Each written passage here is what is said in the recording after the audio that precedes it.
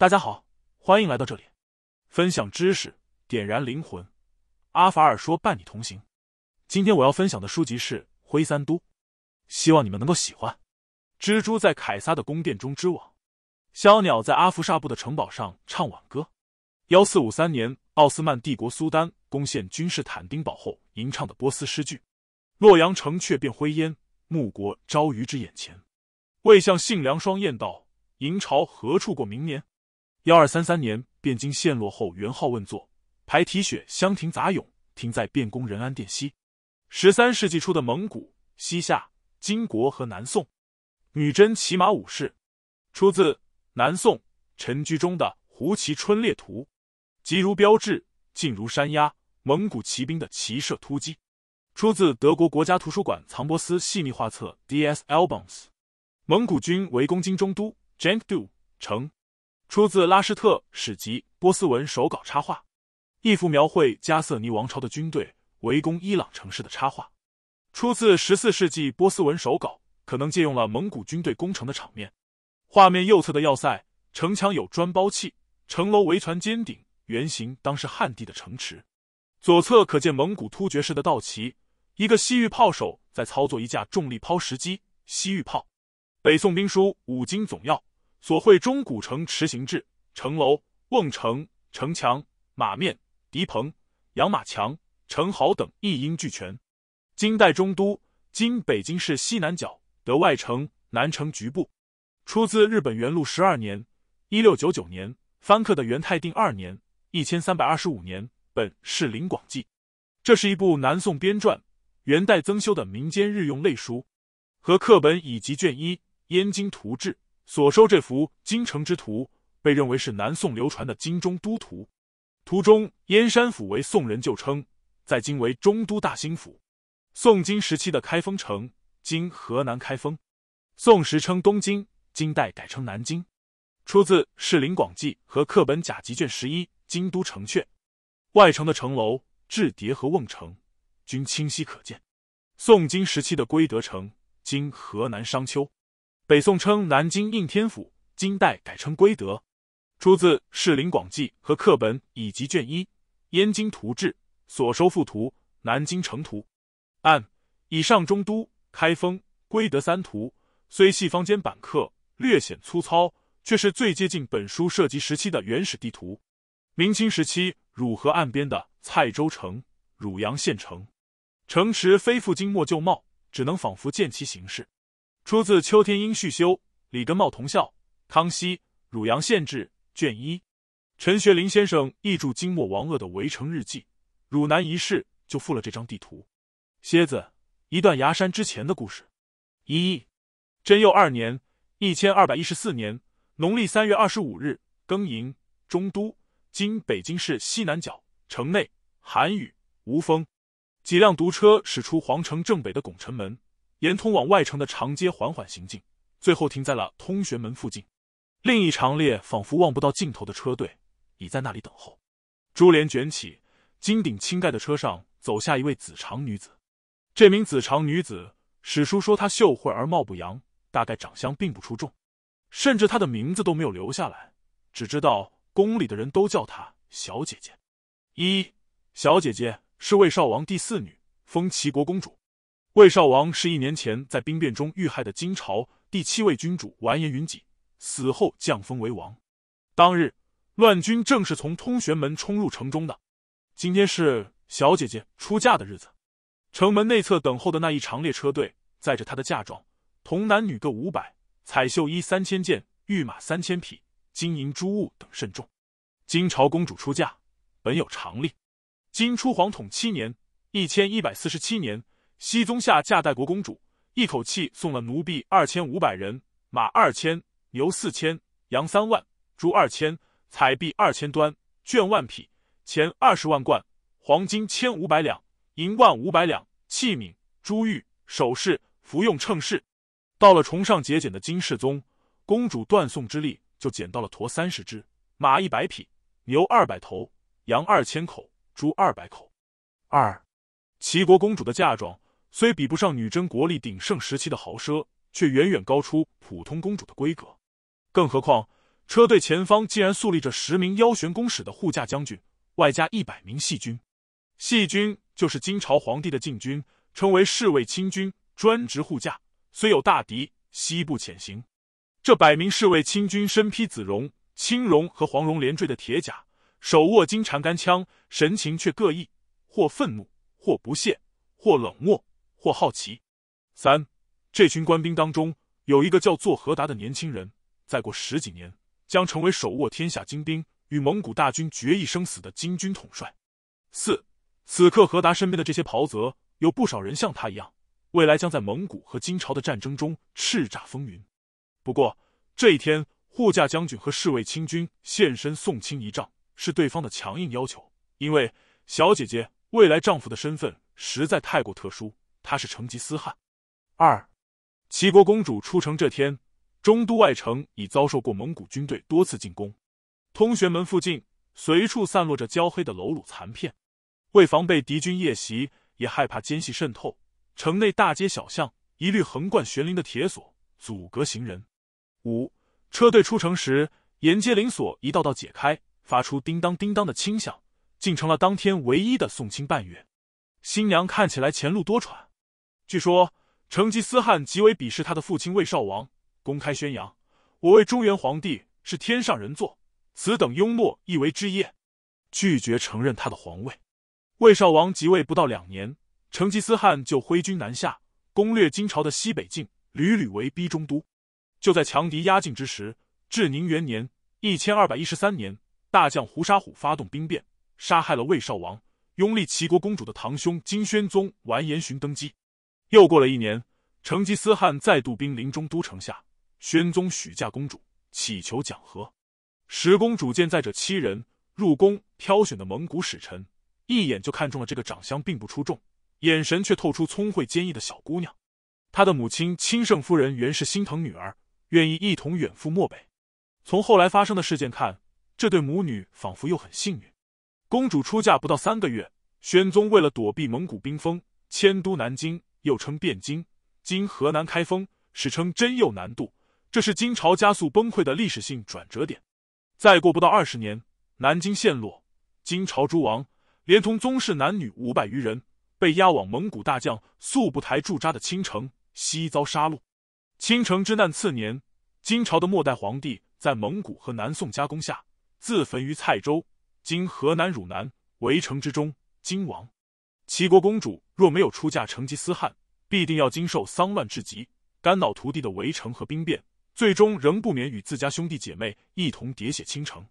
许多年前，成吉思汗还不是草原公主，被迫在克烈部王汉的羽翼下发展势力。明昌七年（一千一百九十六年），蒙古高原东部的塔塔尔部叛金，金章宗派丞相完颜襄前往镇压。成吉思汗和王汉两人协助平叛有功。完颜丞相赏了成吉思汗一个叫做札兀梯忽里 （Jut Kuri） 朱九统领的小官。六。完颜相麾下的凯旋之师，大概象征着大金王朝最后的荣耀。当年从远处眺望这支黑色洪流，羡慕不已的成吉思汗，也绝想不到自己有一天会娶到血统高贵的金朝公主。是故，记载蒙古历史的波斯文史书《史籍》这样描述后来的齐国公主四皇后公主哈敦、启台君主阿勒坦汗、金朝皇帝之女。我们知道她长得不美，但由于其父是伟大的君主。就使她获得身份，受人尊敬。七，不过这都是后话。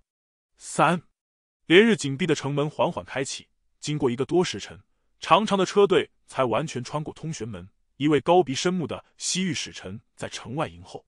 史书还说，临行前，使臣命令公主朝着北方大蒙古国的方向遥遥跪拜，公主不敢拒。他回头望了望雨雾笼罩下的城阙，俯身屈膝。深深低下头去，看到这一幕，我们几乎都要忘了，没多久前，齐国公主身后的金王朝还是亚欧大陆东部的真正霸主。这个由东北女真人建立的政权，早早就令西夏和高丽俯首称臣，在极短时间内灭亡辽国，使北宋蒙受了靖康之耻，俘虏宋钦宗、宋徽宗北上，渡江追击宋高宗入海而还。绍兴和议，一千一百四十一年后。宋高宗向金朝皇帝称臣，南宋每年要向金朝交付岁币银二十五万两，卷二十五万匹。隆兴和议，一千一百六十四年后，南宋每年要向金朝交付银二十万两，卷二十万匹。两国君主的关系从君臣改为叔侄。励精图治的中兴之主宋孝宗递交给金世宗的国书，要具名直送皇帝甚，仅在拜制书于书大金圣明人孝皇帝阙下。更屈辱的是，接受金朝皇帝的回信时，南宋皇帝要从玉榻起立，向前三步，称为降榻受书。即使到了金朝国力由盛转衰的金章宗时期，嘉定和议一千二百零八年后。南宋朝廷不仅乖乖砍掉力主北伐的韩托胄、苏师旦等人的首级韩宋金朝，还将岁币增至银三十万两、绢三十万匹，两国成了视为伯侄之国。南宋皇帝的辈分又降了一等。太和八年（一千二百零八年）五月，和议达成的消息，连同前线元帅府告捷的路部一同抵达中都。金章宗无比兴奋，分遣官员奏告天帝、太庙和社稷，又亲自登上应天门。宫城南面正门城楼，圣臣一丈，接受装有韩托胄、苏师旦首级的锦函。此后，两位南宋大臣的脑袋被高挂在长杆上，配上画像，置于通衢，纵令中都百姓围观三日，再图上漆，入藏密库。就在同一年，经章宗病逝，遗诏皇叔魏王即位。这一年，成吉思汗彻底消灭草原上的宿敌面起步，他的九角白道旗将指向南方。这两起事件猛然扭转了金朝的国运。四，我们的讲述从齐国公主开始，因为它就像一个符号，几乎完美的象征了这段历史在后世的遭遇，那就是被遗忘。齐国公主的身影几乎彻底消失在了历史的长河中。全副武装的现代历史学家遍寻东西方载籍，只能找到关于她的三五条史料，并且在蒙元帝国的历史记载中，她既不叫小姐姐。也不叫齐国公主，而是换了一个奇怪的称号。在波斯文史书中，作为成吉思汗的五位正后之一，她叫公主哈敦 （Kanju Katam）。哈敦意为娘子、皇后，主掌第四沃尔多，成吉思汗的宫帐之一。在寥寥几条汉文记载中，她的称号被翻译成公主、皇后。在蒙古人的记忆中，她仿佛依然是那个盛极一时的女真王朝的天之娇女，实际上。却只是世界征服者搜集陈列的战利品的一部分，很少有人说起见过齐国公主，只有全真教教主大概是例外。长春真人《西游记》记载，丘处机应邀前往西域大雪山与成吉思汗会面，途经和林，经蒙古国前杭爱省额尔德尼昭北，汉夏公主送来了一些干粮，接济师徒一行人。八汉公主就是齐国公主，夏公主是西夏国主李安全献给成吉思汗的公主。名叫茶和，身世相仿，或许让两位年轻女孩子一见如故，感情甚笃。事实上，齐国公主和母亲袁氏不仅见过丘处机、尹志平先后两位全真掌教，袁氏还拜丘道长为师，成为全真女官。道家金石略中保存着两道以公主皇后名义颁发的懿旨，分别护持魏州吉县北极观、孟州王屋县灵都宫。这两位逃脱浩劫的皇室女子。或许在宗教中找到了某种寄托和慰藉。一望无际的草原上，毡帐一顶，孤灯一盏，清香一炷。他们大概常常为家国丧乱中非命而死的一切亡魂，当然还为无数同样幸存下来的人默默祈福。齐国公主不过是在金朝土地上生活过的芸芸众生之一。鼎盛时期的金朝，北起外兴安岭，南至大散关，淮河一线与南宋交界，东濒大海，西临西夏。临有今天的黑龙江、吉林、辽宁、河北、河南、山东、山西七省之地，加上内蒙古、陕西、甘肃的一部分，面积相当于南宋的两倍。南宋人口最多时有六千万，金朝疆域内也生活着四千八百万人。九，比起南宋，古往今来为这群人书写的历史实在少得可怜。五，金朝的亡国史吸引人的。还有其浓重的悲剧色彩。金朝皇位迭传九代，凡一百二十年，最后二十四年都在苦苦抵抗蒙古对中原的侵袭。这期间，金朝更换了三位皇帝。成吉思汗斥为庸懦的魏少王，金史赞美他身形颀长、美髯须，生性简约，不好华饰。胡沙虎发动兵变后，一些见风使舵的大臣纷纷污蔑魏少王失道。罪有应得。他身边的人却觉得，从他当政期间的作为看，忠才不及者多矣。魏少王之后的宣宗，史家赞许他励精图治、勤政忧民、忠心有望，惋惜他生性苛刻、喜好猜忌，足无成功。金朝真正意义上的末代皇帝哀宗，在四面楚歌的蔡州围城中，对着侍臣悲叹：“我当了金子十年，太子十年，人主十年，并没犯下什么大错，下场却和历代荒淫暴乱之君一样，等为亡国，好不甘心。”这些历史评志多半寄托了中原文化精英对故国和旧主的哀思。不过，从种种迹象看，金朝最后这三位君主秉性确实不坏。魏少王刚即位。山东境内的一段黄河忽然变清，相传黄河清，圣人生，举国大庆。不料一个叫杨圭的人上书扬言，浊水反清，分明是灾异。何况假使圣人生，恐不在今日。这种话放到哪一招都是死罪。魏少王只是吩咐所还本管。宣宗末年，两位太医给小皇孙治病，用药过猛，病人一命呜呼，法当抵命。宣宗说。若是朕的叔伯兄弟之子，就该法办；为朕的孙子而杀人，实属不忍。最终，两太医只是挨了一顿板子后革职。哀宗刚即位，有人披麻戴孝，在宫门前大哭大笑，声称自己笑的是许大天下将相无人，哭的是祖宗家国破荡至此。陈辽要求严惩，哀宗不同意。不久前刚下过广开言路的诏书，何况此人言义有理，只不因哭笑却下耳，杖责了事。十，一个专制君主手握世草名为蝼蚁的生杀大权，在国不艰难、沧海横流的岁月，遇上有人主动挑衅添堵，尚愿意克制一下动用合法伤害权的冲动，实在称得上宽仁之主。许多普通人若在他们的处境，未必做得到。按照孟子的政治理想，若再加把劲，将这一分恻隐之心推及天下，就是人不可胜用的圣王了。可惜，哪怕是人君。也无法应对深重的王朝危机。三位皇帝统治的二十多年，完整展现了一个有着相对稳定的统治基础和合法性的国家如何在军事失败、内部矛盾加剧、可支配资源锐减、军事失败的恶性循环中竭力挣扎，最终覆亡的过程。金朝就像一艘经历长途航行、有些破损，却还不至于漏水沉没的大船。这三人。不过是这艘大船猛地撞上蒙古这座陡然出现的冰山之际，恰巧把手放在了船舵上的凡夫俗子。亚里士多德认为，悲剧的主角不能太优秀，因为好人遭殃，徒增观众反感；悲剧的主角又不能穷凶极恶，否则观众会觉得他活该。最能同时激发道德感、怜悯和恐惧的悲剧主角是平庸的和我们一样的人。按照古希腊人的审美品味，武王伐纣写不出动人的悲剧。金朝的灭亡却可以。六，这出悲剧还带有一抹独特的壮烈色彩。这个王朝骨子里毕竟流淌着北方蛮族的鲜血，在臣服和抵抗之间，金朝更多选择了抵抗。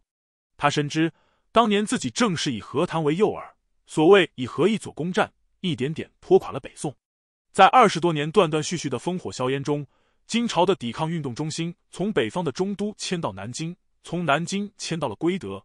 经河南商丘，又从归德迁到了背靠南宋疆域的蔡州，以小博大，以弱博强，最后凭借河南的一隅之地，宁为玉碎，真如史家赞许的“图存于王，力尽乃毕”。十一，面对更加强悍的蒙古，金朝的表现比当年的北宋要强。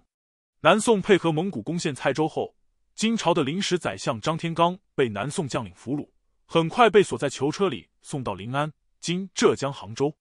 临安知府薛琼负责审问他，开口就讥诮：“你这个亡国奴，有何面目到此？”张天罡昂起头回答：“国之兴亡，何待无知？我今之亡，比汝二弟徽宗、钦宗，何如？”一句话便让在场的宋人羞愧的无地自容。薛琼大吼：“快来人，赶紧把这人拖下去！”十二，这出悲剧的结局更让人有些回味。从战争的废墟中爬出来，刀下余生、惊魂未定的前金朝子民，不少被吸纳进入了蒙元帝国的统治精英阶层。有人由此成为帮助奠定一代制度规模的人物，还有人对天崩地裂后中国文化价值的保存和重建产生了无法忽视的历史影响。当然，还有更多被那个时代践踏、侮辱和损害的普通人没有机会在历史上留下姓名。齐国公主的父亲魏少王即位前，中都城内传唱着一首童谣：“一水流，便水流，更年易过又羞羞。两家都好住，前后总成流。”十三，这首童谣似乎预示了金朝的都城将从易水之畔的中都迁到汴水之畔的南京。不过，歌谣只讲了故事的前半。进入南京，惊魂未定的皇帝及其护从，很快又不得不匆匆踏上逃亡之路。终点站就是蔡州。本书并非概述蒙金战争的战役史、战历史，尽管这样一部严肃的学术专著，迄今尚负缺如。我们接下来要讲述的，主要是在那个近乎天罡绝地轴折、人里面的动乱年代中，中都、南京、蔡州这三座都城十四及其居民的遭遇，还有影响他们命运的最重要事件。注解一：宇文茂昭传，崔文应校正。大金国志校正第三百二十五页，关于齐国公主参见刘晓《成吉思汗公主皇后杂考》。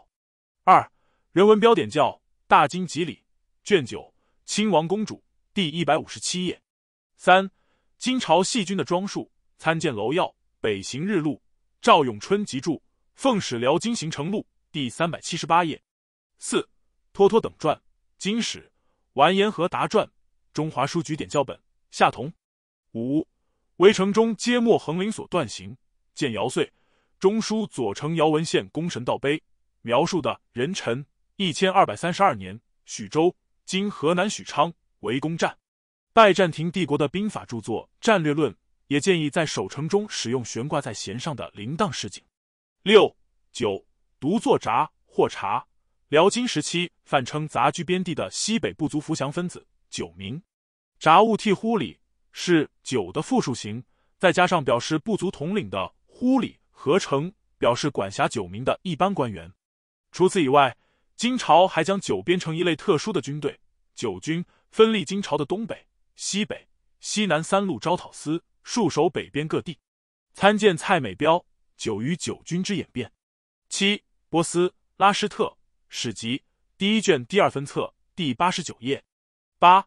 党宝海译著《长春真人西游记》第三十五杠三十六页，《长春真人西游记》原文作汉夏公主接送韩剧等时，韩剧为当时北方中国的一种油炸的面食，类似麻花，据传在寒食节食用。九四千八百万是金史识货志记载的明昌六年一千一百九十五年人口总数。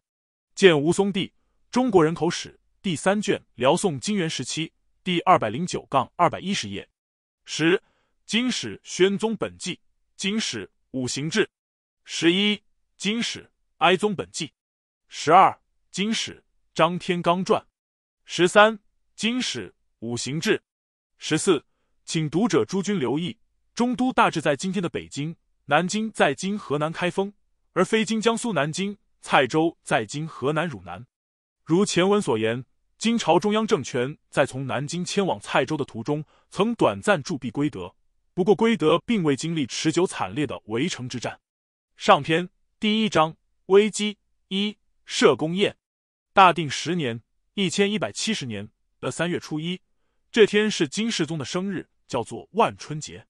按惯例，南宋、高丽和西夏三国都要算好日子，派出使节赶赴中都，行礼祝贺。这一天。天还未亮，宫中的凤玉、凤旨等人指挥着上食、上运、教坊、宫院一干局分的承印人，在预定举行典礼的大安殿进进出出，忙碌不休。不过，在整个中都城内，当天早上在床上睁开眼睛，心情最为忐忑不安的只有一人——设宫宴的押宴官。按照金朝和南宋的外交礼节，设宫宴，换句话说，宴会形式的射箭比赛。是双方暗中较劲的重点节目。射宫宴可以上溯至北宋和辽国的交聘礼仪。此前，两国主要是借这个场合，把金银、表缎、鞍马一类的礼物回赐给对方时，复合三节随缘。一似乎只有到了南宋和女真对峙的时代，原本还算顾及进退一让的射宫宴，才被渲染的火药味扑鼻。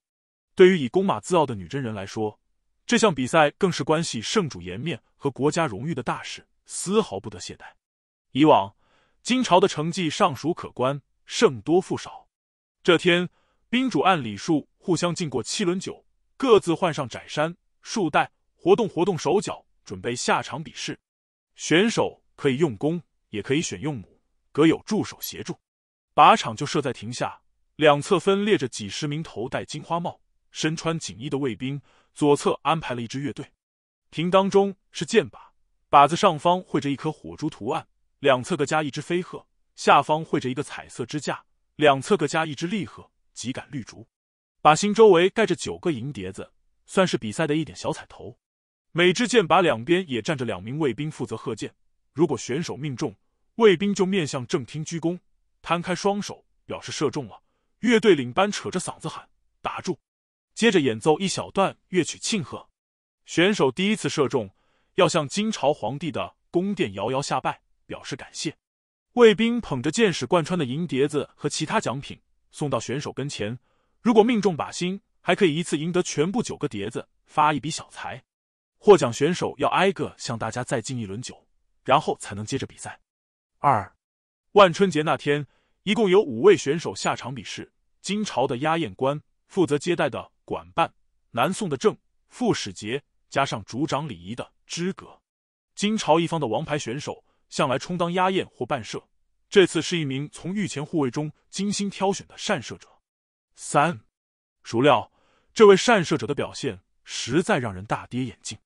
金史世宗本纪用一种难以名状的无奈语气记下了当天的成绩。宋史中午时，押验者才中其七。面对这份成绩，东道主金世宗显然无法心平气和。金世宗本人非常喜爱骑射，国人推为第一。每次出京涉猎，女真耆老纷纷前去围观欣赏。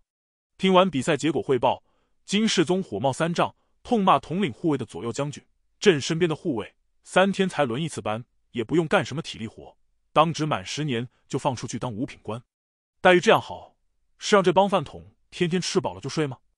公使不习，将焉用之？四，其实为了选出技艺超群的射手，好在射弓宴上扬眉吐气，金朝尝试过不少法子，比如搞几轮预选，把好苗子集中到南京考射乐习。为了夯实这项竞技的群众基础，朝廷甚至严禁女真人网捕野生动物。必须使用弓箭。五大定十年万春节之前的两个月，南宋使节来贺正旦，正月初一，双方已经举行过一场火药味还不那么浓烈的射弓宴。当时南宋使团的书状官楼要留意到，负责押宴的完颜仲雄言谈粗鄙，举止生硬，于禁区筹应一无所能。但是手上有雕青细字纹身，表明他是临时选拔上来的职业军人，专门对付南宋派来的高手。六。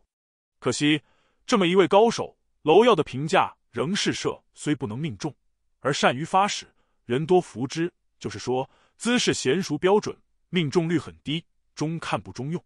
从大定十年前后两次设宫宴看，金朝为了提升战绩而设计的预选和集训，显然并未收到预期效果。到了魏少王在位的重庆元年（一千二百一十二年），这次来贺正旦的南宋使团，正使名叫程卓。一个籍贯安徽的年轻人，副使名叫赵师言，是南宋宗室。这个使团上一年秋天从杭州出发，冒着霜雪严寒赶路，十二月底才抵达中都。正月初一行过大宴，三天后照例又要举办一场射弓宴。程卓回忆，在这场射弓宴上，金朝的昭勇大将军、殿前右卫将军完颜守荣，也就是御前护卫的长官，亲自操弓上阵，充当伴射。不料。从中午开始，半射连不中，反而让南宋一方的赵师言抢了头彩。程卓和赵师言两人，一人赢了二十一个碟子，另一人竟赢了九十七个。在接下来漫长的加时赛中，金人颜面扫地，不愿喊停，双方一直比试到黄昏时分。庭中寒气袭人，完颜守荣却满头大汗，绝望的请求再比一轮。最终，南宋赵师言连中的金朝选手心理崩溃，手脚发软。皆脱剑。七，宋朝选派的正副二使通常是一文一武。赵师言之前所带官职是中州防御使，和军事多少沾点边。前行不远外郎程卓却是个出身书香世家的徽州文人，叔叔是南宋著名的学者程大昌。然而，这对组合在射弓宴上给金人造成的压力，毫不留情的揭示尚武的女真人已经颓唐到了何种境地？当年金朝的开国君臣同第一波宋朝使节打交道的时候，常常瞧不起男人的弓马。年罕完颜宗翰见马阔，劈头就问：“我闻南朝人只会文章，不会武艺，是真的吗？”还特意扔给马阔一张弓，说：“愿得略见男人射弓手段。”八，从收国元年（一千一百一十五年）到重庆元年，在这不到百年的时间里，女真人究竟何以沦落至此？二，用下便宜。建国前的女真族发祥于东北一隅，所谓白山黑水的森林地带，时又分为居住在混同江以南、臣属辽国的属女真和混同江以北的生女真。金王朝的统治家族完颜部就是居于暗出湖水、女真与金。流域的生女真一部，生女真地区气候寒冷，土多林木，田依马谷。十一，女真人以渔猎、农耕和牧畜为生，虽不是突厥、蒙古那样的草原游牧民，生活条件同样原始和艰苦。多次出使金朝的马阔回忆，他曾经遇上金太祖阿骨打邀请各部首领聚餐，贵客都坐在炕上，前面摆上矮桌子或者木盘，主食是一碗糙米饭，加上一些腌黄瓜。韭菜和野蒜、野味、家禽之类的肉食倒是不少，也用木盘子盛着，或烹或生鸾，多以芥蒜汁自卧。末了供应一些淡薄无味的冷酒。所谓御宴，不过如此。十二，女真百姓还爱吃一种主食，以半生米为饭，自以生狗血及葱酒之属，合而食之。对于这种狗血拌饭，宋朝使节纷纷表示污秽不可巷口。十三。女真人的居住条件也很简陋，就算是阿骨打住的地方，看起来也同中国内地的小州县衙门差不多。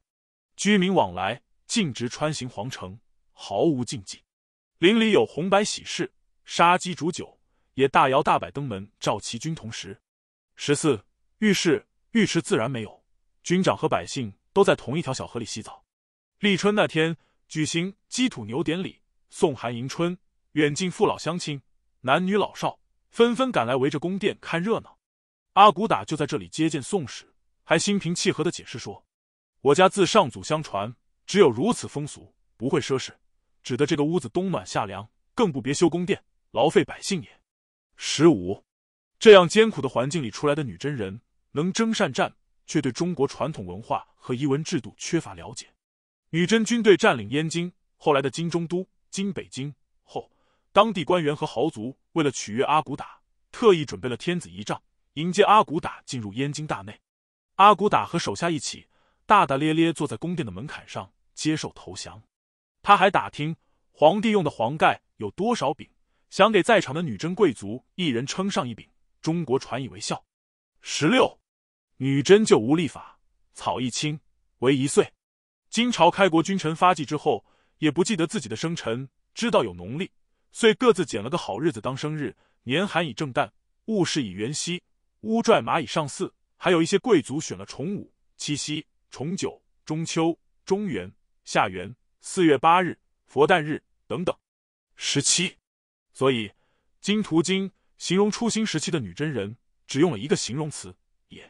不料女真入主中原以后，皇位才传了两代，第三位君主熹宗完颜旦，本名何剌。就开始赋诗染汉，雅歌如符，分茶焚香，一齐向戏。这样一个风流天子，看开国旧臣很不顺眼，有时背地里骂这些老家伙是无知夷狄，对方也不甘示弱，背地里纷纷议论皇帝如今成了一汉户少年子。十八，接着靠政变登上皇位的海陵王完颜亮，本名嫡古乃，从小也下起点茶，好读经史，他能诗善赋，字里行间。往往洋溢一股好横俊爽之气。正隆二年（一千一百五十七年）中秋节，皓月当空，完颜亮在汴京设宴赏月。倏然，一片黑云横过，遮住了月亮。他即兴挥毫，创作了一首《鹊桥仙》：“停杯不举，停歌不发，等候银蟾出海。不知何处片云来，做许大通天障碍。求资拈断，心谋争煞，唯恨剑锋不快。”一挥挥断紫云根，要细看横额体态。十九，完颜亮读《晋书》，不但崇拜统一北方的低族君主苻坚，还打算完成苻坚未尽的大业，统一南北。二十，他亲率三十二总管打算渡江南征，为乱军所杀。金世宗完颜雍，本名乌禄，在辽阳登基。世宗、张宗祖孙俩统治时期，外能与宋讲和，保境安民；内能修明政治，劝客农桑。五十年间，号称大定明昌之治。金世宗甚至有小尧舜的美誉。南宋大儒朱熹听弟子讲起这个风评，酸溜溜的讲：“他要真能遵行尧舜之道，要做大尧舜也由他。”还说他岂变夷狄之风？恐只是天资高，偶何人正耳。二十一，其实金世宗苦恼的绝不是朱熹说的要变敌夷之风，反倒是如何扭转汉化之风。因为到了这个时候，女真人濡染汉文化，并走向腐化颓废的恶果逐渐显现。于是金世宗开始用其余生致力于一项极为艰巨的任务，那就是复兴女真民族传统，大力推广女真语、女真字，创立女真进士科。注重皇子皇孙的女真文化教育，提倡女真的骑射长技等等。二十二，现代学者借用了一个人类学术语来形容金世宗的努力：nativistic movement，本土主义运动及外来文化的冲击所引发的重振传统的反应。二十三，金世宗的本土主义运动注定付诸东流。看看他一手培养的接班人张宗完严谨，本名马达葛，就清楚了。金世宗的太子允恭早逝，所以。立允恭之子景为皇太孙，谢恩之际，完颜景对世宗流利的讲了一大段女真话，世宗兴奋不已，动情的对大臣说：“我让诸王都学学本朝的语言，只有元王完颜景说的最好，朕心欢喜。”二十四，其实完颜景这番举动，无非是哄哄老祖父开心罢了。转过身去，他展现出的汉文化修养，着实令人惊叹。金章宗雅好诗词。格调一如花间，南唐的婉约绮丽，还写得一手受经体，字迹酷效宋徽宗，以至于民间讹传他是徽宗的曾外孙。大英博物馆收藏的顾恺之名画《女史箴图》，图卷后附题有一首受经体的女史箴。一些著名的明清画谱如《石渠宝集》，都误以为是宋徽宗的手书。经过学者仔细辨识，根据“公”字缺笔，毕允恭的会和群玉中密印鉴，才确认。这是出自金章宗之手。二十五，除了《女史箴图》，金章宗还搜集了大量的法书名画，包括王羲之《快雪时晴帖》、怀素《自叙帖》、顾恺之《洛神赋图》等。他在字画上题签也仿照宋徽宗，用瓷蓝纸、泥金字，而且有七方收藏印章，称为明昌七玺。二十六，金朝君主的汉文化素养，不啻是测量女真人变质程度的水位尺。从收国元年往后，不到百年间，女真王朝便褪去了原始军事民主制色彩，确立了专制皇权和官僚行政制度。同时，女真人原有的尚武精神和军事实力也迅速衰竭，以致金元之际流传着“金已如王”的说法。再往后，进入元代，尽管女真人不一定都丧失了自身的族群认同，但在蒙古统治者看来，他们在语言和文化上已和中原汉人没有分别，统统贴上。汉人相对于原南宋统治区的男人这一标签加以治理。三，北方来的强敌，金已如王的教训一度自命后金的清朝看在了眼里。清朝皇帝自皇太极开始就不断强调满洲传统国语骑射。相传在北京日坛附近的教场立过一块石碑，碑文大意如下：金王于学习汉人风俗，以致逐渐文弱，终为蒙古所灭。我朝自关外入主中原，即因人民习武善战，故能一举灭明。凡我满人以金人为前车之鉴，误导覆辙。如能保持原有风气，实免为人破灭。从女真到蒙古，从蒙古到清朝，为何北方民族对汉化的陷阱总是既恐惧又身不由己，沉溺其中？马克思的名言：“野蛮的征服者总是被那些他们所征服的民族的较高文明所征服。”这是一条永恒的历史规律。常被当作标准答案。不过，今日流行文化相对论、进化论意义上的文明和野蛮绝对界限日益模糊，具体问题还需具体分析。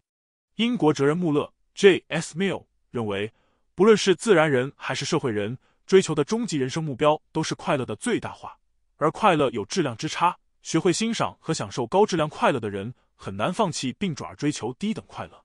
叛逃匈奴的汉人提醒单于。汉人的增续不如粘裘便于驰骋，汉人的佳肴不如干酪食用便捷，却特勤卑，叮嘱突厥子孙千万小心唐人的甜言蜜语、金银锦缎。这恰恰证明，对于被排斥在发达农耕社会边缘的人群来说，这些单凭感官就能体验到的诱惑，委实难以抵抗。由俭入奢易，绫罗绸缎、纵马驰骋，一蹭就破，却比兽皮缝制的衣袍华丽舒适。青瓷白瓷，行军途中一颠就碎。却比木盘木碗赏心悦目，品味再精致一点，自然觉得风吹草低见牛羊不如金缕小店花草豆，翠涛更结同心扣，金章宗、蝶恋花、巨骨扇。对征服了中原富庶之地的女真人来说，这份享受的清单还可以无限扩大下去。享乐自然要付出代价，出于入念，洞房清宫，干脆肥浓，明眸皓齿，这些都是裹着糖衣的毒药。先哲的教诲岂是虚言？当然。耳目口腹之欲只是一方面，可谓是自下而上的，还有自上而下的。金朝废掉刘裕的傀儡政权，直接统治中原地区，女真人大批迁徙进入汉地，要建设和统治这样一个超不足的复杂的政治体。原来那些约法三章的简陋习俗，哥哥弟弟的亲缘关系都不太管用。如果没有蒙古、突厥那样别树一帜的内亚政治传统，那么。势必要充分利用华夏共同体的意识形态和伊文制度等政治资源。学者将这种现象精辟的总结为“能下则大”。二十七，女真人原本生活方式就接近汉人，又缺乏自成套数的民族文化，实在别无更好的选择。二十八，天会十二年（一千一百三十四年），金军还在南边与宋军大战，金太宗就下令在燕京举行科举考试，试题正是天下不可以马上致富。二十九，金史还记载，某日，金世宗外出春猎，两个皇家侍从请殿小弟仆役驮满酒箸。太子是读完颜匡在队伍后方窃窃私语。驮满酒箸问完颜匡：“伯夷，舒淇是什么人？”匡回答：“孔子说是求仁得仁的圣贤。”酒柱反驳：“汝等只知道读死书。”伯夷：“舒淇抛弃家人。”又拒绝归顺周朝，也算仁者吗？匡解释：古之贤者，行其义也，行其道也。伯夷，叔其让国，一人承其父之志，一人不苟从父之志，又不食周粟，正君臣之分，为后世楷模，怎么不是仁者？太子允公听说此事，赞叹良久。三十，驮满九柱和完颜匡都是纯粹的女真人，儒学探讨却能够达到这样的层次。既说明女真人儒染华风之身，也说明儒家那套君臣父子的政治伦理，恰恰满足了金朝弥缝民族裂痕的统治需要。不过，这些满口孔孟之学、君臣大义的女真人，大概不会想到，本朝开国之时，大将年寒打下曲阜，听说宣圣陵里面埋了不少财宝，差点就挖开了孔子的墓。三十一，这件事其实也才过去了不到半个世纪。总之。女真的文弱化和武力衰退，乃是自然进程与人为设计共同作用的结果，在绝大多数情况下是不可逆的。这个进程导致的最大恶果，形象点说，就体现在重庆元年那场社公宴上，体现在南宋使节、金朝管半和压宴众人等目瞪口呆之下，完颜大将军那一件又一件拖把的武艺上。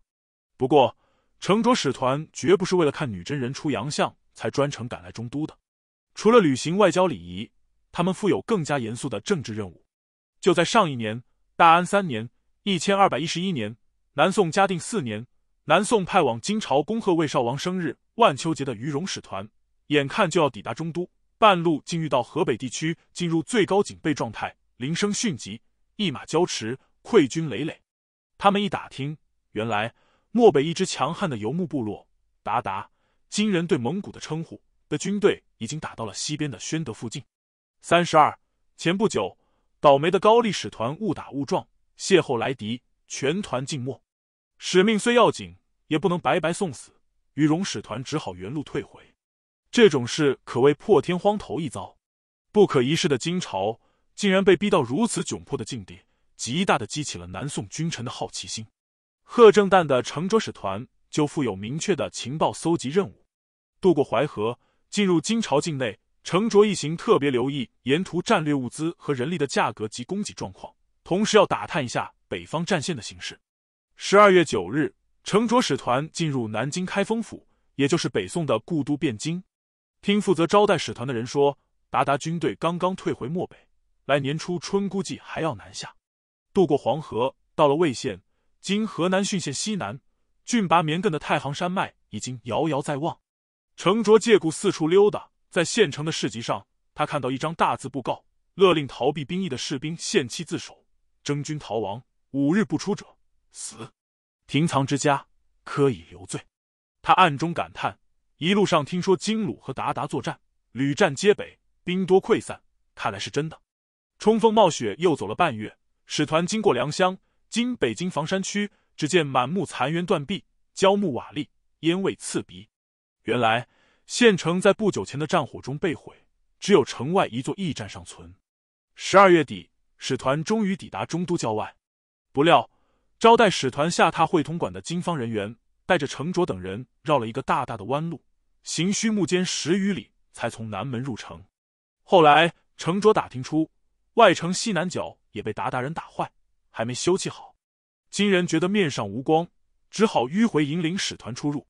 次年正月，使团冒着风沙返程，程卓又在真定（今河北正定）看到金朝催发壮丁北上，加固中都城，同时。往中都运输粮草的车队也络绎不绝，时限急迫，倒闭的驼兽草草往车上一扔，继续赶路。对南宋使团不合时宜的好奇心，心虚的金人显然并不欢迎。金朝接待南宋使节，设有负责在边境迎接的接办使，陪同入住招待所的管办使，回程一直送到边境的送办使，主要就是为了盯住来人，防止他们随意走动，搞间谍活动。如今。负责送承卓使团归国的金方送办使李希道、蒲察信等人，更是一路上面色阴沉，装聋作哑，一言不发。承卓弄到的情报，除了亲眼所见，大多是从车夫、马夫一类私役口中打探出来的。重庆元年二月初，在四州（今安徽泗县）城外的淮河岸边，承卓使团与金方送办使分别。此前，宋金交聘不但劝酒殷勤，临别时。双方人员还要互道聚耳言别，岂胜依恋自此执别，善加保重一类的场面话，做依依不舍态。这类虚文客套，此番大概也免了。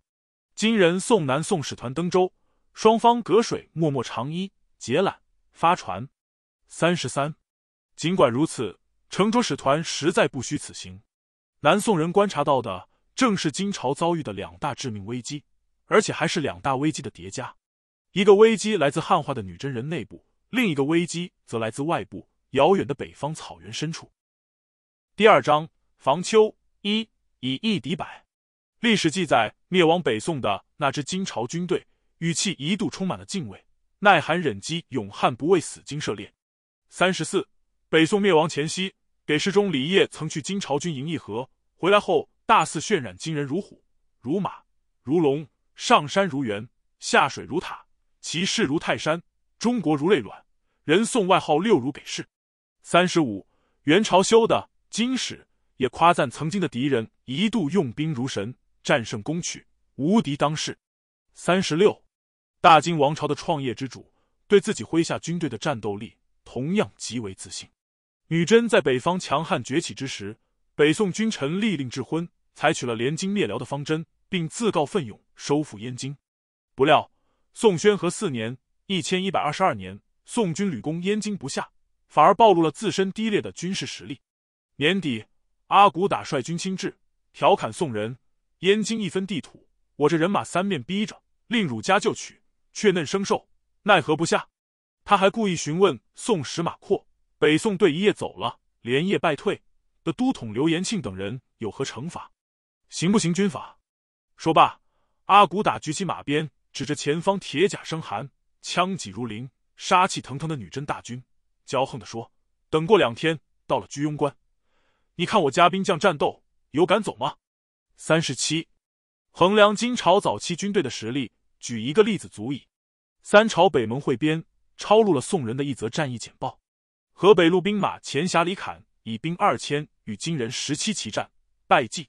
原来宋靖康元年（一千一百二十六年）。二月，宋钦宗割地求和，便京城外的金军统帅沃离不派了十七名骑兵护送和议文书回女真本土，路过磁州（今河北磁县），当地的北宋驻军没接到议和的消息，见到落单的金朝骑兵，以为人少可欺，兵马前辖李侃带着二千名禁军和民兵出城，宣扬要掩杀来敌，与十七骑相遇。金人曰：“不须用兵，今城下已够何矣。我乃被太子郎君差往国中干事。”侃不信，欲与之战。十七骑者分为三，以七骑居前，得分五骑为左右翼而稍近后。前七骑持进，官军少却；左右翼乘势掩之，且持且射，官军奔乱，死者几半。三十八。原来李侃率领的二千宋军拦住了那十几名金军骑兵。金军小队的头领解释：仗不打了，便京城下已经议和，我等奉我离不太子之命，回国公干。李侃偏不信。非战不可。于是，眼见这十七名骑兵从容不迫，变换成战斗阵型，共分三队，前锋七骑，左右两翼各五骑。金军前锋端起长枪，只用了第一次冲击，就打乱了宋军的行列。剩下两队从侧翼包抄，彻底击溃了宋军。宋军伤亡过半，一比一百一十八。这样人数对比悬殊的胜仗，整个中国历史恐怕很难找出第二例。昆阳之战。刘秀以万余人击破号称四十万人的新莽大军，是以少胜多的著名战例。不过，新莽政权的四十三万士兵绵延数百里，大多没有实际投入战斗。值得注意的是，居于劣势的一方人数再少，也要成一定规模和组织，才可能发挥战力。在极端情形下，如一比一百一十八，如果这个一代表一万军队，面对无法同时进入战场的百万敌军，在特殊条件下或能一战。但是，如果这个一支代表一个人对阵一百一十八人，结局不问可知。整起事件最诡异的莫过于金军骑兵始终只有十七人。不过，在欧亚大陆的另一端，也就是中世纪的欧洲，类似战力却并不鲜见。不难解释，这些金军骑兵与西欧封建社会的骑士一样，皆是重装骑兵。在火药时代来临前，只有这样的重型铁甲杀人机器，面对步兵。才能无视任何伤害，像坦克一样横冲直撞。初期的金军专上骑，主要由骑兵构成，有轻重二种。轻骑兵牵着备用的驸马，行军时约五十为一队，相去百步而行。作战时往往部署在左右翼，在敌军薄弱的翼侧实施突击，称为拐子马。金军用来破阵攻坚的王牌部队，乃是一种重铠全装的骑兵，远远望去，仿佛一座座铁塔。宋人称为铁浮屠，铁浮屠骑兵戴着铁面具，只露两眼，枪剑不能入，上半身披挂沉重的铁甲。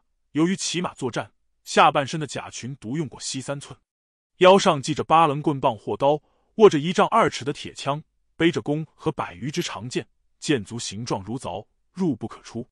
战马也附以铁甲，可能还用铁索将骑士固定在马背上，虽死马上不落。后来讹传。为用铁索将战马勾连的连环马。三十九，金军的王牌是重骑兵，还有一个关键证据：金军的基干编制是谋克、百户、猛安、千户，这是从部族演化而来的军事和地方行政单位。四十，初以三百户为一谋克，十谋克为一猛安。谋克下辖的每名普通士兵、正军、甲兵，配备一到两名阿里喜汉义贴军，设置。阿里喜，据说因为金军主要是骑兵，需要有人承担马匹、战具的保养和其他杂物。四十一，这个看法有道理。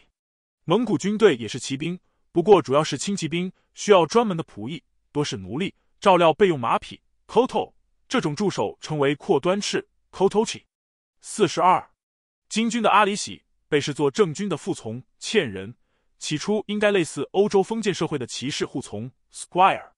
铁浮屠这种用铁甲层层包裹的骑兵，同欧洲的骑士一样，不仅需人保管和携带战马、盔甲及武器，还需人协助穿戴盔甲、上下马和换马，战斗中施加救援。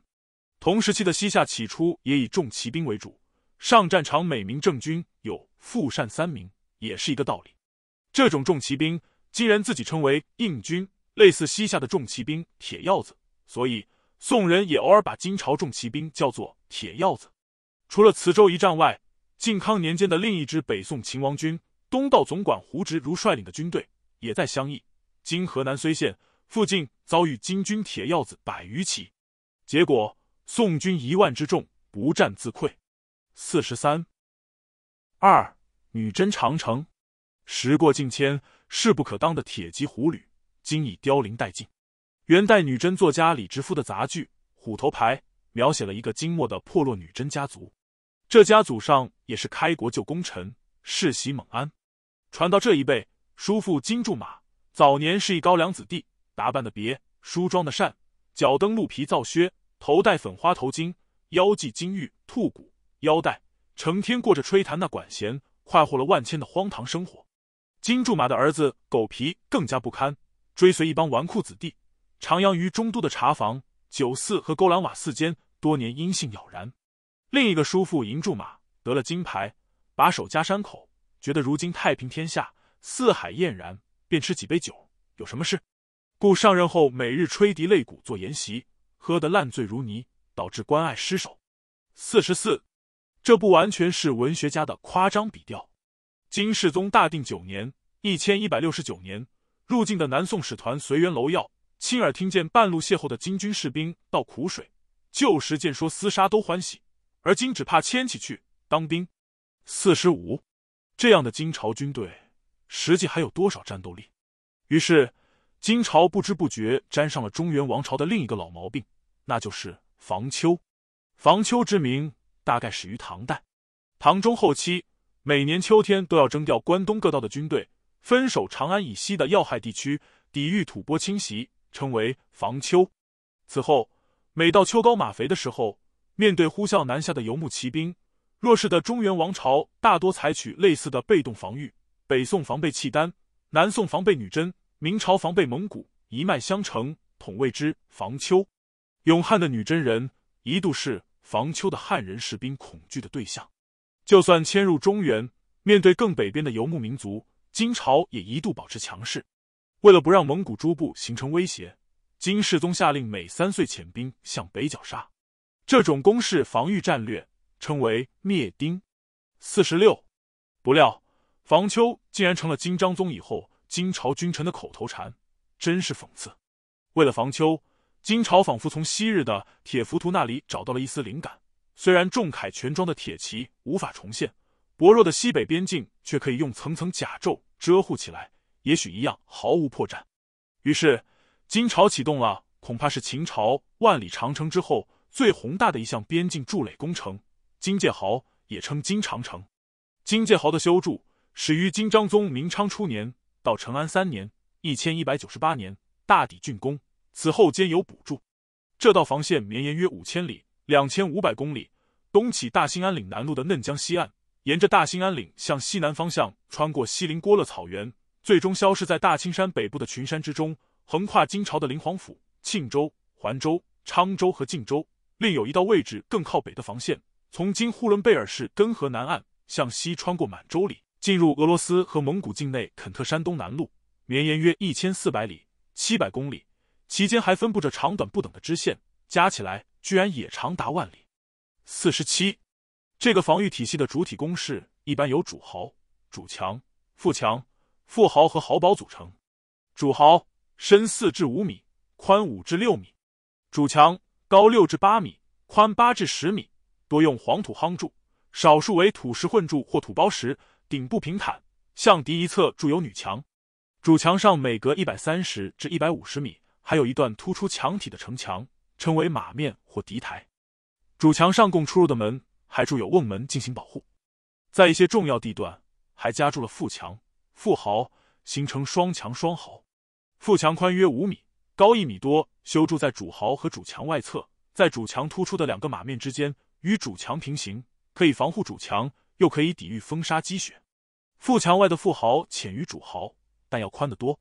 壕堡紧贴主墙内侧，借用了主墙的部分墙体，周长约一百米，或方或圆，各堡相距数里，控扼谷口或者要道。在主体工事后方。还有大大小小的要塞，构成疏密相间的纵深防御，距离界壕几十米到数百米。有方形树堡，周长一百多米至两三百米，平依优越地势，驻有守军百余名，各堡相距十余里至二十里，遥相呼应。再往后二十至四十里的地带，还有更大的军城，周长在五六百米乃至一千至两千米之间，各城相距约百里。考古学家发现，界壕附近这些戍堡和军城也大都修筑了角楼、马面、瓮门等防御工事，有的还挖了护城河，壕易守难攻。其间各处烽燧、关隘与河口也都有筑垒和驻防。四十八，这道巨型防线耗费了迟暮之年的金朝的大量人力物力。单是西北一路的界壕边铺，由于工期急促，没有修建女墙和副墙，成安三年的补修工程就费工七十五万。四十九，时至今日，在内蒙古、吉林和黑龙江等地，巨型防线的城墙、壕沟和烽燧遗迹仍然依稀可辨。女真版的长城，分别由金朝在边疆设立的三大军区——东北、西北、西南三路招讨司负责。五十，主要用来对付活动地域与金国接壤、频繁入境袭扰的草原各部，包括红吉拉、塔塔尔、和达金、撒勒之兀体等等。后来。这些部落都被成吉思汗整合到了蒙古之中。如今，面对草原上骤然兴起的大蒙古国，对主动出击丧失自信的金朝军队，就躲在这道俨然金城汤池的巨型防线后方，准备防秋。三游牧民与城墙，这道防线仅仅是金朝裹在最外面的一层重铠。一旦游牧骑兵突破了遮护国境的界壕和边铺，想再进一步，还有另一番景象等着他。同界壕一样，内地的城池也多采用夯土板筑，也就是筑土城，一般是正方形或者长方形。在中国南方，由于降雨偏多，土城容易塌陷。如果财力允许，会考虑用砖灰包砌土城内外两壁。五十一，在北方，明代以前，砖包砌城很少见。有一次，金世宗想给上京（今黑龙江哈尔滨市阿城区南）。的城郭包上砖石，宰相劝他爱惜名利，只好作罢。五十二，当然，黄土夯筑的城墙一样坚固。若再采用赫连勃勃那样的征土法，甚至可以达到锥子都插不进的硬度。土城倒不可怕，可怕的是中国发展了上千年，到宋金时期已经相当成熟的军事工程学。想象一下，一群漠北赶来的骑士，马鞍下垫的帐泥覆盖着一层薄薄的黄沙。黝黑的面庞由带着边地厮杀剑上的血污，驻马怅望平原上矗立的那一座座伟岸城池，距离城池老远，草原汉子当成心肝宝贝的战马，就会遇到各种危险的障碍器材，带尖刺的铁蒺藜，满布铁钉的地色，等于现代的布雷区，还有截断道路的巨马枪、绊马索、鹿寨等等。再走近一点，骑士大概会遇到一条环绕城墙的护城河或无水的壕。护城河是一条面阔底窄的人工河，通常阔二丈以上，深一丈，上面只有一道狭窄的吊桥，通过脚车升降。换句话说，骑士没法像在草原上那样找个下游的浅滩便涉水而渡。河壕的底部可能设有削尖的木刺或其他杀人装置。在护城河外围是威力巨大的床子弩或抛石机炮的杀戮地带。如果骑士平安越过护城河，便可近距离感受一下眼前这座庞然大物。稍具规模的城池，城墙高大宽厚，而且越往下越厚。四角筑有供瞭望和射击的角楼。城墙顶端有一圈面向外侧的雉碟，高约二米，开有射孔，每隔数尺还开一个垛口，让雉碟看起来呈锯齿状，绵密相续。守城士兵藏身雉碟之后，通过射孔或垛口狙击城外之敌。垛口内外敷设篱笆、木桩。土囊、布幔、绳网一类的护具，缓冲城外射入的矢石，甚至有一些应急用的移动碉堡，如行城、杂楼，为守军提供防护。夜幕降临后，铁链吊着大火炬从雉叠后垂下，照亮城墙外的一圈警戒地带，防备夜袭。城墙上每隔一定距离筑有突出于墙体的一种碉堡，下宽上窄，就是前面说的马面。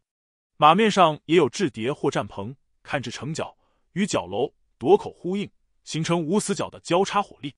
宋元时期，很多城池的马面修筑的非常密集，远远望去，如同由长墙连锁起来的一座座高塔，煞是壮观。城墙的最薄弱处是容易被撞开或者叛徒偷偷打开的城门，城门通常有吊门做双重保险。城门上筑有单檐或重檐的城楼，城门外侧加筑半圆形或矩形的狭小外堡瓮城。堪称全方位立体掩护。瓮城的小门开在一侧或两侧，不会正对城门，所以从瓮城到城门要曲折出入。距离城门五十到一百米远，在护城河内侧，有时还筑有一道低矮的挡墙，大概一人多高，也开有射孔，叫做养马墙，进一步掩护主城。除了一层叠一层的各类城墙，为了抵御北齐冲突，金朝军队还在城门内外构筑过一种迷魂墙，也称八卦墙。顾名思义，应该是一种曲折往复的迷宫式屏障。五十三，在这每一项防御工事后面，都集结了武装到牙齿的守城士兵，向一切来犯者倾泻密集的弩箭、石炮、滚木类石、石头或布满铁钉的木头柱子，通过绞车投放烧得滚沸的油和粪便，还有杀伤力强大的初级火器、火球、火药箭和飞火枪。骑士站在护城河边上，昂起头，可以依稀辨认出城上。守军那一张张愤怒而恐惧的面孔，在他们之间是一段难以跨越、分判生死的距离，是名副其实的死亡地带。粗汉的游牧民心里大概有点发怵。最符合骑士美学的线条是纵横驰突的直线，而城池设计的美学乃是折线和曲线。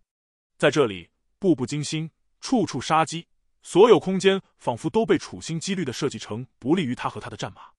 骑士费了九牛二虎之力。穿过养马墙和迷魂墙，闯进瓮城，才发现这其实是个伪装的城门，要拐个弯才能看到正门。冲入正门，也许还有一个坑煞人的内瓮城。这个地方狭窄的要命，马掉个头都很困难。待骑士历尽艰险，终于从正门冲入城内，也休想纵马驰骋，从东头酣畅淋漓的杀到西头。中国城池普遍设计有大量的丁字街、死胡同，以便巷战。这种重铠全装的坚城。别说游牧民了，对这套防御体系再熟悉不过的中原军队，也常常望而却步。孙子兵法说：上兵伐谋，其次伐交，其次伐兵，其下攻城。将攻城视为下下策，攻城之法为不得已。修鲁大盾牌，晕工程车，具器械，三月而后成。巨阴土山，又三月而后已。将不胜其愤而以复之，杀士卒三分之一而成不拔者。此攻之灾也。中国史书描述攻城使用频率最高的一个词，恐怕就是“以父”，形容城墙外侧像蚂蚁一样密密麻麻攀爬的士兵。也可见，在这种场合，人命同蝼蚁一样轻贱。美国汉学家欧阳泰 （Tonio Andrade） 想到过一个有趣的问题：为什么中世纪以来，西欧发展出了轰塌城墙的火炮，而中国的火器仍然是以杀伤人员为主？他的答案居然很简单。因为中国的城墙太厚，与西欧城堡完全不在同一级别上。中世纪欧洲的城堡幕墙厚度绝少超过十米，而在当时的技术条件下，任何火炮也轰不开十多米厚的中国城墙。五十四，虽然没有火炮，但为了对付这套城池防御体系，古代至中世纪的中西方战术基本都是三板斧及其不同组合，翻越城墙，径直穿透城墙，挖掘地下坑道。一旦这三板斧都不管用，就只好靠长期围困、饿死渴死守军。五十五，为了方便运用这三条策略，中国古人发明了许多工程器械和方法，什么朝车、望楼车、壕桥、尖头木驴、木慢车、钩撞车、搭车、爬车、云梯、飞梯，各种型号的抛石机和弩箭，还有土山、地道等等。其中好些自先秦以来一直沿用。也有一些属于新发明或改进品，不过对这些凝聚了几千年古老智慧的军用技术，即将来到城墙脚下的游牧民暂时还叫不出名字。第三章焦土一哀兵必胜。十三世纪初，在欧亚大陆的东端呈现出一种奇特的军事格局：最南边的南宋人在防丘，敌人是盘踞中原的女真人，女真人自己也在防丘，敌人是更北边的游牧族群。即将站在这片大陆的食物链顶端的蒙古人，古代蒙古族群共同体的核心成员，据说是唐代就居住在呼伦贝尔草原和额尔古纳河下游的视为部落之一。五十六，蒙兀视为，后来被周边其他势力称为蒙古、莽古子、蒙古鞑靼等。五十七，视为人原本驯养猪狗，捕鱼打猎，无羊少马，有牛不用，同后来弓马娴熟，左旋右折的蒙古骑士形象。可谓相隔萧壤。到了公元八九世纪以后，突厥、回鹘和霞迦斯等草原霸主先后败亡，迁离，士为人趁机向西渗透发展，进入今天的蒙古高原，与突厥移民混居，转化为草原游牧民。随着游牧经济的进一步发展，加上同中原文明、突厥维吾尔文明的长期交流，在蒙古高原各部中，氏族社会结构瓦解，新兴草原贵族纳言 （Noyan） 集团崛起。这些草原贵族控制着大量的依附人口、养子、家庭奴隶、伴当、自由民，彼此混战兼并。漠北草原长期纷争扰攘，烽火不绝。用元朝秘史的话说，是有心的天旋转着。众百姓反了，不进自己的窝内，互相抢掠财物；有草皮的地翻转着，全部百姓反了，不握自己辈儿里，互相攻打。五十八，终于在十三世纪初，一位深沉有大略、用兵如神的军事统帅和政治家，出自蒙古部贝尔至金氏的铁木真成吉思汗，在群雄争执之间脱颖而出，成功统一了东起呼伦贝尔草原。西起阿尔泰山区广大土地上的全部毡帐里的百姓，大蒙古国 Yakmon Gamma Ol Ulus 由此建立。这是一个具有空前的整合程度和凝聚力的超部族政治体，一个草原游牧帝国。五十九，新兴的大蒙古国在三次敲打西夏，大致清除了肘腋之患后，几乎是本能的将兵锋指向了东南边的最强宿敌金朝。两个同这场战争相隔十万八千里的外国人。记下了当年蒙古大军誓师南征的详情。第一个人叫树兹扎尼，德里苏丹国的高官。他用波斯文写了一部从人类始祖到蒙古西征的全史《纳西尔史话》。树兹扎尼的消息来源可能是同时代中亚的霸主花剌子模国派去蒙古的使节。这部书记载，第一次南下进攻金朝之前，成吉思汗整顿好军队，首先下令蒙古各家各户在一座山脚下集合。他命令全体男子同女子隔离，子女同其母亲隔离，如此三日三夜，所有人头上不得戴任何装饰，在此三日内不得进食，牲畜也不得哺乳。成吉思汗本人立起一顶毡帐，把一条帐索挂在脖子上，三日三夜不曾出帐。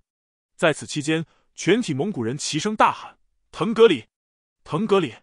三日后，第四日傍晚，成吉思汗自帐中出，宣布。腾格里已经授予我胜利，现在让我们整兵出发，向阿勒坦汗金朝皇帝复仇。又过了三日，在同一地点举行宴会之后，成吉思汗率军出发。他们经过逃亡者扎巴尔穿越群山的道路，走了出来，攻击桃花石之国中国。他们发动了对该国的袭击，将其百姓置于屠刀之下。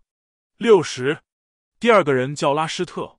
后来统治伊朗地区的蒙古伊利汗国的宰相，他用波斯文写的世界史史籍，对祈求长生天腾格里的庄严仪式讲的不如那希尔史话细致，却补充了成吉思汗的大段誓词。长生天啊，你知道和看到，阿勒坦汗是刮起战乱的风，他挑起了战乱，他无辜的杀害了塔塔尔不直送的我的先祖沃秦巴尔和黑和俺巴海汗，我要为他们复血仇。如果你认为我的想法是正确的，请从天上佑助我，命令天使、众人、善恶仙魔都来帮助我。六十一，不管是即兴表演还是事后追认，蒙古人显然觉得自己对金朝的战争具有正义性，是天神护佑下的复仇之战。的确，金朝不仅年年派兵来草原灭丁，还残忍杀害了成吉思汗族曾祖俺巴，还和伯祖沃秦巴尔和黑与蒙古诸部结下了世仇。早在金章宗时代，窥视北朝动静的南宋人就知道女真与达为仇。六十二，不过对成吉思汗这番话似乎也不必过于当真。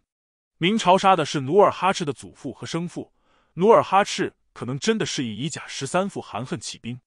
不过他以七大恨告天，正式向明朝宣战，已是万历四十六年（一六一八年）。期间这三十多年，努尔哈赤佯装恭顺。接受了明朝指挥使的职位，还多次入京进贡。羽翼未丰之时，隐忍不发，伺机而动，自是枭雄本色。成吉思汗也是一样。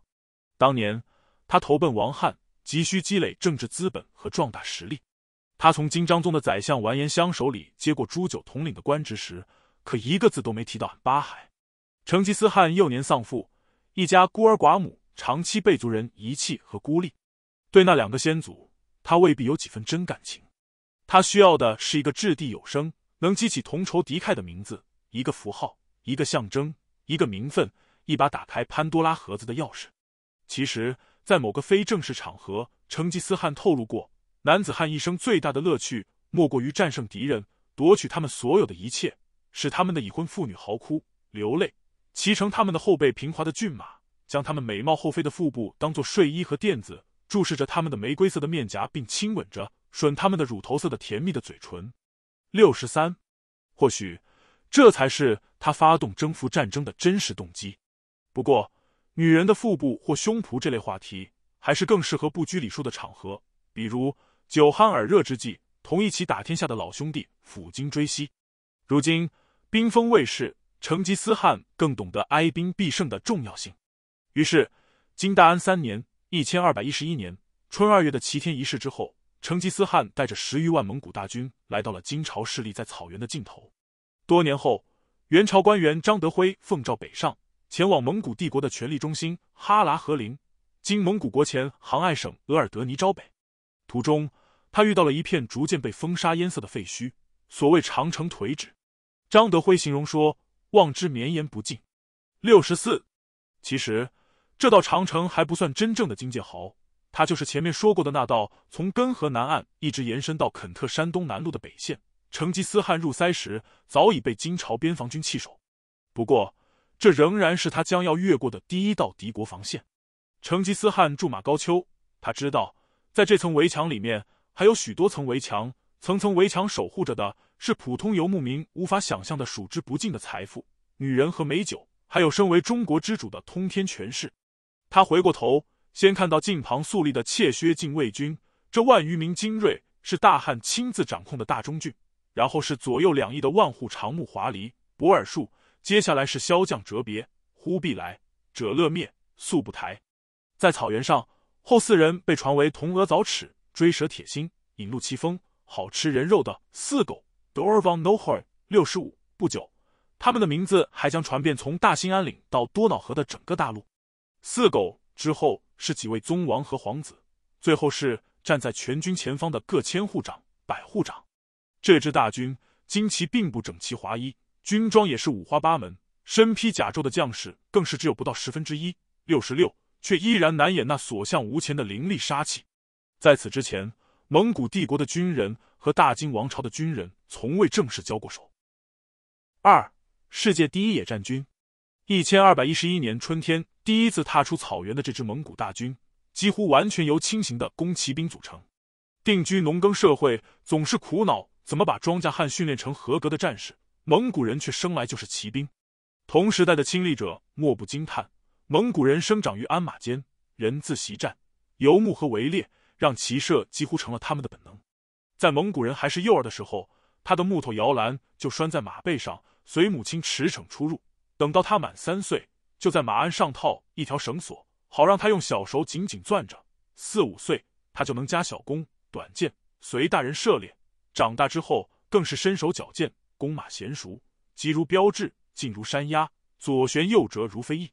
六十七，这样优秀的骑手，身穿清洁的皮甲，手持最大射程三百米、极限射程达五百米的复合弓，备有两三个装满箭的箭筒，还携带了环刀、长枪或短枪一类近战兵器。蒙古箭族制式多样，除了狩猎用的木族和骨族，还有征战用的铁族。一部分铁制箭族。足尖宽而平，刃不呈水平状，摘棱则锋利无比，造成的窗口面积又大又深，用来对付骑兵和战马。一部分足尖又尖又长，用来射穿重甲。蒙古马比西欧和中东的马矮，却更加强壮和坚韧。马驹生下来一两年，蒙古人就在草地苦骑而教之，却养三年，而后再成骑，故能调教的千百卫群，既无嘶鸣。六十八，蒙古骑兵的马鞍多是木质。十分轻巧，安之燕翅，前竖而后平，故蛇旋而薄不伤；邓元，故足中立而不偏；底阔，故靴易入。六十九，可见战马和马鞍也同他们的骑射技艺配合的天衣无缝。在野外，蒙古骑兵制胜的三大法宝是机动性、火力和诡计。遭遇敌人之后，蒙古骑兵团通常会集中火力，从远处射出迅猛的箭雨。袭扰敌军，甚至破坏敌军阵型。接着，他们骑马冲向敌阵，一边驰骋一边射箭，在距离敌阵四十至五十米的地方射出最后一轮箭雨，向右拨转马头退回本阵。这个距离足以射穿甲胄，又不便于敌军发起反突击。蒙古骑兵一边掉头，还一边转身向后射箭。这个动作，西方称为帕提亚射术，中国称为抹丘。按照每名骑兵携带六十支弓箭计算，蒙古骑兵能够这样反复冲击敌阵长达一小时之久。其实，南宋人这样描述实战中蒙古骑兵的半回转战术：交锋之时，每以骑队进突敌阵，一冲才动，则不论众寡，长驱直入，敌虽十万，亦不能支；不动，则前队横过，次队再冲，再不能入，则后队如之。方其冲敌之时。乃千言时刻，为步兵左右与后之计。兵计四合，则最后智者一声孤鬼号角，四方八面响应其力，一时巨壮。七十一，一时巨壮，如能摧破敌阵，敌军溃兵还要面对蒙古骑兵几乎无休无止的追杀，直至全军覆没。蒙古人还将半回转战术和佯败示弱、虚张声势、拖延疲敌、侧翼包抄等战术结合起来。南宋人总结说。蒙古骑兵作战，在乎比纵此横之间，有古法之所谓言者。七十二，蒙古骑兵堪称当时世界上最强大的野战军。七十三，这样一支劲旅，千好万好，却有一个明显的短板，那就是还不善于攻城。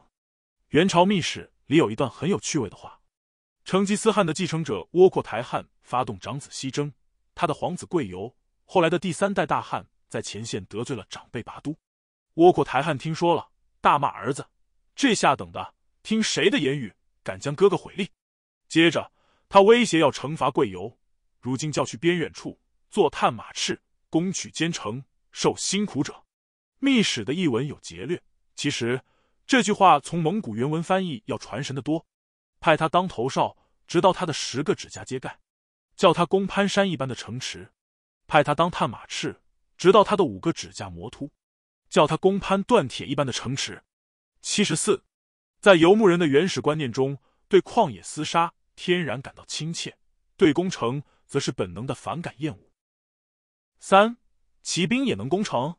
此前说，一千二百一十一年的蒙古军还不善于攻城，但终究只是还字而已。蒙古军堪称当时世界上最擅长模仿和综合的军队。起初，蒙古骑兵不配大型盾牌，为了攻城。他们学会了用拐子木牌为攻城必炮之具。接下来，蒙古人学到了金朝的攻城炮术，攻打凤翔之时，曾数炮四百座，专利打城之一角。七十五，再过若干年，蒙古人把同金朝的战争中获得的抛石机挪用到了中亚和西亚的城堡跟前。再过半个多世纪，蒙古人还将带着西征中学来的西域炮，一种中国从未见过的大型配重式抛石机。七十六。来到南宋的樊城和襄阳城下，一炮中齐桥楼，声如雷霆，震城中。城中汹汹。不过，在与金朝开战后的很长一段时间，缺乏攻城纵列，只装备了弓矢和刀枪的蒙古骑兵，常常只能面对平地拔起的坚城干瞪眼。为了克服这一大短板，成吉思汗及其将领采取了三大策略。第一策，扬长避短，求歼敌于野战。蒙古骑兵擅长机动作战。大可长途奔袭，包抄迂回，深入敌人的侧翼和后方，发动迅猛突击，寻找合适的时机与地形，在野战中歼灭金军的有生力量。初心的蒙古骑兵以掳掠为资粮，本无固定的后勤补给线，沿途那些难啃的坚城险隘，特别是首府城市，不妨暂时甩到侧翼或背后，散落各处的小城小堡，防御薄弱，往往迅速沦陷。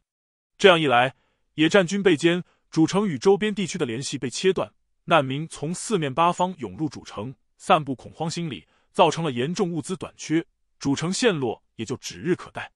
后来，蒙古西征花剌子模时，对这种战略运用的炉火纯青，大获成功，多半要归功于在对金战争中的磨砺。第二侧，谁说骑兵不能攻城？蒙古骑兵居然很快摸索出了一套不靠攻城机械也能攻克城池，甚至大型城池的战法。先是依靠哨马寻找破绽，在主力部队前方探路的前锋，蒙古语称为“莽来”，就是前面元朝秘史说的头哨，在头哨前方还有探哨，蒙古语称为和拉兀勒。这些所谓哨马，不同于紧跟大部队，只负责警戒或通讯的汉式哨马，而是有相当战斗力的远程特种侦察部队。所谓先发旌旗，四散而出，登高跳远，身哨一二百里间，沿补居者、行者、疑神左右前后之虚实。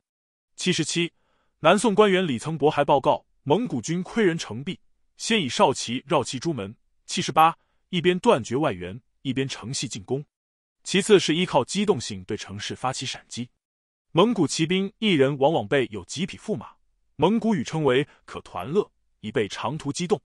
大队蒙古骑兵平均一天能行进三十里，十五公里。七十九，在极端情况下，如奔袭或追击，速度还能更快。追击花剌子模算端扎兰丁，蒙古军两天行进四百多里；拔都西征时，四天行进六百里。八十，同苏德战争初期的德军装甲师相比，毫不逊色。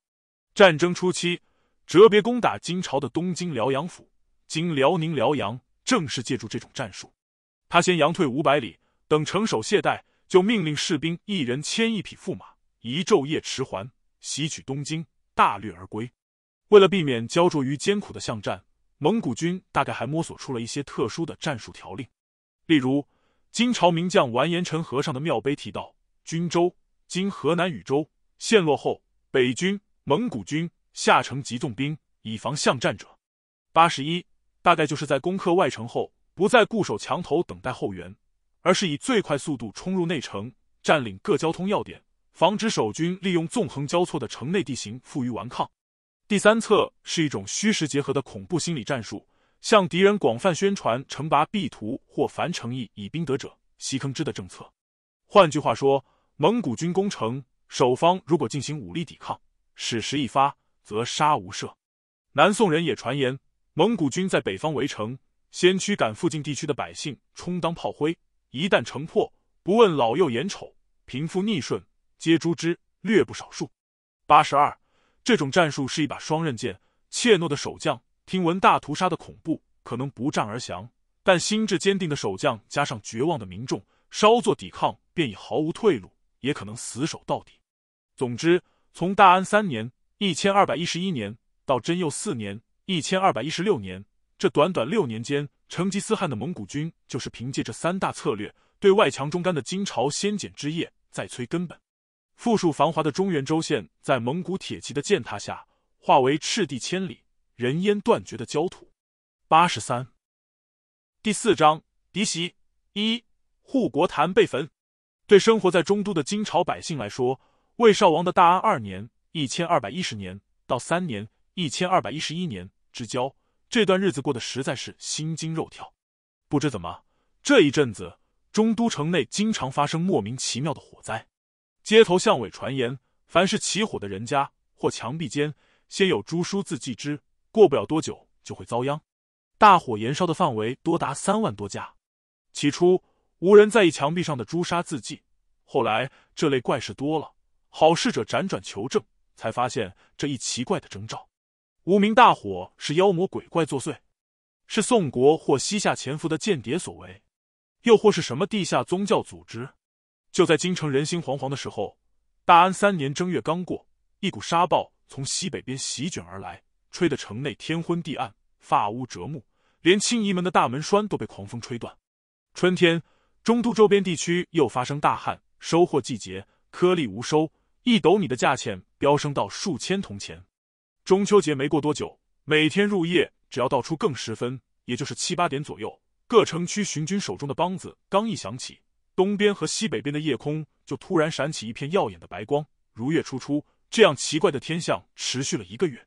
八十四，最令人恐惧的灾异出现在这年的三月。中都的北城区有一座唐代留下来的著名佛阁，辽代称为护国人王佛坛或千手眼大悲阁。从去年底开始，这座大悲阁就出了怪事：阁前立着的翻干的石头基座下方，忽然窜出二三尺高的火焰，只要人一靠近。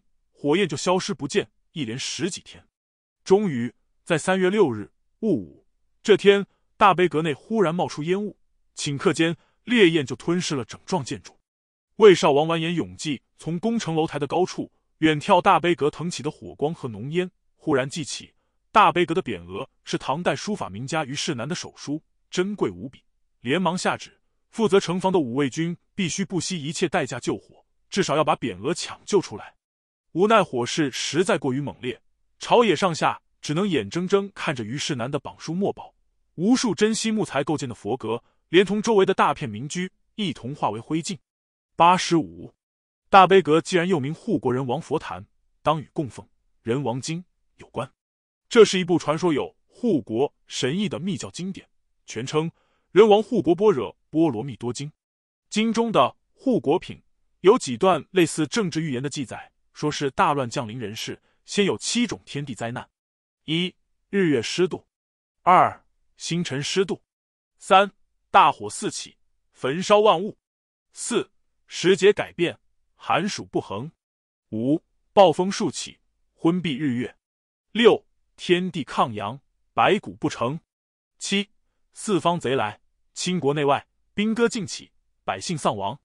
隋唐以来的官方和民间信仰认为，供奉人王经，甚至只要诵持经末那段以那摩罗达那开头的咒语，就能起到消灾除难、国泰民安的神效。唐代宗时期，每逢吐蕃入侵。就要广积名僧大德，设百尺高座，讲说人王经，希冀得佛法庇佑，消弭西北游牧民族造成的忧患。所以，护国佛坛大悲阁被焚，成了当年灾异中最轰动的一起事件。六日那天，远近围观火灾的无数世子、平民和商旅当中，大多数人只能在心中默默祈祷，但少数口无遮拦之辈当场就失声惊呼：“护国坛被焚，不祥之甚！”八十六。从大悲阁被焚这天开始，有黑气起北方，广长若大堤，内有三白气贯之，如龙虎状。八十七，在儒家政治哲学中，火灾、旱灾、大风、黑气，显示天意不满人间的政治社会秩序，才降下灾害，警示统治者应该修德改过。有人真心相信这一套理论。大悲阁火灾之后不久，有个叫郝赞的书生只身来到尚书省，递交了一份建议书。敦请圣主退位让贤，上即位之后，天变屡见，火焚万家，风折门关，非小义也。一退位让有德，负责转递上书的官员不忍心让这个书呆子白白送死，提醒了他一句：“你是不是病得不轻？”好赞旁若无人，继续大放厥词：“俺没疯，只一心为了江山社稷。当权宰相都是尸位素餐，难当大任。”官员大怒，当即命人。将这个不识好歹的狂徒赶了出去。不料，一连半个月，好在每日都站在尚书省衙门前大喊。最终，连被成吉思汗斥为庸懦的魏少王也觉得实在忍无可忍，吩咐侍从将这个人悄悄抓走，诛之淫处。八十八。如果说是如两家的人王护国论和天谴在议论，只是隐约预示金朝及其统治者前途堪忧的话，当时在北方地区兴起的一个新道教教团。则急于表现他们能够更加清晰的感知引发天翻地覆的那股未知力量。大悲阁被焚之前不久，中都城东边百余公里外的冀州玉田县来了一个做法事的老道士。老道名叫王楚一，道号玉阳子，也是全真教祖师王重阳的七名大弟子七真之一。王处一句传有夺人主鬼、出神入梦、照雨摇风等神通，名声早已传遍中都内外，连金世宗。金章宗祖孙也忍不住要言见一番，问问养生全性之道。据说在那天，王处一完成几个昼夜的黄鹿大教法事，很严肃的对身边的小道士说：“若闻空中剑，顿撞击声呼，北方气运将回，生齿生灵，必有横离其毒者。”八十九。二鄂湖岭，南鄂湖，成吉思汗率领入塞的蒙古大军是在大安三年（一千二百一十一年）。二月，也就是大悲阁火灾的前一个月，从切律联合上游南下的。据记载，蒙古军先来到了金朝西北边境外阴山以北一个叫做汪古的部族的领地。汪古人本来是金朝的边疆属民，还负有为女真人守卫西北界壕的任务。他们扼守的边界，据考证是金朝的晋州以北，今内蒙古四子王旗，直到达尔罕茂明安联合旗的一段界壕。九十，不过。金朝尚不知道，此时汪古部首领早已公开投靠了草原上崛起的蒙古霸权，后来还成为与成吉思汗家族世代通婚的帝国新贵。在汪古部首领阿拉兀斯、梯吉、忽里的热心指引下，蒙古大军绕道金界壕，进入阴山以南，向金朝抚州（今河北张家口市张北县）地区边防军发起了试探性进攻，很快夺取了抚州西北的大水洛（今内蒙古乌兰察布市商都县境内）和丰利（今河北张家口市上邑县境内）等地，还暂时攻占了金朝军队的一个重要边铺乌沙堡（今河北张家口市张北县西）。金朝前后数十年耗费大量人力物力打造的第一道边防线，几乎没有发挥任何阻碍甚至迟滞敌军的作用。此后三个月，首战告捷的蒙古军退回阴山北部草原避暑休养。界壕以南，金朝的西北边境自北向南分布有三个边防重镇：抚州、昌州（今内蒙古太仆寺旗西南九连城）和环州（今内蒙古正蓝旗北）。这三座重镇素号副实。人皆勇健，战略地位十分关键。其中，抚州下辖柔远、吉宁、丰利、威宁四县，境内有鸳鸯泊、盖里泊、白水坡等众多水源，牧草丰茂，便于军队行进和屯驻。攻入长城以南的蒙古军队，若能占领抚州，就相当于突破了金朝边境三道纵深防御的中心环节。九十一，边境失守的急报是四月初传到中都的，朝野皆知。从这一次势头看，蒙古军如若再度南下，兵锋所指应该就是抚州。魏少王派往抚州地区主持军事的是两位戴宰执头衔的少壮派将领，平章正是独骑司中和参知正式完颜成玉。九十二，二人具备丰富的边防经验，负责调度西北和西南的军队，加固工事，准备迎战。同时，西京（今山西大同）留守哥什列胡沙虎奉命从西面牵制或策应。不过，在战争初期，金朝军官团的中间大都是在金章宗时期对南宋的冲突中崭露头角、成长起来的。对于新式的蒙古闪击战，他们可谓毫无心理准备。七月，秋风飒起，蒙古军果然大举南下。成吉思汗率领的主力军以哲别为前锋，突袭了抚州境内的金军戍堡乌月营。乌月营位于乌沙堡西南，乌月营一失，乌沙堡也再度易主。八月。成吉思汗军进逼抚州，乌沙堡失守后，独骑司中被撤。新前线总司令完颜成玉甚至不敢应战，主动后撤到宣平府（今河北张家口市淮安县），将失去掩护的抚昌、环三州拱手让敌。再往南，蒙古军攻陷白登城，进逼西京。哥什列胡沙虎一矢未发，弃城往中都方向奔逃，在翠屏口被蒙古军截击，伤亡惨重。与此同时，成吉思汗的三位皇子术赤、察合台和窝阔台率领的另一支蒙古军，也从汪古部戍守的界壕入境，翻越大青山，南出丰州，扫荡西京西边的云内、东胜和武州等地。抚州南边的野狐岭是一道东西走向，蜿蜒五里，海拔一千六百多米的石头山脉。后来元朝人用“高岭出云表，白昼生虚寒见古深叵测，踢邓于百盘”这样的诗句来形容它的险峻。周伯奇，野狐岭。往来使节行旅，如有幸北上途经野狐岭，一定会惊讶的发现，只要翻过这座山，便骤然闯进了另一方世界。四处散落着游牧民的白色帐篷和毡车，养马成群。前往大雪山觐见成吉思汗的长春真人丘处机，伫立在野狐岭上，极目北望，只见满眼寒沙衰草，不禁感叹：中原之风自此隔绝矣。九十三。不过，北方南下的骑士，如在同一地方驻马俯瞰。肯定有另一番感叹。自野狐岭向南，便是立于铁骑驰骋的一马平川，因此野狐岭有一个更具史诗色彩的名字——呃狐岭。这道天险横亘在南北农牧的自然分界线上，仿佛冥冥之中自有天意，要借此将那群纵马咆哮的胡人阻拦在温润惬意的农耕文明之外。大安三年九月，在连失三州之地后，奉命在野狐岭一线布防，阻击蒙古军继续南下的金朝军队。浑然不觉，他们正处在一个自然和历史意义如此关键的地理坐标之上。对于此后野狐岭发生的那场大战，金朝的记载十分简略，大概因为魏少王一朝政乱于内，兵败于外，他自己身死国土，记住王师，所以史料大多散佚。遗憾的是，胜利一方蒙古人的记载同样简单，再加上个别与双方记载都举语的南宋传闻之词，使得野狐岭之战的真相十分模糊。九十四。据元朝和南宋的史料记载，在野狐岭阻击成吉思汗军的金朝军队，数量高达四十万到五十万，显然是夸张了。但是，这肯定是一支大军。金军指挥官是招讨九金哥什列之中和监军蒲仙万奴二人，只听从皇帝的直接调度。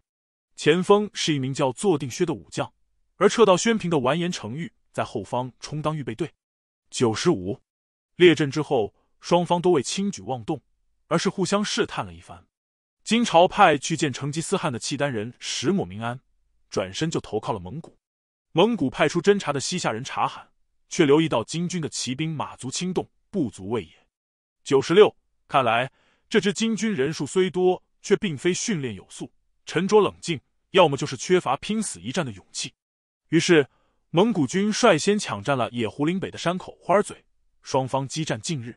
当天日头偏西，金军将帅正打算就地扎寨防御，没想到在这个时候。蒙古军左翼万户木华黎对成吉思汗说：“敌众我寡，不豁出命来厮杀，恐怕不易取胜。”成吉思汗颔首。木华黎说完，便带着最精锐的拔都军，一手擎着自己的旗帜，一手挺着长枪，大喊着冲入金军阵中。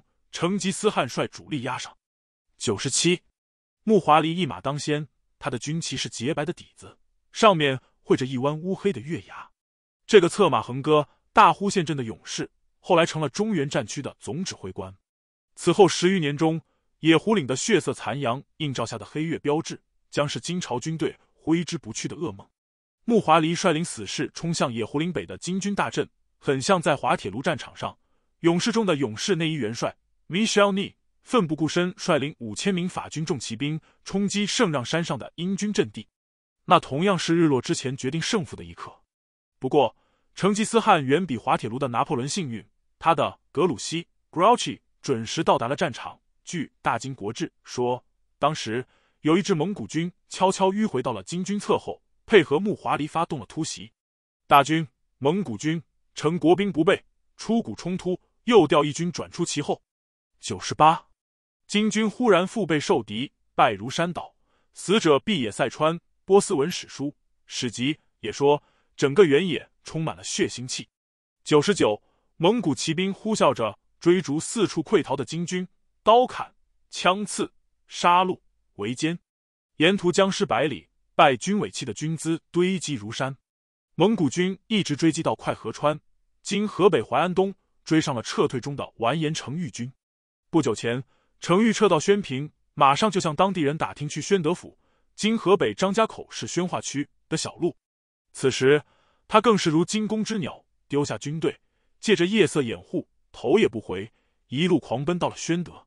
十年后，长春真人丘处机带领弟子北上觐见成吉思汗，途经野狐岭，但见白骨皑皑，布满山岭。弟子宋德芳等人指着草丛中的枯骨说：“我辈归来时，定要举行金鹿道场，超度此地亡魂，这也是此行的一段因缘。”一百，野狐岭战败，给金朝的命运投下了漫长的阴影。经此一役。女真人苦心经营数十年的西北军精锐一朝尽丧。此后有十年左右的时间，金朝再无能力同蒙古军打一场旗鼓相当的野战。南宋还传言，金朝为此投入的百年兵力都消折溃散殆尽。一百零一，史家甚至评论金之亡绝于世意。一百零二，野狐岭之战后，蒙古军接连攻占宣德府、奉圣州（今河北张家口市涿鹿县）。德兴府今河北张家口市怀来县，从此再往南，只剩下中都北面的最后一道门户居庸关，今北京昌平区西北。这个险峻的关隘，控扼着横穿太行山的通道中最北面的那一条军都行。哲别青狮小计引出了守关的金军，随即歼灭之，夺取了关口。九月，成吉思汗把他的大帐扎在了居庸关南面一片凸起的宽阔平地上，此地叫做龙虎台。距离中都不过百里，少数奉命向前方查探的蒙古哨马，已经能够遥遥望见平原上那座壮丽的都城了。三范成大的诅咒，金朝的京城中都坐落在华北北部的一块小平原上，燕山于迈军都山和太行山于迈西山，一北一西环抱着这座大城。中都的前身是辽朝的南京，亦称燕京。今天德三年（一千一百五十一年，海陵王完颜亮决议将京城从北方的上京会宁府迁移到此。完颜亮先派画工按照北宋汴京城的形制绘制施工地图，而红尺过汴京一百零三，一民夫八十万，兵夫四十万，坐至数年，死者不可胜计。一百零四，从天德五年一千一百五十三年，完颜亮正式下诏定都，改名算起，到野狐岭之战，中都成为大金王朝的首都，不过一甲子光阴。同北宋汴京城一样，中都也有外城、皇城和宫城三重。一百零五，外城周回七十五里，开有十三座城门，外围接筑有瓮城。瓮城外有石桥横跨护城河。举一门为例，金大定九年（一千一百六十九年），来贺正旦的南宋使团随员楼耀，从外城的正南门丰仪门入城，见到护城河外图案高厚，夹道直柳甚整。穿过大石桥，进入丰仪门的瓮城，城上筑有城楼七间，开通六门以供出入。有人告诉他，这里是侍卫清军负责警备的区域。穿过瓮城，抬头便可见到高大雄伟的丰仪门，门楼九间，有伟立，分三门。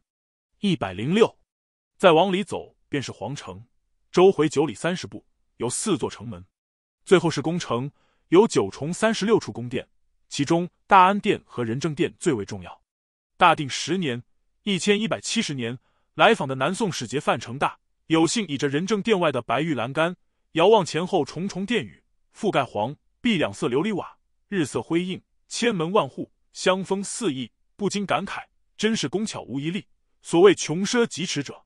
一百零七，事后范成大写了一首诗，题为《燕宫》，燕京宫阙是他的《史经绝句七十二首》之一。金盆濯足断文昌，其所家风宝便旺。他日楚人能一句。又从焦土说阿房，一百零八，段文昌是晚唐宰相，相传他少时贫贱，乞讨度日，富贵之后竟用金盆洗脚、锦绣铺地来抵偿早年的艰辛。这一句是嘲讽野蛮的女真人，占领富庶的中原便忘了本，搜刮民脂民膏，大兴土木，穷奢极欲。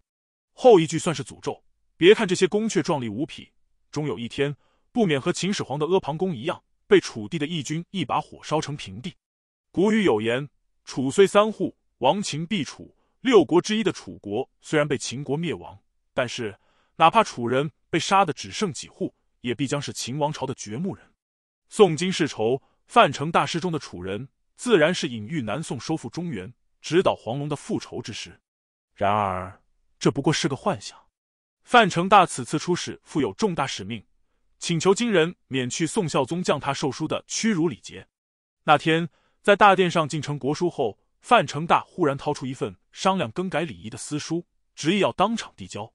金世宗大惊，呵斥：“这哪里是投私信的场合？”闹得不欢而散。传言金太子恨不得杀掉这个无礼之辈。一百零九事故，在《史经绝句七十二首》中，范成大用了不少“犬羊丑辱兴山”一类词句。对金朝极尽仇敌。清代编修《四库全书》的管臣觉得这些字眼对于女真人来说太过刺眼，痛加删削，甚至整句替他改写。幺幺零，这首燕宫诗不过是诗人立下的众多诅咒之一，但范成大绝技想不到，才过了几十年，他的诅咒居然以一种奇特的方式实现了。不同的是，打算将燕京宫室一句为焦土的。并不是南边来的什么楚人。大安三年（一千二百一十一年）八月末，金朝的西北军团在野狐岭快河川遭遇空前惨败的噩耗，一夜间就传入中都的重重攻进之中。魏少王只瞥了一眼军情急报，默默转身走入内省，对着心爱的妃嫔大声哭泣，留下满朝文武惶惶相顾。眼见零星蒙古游骑已出现在中都城门外，关于金朝的应对措施，惜墨如金的《金史·魏少王本纪》。只用了两三句话，晋男子不得折出中都城门。大元前军至中都，中都戒严，严禁男子逃出中都避难，是为了保存能站上城头防守的人力。至于城内的老弱妇孺，只会白白消耗城内积蓄的食物和燃料。在古今中外的围城战中，都是亟待甩掉的包袱。他们往往丧生于城墙和攻城军队的防线之间。成吉思汗麾下的蒙古军先锋，所谓大元前军。必定尝试进攻过中都外城，可惜今天常见的只有一部拼凑的伪书《大金国志》，照抄了传为张师言所传的《南迁录》，还算详细的描述了这次战斗，依据的大概是南宋的传闻。《南迁录》将蒙古军进攻中都的时间往后推到了十二月至第二年正月初，明显有误。蒙古军在十一月就陆续撤回了草原，而且前面提到，这年秋天从南宋出发的成卓使团，十二月九日进入今南京。经河南开封，就听说了鞑靼方略退，约春初大相打大战的消息。使团一路北上，二十七日抵达中都郊外的良乡，目睹残破的城池废墟。次年正月贺完正旦后，平安归国。可见，第一次中都攻防战，一千二百一十一年，只可能发生在当年九月、十月间。下面讲的就是这场南宋传闻版的中都攻防战，相当传奇。需要强调的是，其中。几乎全部人名、地名、军语、经史不符，无法订正。季节和气温的描述也对不上。我们姑以以以传一的态度采用这段记载。一百一十一，据说从第一名鞑靼骑兵出现在京城郊区开始，大兴府尹正三品，相当于北京市市长乌林用章，就奉命在各处通衢集市张贴通告，敦促手无寸铁的民众赶紧自谋生路，免得敌军一到，玉石俱焚。榜文甫出，中都内外顿时陷入无政府状态，城内外乱甚，老弱奔嚎。乌林用章的副手少尹张天和目睹这番惨状，连忙向魏少王奏请，令把守中都各城门的魏军暂时放百姓任意出城。中都附近各个县城多少有一道城墙环绕，民众可去这些处所避难。尽管如此，一连好几天，中都城外依然是民皆激动，死者相望。南宋人还讹传。中都城的防御体系最早是按照一个十分独特的理念设计的：七十余里外城包住内城，内城里的东西南北四区又各有一个独立的小城子城，拱卫着内城。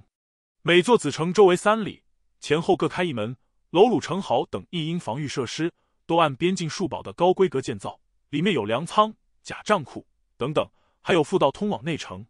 这很像一个十字格局，横竖两画交叉的中心是内城。四个端点是四子城，笔画则是连接子城和内城的通道。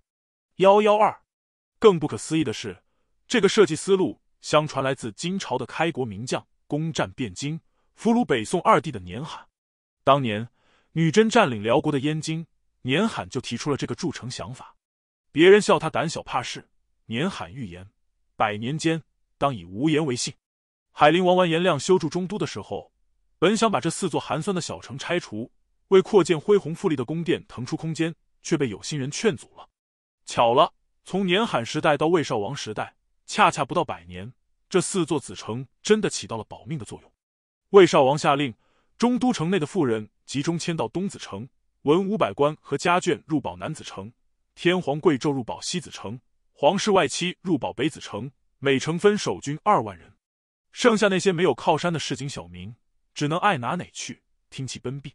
这个月初七日，第一支蒙古军侦察分队才大模大样来到城下，为给敌人来个下马威，振奋己方士气。金将完颜天骥命令一名叫金突通的武士带着敢死队，突然打开外城门冲出偷袭。第一次交锋就击毙了三十多个蒙古兵。金突通等人乘胜追击，追出大约三里地的时候，望见烟尘涨天，鼓声震地，显然是遭遇了敌军大部队。忙不迭撤回。当晚，蒙古大军在城下炮势不及之处安营扎寨。大兴府尹乌林用章连夜部署，在夜色掩护下拆毁护城河上的桥梁，一砖一瓦都要用船运入四座子城。来不及运走的，就沉入护城河底，避免资敌。与此同时，金军全力拆毁城郭近旁的民居，木料运入城中，征集各处市场上的粮食等物资，搬入子城集中储备。过了三天。也就是十一日，蒙古大军才着手攻城。一支精锐的千人队骑马直奔外城一座名为南顺门的城门而来。冲到城楼下，带队的蒙古千户不禁一愣，不知金军是疏忽还是傲慢，居然洞开城门，毫不设防。蒙古人当即大喜过望，也不下马，兴奋地呼喊着鱼贯而入。不料他们才从漆黑的门洞冲出，马首衔着马尾，涌入正对城门的一条长街。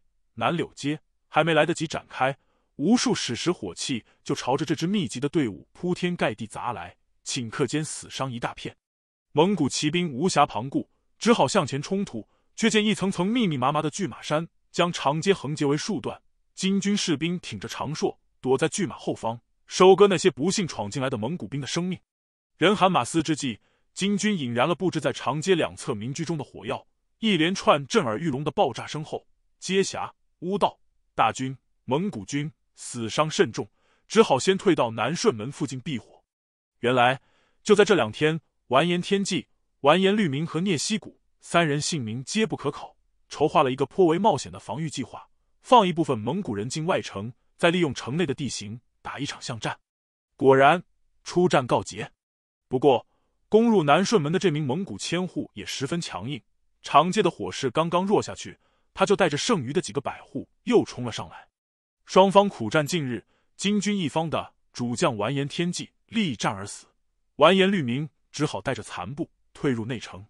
十四日，蒙古军集中进攻东子城，他们拆除了东城附近的民屋，搭建了一座与城墙几乎齐平的攻城楼。金军自城中用大炮抛出巨石，将木楼轰得粉碎。蒙古人始终不肯放弃，随毁随立，两军死伤均十分惨重，但东城就是攻不下来。二十三日，蒙古军大举进攻内城，四座子城的守军轮番通过复道输送援兵，击退了蒙古军的进攻。二十八日。双方尝试议和未果。二十九日正午，蒙古军向内城发起了最后一轮凶猛的攻势。这次，他们居然懂得用大炮击碎了西城天门楼，又尝试将木料堆积在城下，打算攀登而上，并在木料上浇水，阻止金军火攻。完颜律明让守军制作了几百支火炬，从城头抛掷下去，又发泪目拒之。当晚，几十名金军百户军官冒死。偷袭蒙古军在城外的大营，黑暗之中杀伤颇多。此后，蒙古军似乎再未有大动作。不论第一次中都围攻战的真相如何，到了十月，四方的秦王军队开始陆续抵达。上京留守图丹义派遣他的副手同知乌古孙务屯带来了二万援军，泰州刺史术虎高齐带着三千名善战的九军，由高齐在泰州招募的狄烈、契丹、塔塔尔、撒勒之兀替诸部人组成。一百一十三，在城北通玄门外警戒中，都总算暂时脱离了危险。外城十三门一齐开放，魏少王亲自犒劳远道而来的秦王之师，免不了又是一番君臣对泣。与此同时，河北、山西等地的蒙古军也开始北撤。到十一月底，漠南再无鞑靼的一兵一卒。不过，九月到十一月间，除了留下围攻和监视中都的那支部队，其他各路蒙古军可没有片刻停歇。术赤等三皇子的右翼军攻略了西京以西的云内、东胜、宣宁、武州、丰州、晋州、朔州等地；成吉思汗的大中军和木华黎的左翼军扫荡了西京和中都之间的洪州、昌平、怀来、晋山、密云、永济、阜宁、平州、滦州、青州、沧州等地。哲别义军还自中都绕出，奔袭了辽东的东京。大安三年（一千二百一十一年），战役的直接结果。用金史的话说，就是东过平滦，南至青苍，由临黄过辽河，西南至新代接一度归大元。幺幺四四边锋及西城上韩一百一十五。战争第二年一千二百一十二年的正月初一日，魏少王下诏除旧布新，改元重庆。西夏和南宋的贺正使也如往年一样按时抵达。尽管在社宫宴上，护卫大将军完颜守荣没能为女真人保住最后一点表面上的尊严，中都内外的军民还是抱着劫后余生的欣慰，度过了新年号下的第一个春节。不料，才过了半年，就在这一年七月，第一场秋雨还未降下，白莲潭、今北京积水潭、琼花岛、今北京北海公园等处的荷花还没有凋谢，小贩还在沿着大街小巷叫卖新出水的鳞芡。北方传来的铁蹄声，便惊破了满城河池上的箫鼓弦歌。今时不同往日，蒙古军变得更难对付了。打探情报本是蒙古军的强项。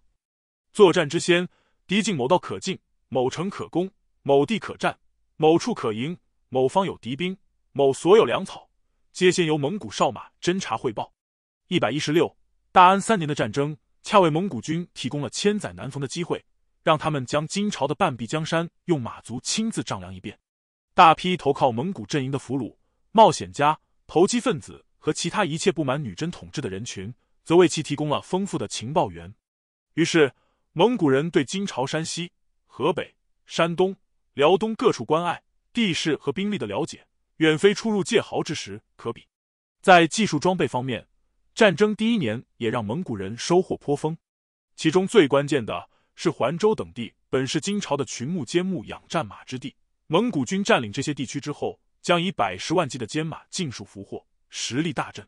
元人郝经的诗歌《沙陀行》还特意夸耀此事：“开国一战何所需？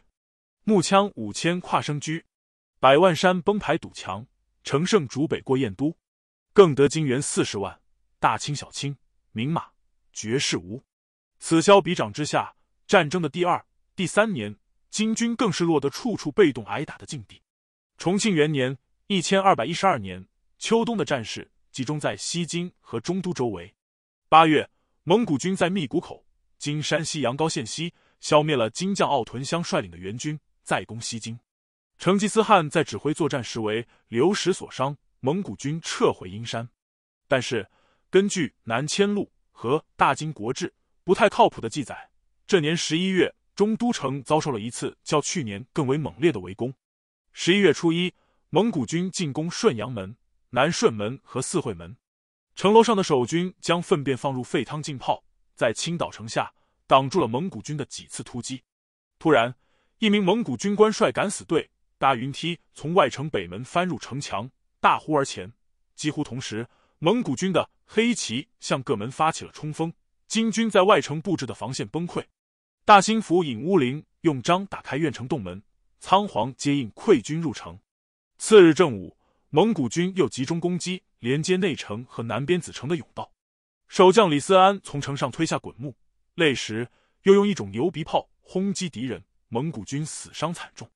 初六日，蒙古军故技重施，大肆搜罗民间的木料竹节，堆积在甬道的城墙下，只待与城墙齐平，就可踩着冲上城头。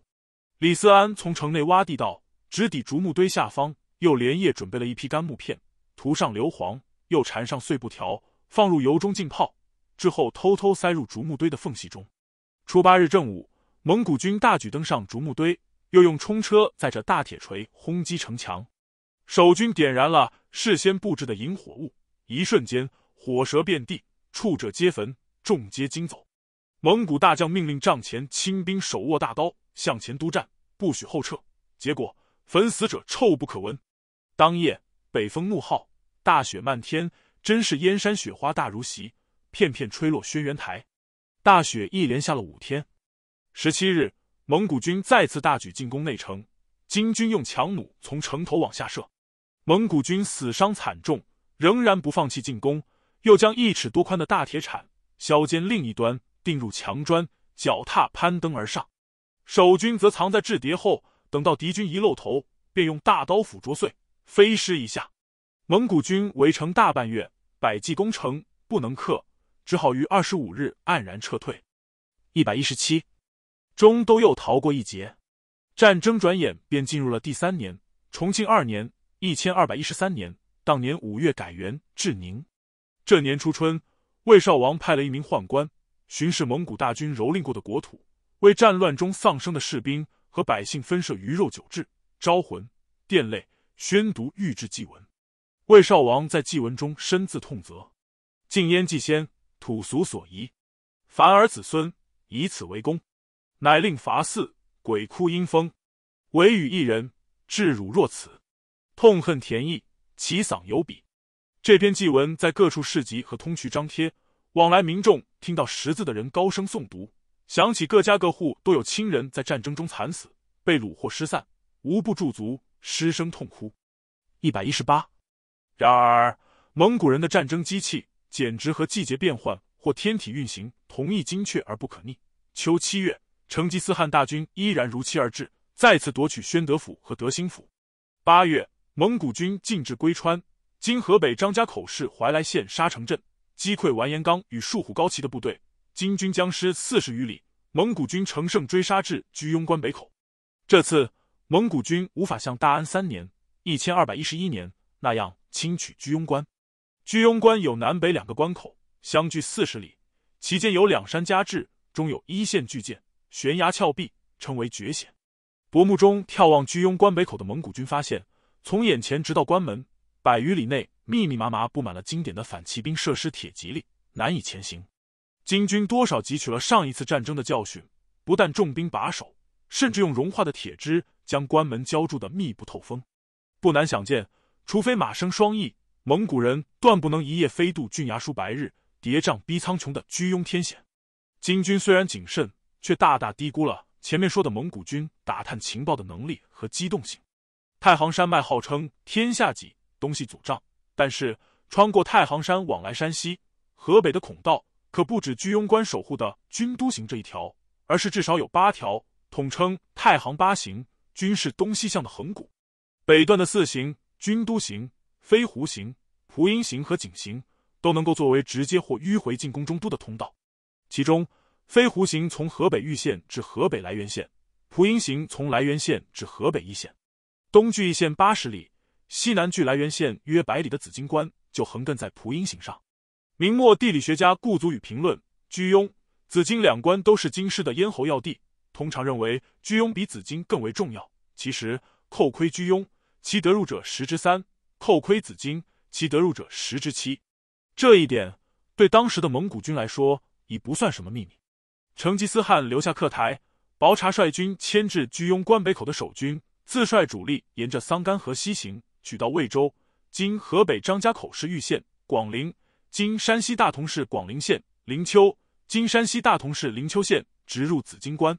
金军尚未反应过来，蒙古大军已冲入平原，在五回岭大败金军，攻占涿、邑二州，今河北保定市涿州市义县。与此同时，哲别义军从兼路迂回居庸关南口。南口一师县守卫北口的契丹将领当即向克台、薄察献出北口。三路蒙古军会师于中都近郊。至此，在同蒙古的战争中，金朝可谓野战则全军俱殃，城守则何郡被屠，御史陈归宇一片黑暗，看不见丝毫曙光。如今三路蒙古军又会师中都近郊，局势如是，压力如是，足以让每一个面对他的人陷入疯狂。果然，九重宫禁之中，陡生变故，一场奇祸降临到金朝皇帝魏少王头上。第五章惊变一。魏少王画像，大金王朝的第七位皇帝魏少王完颜永济究竟是个什么样的人？这里不得不多说几句。首先，他是金章宗完颜景的继承人，在当时，甚至在金朝覆亡多年后，许多知识精英仍然觉得章宗时代是一个令人缅怀的辉煌盛世。翰林赵秉文从金朝的国际威望来总结这个时代：聂宋、南宋，曾弼以启蒙，祖补蒙古。革新而孝顺，西服迎夏，西夏东府陈韩，高丽岁时相望，称晋入贡，由是争为锐气，散为祥风。幺幺九。可是这样一座国运巅峰，对继金章宗而坐上皇位的魏少王来说，更多意味着浓重的阴影和沉重的负担。金章宗在弥留之际，选中自己的叔叔金世宗第七子魏少王永济，不是因为永济足够优秀，配得上这偌大一份遗产，而是另有缘故。张宗风光一世，或许还能流芳千古。遗憾的是，在他咽气前，一个存活的子嗣都没有。雪上加霜的是，金章宗生前对和父亲已故的金世宗太子允恭同辈的几位叔叔十分猜忌，凡是显露些野心和才能的，如郑王永岛、镐王永忠，无不酿成大案被赐死。剩下两三人，不是耄耋昏聩，就是疲软懦弱。史书中保存了不少对魏少王性格的评质。南宋那边传闻他为人仁厚，居兄弟中最贤，这是最客气的。幺二零元人修的《金史》魏少王本纪，很可能杂糅了王金文人和元朝史官的看法，一面说他仪表堂堂，天资简约，不好华饰；一面又说他柔弱，先智能。虽是永岛的同母弟，却看着人畜无害，才苟全性命，与疑心重重的张宗相安无事。当然，最为直截了当的评价来自同时代人成吉思汗。听到永济即位的消息，成吉思汗出口便骂：“我为中原皇帝是天上人作，此等庸懦亦为之耶？”看完这些评价，一个老好人的形象呼之欲出。暂且不去深究这张脸谱是大智若愚，是忍辱负重，还是本色当行？弥留之际的金章宗和他宠幸的元妃李氏儿等人，捧出这个老好人成为九五之尊，是有特殊考虑的。当时，金章宗的两个妃子贾氏和范氏已有身孕。金章宗虽然对外宣称传位魏少王是本着太祖皇帝传授至公之意，却在遗诏中给新皇帝安排下了一道紧箍咒：金镇之内人，见有身者两位，以召皇帝。如其中有男，当立为楚二；如皆是男子，则可立者立之。一百二十一，这份政治遗嘱的两大执行人李元妃，还有张宗幼年的老师兼重臣完颜匡，负责确保柔弱的魏少王不负所托，将来张宗的遗父子顺利继位。虽然魏少王才具平庸，权力的加持和诱惑，有时却能给人壮胆。很快，他就利用完颜匡和李元妃的矛盾，让范氏莫名其妙胎气有损，胎形已失。只好落发为尼，又诬陷贾氏诈称怀孕，实与李元妃勾结，妄图偷梁换柱，让李家儿冒充皇嗣。李元妃势力遭到铲除没几个月，大安元年（一千二百零九年）十二月，完颜匡居然病死了，只留下魏少王孤身一人，心惊胆战的看守着这个由盛转衰的王朝。以金朝当时的状况，国内出点问题，比如阶级矛盾、民族矛盾，甚至天灾人祸，凭借传统社会的惯性。官僚体系和基层制度的缓冲，多少还能够架落过时，千补度日。然而，谁能料想，三十多年前除影子外无半当，尾子外无鞭子的落魄青年铁木真幺二二，不久前还四分五裂、自寻干戈的漠北草原，这两者的奇妙结合，竟然迸发出最终改变了世界历史的能量。对当时东亚世界的一切政权，尤其对金朝而言，蒙古的崛起是百年未有之大变局。要应付这样复杂微妙的国际政治形势，中才之主都不行，非雄才大略不办。不过，正如卢梭《社会契约论》所言，世袭君主制的弊端总是只顾表面的宁静，而不要贤明的政治。为此，不但于把小孩、恶魔或者白痴捧上皇位，魏少王无非证明了时代急需的英主，恰在此时此刻出现于金朝皇室的概率实在是微乎其微。南宋传言。魏少王颇有先见之明，屡屡谋划在成吉思汗羽翼丰满之前消除隐患。金章宗在世时，魏少王奉命前往晋州接受蒙古入贡，目睹当时的铁木真桀骜不驯，就想禀告张宗除掉他，因张宗病逝而未果。不久，蒙古又来入贡，魏少王埋伏下重兵，打算袭杀成吉思汗，再率大军深入沙漠，又因内部有人告密而失败。一百二十三。这些记载显然不大靠得住，因为就在成吉思汗为消除南下的牵扯，屡屡攻打西夏，西夏主向宗主国金朝紧急求援之际，魏少王还毫不在意唇亡齿寒的危险，扬言敌人相攻，无国之福，何患焉？一百二十四，结果西夏转投蒙古，与金朝反目成仇，打了十余年的边境战争，弄得一胜一负，精锐接近，而两国俱毙。替蒙古人省了不少力气。一百二十五，蒙古大举南下之初，宰相图丹义劝说魏少王收缩防线，将环、昌、抚三州军民迁入内地。魏少王舍不得，觉得是平白无故自促净土，不听。图丹义又劝说他外派中央大臣在东京设置行省，防备蒙古进攻。魏少王又觉得这是小题大做，徒摇人心，不听。这些判断无异于掩耳盗铃，后果严重。一百二十六，还有记载表明，战事最吃紧的时候，魏少王只知道成天斋戒吃素，焚香告天，哀叹为何偏偏到自己当皇帝的时候，就遇上蒙古南侵这样的倒霉事。一百二十七，可见魏少王倒是颇为忠实于别人给他设定的角色，最在乎的莫过于守住继承来的那几分田几间屋，唯求做一世太平天子。这么一个毫无战略眼光和政治魄力的君主，竭力推动。金世宗祖孙如臂使指的国家暴力机器，应对蒙古南下这样的巨变，别人说他是力不逮心，确实没错。马基雅维利一再警告，一个君主如果不能受人爱戴和畏惧，至少必须避免受人轻蔑和憎恨。魏少王不仅遭到外敌成吉思汗的轻蔑，还遭到自己臣民的轻蔑。他就好比一个懵懂孩童，想要手使一群桀骜难驯的看家犬对付草原来的饿狼，怎能不遭受反噬？这群看家犬当中最危险的一头，就是前面多次提到的西京留守哥什猎胡沙虎，时人贬称其虎贼。二通玄门之变。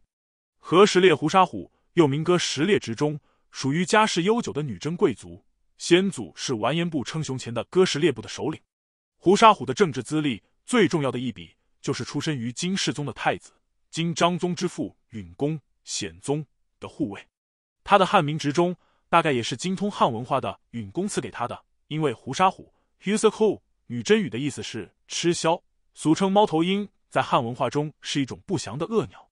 直中则出自为古文《尚书大禹谟》中的“人心为微，道心为微，为精为一，允直绝中”。在宋明儒学传统中，这十六字被尊为尧舜的道统心传。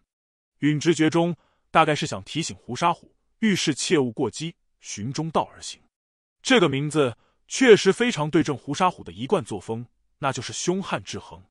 一百二十八，金章宗即位不久，胡沙虎的狠傲本性就暴露无遗。明昌四年（一千一百九十三年），胡沙虎出京公干，因为迎候的官员迟到片刻，给他准备的酒味道又不够纯，他便大打出手，被罚杖打五十。后来他在知大兴府试任上也是劣迹斑斑。御史中丞孟柱隶属其罪状，雄州诈任马。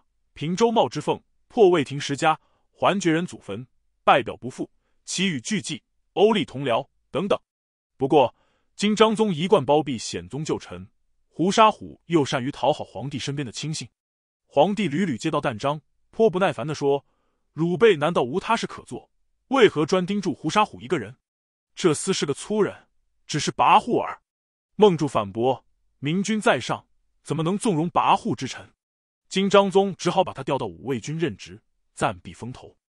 一百二十九，蒙古南下之后，胡沙虎因有些戎马功劳，得到魏少王的重用。前面说过，大安三年（一千二百一十一年）秋，他作为西京留守，先率军弃城，大败于翠屏口，后逃到魏州，一路抢征官司马匹，私入紫金关，杖杀涞水县令，终于逃回中都。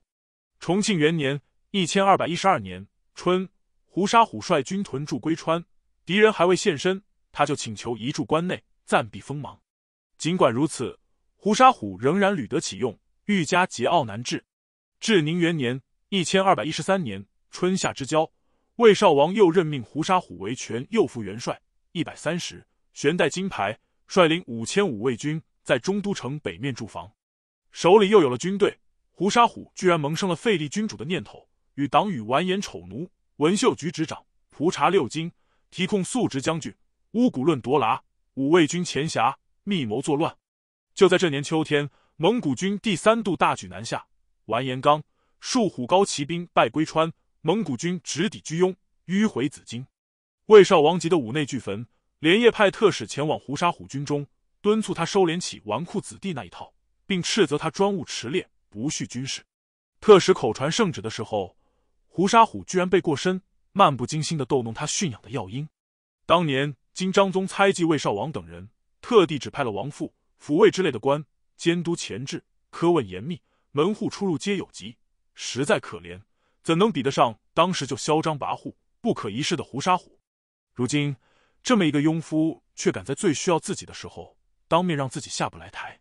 一念及此，胡沙虎怒火中烧，双目圆睁，大吼一声。抓起药鹰，狠狠摔在地上，雨雪飞溅，吓得特使生生把后半截话咽了回去。一百三十一，此事过后，君臣不共戴天之事已无可挽回。一百三十二，胡沙虎脾气火爆，却不是愚鲁之辈，心知皇帝不比他家里养的药鹰能轻松玩弄于股掌之上，要谋反，至少得有个足以耸动人心的旗号，还得有恰当的时机。当时，魏少王的心腹图丹南平。知大兴府事，和其子图丹莫烈，驸马都尉、刑部侍郎，把持朝政。中都危急，魏少王不得不大行赏赖，激励军前将士效命。一百三十三，南平父子迎合魏少王的谦令心理，对该发的赏赐随便打折扣，军中怨声载道。一百三十四，胡沙虎趁机编造了一个南平父子谋反，自己要清君侧的借口。八月二十日，戊子。胡沙虎的五千五卫军接到调令，准备从中都开拔，迎击来犯的蒙古军。胡沙虎心里雪亮，箭在弦上，不得不发的时候到了。此时，尚书左丞完颜刚已率数万大军先行北上，京城守备空虚。或许是天意，从二十日拂晓开始，一场大雾自中都城的上空降下，雾气的颜色呈妖异的苍黑色，浓郁的一两步开外就看不清东西，气不无所见。这场莫名其妙的大雾锁住京城足足四五天，二十四日至二十五日夜间晨四才渐渐消散。一百三十五。胡沙虎动手的时间是二十三日夜幕降临、雾色深沉之时，距离胡沙虎的五卫军大营不远，有另一支驻防城北的军队，由至忠福海掌握。福海是图丹南平的亲家，于是这支军队就成了胡沙虎的肘腋之患。二十三日夜，胡沙虎派一名得力亲信前往福海的营地，神神秘秘、欲言又止，表示虎将军在营中设宴，有军情大事要同他商议。福海浑然不知大难将至，只身赴宴，刚入衙门就遭到拘禁。二十三日午夜刚过，胡沙虎下令五卫军和福海军在城北操场紧急集合，当众宣读了一份伪造的圣旨，扬言圣主要诛杀南平父子。随后调发两军，兵分三路，在业务掩护下直扑中都外城。胡沙虎害怕拱卫皇城的侍卫清军察觉城外有大军调动的响动，派兵出城查探，于是。他先派了一名骑兵，伪装成从居庸关前线回来的通信兵，跑到东华门大喊：“达军、蒙古军至北关，已接战矣。”这名骑兵才绝尘而去。另一名骑兵拍马继至，喊了同一番话。宫城内外军民上睡意朦胧，慌乱间没人分辨得清究竟是敌袭还是内乱。二十四日凌晨三点左右，胡沙虎率叛军主力部队从通玄门、外城北门斩关冲入中都。其他叛军从张义门、外城西北门陆续闯入，顺利拿下外城和皇城。胡沙虎愈加得意，他驻马东华门外，传唤图丹南平和图丹梅烈。南平带了几名随从，冒着雾气匆匆赶来，隐隐绰绰瞥见对面的胡沙虎夹势环绕，兵刃接外露，心知不妙，还没来得及搭话，胡沙虎便跃马挺枪，径直将南平刺落马下。胡沙虎的帮凶。侍卫清军大将图丹金寿上前割下南平的首级，接着胡沙虎又指使自己的五卫军部下乌古论夺拉砍死了图丹梅烈。一百三十六，这时魏少王才得知外面发生了兵变，下令护卫火速紧闭宫城各门。东华门是进出宫城的主要通道，屯驻在宫城外的侍卫清军纷纷赶来东华门护驾。图丹金寿利用自己在军中的威信，小玉来者。吾等只为诛杀乱臣贼子，并无叛乱之意。侍卫清军得悉南平父子惨死，又忌惮胡沙虎的疯狂，噤若寒蝉，无敢动者。见势不妙，魏少王草草写就一封悬赏诏书，让人从东华门城楼上掷下，凡能杀胡沙虎者，可从一介草民直升大兴府尹，世袭千户。然而满城军民无一人敢应募。魏少王的重臣又称相图单义。在家养病，听见宅外乱成一团，都说北城的五卫军暴动了。他唤来马夫，有心去宰相衙门坐镇。还没有走到巷子口，有人一把扯住他，说：“省府相母、皇城南、宣阳门内，皆以军士守之，不可入矣。”很快，叛军开始在各处方向搜捕政敌。涂丹一犹豫片刻，还是决定躲在家里观望形势。一百三十七，后来。有人回忆当天的情形，感叹胡沙虎发难的时候，中都城内的百僚将士无敢谁和。一百三十八，三巨人卫队死战，此时此刻居然还有人敢站出来，当真不可思议。福宝之侯完颜善阳，加上护卫十人长完颜石谷乃，带着手下五百余士兵，番号大汉军，屯驻天王寺，匆匆赶到，与众军皆作壁上观之际。与叛军大战于东华门前，无一人生还，流血满地。在这个戏剧性时刻，忽然冒出来的大汉军究竟是什么军队？他们为什么要这样做？至今都是一个动人的谜团。进士和护卫能调动大汉军，说明他似乎隶属侍卫清军体系，但在金军编制记载中，这支部队又无实可征。南宋人记得，当年海陵王完颜亮的南清大军中有一支大汉军。一百三十九，辛弃疾认为这是从中原强行征发来的军队。一百四十，番号如此，因为成员多是汉人。然而，大金王朝治下，大汉、大契丹都涉嫌为爱。区别于女真人的汉人军队，应称哈尔军，并非大汉军。一百四十一，道士南村辍耕录提到，元朝有一种镇殿将军，专门招募身躯长大异常者充任，配上量身定制的义甲兵器，光凭气势就能唬住一大波人，也称大汉。一百四十二，这个说法有待证实，但至少显示大汉当时有另一种解释，同今天一样，指身材魁伟异常的人。记载胡沙虎政变的南宋史料称，大汉军的完整番号为关西大汉军。一百四十三，如非讹传，大汉的称谓或许与关西人身材颇为高大不无关系。一百四十四，这样一来，大汉军很可能是完颜亮异想天开的一座类似普鲁士国王腓特烈、威廉一世 （Friedrich Wilhelm I） 精心打造的波茨坦禁卫军团。该军团士兵平均身高一米九以上，俗称常人队 （Lane Curls）、巨人卫队 （Rising Guard）。一百四十五，事实或许就是如此。这五百余名人高马大、长相凶悍的巨人，人数虽少，在东华门前排开，仿佛一堵铜墙铁壁，不怒自威，依然给叛军造成了相当的心理压力。经史记载，眼看手下的五卫军有些畏畏缩缩，胡沙胡扯开嗓子喊：“大汉军反矣！杀一人者，赏银一锭，五十两。”人数众多的叛军一窝蜂扑上去，杀五百人殆尽。一百四十六。大汉军的统帅完颜善阳，正是胡沙虎兵变前首先拿下的福海的儿子。胡沙虎见善阳在东华门前骁勇无比，己方人数虽多，一时却占不了上风，便将福海推到阵前，命他劝降。善阳听见远处传来父亲苍老的声音，却望不到父亲的身影，于是大喊了一声，更像是在鼓励周围浴血奋战的同袍：“胡沙虎老贼欲反朝廷，何谓降之？”此后，他便义无反顾。继续苦战，自弹至武，手杀数十人，身中数十而死。一百四十七，正午过后，宫城外面喊杀声渐息，叛军好不容易消灭了最后一支抵抗力量，冲到了东华门下。胡沙虎部打算与宫中执勤的护卫正面冲突，他自己就是护卫出身，深知这是一个不可小觑的势力集团，所以一开始他希望劝降当天轮值的侍卫清军军官百户东儿，五十户蒲查六京。可是派人喊话半天，却不见回应。胡沙虎又向二人开出了世袭千户、三品职官的价码，依然毫无动静。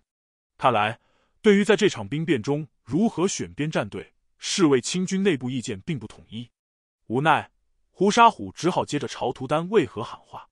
图丹为何任职殿前都点检，是侍卫清军和御前护卫两支卫队的总长。不一会儿，图丹为何从墙头垂下绳索？爬了下来，投靠了叛军。接着，胡沙虎命人将柴火堆积在东华门下，威胁要纵火，又推出云梯，准备强行登城。在图丹为何的劝诱下，少数摇摆不定的清军和护卫终于抽刀斩关，大开宫门。一百四十八，胡沙虎率军冲入大内，魏少王身边剩下的护卫见大势已去，顷刻之间散得一干二净。胡沙虎留下部分党羽，将魏少王软禁在大安殿中。自己占据了大兴府尹的官邸，宣布自己为监国都元帅，等于武装部队总司令兼临时政府首脑，大肆赏赐兵变中立功的金寿、朵剌等人。当夜，叛党在府中摆酒席，照月祭，欢歌宴舞，通宵达旦。翌日，二十五日，胡沙虎带人气势汹汹直奔大安殿而来。魏少王远远望见胡沙虎，就迫不及待喊道：“圣主令臣何往？”看来。叛军到底有没有拥立新圣主？圣主又是哪位？魏少王显然已经不在乎了。三年来，头上这顶沉重的皇冠早就压得他喘不过气来，连身体衰老的速度都明显加快。这便宜天子不当也罢，能苟全性命于乱世，足矣。胡沙虎轻蔑一笑，送你回原来的王府。魏少王心下大宽，连忙跑入后宫，拉着皇后一起走。皇后不肯，告诉他出宫必死。双方正争执，胡沙虎等的不耐烦了，干脆命令手下将帝后二人绑至魏王府，加派五卫军二百人将王府团团围住。眼看动乱和流血差不多该告一段落了，涂丹一出来劝胡沙虎：“大魏不可虚悬，一王完颜寻本名无独部，乃金章宗皇帝的兄长，金世宗太子允恭的长子，众望所归，元帅决策立之，万世之功也。其实，涂丹义还有一句潜台词：你就凭少数嫡系，虽然逞凶一时，挟制攻城，终难完全服众，见好就收吧。胡沙虎当下大悟，点头允诺。当时，完颜寻正在张德府（今河南安阳）任职，只有他的长子完颜守中，后世庄县太子。留在中都，于是胡沙虎暂用皇太子的仪仗，将守中送入东宫，表示大魏已有所归。又命令奉御完颜呼师来等三人护卫蒲仙班底，完颜丑奴等十人前往张德府迎接宣宗。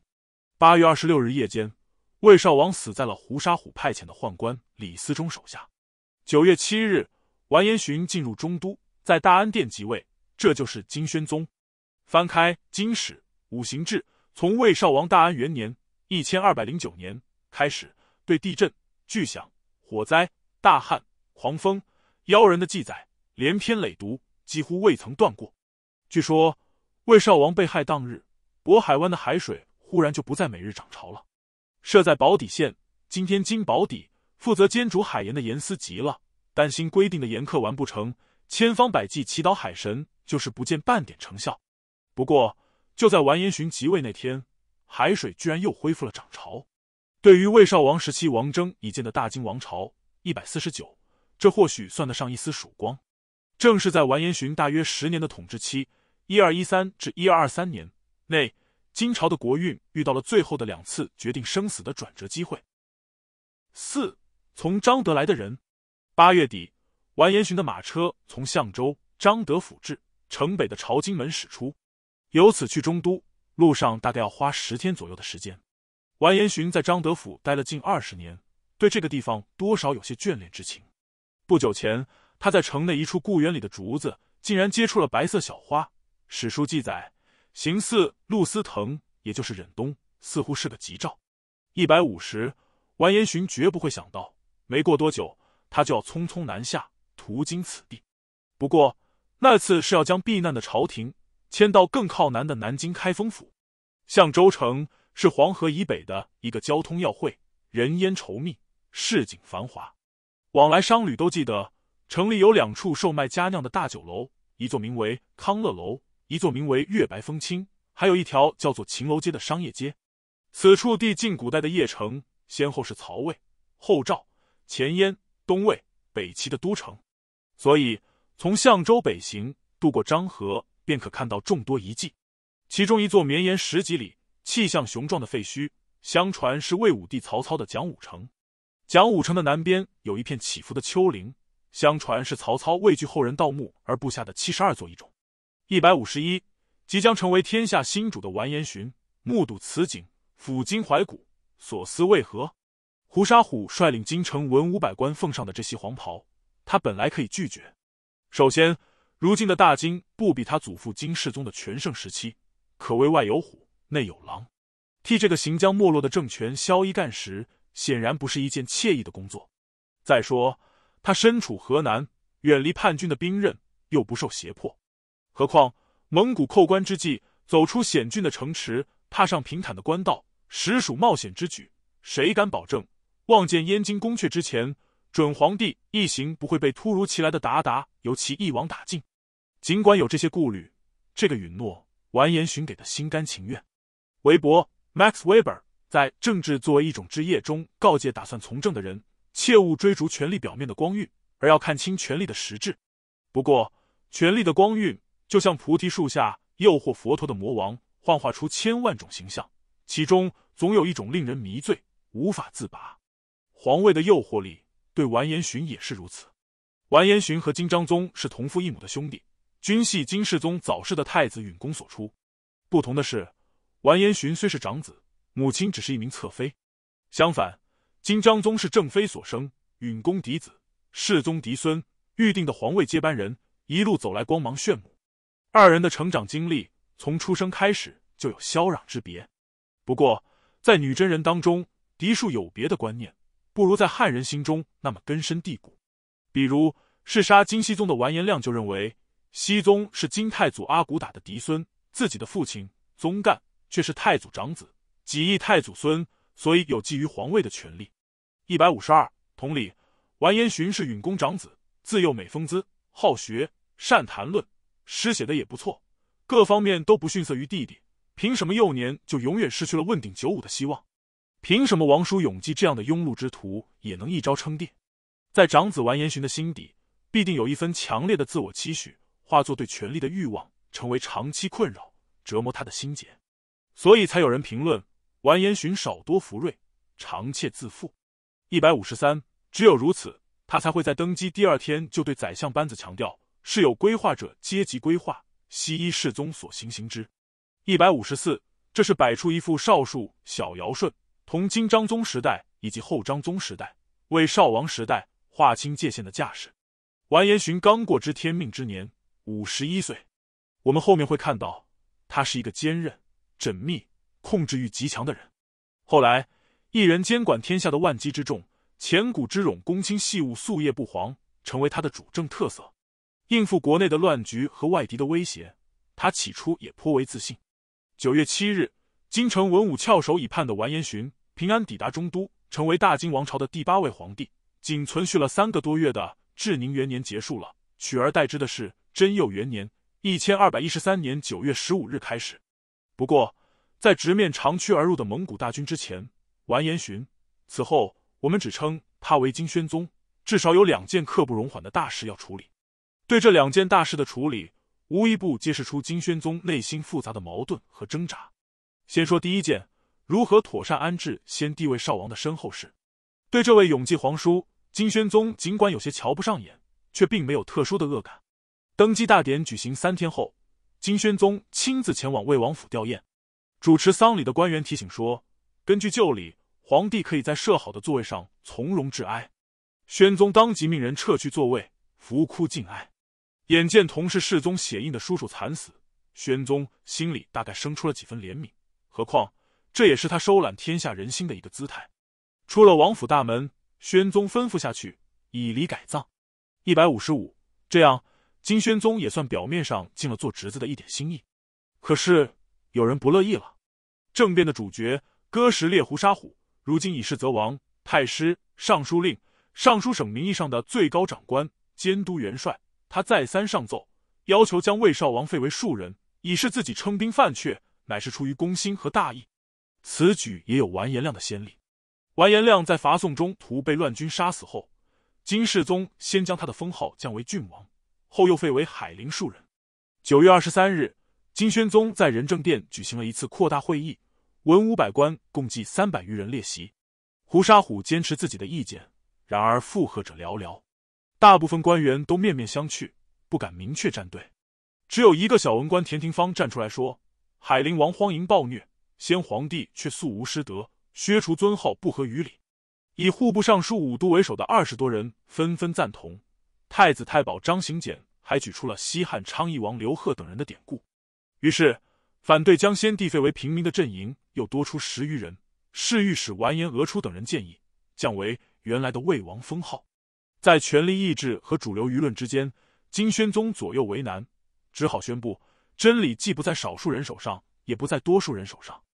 他打了个比方，就好像问路，百人曰东行是，十人曰西行是，行道之人究竟是向东走还是向西走？怎么能按照十人、百人的数量来定是非呢？最后说了句：“朕徐思之。”金宣宗即位后的第一次大朝议至此草草散场。过了几天，折中的旨意出来了，将先帝降为东海郡侯，为金章宗两个冤死的妃子李氏、李元妃贾氏平反。贞佑四年（一千二百一十六年），东海郡侯才得以复封为魏少王。一百五十六五，宣宗当国，金宣宗必须妥善处置的第二件大事，自然是如何面对弑君功臣哥什烈胡沙虎。对于胡沙虎，金宣宗的感情比对死去的皇叔复杂。微妙的多，可以说是既爱又恨。爱他，自然是因为他元力有功。先帝魏少王有皇子六人，其中做王从克，早在大安二年（一千二百一十年）秋天就被立为皇太子。按常理，如果没有这场血腥政变和胡沙虎的拥戴，金宣宗再怎么长切自负，也只能在张德故园里顾影自怜，中都的皇位是传不到他手上的。因此，金宣宗应该对胡沙虎心存感激，即位后回报以各种荣衔，对其种种作为也有一回护。恨他，自然是因为胡沙虎手上沾染了完颜君主的鲜血。由弑君者拥戴继位，注定了金宣宗不具备完美的政治合法性。在有心理洁癖的人看来，仿佛白璧微瑕，越看越觉得恶心。且不说遥远的历史，祖父金世宗就幸运的多。前皇帝完颜亮不但形象足够邪恶，又死在乱军之中。拥戴他即位的人，同前线弑君的叛军也素无瓜葛。待世宗即位，便可从容处置海陵余党和叛军将领。相反，如今胡沙虎远道送来，自己又无法拒绝的黄袍上，有擦拭不去的污点。想起此事，金宣宗实在恼火。魏君臣关系火上浇油的是胡沙虎我行我素，甚至变本加厉的跋扈态度。胡沙虎之流，如同扑向灯火的飞蛾，距离权力中心越近，越加速他的灭亡。嚣张跋扈惯了，如今废立君主，身受王封，手握军政大权，子弟不满朝堂，待产而凋，又岂会收敛？九月十一日登基大典后的第四天，金宣宗在仁政殿举行朝会，胡沙虎随侍。史书说，金宣宗卫士李煜命人给相王、宰相、则王赐座。胡沙虎居然也不谢恩，昂首挺胸，就坐不辞。一百五十七，九月下旬，蒙古大军的前哨在中都以南出没，到了霸州（今河北霸州）东面的高桥店。这个信号可不太妙，说明敌人似乎成功迂回了居庸关。尚书省的主官、丞相、参政紧急求见金宣宗，汇报军情。宣宗心中不安，派亲信询问胡沙虎，胡沙虎也不详细回奏。大大咧咧回复：“计划已定矣。”转身就斥责尚书省：“无为尚书令，有事怎可不先同我商议，却草率上奏？”一百五十八，凡自视甚高的君主，最容不得臣下挑衅自己敏感的自尊；凡控制欲强的君主，最容不得臣下有阻绝天听、浮云障日、陆甲星雨、甚微偏得健忘。胡沙虎的上述举动，显然触犯了金宣宗的逆鳞，于是。金宣宗表面上隐忍不发，暗中却考虑摆脱这个随时可能失控的危险角色。他明白，在胡沙虎之难中不敢效忠魏少王的那些京城文武，又怎会为自己抛头颅洒热血？在他心中，这群人早就被划入了有待考察或不值得信任的另册。于是，新皇帝选择了仰仗身边的进士，进士局提点庆山奴、副使为弼、奉玉为康等人，开始密谋除掉胡沙虎。专制皇权依靠另一股依附势力来清除他自己产生的毒瘤，在中国历史上是一大常态。金宣宗用进士，不过是故技重施。中国历史上另一个更有名的跋扈将军东汉的外戚大将军梁冀，就被汉桓帝借助五个心腹宦官，后称武侯，铲除。不过，眼见胡沙虎免不了要不良大将军的后尘，又一起突发事件，竟然以一种荒谬的方式。化解了金宣宗一个多月来的痛苦纠结，这个无意中为君分忧的人，就是前面出现过的树虎高齐。树虎高齐的履历和胡沙虎十分相似，他也出身护卫，金世宗时期也曾在五卫军中任职，在同南宋的战争中颇有建树。中都首次遭受围攻后，率领三千名九军赶来驻守通玄门外的就是他。此时，高齐已升任元帅，右兼军总司令部的高级军衔。前面说到，贞佑元年（一千二百一十三年）闰九月，蒙古军已攻陷涿、益二州，北上进逼中都。胡沙虎拼凑了中都周边的军队，打算与蒙古军展开决战。高齐的九军也奉命调回中都。史书说他运气不佳，与蒙古军每出战折败。胡沙虎十分愤怒，冲高齐吼道：“汝连败矣！若再不胜，当以军法从事。”一百五十九。这一句多半是无心之言的威胁，注定了胡沙虎的命运。十月十五日，戍虎高齐提兵与蒙古军大战，又一败涂地。日落后，高齐撤回中都，害怕胡沙虎施行军法的屠刀，又隐约听闻宫中早就不满胡沙虎，索性一不做二不休，带着九军残部，披甲持刀，连夜将胡沙虎的官邸围得铁桶一般。胡沙虎的结局流传有两个非常不同的版本。第一种说法是。胡沙虎正在宅中听到门外哗变，连忙抓过弓箭，搭使外射，架不住势单力孤，只好退到后院，打算逾墙逃命。大概他穿着睡袍，行动不利索，衣服被什么绊住了，从墙头跌落，受了重伤。九军士兵一拥而上，将他砍死。一百六十。第二种说法是，当时胡沙虎在内堂洗脚，抬头猛然见到冲进来的士兵，大惊失色，光着脚逃入卧室，还是被高齐的手下拖出来斩杀。一百六十一。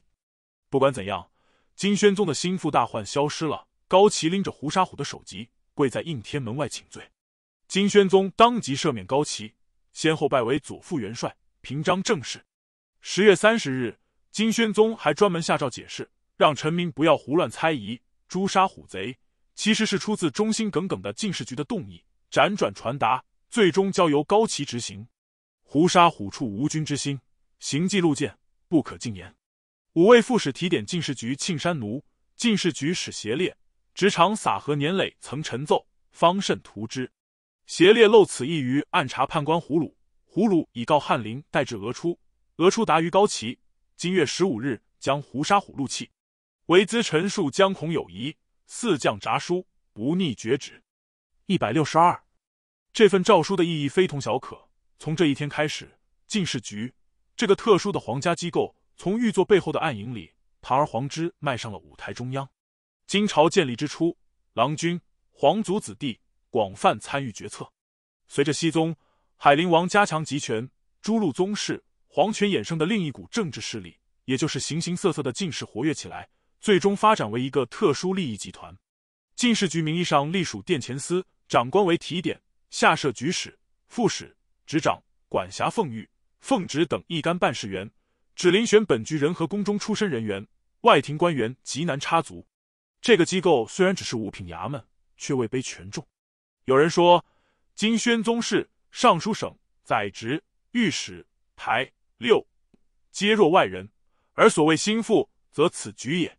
他不仅任用进士充当耳目，监察百官，还派他们外出查访民情，担任监军督战。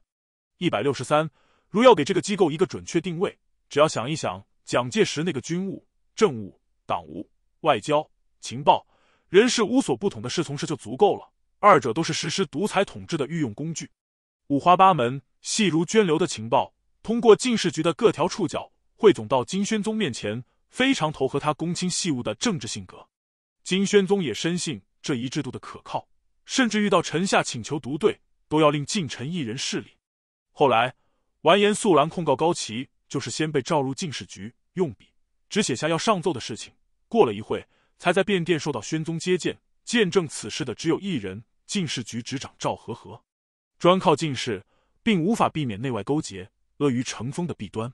一百六十四。不过，在贞佑初年，宫中的金宣宗和他的进士，在外廷自为宰相，专顾权宠，擅作威服的属虎高齐，加上多数态度含混、得过且过的文武官员，多少形成了一种政权内部的势力均衡。于是，金朝终于得以腾出手来应对更为刻不容缓的北方战局。此时战局之糜烂，也已经到了生死攸关的地步。第六章抉择一：幽闭恐惧。几乎与蒙古大军渗透太行山北段关隘的同时，短短三个月内，中都城内就接二连三发生兵变，这对金朝的战争进程绝无可能产生积极影响。八月末，胡沙虎废除魏少王后。害怕前线手握重兵的完颜刚对他不利，就逼迫完颜刚之子奉玉和尚写信劝说父亲回来，又让家里的老仆到军中送信。完颜刚得知通玄门之变的消息，又接到儿子的家书，迟疑徘徊良久，还是决定回家。完颜刚一入中都，胡沙虎就将他逮捕，囚禁在京城东边的闽中寺中。翌日清晨，就将他押到闹市口，以归川兵败的罪名匆匆问斩。完颜刚虽然没有军事天才，却练达军务，老成持重。他一走，前方就没了足以镇抚三军的老将。更糟糕的是，胡沙虎在兵变后为求自保，进撤延边诸军赴中都平州，起兵屯冀州以自重。一百六十五，这样一来，除中都孤城外，各处关隘和要地都失去了掩护，防御体系全面崩溃。不论这种说法是不是打算将全部军事失败的责任都推到死人头上，赤裸裸的现实是。蒙古大军先后从居庸关、紫金关涌入华北平原，如入无人之境。开战以来，中都城遭受的第三次围攻，更准确的说是围困，开始了。史书记载，成吉思汗汲取了前两次围攻中都的经验，又了解到金朝在京城屯宿重兵的新情况，便不复寇城所战，只留下部分军队封锁中都，派出游骑遮绝往来通路，同时分大军为左、中、右三路扫荡河北、河东、山东各地州县，作为困京师之剑。一百六十六，从贞佑元年（一千二百一十三年）秋，一直到贞佑二年（一千二百一十四年）春。整片中原大地，抚州尽破，火光冲天，浮尸遍野，只剩下十来座城池，仅能自保。对于生活在这一地区的金朝百姓来说，这是他们记忆中最为可怕的一个寒冬。在此期间，困守中都的军民又有一番什么样的经历呢？最先袭来的是深深的恐惧。恐惧的最显著症状，用身在围城内的参知政事耿端义的话总结，是将帅皆不肯战。其实。中都城内的兵力着实富余，至少远超城外留守的蒙古军。除了常驻的侍卫亲军、武卫军和射粮军、杂役军，还有众多从外地赶来的秦王军，加上四面八方后撤或溃败回来的军队。耿端义粗略一算，普通士卒暂且不论，困在城内的中高级军官，自都统至谋克，百户不斥万余，腰上插着或挂着金银牌符，神气十足的军官随处可见。可就是没有一个有胆子冲出去同城外的敌人厮杀。一百六十七，目睹此情此景，元帅府参谋那坦谋家也愤愤不平，讥讽帅臣麾下数万众不能出城一战，不如干脆把自己五花大绑，开城投降算了。一百六十八，随后降临的是严峻的饥饿。中都地处华北小平原和运河北端，人口密集，单是中都城常住人口就有四十万。一百六十九。不是农业生产的游士者众多，本是严重仰赖粮食转输的大都市，加上大批士兵和军官龟缩在城内，只知坐吃山空，不肯死战解围。城外则尤其遍布，巧采艰难，农田荒芜，漕运断绝，粮食匮乏是必然结果。不多时，公共粮仓就快见底，朝廷只好求助于私家筑基，卖官买粮。知大兴府事虚顶发布通告，京城官民人等若能捐纳余粮。救济军队和平民，按照捐助多少，先开收据，危机过后再行签赏。不过，敌军在外虎视眈眈，各地杳无音信，不知存亡。官爵再好，也不如目前的性命宝贵。城内响应者寥寥，眼看利诱不起作用，参知正是奥屯中校组建了暴力征粮队，强行搜括民间积粟，凡存有余粮之家，扣去够两个月消耗的份额，其余全部上缴国家。换回的是不知哪天就彻底作废的银钞或僧道借牒。这番折腾过后，中都市面上的粮食几近绝迹。北方的正常粮价大概在一斗米值二三百钱的水准，如今黑市价格居然暴涨近五十倍，到了白金三斤不能一米三升的地步。富贵之家惴惴不安，缩衣节食，本就家徒四壁的平民只能庇护等死。后来有一种说法，在长达近半年的围城中。饿死的中都军民大概有十之四五，一百七十，恐惧和饥饿的叠加，终于在中都城内引发了一出令人啼笑皆非的闹剧。正月过后的某一天，晴朗无风，东边张义门外巡逻警戒的五卫军百人队，忽听见门口爆发出一阵喧嚣，紧接着城门开了一条窄缝，挤出来一支奇特的队伍。队伍的最前方举着一道白帆，上用朱砂写着四个歪歪扭扭、莫名其妙的大字。古今相对，簇拥着白帆的百十来人，穿戴的不是戎装，似僧非僧，似道非道，衣衫褴褛，敲锣打鼓，一路行来，看得人目瞪口呆。这支队伍消失在卫兵的视线之外，不到一两个时辰，就又出现了。这次人群中有人扛着从荒野上或废墟中拾来的柴火、干草或破布条，有人拎着几个死人的脑袋，趾高气扬，原路返回。原来。围城之中，苦闷无奈的金宣宗在东华门外设立了一个招贤所，专是访求搜罗奇才异能之士，以便创造奇迹，打破困局。凡提出建设性意见并得到采纳的人，可获得不赐除官的殊荣。流窜在中都各处的江湖骗子闻风而动，军集东华门外，竞相兜售自己的退敌奇术。其中有个叫王守信的人，素喜吹牛，常称诸葛亮为不知兵，什么管仲、乐毅更是不在话下。侍御史完颜俄出，不久前还在关于魏少王降封的朝议中表现的冷静理智，不知道因何头脑发热，居然认定王某是个有真才实学的王佐之才，极力向招贤所举荐。经过宣宗召见，王守信当场从一介村夫直升行军都统。他腰悬银牌，出宫便大肆招募市井无赖，霸占了城内的讲武场，训练这些无赖进退跳掷。他还发明了前面那套古今相对阵法，打造黄布袍、黑头巾、锡牌子各三十六件，牛头响环六十四枚，打算用这些法物吓跑蒙古人。每一操演，京城百姓观者如堵。稍有见识之人都摇头苦笑，直呼这套玩意简直就是同戏。一百七十一，北宋靖康年间，金军围困汴京，城内的无赖郭京就组建过这么一支六甲神兵。神兵出城一触即溃，金军趁乱攻陷城池，北宋亡国，迄今传为笑谈。所幸的是，王守信的神兵并不敢出城与蒙古军厮杀，而是每天出城拾荒。顺便抓住一些路上遇见的落单百姓，砍去首级回来邀功。当年金朝开国的太祖、太宗，还有宗翰、宗弼等元勋，若是泉下有知，看到自己的不孝子孙重演当年宋人的闹剧，会作何感想？个体心理学有个名词“幽闭恐惧症 ”（claustrophobia），描述患者因身处密闭环境而产生的莫名焦虑和神经质。神兵事件也可以说是长期围城中的绝望催生的集体瞻望。一种集体性的幽闭恐惧。贞佑二年（一千二百一十四年）春，蒙古三路大军将金朝的半壁江山蹂躏待变，再度会师中都。成吉思汗驻壁中都北郊，接受诸皇子和将领进献的战利品。诸将纷纷请缨，希望大汉一鼓作气攻下中都。成吉思汗判断天气向热，中都城池坚固，难以迅速攻克。此外，大军经过半年的征战掳掠。鞍前马后，驮载甚丰，无复来时锐气，急待撤回草原休整。于是他派出使节，表示愿意接受金朝的求和。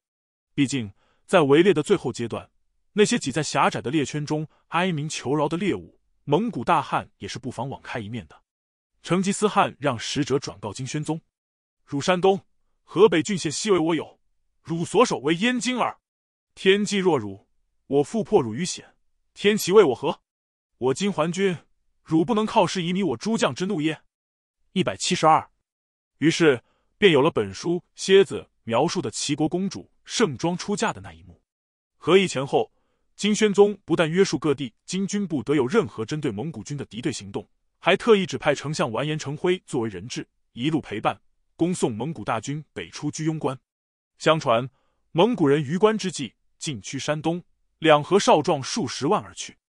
一百七十三，金末诗人赵元根据亲身经历写了一首《林父哭》，道尽这场战火给和硕百姓带来的灾难。林父哭，哭声苦，一家十口金存五。我亲问之，亡者谁？儿郎被杀夫遭虏。临父哭，哭声哀。儿郎未埋夫未回，烧残破屋不暇弃。田畴失锄多草来。林父哭，哭不停。应当门户无余丁，追须夜至星火急。滨州运米云中行，一百七十四。二一千二百一十四年，南逃大讨论，还没等最后一期蒙古兵的背影在西北边境消失，金宣宗就迫不及待举行了即位后的第二次最大规模朝议。主题只有一个：是否应该迁都避难？如果是，迁都何处？迁都这个主意，早在魏少王重庆元年。一千二百一十二年，中都城第二次遭到围攻之前，就有人提出过。但是当时蒙古大军已进至顺义，想逃跑也已经晚了。一百七十五，如今敌人总算撤退了。金宣宗在深沟高垒之中战战兢兢做了半年的囚徒，这种滋味实在不好受。他希望回到一个相对宽松自由的环境中去，只有如此，他才能感到周围事态又重归他掌控了。贞佑二年（一千二百一十四年）四月十八日，金宣宗下诏迁都与否，迁往何处，在今文武和各进言，以图长策。诏书一出，朝野大哗。有资格发声的文武百官，除了在殿上争得面红耳赤，退下之后意犹未尽，提交了连篇累牍的书面意见。有人坚决主张不能走。从历史上看，一个政权为敌所逼，拱手放弃核心统治区，很少有什么好结局。北宋的苏东坡远古正经说的“斩钉截铁，必寇而迁都，未有不亡；虽不及亡，未有能复振者也。”他将此事比作败家子走投无路，只好变卖田宅祖业，便无翻身之日。一百七十六，这么想的金人也不少。皇帝霍王从依旧苦苦劝告，祖宗山陵、宗庙社稷、百司庶府，皆在燕京，岂一弃之而去？一百七十七，除了宗庙、天子和政府历来就不能轻动外，左丞相图丹义讲出了反对派最担心的后果：一旦放弃中都，几乎等于放弃了辽东、河北。山西大片疆土，栾路一动，北路皆不守矣。反对派主张聚兵击肃，固守京师，正面抵挡蒙古人的侵袭。一百七十八，有人坚决主张应该走。赞成派包括参知政事耿端义、南京留守蒲散端、翰林直学士赵秉文、翰林代治李英、尚书省令史张公礼等等。然而，他们提出的迁都方案却五花八门。有人说应该去河南。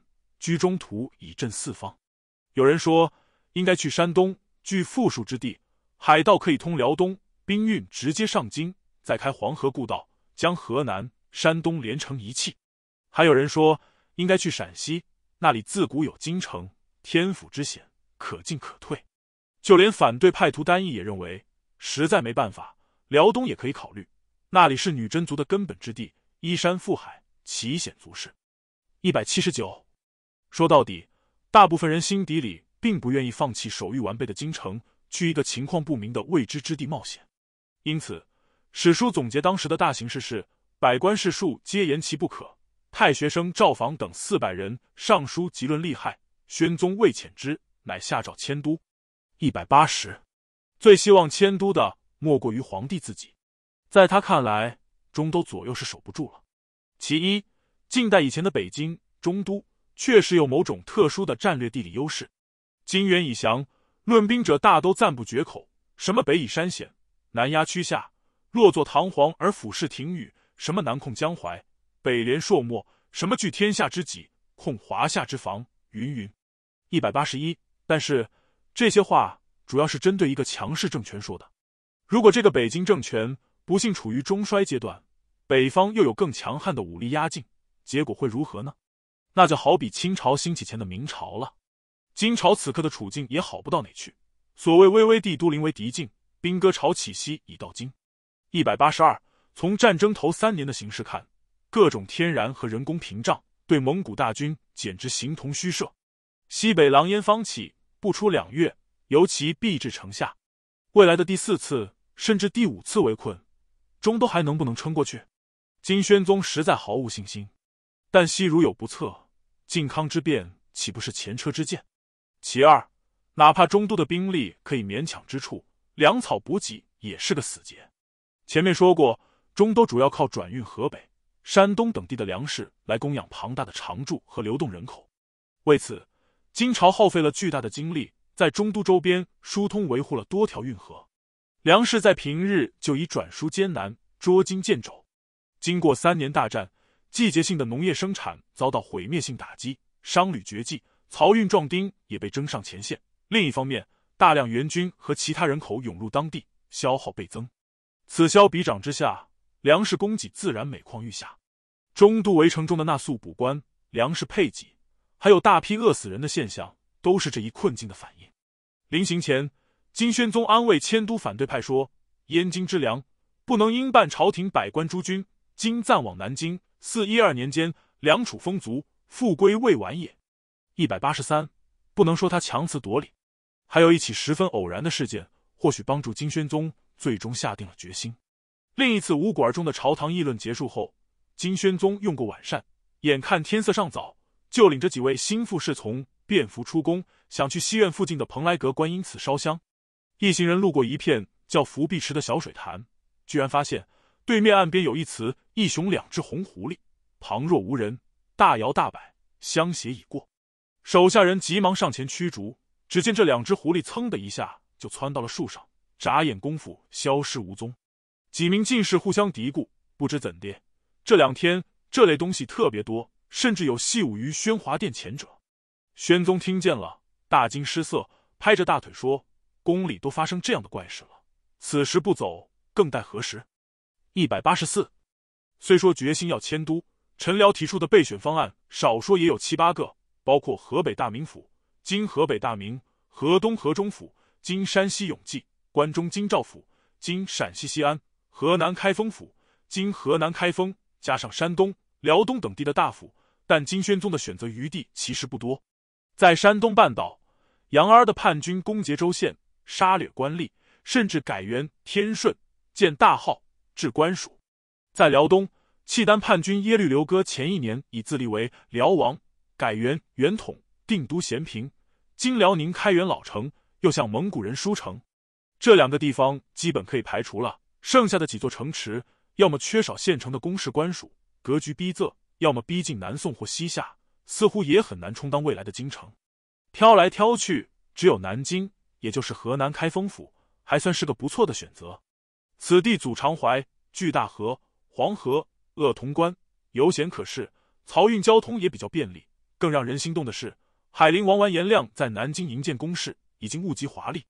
此时。南京城是南方三大军区之一的南京统军司，以及南京留守司、南京路转运司、按察司等机构的驻地。南京留守蒲散端联名河南统军使长寿、按察转运使王志三次上表，也不知道他们的奏表上到底写了些什么，最终说服了宣宗。不过从三人的职衔看，大概代表了政治、军事和财政三方面的河南地方势力，向金宣宗拍胸脯做了保证。贞佑二年。一千二百一十四年五月十一日，金宣宗正式颁诏迁都南京。真佑南渡，这是金宣宗替大金国运作的两大关键抉择中的第一个。这个决定是与非与。后来，金朝遗民刘琦沉痛回忆，迁都大梁可谓失谋。亲人李慈铭也评价这是大事迹。时至今日，研究者还在争论真有难度究竟是为金朝多延续了三十年国祚。还是向末日又迈进了一大步。一百八十五，其实金宣宗等人究竟是根据什么情报、什么处境来权衡迁都利弊？今天我们所知甚少，难以给出一个公正的评判。这不像下棋，根据任意时刻的棋盘形势，高手都能大致反推对局者的计算过程，指出某一招法造成的局面优劣。何况真有难度之后，蒙金战争这盘历史棋局才刚从终局转入残局。随着棋局的发展，看似昏招或庸招的一步棋，未必不能化腐朽为神奇。历史的演进可比对弈复杂的多。我们不妨暂且放下现代人那点可怜的后见之明，接着看双方的后续博弈。金史记载，迁都诏书颁布于五月十一日，才过了三天，五月戊寅，十四日，金宣宗就宣布动身。不料当日大雨滂沱，无法成行，苦等到十八日。金宣宗终于启程，天公不作美，一行人刚出立泽门，又下起雨来，一连三天。一百八十六，大队人马冒雨前行，狼狈不堪。看来金宣宗一刻都不想在狐狸起舞的皇宫里多待了。五月二十二日，车驾抵达定兴（今河北定兴）；二十九日抵达中山府（今河北定州）。随后，金宣宗一行在真定（今河北正定）、大明。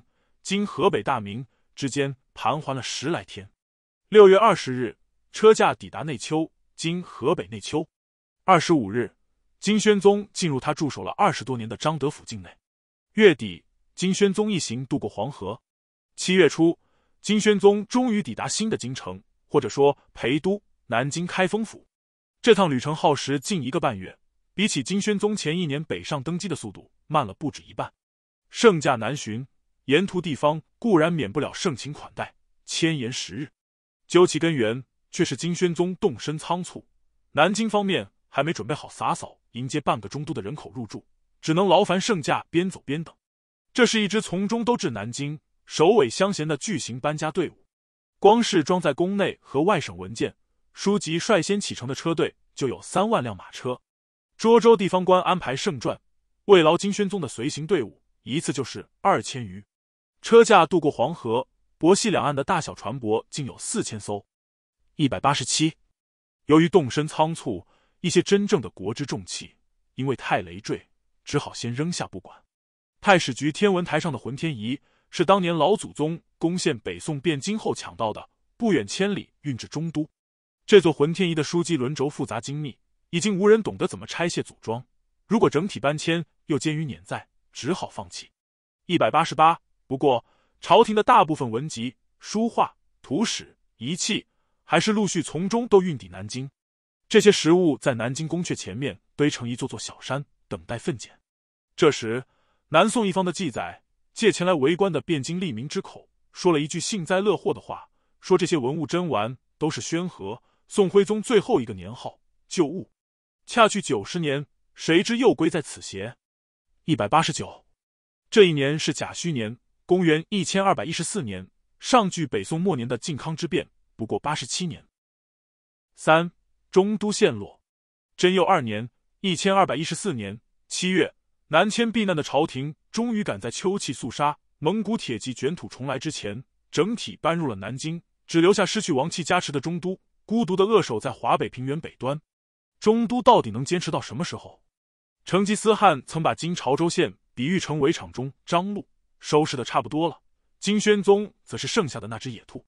一百九十，放过猎圈中哀鸣的猎物是一回事，猎物擅自溢出猎圈，那可不行。金宣宗南逃的消息传到漠北，成吉思汗大怒，计和而迁，是有疑心而不是汉，特以何为款我之计耳。一百九十一，一声令下，三木合拔都 Samukabiator 率领蒙古军，投诚的契丹人石抹明安率领汉军，从居庸关和山海关之间的一个燕山山口古北口攻入河北。这也是一条两崖壁立、中有路、仅容一车、下有深涧的绝险通道。一出古北口，直至中都，地势平坦，无险可守。蒙古军接连攻陷锦州（今河北遵化）、冀州（今河北蓟县）、潭州（今北京密云东北）、顺州（今北京顺义）。雪上加霜的是，金宣宗在前往南京的中途，为提防护从南下的九军，竟然下令收缴。以发放给他们的盔甲和马匹，这样一来，更加激起了九军的不满。他们杀掉金朝长官，推举契丹人卓达等人为帅，掉头进犯中都。蒙古军南下后，九军投靠了蒙古人，两军趁势联手围攻中都。此时，中都周边的局势，正如后来原初文人郝经的魔画：千群铁骑绕燕都，指蒙古围攻；欲辇仓皇下殿走，指宣宗南渡。孤城弹丸当机电，饮血登皮日酣战。这几句诗出自郝经《金元十节士歌》的第一首《王子明》。十节士歌讴歌了在抵御蒙古的战争中有壮烈功绩的十名金朝官员或将领。王子明是山西人王惠，翰林士读学士、劝农使，当时正率领自己招募的一万余名志愿军防守中都城北面的顺州。贞佑二年十月六日，蒙古军攻陷顺州。六十岁的王惠被俘殉节，王子明是最后说被杀前，王惠朝服南向再拜毕，异色不动卧节死。南向就是朝着金宣宗所在的南京。孤城弹丸既是当时顺州城的写照，也预示了中都城的未来。贞佑二年冬至三年春，接替金宣宗成为中都这座巨大围城中的第一号囚徒的是另一位女真贵族完颜成辉。完颜成辉此前的职务是横海军节度使，镇守沧州（今河北沧州）。上一年才应召入朝，升任尚书右丞。那年冬天，沧州沦陷，成辉留在当地的妻儿老小无一人生还，他从心底里恨死了鞑靼。一百九十二，金宣宗仓皇南渡前，提拔成辉为右丞相监督元帅，封为定国公，留守中都。本来成辉上头还有一位皇太子。庄献太子，不过金宣宗转念一想，觉得风险太大，树虎高齐又从旁附和。八月，庄献太子就被召回了南京。一百九十三，此后保全中都孤城的责任就全落在了完颜成辉一人身上。完颜成辉已经一个多月没离开过尚书省一步，他每天坐在议事堂上，眉头紧锁，苦苦筹划守御之策。不过，面对蒙古军和九军的南北合围，中都城仿佛狂风中的一片黄叶，摇摇欲坠。庄献太子刚走，嗅觉敏锐者就察觉出圣主貌似无意死守中都。不久，右副元帅蒲察七金带领亲信部队出城投降，城中士气大跌，人心浮动。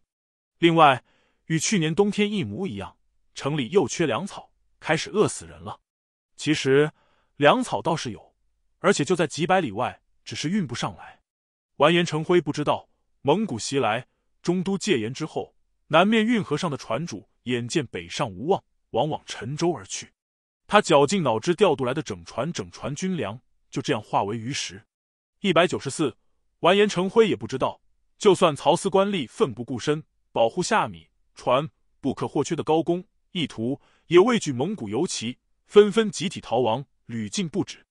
一百九十五，贞佑三年（一千二百一十五年）冬春之交，内外交困的完颜成辉设法向南京城内的金宣宗送出了一封凡书。凡书是用透明的明矾水书写晾干，收信人只要将纸浸入水中，字迹顿现。这是一种传承了千年的秘密通信手段。凡书写道：“蒲察，七经既降，城中无有固执。臣虽以死守之，岂能持久？伏念一师中都、辽东、和硕皆非我有。诸军背道来援，犹记有己。一句话，再不派援军来就晚了。”接到完颜成辉的哀求。金宣宗回复：“中都重地，庙舍在焉，朕岂一日望也？已去诸路兵与粮俱往，亲会知之。粮草、援兵都已经在路上了。”一百九十六，金宣宗没有骗人。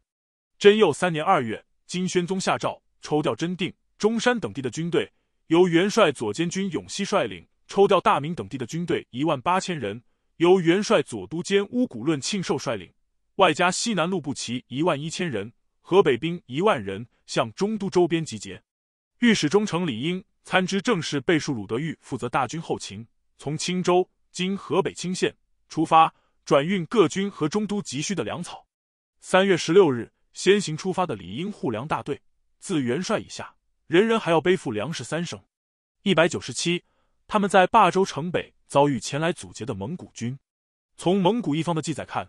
李英前方是神撒率领的四百蒙古骑兵，加上石抹明安增援的五百骑兵，一共不到一千人。一百九十八，李英欲重宿无纪律，当天又喝得酩酊大醉，一败涂地。金军死及溺水者甚众，一千余车粮草也被蒙古军虏获。一百九十九，永熙和巫蛊论庆寿统帅的两支大军，听闻粮草已失，军心涣散，一路溃退而归。中都陷落前声势最浩大。也是最后一次真正的救援行动，就这样戛然而止。话说回来，南京的朝廷似乎也没有不惜一切代价保卫旧都的决心。即位一年半，金宣宗的傲气和锐气消磨殆尽。虽然在宫里侍从眼中，圣主一如既往日理万机、宵衣干食，可是那其实是一种机械的、没有活力的忙碌和重复，有时候仅为了给自己找点事情做。此外，他还偶尔叫上树虎高齐。和其他几位侍从打几场马球，疏解一下郁闷。二百，有一天，金宣宗感觉御膳中的羊肉不如之前肥美，唤来太府监质问。太府监跪下说：“御厨的羊确实受疾，全怪转运使办事不上心。”时任南京转运使的是前户部侍郎王阔。金宣宗对王阔说：“卿是先朝旧人，懂规矩，情况属实吗？”王阔回答。圣主初到南京，人心未定，应该外事节俭。如今竟然以益阳肥疾，纷纷不已，以致停变。宫里人了解是下面的人疏忽了，外间的天下万民还以为圣主只顾自己享受呢。这事传出去，会不会有损圣德？金宣宗听了，赧然称是。不料过了两天，王阔去尚书省办事，发现树虎高齐又在自阅玉阳，还亲自清点供给御厨的鹌鹑。乳鸽等每日耗费的水和饲料，王阔简直不敢相信自己的眼睛。区区一个厨子能办的事，何至宰相亲临？树虎高齐洋洋自得，圣上交劳过甚，全集善修滋养精力，安敢不被肥好？二百零一，宣宗高齐这一对军相如此浅狭琐屑，其他大臣和将帅也不成器。蒲散端力主经宣宗入变，如今也荣升宰相。某日。宣宗训斥他政务松弛，近来朝廷纪纲安在？他听了默然不语，出来就埋怨手下的郎官，圣主问纪刚这个人哪去了？汝等几时让这个人见过我？二百零二，负责领军救援中都的永熙，好写打油诗。他亲笔起草的征粮榜文，有一句是“雀无翅而不飞，蛇无头”不行，把儿字写成了。书吏不敢改正，京城传校为“雀儿参政”。二百零三，南京政府这样的军政班底，能去救、愿意去救水深火热之中的中都吗？四五月间的中都，外无一兵来援，内乏粮草，已经到了人相识的绝望境地。二百零四，城头守军的武器储备也所剩无几，只好用一切铁。黄铜、铅、锡、白蜡的制品，加上金条银块，塞入石炮，抵御攻击。二百零五，上自完颜成辉，下至普通军民，大家心里都清楚，城池沦陷，时日无多。完颜成辉还有一个副手，平章正事，左副元帅磨碾敬忠，专门负责中都的军事。此前，二人与金宣宗在立泽门执手气别之际，曾立誓与中都城共存亡。五月二日清晨。完颜成辉和磨碾敬忠在尚书省都堂议事，成辉提出中都旦夕失守，希望平章大人兑现同死社稷的诺言。磨碾敬忠俯首不语良久，末了只说了一句：“吾唯有一策，南下。”完颜成辉大怒，拂袖而去。这天午后，完颜成辉将磨碾敬忠的心腹元帅府经历官完颜师姑叫到府邸，对他说：“之前我对平章无比信赖。”才将军事大权托付给他，他常许与我俱死，惊乎意矣。刑期且在何日？汝必知之。完颜师姑也不掩饰，今日项目且行。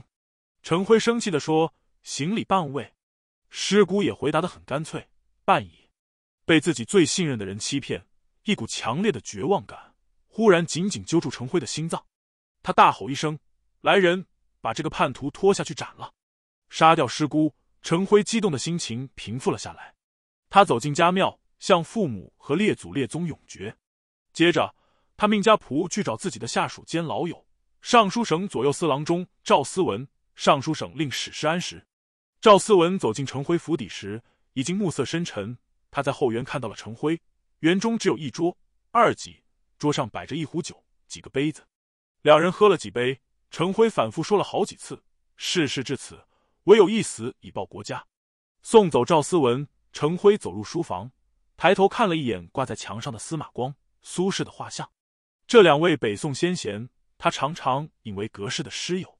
在书房窗下，借着落日前一点余晖，他写下了身为宰相的最后一道奏章，皆论国家大计，辨君子小人治乱之本，直斥树虎，高其无心救援，只知在南京自作威服，终将危害国家。末尾，他引咎。以不能保都城为谢，这封奏章他塞给了匆匆赶来的施安石，托他乘隙送往南京。处分完公事，程辉想起妻儿都在沧州遇难，便给南京的侄子永怀写了一封简短的家书，让他继承本家香火，又把府邸上下的奴仆都召集起来，按照服饰年限，尽散家财与之，发给准许从良的凭据。一时间举家豪气，完颜成辉神色自若，倒满酒杯。同施安时一饮而尽，打算再写几句话赠别，不料落款时最后二字居然写反了。他苦笑了一声，平日欠缺一段涵养功夫，临了不免神志混乱，实在抱歉。不过圣贤之学，我谨守而力行，此生不虚。最后，他深深看了一眼施安时，说：“老友，快走吧。”施安时才出大门，就听见内堂传出一阵撕心裂肺的哭喊，跑回去一看。堂上跪了一圈家眷，中间坐着服下了事先准备的毒药自尽的程辉。二百零六，就在完颜成辉处分后事的时候，趁着暮色出城难逃的魔碾镜中也动身了。他和几名随从来到通玄门一看，人头攒动，心知不妙。原来宫里未能随行南下的妃嫔，听闻平章大人打算逃走，纷纷收拾行装来此守候，希望带他们一起逃走。魔碾镜中嫌这群女人累赘。目标又太明显，就骗他们说：“我当先出，与朱飞企图。”接着，马辇进中吩咐打开城门，带着爱妾和亲信率先出城，头也不回，扬长而去。等到磨辇进中一路疾驰，甩掉蒙古游骑，还恬不知耻的对手下人说：“若与朱飞携来，我辈岂能至此？”二百零七，那天傍晚，渴望抓住最后一线希望逃生的中都居民还有许许多多。中都留守高陵也领着儿子高义杰和家丁，跟着大股人流，趁着夜色出奔。可是没走几步就被大军拦住了。一片混乱中，父亲对儿子说：“我老了，跑不动了，如可求生，吾死于此矣。”高义杰趴在死尸堆中装死，最终逃过一劫。二百零八，中都城最后陷落的情形，我们所知甚少。完颜成辉还有一名僚属契丹人耶律楚材。当时也在中都城内，后来成为蒙古大汗的著名府弼。楚才写了一首《怀古一百韵》，记张敏之追忆金朝父王的史事，当中有一段就是描述他亲身经历的中都陷落。诗里提到的宗臣、忠臣，都是指他的老上级成辉。天子前巡狩，宗臣严守皮。山西进京止，和硕半柴离。石敬谋安出，兵雷厉不支。常为种树匝。久困在周期，太液生秋草，姑苏有野迷。忠臣全节死，于众入降徽。贞佑三年（一千二百一十五年）五月二日庚申，就在成辉自尽。晋中出奔之后，中都很快沦陷了。从楚才于众入降徽一句看，中都似乎是和平投降，没有遭受大屠杀。蒙古一方记载也支持这种说法。元史《石抹明安传》《元史王吉传》。都说五月三日，中都城内的官署父老开门投降。早先归附蒙古的契丹人和汉人纷纷求情，不仅军民安业，饥荒也有所缓解。尽管如此，烧杀掳掠的情形必定不在少数。据说中都沦陷后，乱兵焚烧宫阙，大火燃了一个多月都没有熄灭。蒙古军进城后，用银器当做马槽，用金子铸成酒瓮，大者重数千两。大将三木和的大帐里，甚至搬来了金饰龙床。二百零九，波斯文史书《纳希尔史话》还讲述了花剌子模国的使节赛典赤保和丁在中都周边的所见所闻。我等来到桃花石中国境内，走进阿勒坦汗金朝皇帝的都城，远远就望见一座高高的惨白山丘，而且我们与那个山丘之间还相隔颇远，有二到三城或者更远。我们这些花剌子模君主派来的使节纷纷猜测，那个白色山丘大概是一座雪山。询问向导和当地人，他们回答说，那里全是被杀者的骸骨。我们往前走了一程，发现土壤都渗透了人的脂肪，变得油腻，颜色发暗。我们只好硬着头皮继续往前走了三程，才进入干燥的地面。使团中许多人感染瘟疫而亡。就在桃花石城中都大门边上。我们在城墙马面的下方发现了一块地方，堆积了大量的尸骸。一问之下才知道，城破当日，六万青年女子、待字闺中的少女，为了不落入蒙古军之手，从这段城墙上跃下自杀。这些便是他们的遗骨。二百一十四，命运的歧路。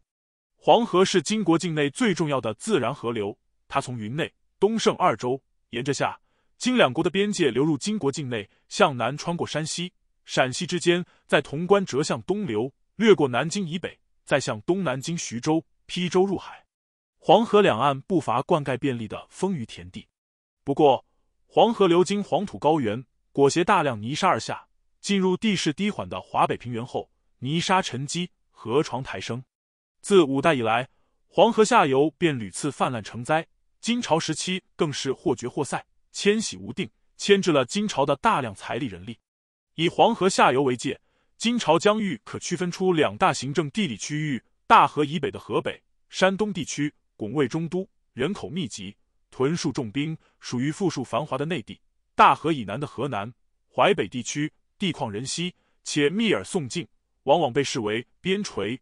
二幺幺，迟至真佑南渡以后，才成为金朝统治的核心地区。在区隔内地和边陲的黄河河道上。金人设置了一系列沟通南北的渡口和浮桥。当时，南京以北的吉县、魏州州治（今河南吉县）附近的渡口李固渡最为有名。北上中都的南宋使团在故都汴京、南京稍事停留，北上延津，再走三十余里，一座壮观的黄河大桥就扑入眼帘。这座名为天汉桥或顺天桥的巨型浮桥，由近百艘大船连锁而成。每艘船用十具石锚固定，船宽一丈六尺，间隔约一丈远，中间铺上木板，木板上覆盖干草，夜车牵马而过，如履平地。浮桥中间每六艘船就设有一座巡逻岗亭，南北两端是两艘巨舰，金碧辉煌，让宋人啧啧称羡。南宋使节每次渡河北上，照例要在桥上祭祀黄河，将祭文沉入水中。二百一十二，渡过黄河就到了极限，往北可至张德、大明等地，因此李固渡境，旁人烟浮凑，商旅往来，车轮马蹄之声昼夜不绝。入夜之后，风田浪静，守卫黄河浮桥的哨兵提铃巡夜，用悠长的中原唱腔报时，可算黄河边一道独特的景致。二百一十三，类似的渡口，大河上下不止一处，已知的还有陕州大洋渡和中大庆渡等等。贞佑三年（一千二百一十五年）春夏之交，也就是中都陷落前后，这里的景象发生了翻天覆地的变化。浮桥巨舰的北端，黑压压阻塞了无数的车马和人流，巡河官吏和税吏的怒斥声，男男女女凄厉的哭喊和低声的哀求，夹杂着小儿的啼哭。一下子将往日祥和的风光化为人间炼狱。黄河如今成了横亘在交战区和大后方之间的封锁线，并非人人都能平安顺利通过这道关卡。金宣宗的小朝廷逃入南京后，便发布了和禁，内容只有两条：第一条，由于河北被兵，群盗蜂起，为防备敌人奸细和不法之徒，凡自北来而无公平官方出入证者，勿听渡。二百一十四。第二条，河南进入军管状态，为防止军需物资外流，沿河西进芜湖、粮食北渡。二百一十五，本来朝廷南渡，中都沦陷，大河之北，民失驾色，官无俸给，上下不安，皆欲逃窜。二百一十六，河北地区前一年饱受铁骑蹂躏，人丁锐减，耕种失时，又得不到外来接济，饿殍遍野，在朝野一片声讨之下。金宣宗只得暂缓执行第二条禁令，允许商人自愿贩粮入北，但是，一旦粮食过黄河时，要扣掉十分之八，充当军储。侯志等人指出，商人重利，政府加收如此重税，虽有祭物之名，而实无所度之物，其与不度何异？劝宣宗不要强分南北，见死不救。朝廷这才极不情愿的取消禁令。何进显示，南京政府并不在乎河北百姓的死活。在战争中失去家园的人民纷纷扶老携幼南下求生，守备河桥的官吏趁机大肆敲诈勒索，要求民财，使听民渡河，难民致或饿死自溺。二百一十七，在黄河渡口前焦急等候的有曾经的富足之家，如今不惜倾家荡产换来一张穿过浮桥的通行证，但是无数孑然一身的难民只能跪在冷漠的官吏和手足面前苦苦哀求。得知无望之后，大哭而去。还有不少人选择留下来，再碰碰运气，或者他们已经无路可退。各处渡口附近的难民营里拥挤不堪，缺衣少食，极易肆虐，死十七八。二百一十八，经史还记载，有十一个河北人为了躲避游骑追杀，不得已跳入黄河，历经千生万死，游到南边求和而南，被巡逻兵丁抓到以后。司法官吏还要判他们死刑。有人劝说金宣宗禁止私渡，为防备奸伪，不为惩罚，只求保命的平民，如果他们不死于敌而死于法，往后人人都只有降敌这一条路了。二百一十九，在黄河渡口外守候的，除了形形色色的平民百姓，还有鲜衣怒马的官员。不过，他们的脸上流露出两种截然不同的表情：一种人神清气爽，喜形于色。自顾自喝开哨卡，南去不顾，仿佛刚从监狱脱身的苦刑犯；另一种人愁眉苦脸，唉声叹气，这是从南边来，被朝廷选中了，要去河北做官。金宣宗既然做出以和为界的姿态，河北各州县的官吏也坐不住了，纷纷以病假事假为由临阵脱逃。河南的官员和候补官员队伍中，也迅速流传开一种说法：历任河北者以为不幸，谁都不愿意碰上这种倒霉差事。二百二十，无奈之下，贞佑三年（一千二百一十五年）三月，金宣宗下诏，河北各州县空缺的岗位，朝中文武五品以上官员举荐。有幸得到举荐的人，不准以其他事务为由推脱，干完任期才准走人。仍乐中任。任上表现优异者，予以名义上的升迁，不做实际调动；不称职应该降罚的，也在原地降级。二百二十一。不仅如此，把持朝政的宰相树虎高齐，还将河北选调作为陷害政敌的手段。那些得罪过他的人，才干引起皇帝注意的人，对他可能构成威胁的人，他都在金宣宗面前佯装推许，使干当于河北，应置之死地。二百二十二，在黄河渡口，还有一群特殊的旅客，也无需瞧稽查官员的脸色，昂然穿行。这就是朝廷安排集体南迁的女真军人家眷、军户。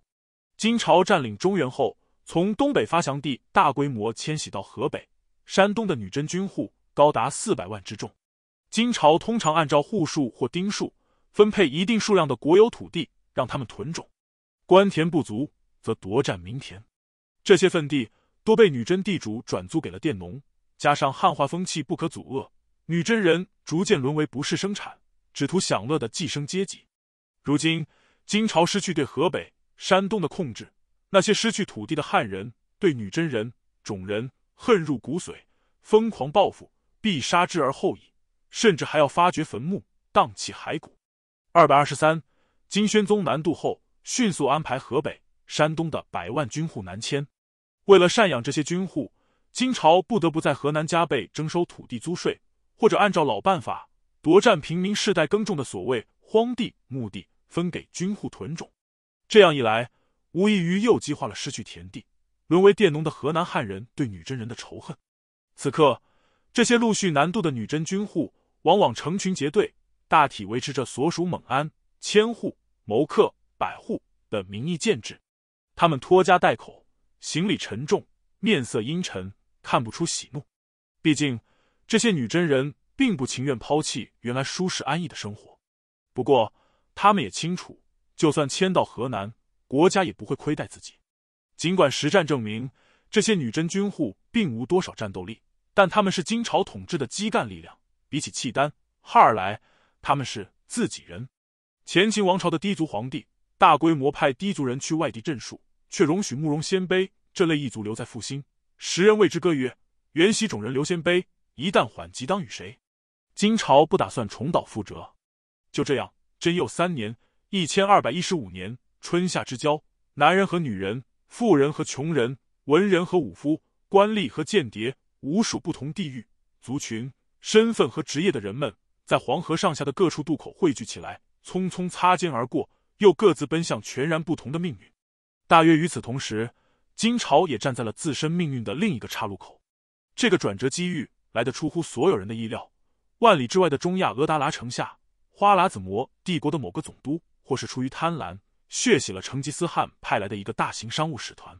花剌子模是一个信仰伊斯兰教的突厥人政权，都城位于玉龙节赤，今土库曼斯坦共和国阿姆河下游之库尼亚乌尔根齐。他先后臣属塞尔柱帝国和西辽，逐渐占据了河中地区、布花剌和撒马尔罕、伊朗西部和阿富汗。算端摩诃末统治时期，花剌子模壮大成为当时伊斯兰世界的一大霸权，不但进犯哈里发的京城巴格达。目睹中都沦陷惨状的赛典赤、保和丁，也是由花剌子模派往中国搜集蒙古和金朝的情报。算端摩诃末似乎对金朝西夏也有垂涎之意。那希尔史话记载，在算端摩诃末心中夺取秦地、Chin 北方中国诸国的野心十分炽烈。他常向秦地和突厥斯坦来的人询问关于这些国家的情况。二百二十四，花剌子模和蒙古帝国这两股新兴的势力迟早有一战。导火索就是今天已经很难说清楚的额达拉图史事件。一千二百一十九年夏，成吉思汗正式开始了震惊世界的蒙古西征。这一年是金宣宗兴定三年。西征是一场千年岁月的长途跋涉。蒙古秘史说，甚至黄金家族的成员也不免担忧战争吉凶难测，敦请成吉思汗指定汉位继承人。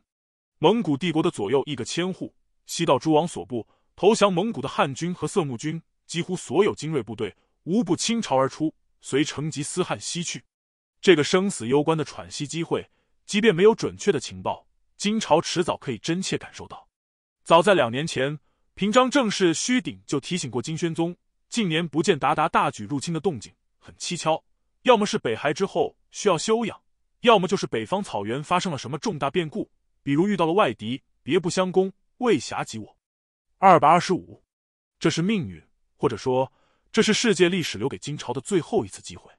如果金宣宗真是忠心英主，大可以趁蒙古人在遥远的中亚浴血苦战的时候，对内整顿吏治和财政，对外以南京为中心，积极调整和部署国防。再积极一点，可以用心经营河北，收复蒙古人一口吃不掉的失地，至少也要把敌人拖入地区混战的泥潭，使之无暇西顾，搞什么迂回包抄。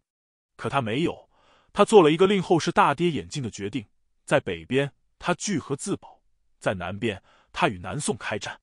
蒙古风暴在肉眼可见的地平线上刮起的当口，南宋、金朝这对在同一间茅屋里避风的冤家，居然还在互相算计，并且都对对方抱有一些不切实际的幻想。哪怕是两个政权中鼎鼎精英的人物，出于长年累月的憎恨或轻蔑，也只看到自己愿意看到的真相。南宋目睹金朝在鞑靼部落手下接连吃亏，觉得一雪前耻的机会到了。大臣真德秀、诸子再传、意见领袖在给宋宁宗的奏议中，力主与金朝断交、拒剿碎币，还提出报万世必报之仇的三种战略。其中的上策居然是练兵选将，直抵鲁朝，若勾践习吴之师。二百二十六，这种心态在南宋朝野十分普遍。大定十六年（一千一百七十六年）。宋淳熙三年，南宋派去贺金世宗生日的张子正使团随元周回艳羡金朝的黄河大桥，居然想到过一阵待自己的国家恢复和硕，这座浮桥的用处可就大了。二百二十七，金朝对南宋的轻蔑又更甚之，丢失河北、山东之后，金朝的疆界一下子缩水大半，地势一促，于是遂有南窥淮汉之谋，想从南宋那里找不损失。二百二十八。在金人心目中，百年以来，本国军队对南宋军队从未处于下风，因此，蒙古人的崛起，无非是在原先的鄙视链金南宋的前端再加一环，变成蒙古金南宋而已。贞佑二年（一千二百一十四年），举国讨论南迁之际，就有人指出，南宋潜在的威胁可忽略不计，因为乌国兵较北，蒙古诚不如；较南，则置之有余力。二百二十九，末代皇帝金哀宗被蒙古逼得只剩弹丸之地时，还放出豪言壮语：“蒙古人北兵，我实难与之敌。至于宋人，何足道哉？柔懦不武，若负人然，给朕三千甲士，朕就可以纵横江淮间。”二百三十，就在金朝只剩短短三四个月寿命的时候，赶来打落水狗的南宋军队，在西周（今河南西县）中渡殿与金军的一支特种骑兵。忠孝军不期而遇。忠孝军由河北和西北各族组成，详细内容见于之后论述。队形散漫，嘴里叽里咕噜说的又是南方人罕闻的北语。宋人误以为遇到了蒙古军，居然望之骇愕崩溃。二百三十一，南宋的中度殿之败，也许还有别的缘由。金人或者说金人脑袋里的成见，偏偏选择相信这种解释。我们说南宋精英只看到自己愿意看到的真相。金人又何尝不是如此？这两种既完全相悖又如出一辙的敌国观念，不免荒谬可笑。毕竟，正如王夫之后来评论的，两国在各自实力全盛的时代，尚且奈何不得对方，只能划江而治。如今，一个是既衰之女直，一个是积弱之宋，又能拿对方怎么样呢？对金朝来说，主动开辟第二战场，两线作战，尤其不划算。好金汝南行，就说。此举等于拜蒙要力增仇敌，结果区区一道，指河南当蜀面赋税重繁兵一级。当时也有人觉得金人必强欺弱，自己的东西尚且守不住，还要去抢别人的，不是痴心妄想是什么？二百三十二，果不其然，金宣宗在兴定元年（一千二百一十七年）、兴定三年（一千二百一十九年）三次大举伐宋，双方鏖战于国境东西两线的河南、安徽、湖北。陕西、甘肃、四川等地，金朝虽然偶有斩获，算起总账来却是士马蛇号，十步一存，元气大伤。二百三十三，在北边的中原战区，成吉思汗西征前，任命在野狐岭战绩卓越的木华黎，以国王的称号统军北方，还授予他象征大汉威权的九尾白道。不过，由于精锐尽数西行，木华黎麾下只有左翼军中比较善战的五部兀鲁、芒兀、红吉剌、义乞烈、扎剌共十几个千户，外加投降的九军和汉军，总人数虽达十万，蒙古军却只有四分之一，远远比不上西征的左右翼主力和成吉思汗亲率的大中军。二百三十四，他必须突破的却是金朝南渡后最大的倚仗——黄河潼关的山河之险。为了给木华黎国王进一步制造麻烦，从兴定四年（一千二百二十年）开始，金宣宗还在无政府状态下的河北、山东、山西推行九宫封建，将趁乱而起的几大地方军阀头子先后封为公爵。他们是沧海公王福、河间公仪剌仲家奴、衡山公武仙、高阳公张辅、易水公晋安民、晋阳公郭文振、平阳公胡天作、上党公完颜开、东举公燕宁。九人都兼宣抚使，加迎青荣禄大夫的散官，又赐号宣礼功臣。至于其他那些小军阀，金朝也一概授予不同名分，承认他们是义军，借此干扰和组织蒙古人彻底征服和消化这些地区。郝经描述当时的河北是豪杰轰起，拥兵者万焉，见侯者万焉，甲者、歌者、骑者、屠者各万焉，纠民者、保家者、聚而为盗贼者又各万焉。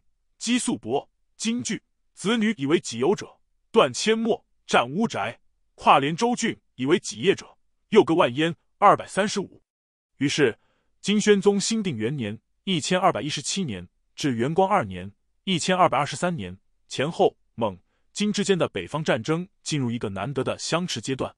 木华黎辗转于河北、山东、河东和关陕地区，一边与金军作战，攻城略地。一边收编大小割据势力，立下了汗马功劳，却始终差在临门一脚。元光二年三月，木华黎连攻长安，凤翔不下，累死在闻喜县（今山西闻喜）。同年十二月，金宣宗在南京城内的宁德殿病逝。再过三年（一千二百二十七年），成吉思汗西征回师，大举进攻西夏，不久也重病身故。蒙金战争的下半场也是真正的大戏，帷幕正在缓缓拉开。注解：一、参见陶晋生《宋代外交史》第一百零七页。北宋社公宴的开场致辞，口号有纪家公使之审故，已有弃服之匪般之语。参见童书第幺幺九页。二、娄耀《北行日录》，赵永春集注《奉使辽金行程录》第三百八十二页。三、金朝的护卫是皇帝的贴身武装侍卫，进士之执兵仗者也，从中级官员子孙。宗室、侍卫、亲军和宫中诸局分承一人中选拔，限额二百。见金史兵制。四、金史世宗本纪。五、金史张宗本纪。六、娄耀北行日录，赵永春集注《奉使辽金行程录》第三百八十二页。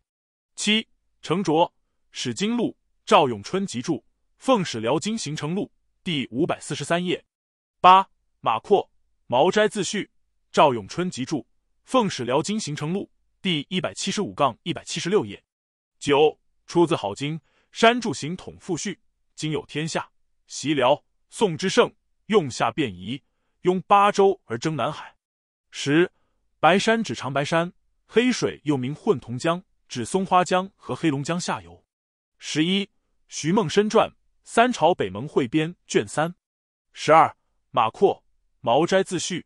第一百七十七页，十三，许抗宗宣何以四奉使金国行程录，赵永春集注《奉使辽金行程录》第二百一十三页。十四，洪浩松墨记文，赵永春集注《奉使辽金行程录》第三百二十四页。十五，马扩毛斋自序第一百七十八页。十六，徐梦深传《三朝北盟汇编》，郑宣上至一二引北征纪实。十七，洪浩。松墨纪文第三百二十二页，十八宇文茂昭传崔文应校正大金国志校正第一百七十九页，十九李大亮杨王江上路傅朗云编著金史集义第二百四十一页，二十张帝正隆事迹傅朗云编著金史集义第二百二十三页，二十一黎敬德编王兴贤点教诸子语类卷一三三本朝七。狄仪第四千一百六十一页，二十二关于女真的汉化，参见刘浦江《女真的汉化道路》与大金帝国的覆亡。二十三 Hock I am Chen。The Fall of the Jurchen Qin, One is Memoir of Tzai Zhou Under the Mongol Siege，一二三三至一二三四，P 四。此书系陈学林先生译著的王鄂汝南一事，题为《女真金朝的衰亡》，王鄂对蒙古围攻蔡州的回忆。后文在讲述蔡州围城时，还要重点参考。二十四，金史张宗本纪。二十五日，外山军志，金朝史研究，第四百六十一杠四百六十九页。二十六。外山军志，金朝史研究，第四百七十杠四百七十三页。二十七，参见胡宏，能下则大禹见木华风，政治体式脚下的华夏与华夏化。二十八，参见刘浦江，女真的汉化道路与大金帝国的覆亡。二十九，李新传，建炎以来系年要录卷八一。三十，金史完颜匡传。三十一，宇文茂昭传，崔文印校正，大金国志校正。第二百四十八页，三十二，鞑靼，一名源于蒙古高原东部盛极一时的塔塔 （Tatar） 部，是蒙古部的宿敌，为成吉思汗所灭。但是，鞑靼已经成为周边族群，包括女真人、南宋人，对蒙古高原所有讲突厥蒙古语的游牧民的泛称。在金朝移民或元朝人编写的金代文献中，常将蒙古军称为大兵北齐，是一种后来的文饰。以下再从金朝一方视角谈及蒙古人时，恢复使用鞑靼或者鞑兵。三十三，成卓《史经录》第四百四十五杠四百五十五页，关于成卓使团的经历，参见党宝海外交使节所述早期蒙金战争。三十四，徐梦深传《三朝北盟汇编》卷三。三十五，徐梦深传《三朝北盟汇编》卷二八。三十六，金史兵制。三十七，马阔《毛斋自序》第一百八十七页。三十八，徐梦深传《三朝北盟汇编》卷三六。三十九，王兆春《中国古代军事工程技术史》第九十四杠九十五页。王曾于《金朝军志》第一百四十杠一百四十二页。四十，日三上次南著，金启从义，金代女真研究。四十一，王曾于《金朝军志》。第八十八页，四十二，韩如林，元代扩端赤考。后来元代也有所谓贴军，属于一种辅助兵役制度。贴军不是正军在战场上的副手。四十三，徐梦深传《三朝北盟汇编》卷七二。四十四，臧茂寻选编，王学其主编，元曲选教注第一一二六至一三七页。参见刘浦江女真的汉化道路与大金帝国的覆亡。四十五。娄耀《北行日录》，赵永春集注《奉使辽金行程录》第三百八十四页。四十六，赵拱传《王国维监正蒙达备录》。四十七，关于金长城，由于记载零碎，遗址考古也不够充分，此处折中各家比较可信的说法，做出大致的描述。四十八，参见贾周杰《金代长城初议》，冯永谦《金长城的构造形式、特点与定名》，李鸿斌。金界豪与长城，中国军事史编写组，《中国历代军事工程》第三百四十三杠三百四十七页。火器时代之前的中国古代筑城和围攻技术，由应参见英李约瑟加叶山著《钟绍义等译《中国科学技术史》第五卷第六分册军事技术抛射武器和攻守城技术第一百八十九杠三百七十九页。原文见 Joseph Needham、Robin D. S. Yates。Science and Civilization in China, Volume 5, Chemistry and Chemical Technology Part 6, Military Technology Missiles and Sieges, pp. 281-485。四十九，金史读及思中传。五十，金朝全国的大军区，除北方的三个招讨司外，还有山西、河南、陕西三路统军司，分统天下兵马。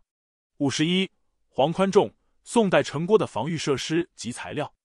五十二，金史乌古论元中传；五十三，金史强身传；五十四，美欧阳泰著张孝铎译《从丹药到枪炮：世界史上的中国军事格局》第七十三杠八十四页；五十五，Duncan B. Campbell Besieged Siege Warfare in the Ancient World P 十一；五十六，是为通常被认为是与匈奴同时的草原民族东胡的一支是。东湖后裔，鲜卑各部南下后，留居鲜卑故地的原始鲜卑人，故所谓是为 Serbi。Serbi 是鲜卑的另一译音。五十七，蒙古 Mong Gamma Ol 的这些不同名称，主要来自中古汉语对蒙古人自称以及契丹、女真对蒙古的他称的不同译写。五十八，元朝秘史第二百五十四节，译文见韩如林论成吉思汗。五十九，易灵真。成吉思汗与蒙古民族共同体的形成，萧启庆蒙古帝国的决心与分裂。六十，Maulana Minhajuddin Abu Mar Isman Author Major H G Raverty T R Tabaktai Nazari P 九百五十 four。六十一，波斯拉施特史籍第一卷第二分册第三百五十九页。六十二，叶绍翁四朝文件录第八十八页。六十三，波斯。拉施特史籍第一卷第二分册第三百六十二页，六十四张德辉岭北纪行贾敬言五代宋金元人边疆行记十三种书正稿第三百四十三页，六十五元朝秘史第一百九十五节，六十六西蒙盛宽庭原著让李夏尔法译注释张晓会议达达史第二百五十一页，六十七许全胜教注。黑达事略教注第一百一十六页，六十八赵拱传，王国维监正蒙达被录，六十九许全胜教注黑达事列教注第一百二十八页，七十 Timothy May The Mongol Art of War pp 七十 n 杠七 four，七十一许全胜教注黑达事列教注第一百六十四页，七十二许全胜教注黑达事列教注第一百六十五页。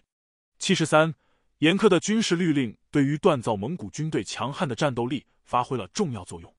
读者若想更深入的了解，可参阅周思成的《规训、惩罚与征服：蒙元帝国的军事礼仪与军事法》，山西人民出版社，二零二零年四月版，编者注。七十四，元朝秘史第二百七十六节，译文参见阿尔达扎布译注，新译集注蒙古秘史第五百零八页。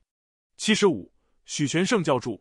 黑达事列教著第一百三十二页，七十六西域炮在炮梢头部悬挂巨石或巨铁作为配重体，加大杠杆抛射力，能长距离抛射一百五十斤重的巨石，威力远过于宋炮中威力较大的七烧炮，炮石重九十斤，射程五十步。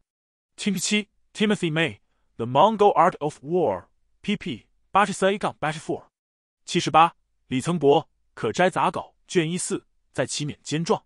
七十九，Timothy May The Mongol Art of War P 五十六 pp 八十二杠八十三。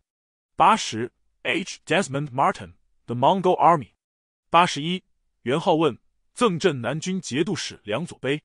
八十二，赵拱传王国维监正蒙达备录。八十三，李兴传传建炎以来朝野杂记第八百五十二页。八十四，金史五行志。八十五，元好问传续夷监志第四十三页。八十六，元好问传续夷监志第四十三页。八十七，金史魏少王本纪。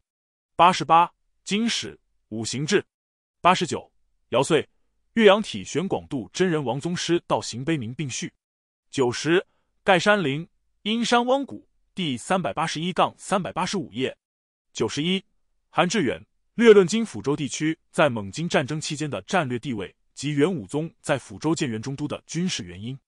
九十二，金朝中后期的中央宰辅机构包括尚书令、正一品、左右丞相、从一品、平章政事、从一品以上为宰相，左右丞、正二品参知政事，从二品为执政副宰相。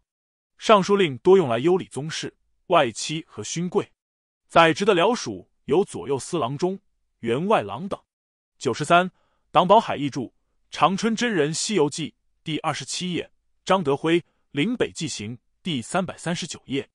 九十四，不仅野狐岭之战如此，重庆、大安年间的史事大都缺乏详细记载，我们接下来还要一再遇到同样的困难。九十五，贾敬言教著，陈小伟整理《圣武清征录》第二百一十七杠二百一十八页。九十六，宋濂等传原始。查罕传，中华书局点校本，夏同。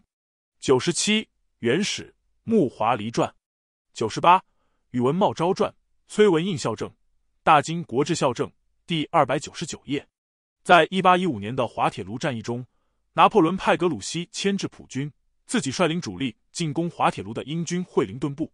格鲁希未达成原定任务，又未能毅然转身增援拿破仑，结果及时靠拢英军的普军突然出现在拿破仑右方，法军大溃。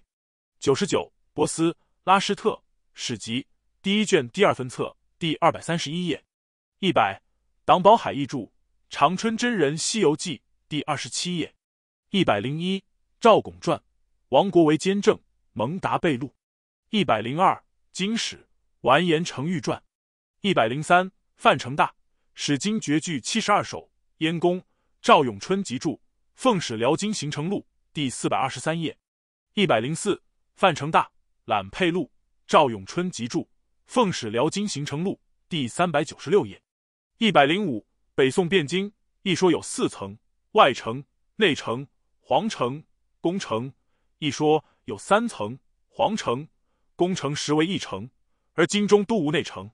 见孔庆赞北宋东京四城制及其对京中都城制的影响。一百零六楼耀北行日录赵永春集注《奉使辽金行程录》第三百七十八页。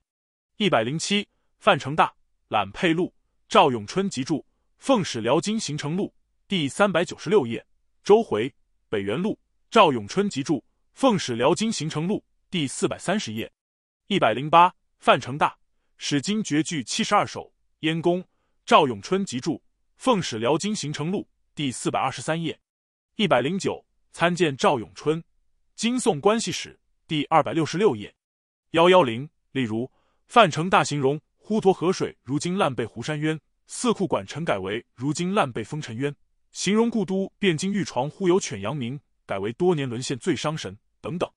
见赵永春集注《奉使辽金行程录》第四百一十二页、第四百一十八杠四百一十九页。一百一十一宇文茂昭传崔文印校正大金国志校正第二百九十九杠三百页。幺幺二金中都的四子城之说已经被文献记载和遗址勘测否定，认为是。南迁路子虚乌有的编造，参见徐平方《金中都四子城说变物》一百一十三，参见蔡美标《九与九军之演变》幺幺四，金史魏少王本纪一百一十五，出自南朝报诏吴承父一百一十六，许全胜教注黑达士略教注第一百四十九页。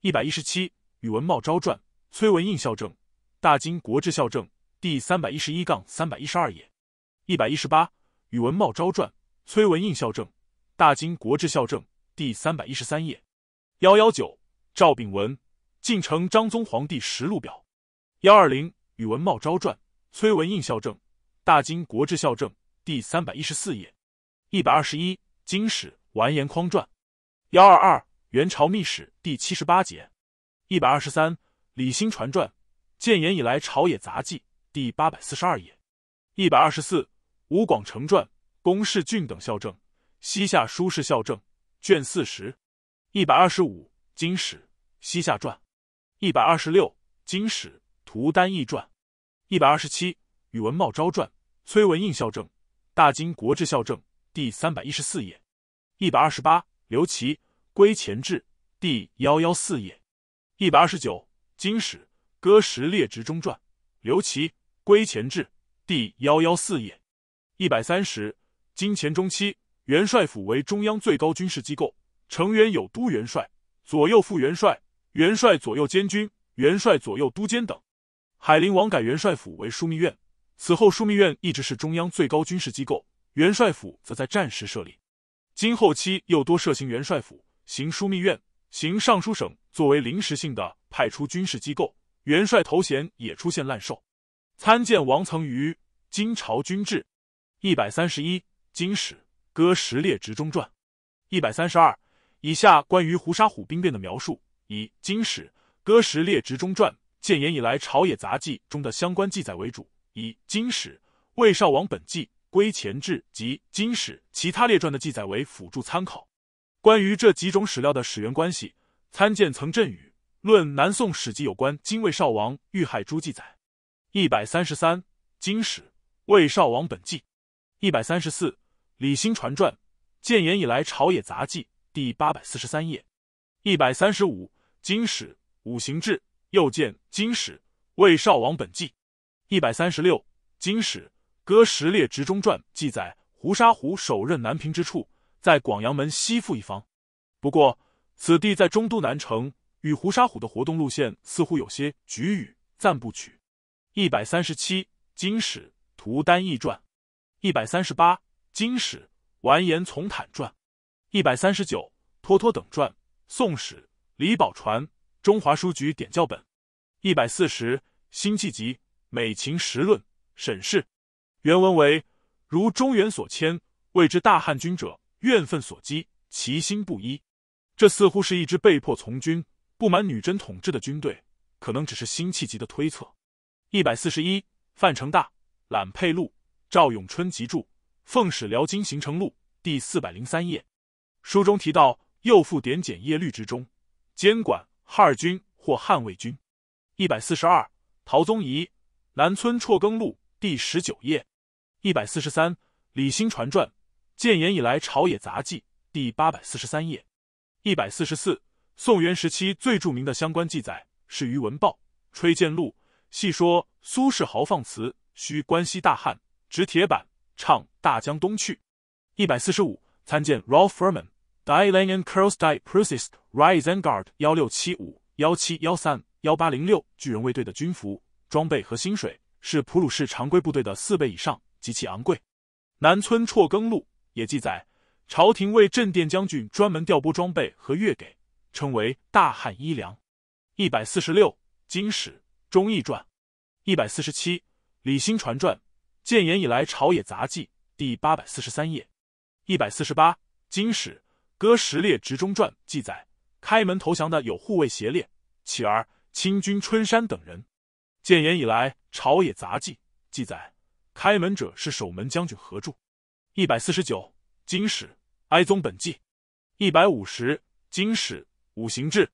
一百五十一，关于张德甫风貌和北上行程的描述，见于南宋使臣的旅行记录，如娄耀《北行日录》《周回》《北元录》《程卓《史经录》等。参见陈学龄《娄耀史今所见之华北城镇北行日录史料举于一百五十二金史海陵树人本纪。一百五十三宇文茂昭传崔文印校正大金国志校正第三百五十一页。一百五十四金史歌石列直中传金史宣宗本纪。一百五十五金史宣宗本纪。一百五十六金史宣宗本纪。一百五十七金史。歌石列直中传，一百五十八；金史歌石列直中传，一百五十九；金史树虎高齐传，一百六十；金史歌石列直中传，一百六十一。刘琦归前志第一百一十五页，一百六十二；金史树虎高齐传，一百六十三。关于金代中后期的进士，参见李希后《金朝的郎君与进士》，一百六十四。刘琦。归前志第七十页，一百六十五。金史歌石列直中传，一百六十六。金史树虎高齐传，一百六十七。金史耿端义传。金军的军衔早期自元帅而下，唯有万户，后期在百户、谋克、千户、猛安、万户以上，元帅以下设有副统、都统、副提控、提控等名目。末年又添设总领、都尉。统帅数量不等的军队，一百六十八。金史纳坦谋家传，一百六十九。吴嵩帝中国人口史第三卷，辽宋金元时期，第五百八十六页。一百七十。宇文茂昭传，崔文印校正，大金国志校正第三百二十五页。一百七十一。金史完颜宇传，一百七十二。元史太祖本纪，一百七十三。宇文茂昭传，崔文印校正。大金国志校正第三百二十五页，一百七十四。元好问中州籍赵元，一百七十五。宇文茂昭传崔文印校正大金国志校正第三百一十杠三百一十一页，一百七十六。苏东坡东坡志林卷五周东迁事记，一百七十七，李兴传传，建炎以来朝野杂记，第八百四十四页。一百七十八，金史图丹义传，金史纳坦谋家传。一百七十九，参见霍明坤、胡业，是西京宣宗迁都开封。一百八十，金史蒲散端传。一百八十一，顾祖禹读史方舆纪要，第一册第四百四十页。一百八十二，宇文茂昭传，崔文印校正，大金国志校正，第三百二十六页。一百八十三，李兴传传，建炎以来朝野杂记，第八百四十四页。一百八十四，宇文茂昭传。崔文印校正，大金国志校正第三百三十页，一百八十五。学界对于真幼难度、有战略失误、正确选择比较合理等多种评价，详见参考书目中霍明坤、胡烨、李方浩、牛中金、乔芳等人的论文。一百八十六。经史宣宗本纪。一百八十七。宇文茂昭传，崔文应校正，大金国志校正第三百三十一杠三百三十二页。一百八十八。经史。天文志一百八十九，宇文茂昭传，崔文应校正，大金国志校正第三百三十三页。一百九十，李兴传传，建炎以来朝野杂记第八百五十二页。一百九十一，宇文茂昭传，崔文印校正，大金国志校正第三百三十四页。一百九十二，金史完颜成辉传。一百九十三，金史完颜素兰传。一百九十四，郝经。崔氏是得名，一百九十五。郝经，广威将军潞州陆氏毛军墓志铭并序，一百九十六。金史完颜成辉传，一百九十七。波斯拉施特史籍第一卷第二分册第二百三十八杠二百三十九页，一百九十八。元史石抹明安传，一百九十九。金史李应传，二百。金史树虎云寿传，二百零一。元好问。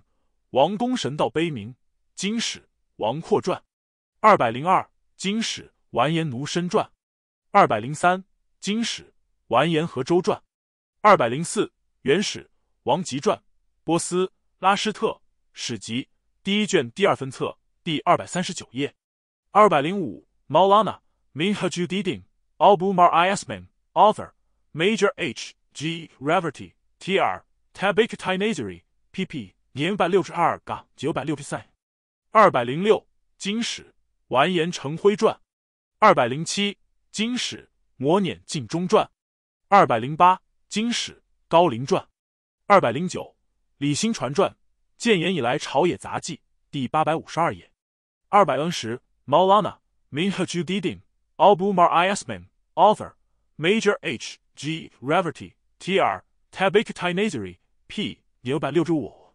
二幺幺，张良大河南徙与聚河北流，金代志和决策所涉诸问题考述。二百一十二，关于黄河浮桥、建州回、北元路、成卓使金路中的描述。二百一十三，金朝扫兵提灵畅业，督守浮桥，建成卓使金路第四百五十四页。二百一十四，金史贾谊谦传。二百一十五，金史陈规传。二百一十六，金史。侯志传，二百一十七；金史宣宗本纪，二百一十八；郝经先大夫墓名，二百一十九；经史杨云义传，二百二十；经史刘秉传，二百二十一；经史宣宗本纪，二百二十二；经史寿虎高齐传，二百二十三；元好问临淄县令完颜公神道碑，二百二十 four。Maulana Minhajuddin。Abu Mar Isman, Author, Major H G Reverty T R Tabiqatinazari P 九百六十三，二百二十五金史虚鼎传，二百二十六一名编如启和点教续编两朝纲目备要第二百八十一页，二百二十七周回北元录第四百二十七页，二百二十八李兴传传建炎以来朝野杂记第八百四十五页，二百二十九宇文茂昭传。崔文印校正，大金国志校正第三百二十八页，二百三十王鄂汝南一事卷二，二百三十一金史完颜娄氏传，二百三十二刘琦归前志第七十二页，二百三十三参见赵永春金宋关系史第三百二十三杠三百三十页，二百三十四，参见黄石建慕华黎国王麾下诸军考，二百三十五，郝经万卷楼记，第七章孤注一中兴的希望。金正大三年一千二百二十六年八月的一个盛夏夜晚，河南方城，今河南方城，这座城池坐落在南阳盆地的中央，是金代豫州的州治，东北距南京开封府四百余里，西南距南阳府（今河南南阳）约百里。城池小而新，二水环绕。方城靠近伏牛山的余脉，离城不远，错落分布着方城山、七峰山、全白山、黄石山等诸多山岭。是一片万木森然、泉涧清幽的圣地。一，此时在方城城中一间小屋内，一名身材瘦削的白衣男子正借着摇曳的灯火，低头仔细抄写一页小楷。在他周围，几案上、地板上、角落里，到处一寒落一寒，堆满了各类书籍。小屋四面皆是土墙，一面墙的上方开了一扇通风用的小窗，窗外的大世界，星河满天，流萤飞舞。蛙鸣虫唱，不过这间土屋并不是什么优雅清静的别业、草堂或者古刹，这是方城县衙内的一间小牢房。狭小的空间里，时不时飘荡着一股潮湿的霉味，足以令任何一位衣冠楚楚的拜访者频频蹙眉。谁都料想不到，短短一年之后，牢房里关押的这名囚犯，就将以金军紫薇军都统忠孝军提控的身份，一夜之间名动天下，被视为大金王朝的救星和希望。他究竟是何人？这里姑且留个悬念。他身陷囹圄的这一年，已经是金朝与鞑靼开战的第十五个年头。十余年来，历史舞台上的主角不知不觉也已经换了两波，从魏少王完颜成玉毒鸡司中割食猎狐杀虎，到金宣宗树虎高齐二完颜成辉磨碾尽忠。正大是金哀宗完颜守绪的第一个年号，完颜守绪。女真名是宁贾素，金宣宗的嫡长子庄献太子守忠死后，完颜守绪由于被宠妃王氏养为己子，越过次子英王守纯，被立为皇太子。元光二年（一千二百二十三年）年末，金宣宗病逝后，经过一场有惊无险的继位风波，完颜守绪顺利登基。次年正月改元正大，是为金哀宗。这个年方二十七、身材肥胖、貌似人畜无害的年轻人。其实是金末三帝当中心思最缜密、最有才干的一位。金宣宗留给金哀宗的是一个版图缩水大半、满目疮痍的国家。不过，金朝南渡，丢掉辽东、河北、山东大片土地的实际控制权，黄河以北只剩下平阳（今山西临汾）河中（今山西永济）几处据点，也大大收缩了战线，不至像中都时代那样贝多利分、破绽百出。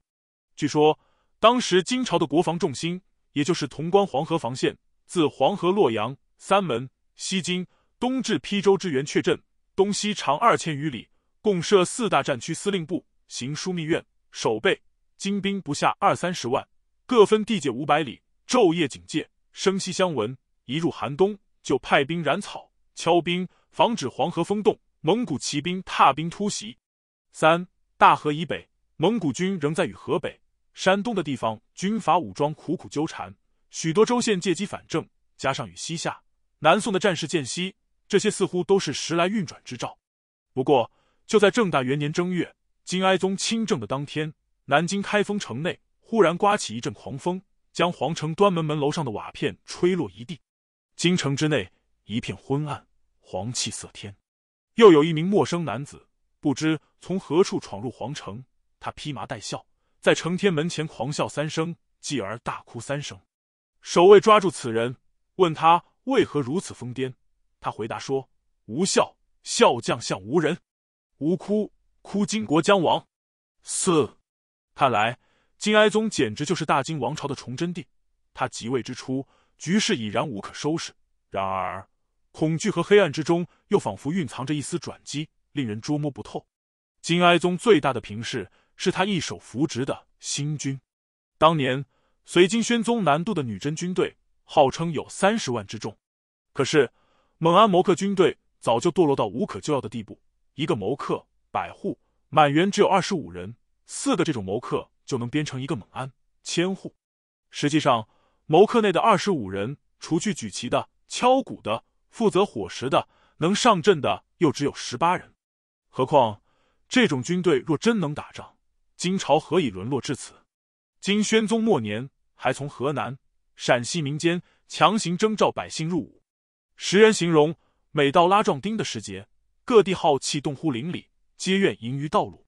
就连退休的文官也莫能幸免。前户部郎中刘元圭，前监察御史刘从义，两人都是快六十岁的老头了，硬是被任命为千户，强迫他们带兵。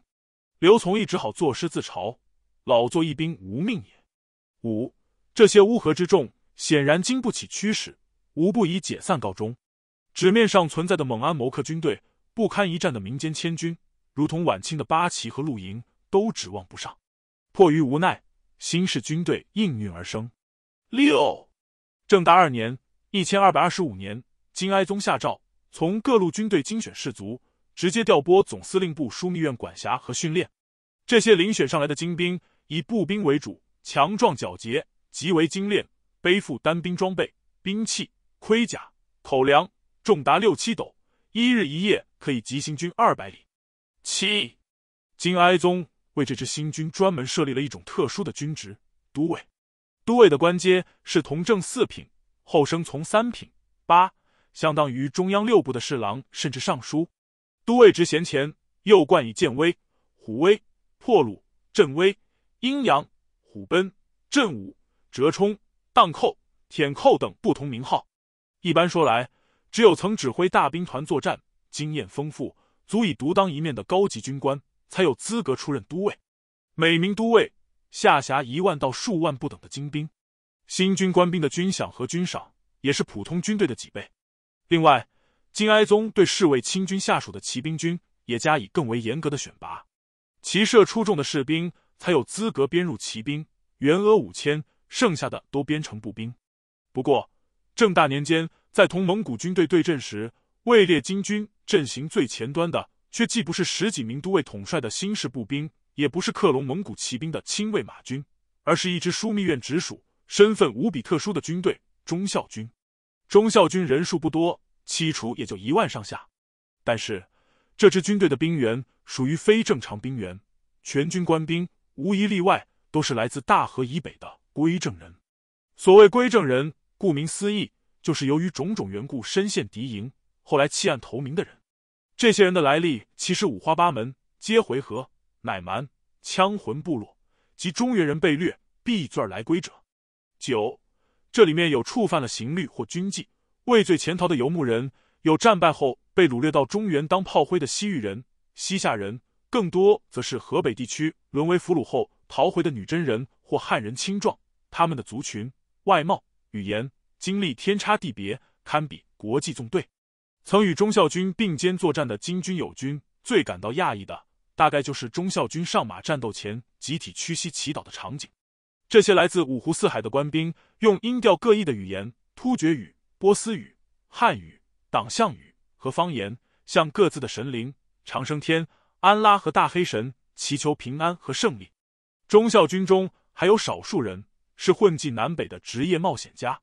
比如蒲察官奴，官奴幼年就被蒙古军掠走，后因犯法被锁在中都的监狱中。他竟然破狱而出，半路劫杀了一名替蒙古人办事的西域商人，抢了鞍马和财物，偷偷跑回了金朝统治区。由于官奴是女真人，金哀宗特旨任命他当忠孝军万户。后来金军大败，官奴转投南宋，没过多久又抢了宋军的战马，一路招摇撞骗，逃回金国。因而享有出入南北军行数千里而不涉的美名。十，历史上凡是归正人组成的军队，比起一板一眼选拔训练出来的正规军，战斗力的性质迥然不同。一是他们来自敌营，熟悉敌人的作战方式；二是他们背井离乡，大部分是漂泊无依的浪子，厮杀之外唯一的乐趣就是领完银钱回营豪赌，上阵拼起命来也无所顾忌。不过，最重要的是，他们心里清楚，作为某种意义上的双重辩解者，自己若再落入蒙古人手中，等待他们的会是怎样一个地狱？用忠孝军一个张姓都统的话说：“我辈皆大朝，指蒙古不赦者十一。”南宋的大忠臣中，排名据称仅次于文天祥、陆秀夫的张世杰，就有一个不太惹人注意的身份，类似归正人。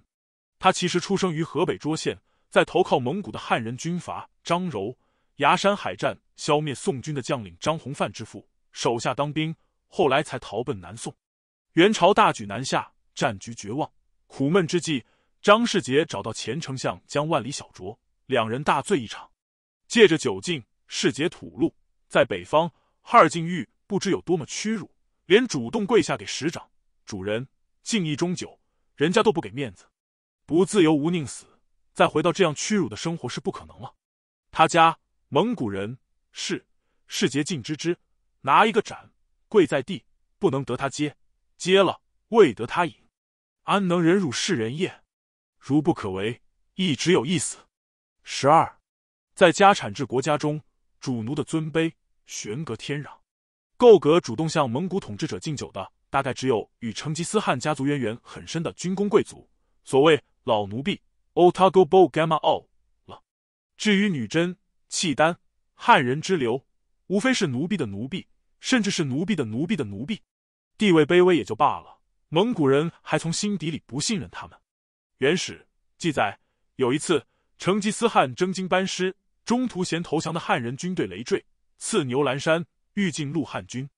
十三，张世杰的话，无非反映了第一批接触新兴蒙古政权之阴暗面的汉人感受到的强烈幻灭感。所以，忠孝军是惨无人道的战争制造出来的边缘人。为证明自己的忠诚，赢得金朝的信任，忠孝军厮杀起来，往往比蒙古军还要强悍狠辣。金哀宗正是看到这一点，所以他给忠孝军的军饷是三倍他军。外加定期犒赏，本就稀缺的战马也尽量优先分给他们，达到蒙古骑兵的标准，即人人有从马。十四，在忠孝军之下，还有合理和军，也是归正人军队，算是忠孝军的替补队。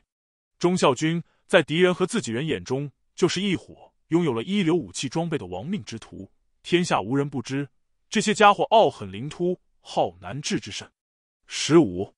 这样一支末日时代的传奇武装，非常人所能驾驭，能令他们俯首帖耳的人，自然也非同寻常。本章开篇说到的白衣人，正是其中之一。二好男子，来世当生我家。完颜陈和尚，这就是方城监狱中白衣男子的名字。十六，他本名完颜仪，字良佐，陈和尚是他的小字，出生时取的小名。不过，不论是对友军还是对敌军。陈和尚这个名字都更加响亮。陈和尚算是金朝的宗室叔叔，将门之后，家在丰州天德军，今内蒙古呼和浩特东。父亲参加过金章宗太和年间的对宋战争，战死嘉陵江。贞佑年间，二十出头的陈和尚被蒙古军掳掠到北方，他的堂兄完颜鼎、邪烈也同时被俘，兄弟二人彼此照应，情好甚笃。不久，完颜鼎返回丰州老家。赡养陈和尚的老母亲，陈和尚受蒙古大将赏识，隶属帐下。过了一年有余，陈和尚惦记母亲，请求告假回乡探亲。蒙古大将虽然答应，却只派了一名蒙古兵一直跟着他回家，防止他逃跑。到了丰州，陈和尚和完颜鼎合力杀掉了这名奸卒，抢了十来匹骏马，携着太夫人连夜朝黄河方向狂奔。闻讯集结的蒙古骑兵一路追踪。紧咬不放，一行人好不容易甩掉追兵，马匹也大多半途累毙。兄弟二人不知从哪找来了一辆鹿角车，一种军用运输两轮车。两人一左一右牵挽这辆笨重的兵车，跋山涉水，硬是把老母亲拉过了黄河，回到了金朝统治区。陈和尚一家的脱险经历颇有感人之处，京城交口传颂，很快便传入皇帝耳中。金宣宗下诏，哥哥完颜鼎袭爵，出任都统。弟弟陈和尚是捕护卫。很快，陈和尚转任奉御，进入了进士局。不久，完颜鼎外派到金宋边境的寿州、泗州（今安徽北部）元帅府任职，获准携弟弟一同赴任。当时寿四元帅府的经历官太原人王沃，字仲泽，是才名颇盛的儒士，史称他的书法、绘画都有晋人风采，是完颜鼎的好友。十七，陈和尚天资高明，雅好文史。在内廷执役的时候，就有秀才的绰号。此时得遇良师益友，更是折节向学。王沃先教他书法，又教他研读《孝经》《小学》《论语》《左传》等儒家经典。君务孔总但有余暇，陈和尚就秉烛夜读，或在窗下做牛毛细字。如寒苦之事，其事士为默然。古往今来，凡是上马能击贼，下马做路板的文武之才，十八注定有成为名将的资格。金宣宗末年的高级军官，多是出身世家的高粱子弟，在军中只知打球走狗，为非作歹，故有各种混号，比如板子元帅、完颜额可、善打球、三翠羹、完颜定奴、十九火燎元帅，名字也叫完颜额可，好用火烧盗贼。颅骨锥割石裂牙无塔，好用骨锥打人等等。二十，比起这些荒唐之辈，陈和尚的确是一股清流，令人耳目一新。正大二年（一千二百二十五年），金哀宗革新军制，完颜鼎转为总领，都尉的前身。他麾下的军队也换防到了方城。陈和尚跟随前往，协助哥哥处理军务。新驻地是个山清水秀的好地方，谁都料想不及，这次方城之行。差点让后来金末第一勇将的军旅生涯半途夭折。外地调来的军队和本地军队之间发生摩擦、局龉，本属寻常。没过多久，完颜鼎下属的军官李太和就同当地镇防军千户葛一翁因为琐事一言不合，大打出手。这个时候，完颜鼎恰好生病了，陈和尚负责处理纠纷。事情本是葛千户理亏，陈和尚并没多想，直接罚了他一顿板子。葛千户素有凶悍之名，是方城的地头蛇。如今当众被吃，又羞又气，很快郁郁而终。咽气前，他不忘嘱咐老婆，不惜一切代价，一定要替自己出这口恶气。更让人意外的是，葛千户的老婆性子同样泼辣，他连夜上诉，诬告陈和尚杀人以泄私愤。他不依不饶，反复到御史台、尚书省、进士局各处衙门上访，甚至在龙津桥头。垒起一堆高高的柴火，扬言如果朝廷不给个说法，他就在这里自焚以泄其夫。龙津桥跨越南京内城南边的惠民河、蔡河，正当玉路，是类似今天北京长安街的主干道。二十一，事情传开，京城轰动，朝野舆论认为葛千户的老婆如此刚烈，似乎说明陈和尚很有可能倚仗自己出身进士，加上有手握兵权的兄长撑腰，徇私枉法。这个案件有利于树立典型，不能轻易放过。查案的钦差也认为陈和尚罪在不赦，应当大辟，死刑最高级，斩首。金哀宗舍不得杀爱江的弟弟，又迫于舆论，只好下诏将被告就地羁押，等候裁决。与陈和尚兄弟交游甚笃的诗人元好问听说此事，寄来一阙新填的《浣溪沙》小词，以行处自由皆乐事，得来无用是虚名。等闲荣辱不须惊，表示慰问和鼓励。陈和尚自然也觉得自己无愧于心，坦然面对，在狱中抱着朝闻道、惜死可以的心态，据书读之，发愤忘食，乐以忘忧，寒来暑往。转眼之间，居然过去了整整十八个月。正大四年（一千二百二十七年），完颜鼎大病方愈，率军支援陕西前线。避辞之际，金哀宗发现完颜鼎明显消瘦了，一副郁郁寡欢的样子。主动问起，卿莫非是担心方城一案？放心，朕现在就赦免卿帝。第二天，御史台闻风而动，横加阻拦。又过了几个月，完颜鼎突然在军中病逝，金哀宗才终于兑现了他的承诺。后来，金代著名文人元好问为纪念陈和尚，写了一篇很长的碑传，对他在狱中接到赦书的场景有一段生动描写。金哀宗派人传话，法司上奏。说如以私愤杀人，私愤未必有，不过他人有罪，不当吃而强吃之，难道没有主观过错吗？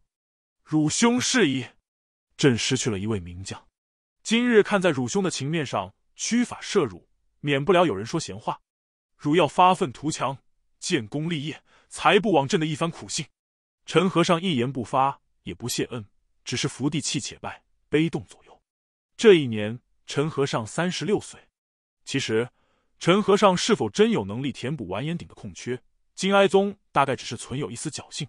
他并不知道自己从方城监狱放出来的是怎样一员虎将。接下来发生的就是金朝和蒙古开战以来从未发生过的奇迹。陈和尚出狱后，暂领紫薇军都统，不久调入忠孝军，任提控。桀骜难驯的忠孝军在他的麾下俯首听命，弥而铁服，东而东，西而西，亦若驱羊矢而逐狐兔，作战勇猛，纪律严明，所到之处也秋毫无犯。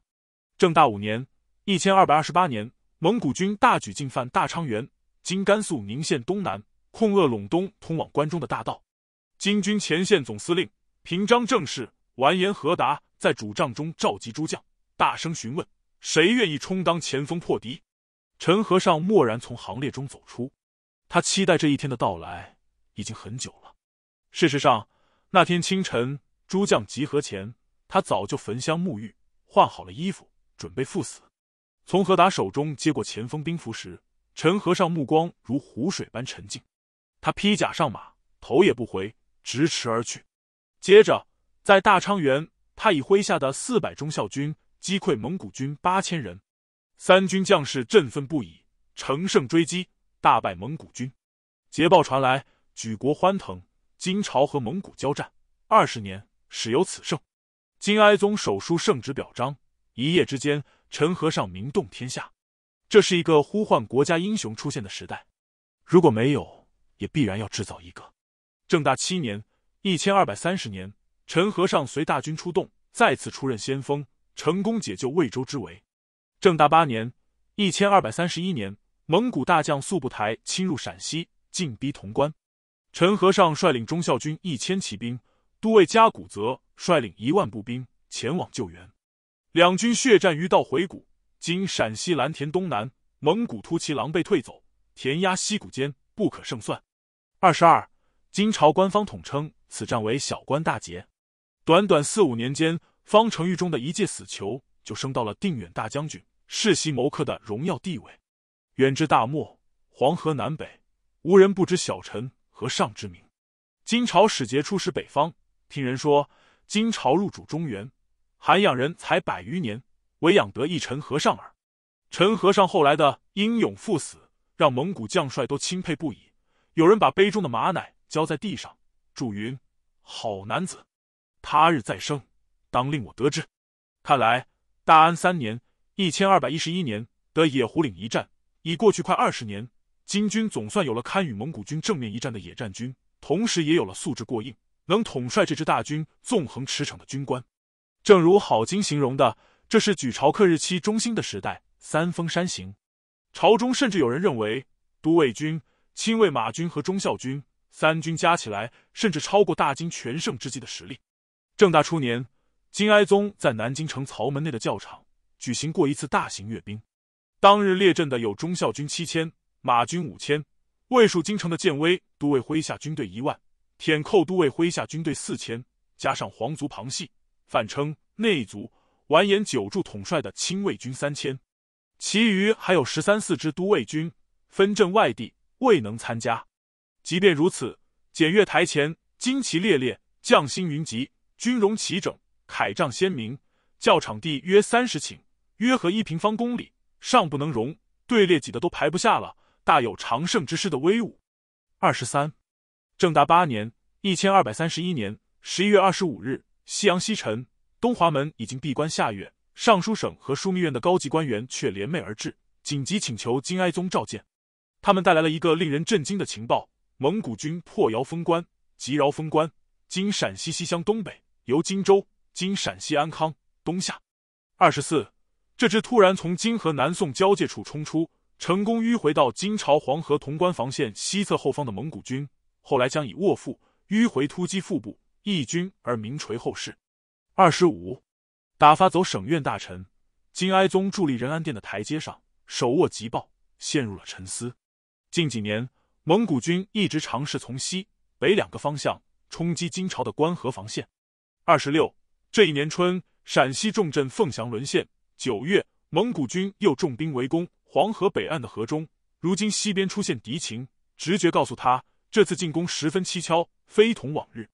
想到此处，金哀宗徘徊良久，轻轻念着一长串人名：建威都尉奥屯沃里卜，卫戍南京；舔寇都尉完颜阿拍，卫戍南京；许州折冲都尉加古泽，本姓樊，镇戍许州；镇武都尉温洒星。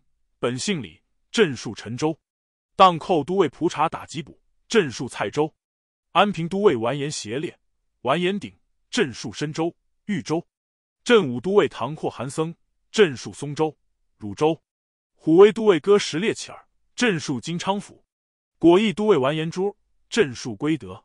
虎贲都尉完颜成儿，镇戍潼关。阴阳都尉完颜大楼氏，内族，镇戍潼关。阴阳都尉完颜全节，内族，镇戍潼关。二十七，金哀宗眼前闪过一张张熟悉的、神采飞扬的面孔，其中许多人早在金哀宗还在东宫当皇太子的时候。就与他结识或者相知。当年他登基前夜，一呼百应，在东华门街上集结了东宫卫队和枢密院直属部队三万余人，簇拥他入宫，吓得英王守纯、庞珍妃母子瑟瑟发抖。那时围绕他身边的正是这些信得过的伙伴。如今这些旧人或已误故，或天各一方，可是金哀宗仍然感觉到他们才是自己的信心和力量的源泉。他不知道，在今后的三四年内。这份名单上的几乎所有人都将一个接一个的消失在战争的洪流之中。黄昏中，殿上的朱衣人喟叹一声：“诸位将军，朕唯有遥祝你们旗开得胜了。”三河中绞肉机，金哀宗心系的河中，今在山西省永济市西南的蒲州镇。在蒙金战争的最后十年中，大概绝少有哪座城池像河中城这样遭到过如此严重的破坏，见证过如此残酷的死亡。河中古称蒲坂，三国至北周时期是河东郡的治所。历唐至明，多称蒲州或河中府。清末改为永济县。在金末，河中是隶属河东南路的一座散府，下辖七县四镇。此地相传为上古圣王舜的都城，更是兵家必争之地。黄河中段的河道呈几字形，河中镇位于几字最末一笔曲折之上，西阻大河，东以太行，潼关在其南。龙门在其北，是陕、晋、豫三地的枢纽。二十八，对山西、河北的势力来说，河中是通向关陕的门户；反之亦然，故而历代誉其为要会、晋侯重镇。二十九，河中在唐代特别重要，因为它位于太原、长安和洛阳三都中间，号为中都。金代河中的地位远不及此，不过金人还是认为它劈山带河，保障关陕。三十。南渡前夕，就有人提议迁都河中，因为此地背负关陕五路，南阻大河，北有绛州（今山西新绛）、平阳、太原三座重镇，东南有中条山掩护，堪称万全之固。可惜河中地处河北，又无县城攻势，才在竞争中败给了南京开封。三十一，南渡以后，黄河以北的河中就担负起屏障河南的重任，金军还经常以河中为跳板，组织向陕西。山西的救援和反击，三十二。不过，南渡君臣，尤其是树虎高齐，一心只想把河北精兵都抽调回河南，对守住河中所在的河东地区明显缺乏兴趣。兴定元年（一千二百一十七年）前后，元帅都监完颜阿禄代奉命守卫河中。三十三。不过，阿禄代畏敌如虎，到任伊始就结名高血，为郡主之计，大肆征调河中周边的民夫。不分昼夜，拼命加固城墙，增修楼橹，疏浚城壕，真可谓城高虑未固，城外重三毫，一敲复一杵，立尽民之高。对城中百姓来说，知高敬犹不辞。本期有难劳护之，敌人来攻，城池楼橹能顶用，再苦再累也心甘情愿。三十四，可是没过多久，蒙古军攻陷了绛州。绛州在河中北边，相距不到二百里。消息传来，阿禄代唯恐河中受攻，搭上性命，寝食难安。他派人兼程赶回南京上奏，宣称河中已成一座孤城，坚守的可能性为零。金宣宗首肯，实地勘察后，果不可守则弃之，无志资敌，让他相机行事。如果非撤退不可，也不准把修缮完备的城池留给蒙古人。阿禄代接到诏书，当即安排撤军，疏散居民。临行前。他将和忠诚的民户、官府付之一炬，大火烧了一天一夜。三十五，有一位河中本地人文士张居，也跟着阿禄带军撤退。他写了一首《移河中》诗，表达了对家乡城市的眷恋，被迫背井离乡的悲哀。耕战连年废，吾知有此行。条山犹在眼。三十六，渭水若为情，饱肉豺狼喜，清朝燕雀惊。西楼今夜月，愁绝世空城。三十七，阿禄代弃守河中的举动，引起了一些朝臣的不满。有人指出，河中重镇，国家基本所在，弃之为失策。设为敌人所惧，则大河之险，我不得专事矣。宣宗一听，顿觉放弃河中太过草率。这才下令逮捕阿禄代和他的僚属入狱，先后派遣御史中丞完颜伯嘉、平阳行省虚顶前往河中修复破损的城池。然而史书记载，河中城此后是随守随破，很难想象黄河边小小一块地方，竟能承受如此频繁而残酷的拉锯战。元光元年（一千二百二十二年）末到元光二年（一千二百二十三年）初，这里又发生了一轮惨烈的争夺。自阿禄代弃守后，河中就成了一块有名的高风险战争地带。不久前，金宣宗派往河中视察的完颜伯嘉发现，此地官吏岗位空缺严重，凡召辟者悉以艰险为辞，百般推脱不肯前往，无人主持大局，建议朝廷对这类人予以重罚。他还发现，各地不少百姓不愿背井离乡逃往河南，就纷纷躲到附近山里，以宗族或者乡党为单位，结成一座座山寨。勿保，据险自保。所以，他建议，实在要没人肯去，那些能召集渔民、挽守城寨者，不要拘束门第，资格超越等级，提拔为本地的要员。三十八，元光元年二年之交，实际负责河中守备的，正是这样一个获得超长升擢的本地人侯小叔。他本是黄河渡口附近一个船夫的儿子，却先后被委任为河中府判官、全河东南路安抚副使。和中府治中全元帅府右都监，除了毁坏严重的城池，他的主要倚仗是附近中条山的朱楚山寨，所以在蒙古一方的史料中，他还有个恶名，叫中条贼侯七。三十九，元光元年秋，木华黎率领大军开始了他戎马生涯中的最后一次大规模战役。前一年，他从东胜渡过黄河，攻延安不克；今年，他选择了从河中渡河。但是河中不是他此行的主要目标，他眼中只有金军重兵固守的长安、凤翔。从敌楼上远远望见国王亲征的标志，九尾白道下的黑月白旗，和中城内名义上为金朝坚守的军民，顿时陷入了恐慌。另一名高级军官提控吴德，建议侯小叔赶紧投降，被他斥出斩之。侯氏宗族也有不少人主张归顺，比如表哥张先就苦口婆心劝他。此番蒙古大军势如洪水，和中小城无异于螳臂当车，投降可以保全家族。侯小叔大怒：“我周人之子，置身至此，何谓出降？”竟把表哥绑在柱子上当众处死，再请和尚做法事超度，表示先公而后私，抵抗到底的决心。可惜城内绝大多数人没有玉石俱焚、成全侯妻的打算。某一天，趁侯小叔出城迎候南京派来的都监。城里一致决定开门投降，侯小叔只好逃往中条山寨。四十，木华黎接管河中后，在黄河上搭建了一座浮桥，匆匆率军西去。负责接应大军东归的是一名很早就从金朝投降过来的老将，右副元帅石天英。石天英的部队举着黑色旗帜，号称黑军，是木华黎麾下一支能征善战的精锐。渡河前，木华黎嘱托石天英。蒲州是河东要害，我择守者非君不可。石天英便以陕西河东路行台兵马都元帅的名义镇守河中。黄河以东各处要塞，如平阳、太原、习州（今山西隰县）的附庸军队，都归他节制。石天英的根据地本在北边的嘉州（今陕西榆林市嘉县），但他早就相中了河中这块地方，认为是用武立功之地，北接汾、晋，西连同、华。地五千余里，户数十万，可作为进攻陕西的前进基地。石天英年垂六十，老貌将至，但没打算病死在床上，觉得男儿当战死战阵以报国。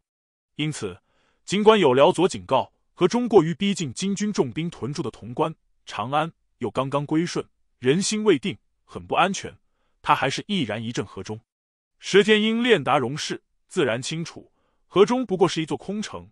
近旁侯妻的中条朱寨是昼夜之患，他派遣自己的副手有骁将之称的吴泽，在城外一处险要悄悄驻扎下来，以防中条山的山贼趁主力西去，河中兵力薄弱，城池修缮未完的空当进行偷袭。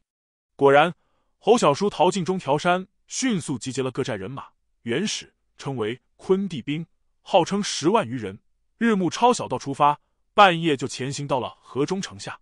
负责半路拦截和示警的吴泽，当晚喝得酩酊大醉，不省人事。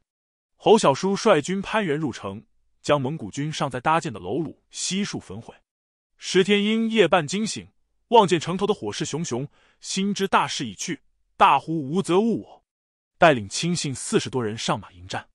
有人劝他渡河西去，他长叹一声：“当初有人提醒我，不要贸然进驻河中。如今兵败弃城。”就算侥幸逃脱军法责罚，又有什么颜面去见穆华黎太师和同僚？顷刻之间，敌兵四面重重围困。石天英在双市门附近饮血力战，一直坚持到次日正午才不知倒地。四十一，侯小叔收复河中后，将蒙古军架设在黄河上的浮桥一把火烧光，安吉远近，入城守御。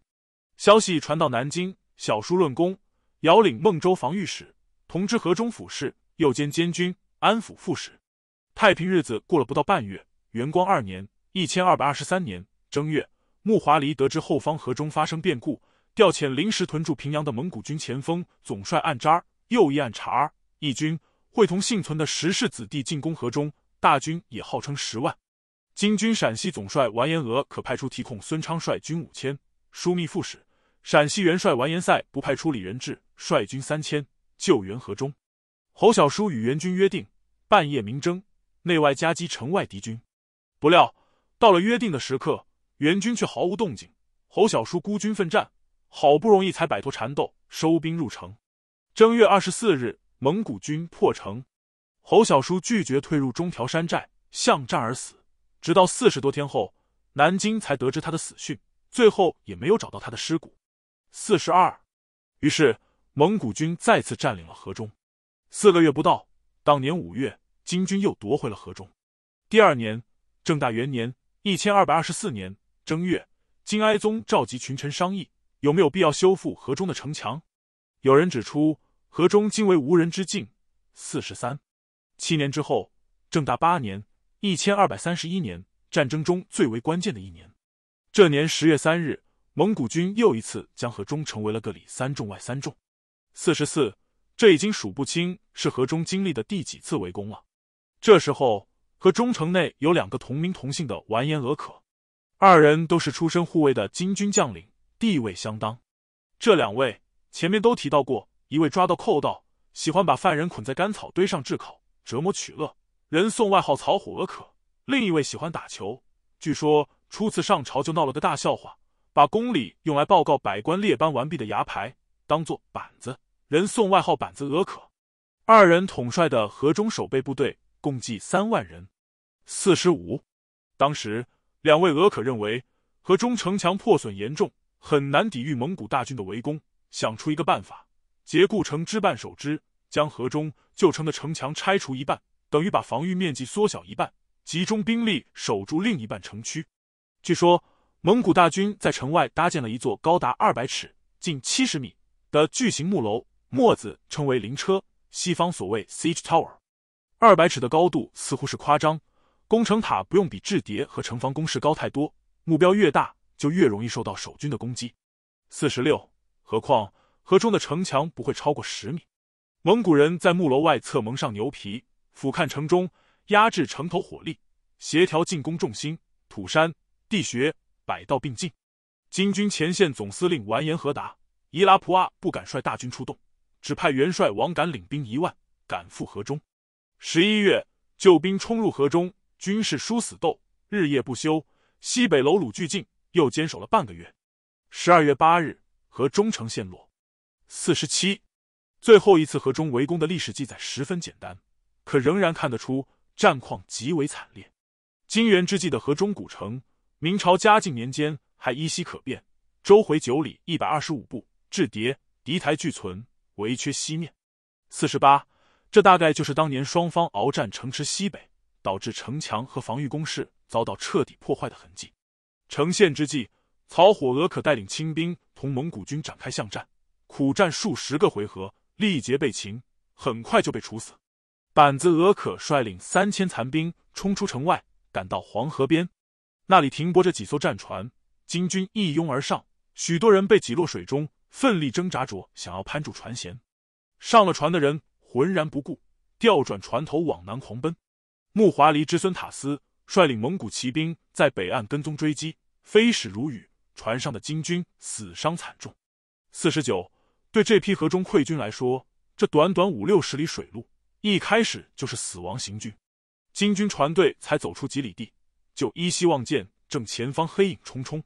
走近查探，只见战船首尾相连，将河道拦腰截断。幸运的是，金军船上装了一批震天雷，这是一种初级火器，铁罐装填火药的抛掷炸弹。绝望的逃亡者朝对面的船扔出几乎全部震天雷，借着爆炸的亮光，他们看得分明，对面战船上并没有多少敌军驻守，这才大着胆子上前砍断铁链，一路飘过潼关，回到了黄河南岸的文乡（今河南灵宝西北）。河中府志中康熙，字伯禄。河中总帅府经历李献能，字清书，本地人都跟着板子俄可撤退。两人是与完颜陈和尚的老师王沃齐名的文士，上一年才来河中上任。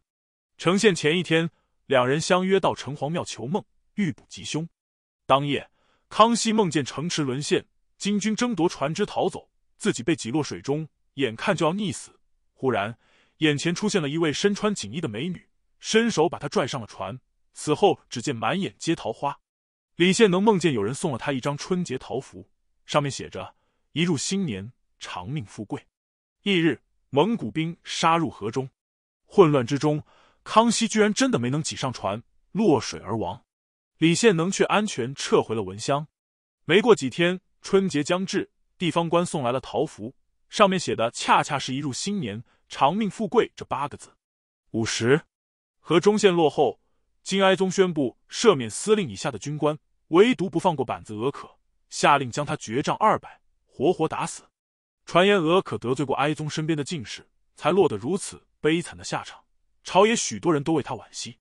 李献能虽逃过一劫，也没有真的长命富贵。没过多久，他就在一场兵变中遇害，时年四十三。五十一，惨烈的河中围攻，不过是正大八年拉开帷幕的最后一幕剧的序曲。从河中战况最激烈的西北城墙再往北走数里，就可以看到一大片几乎望不到边的白色营帐。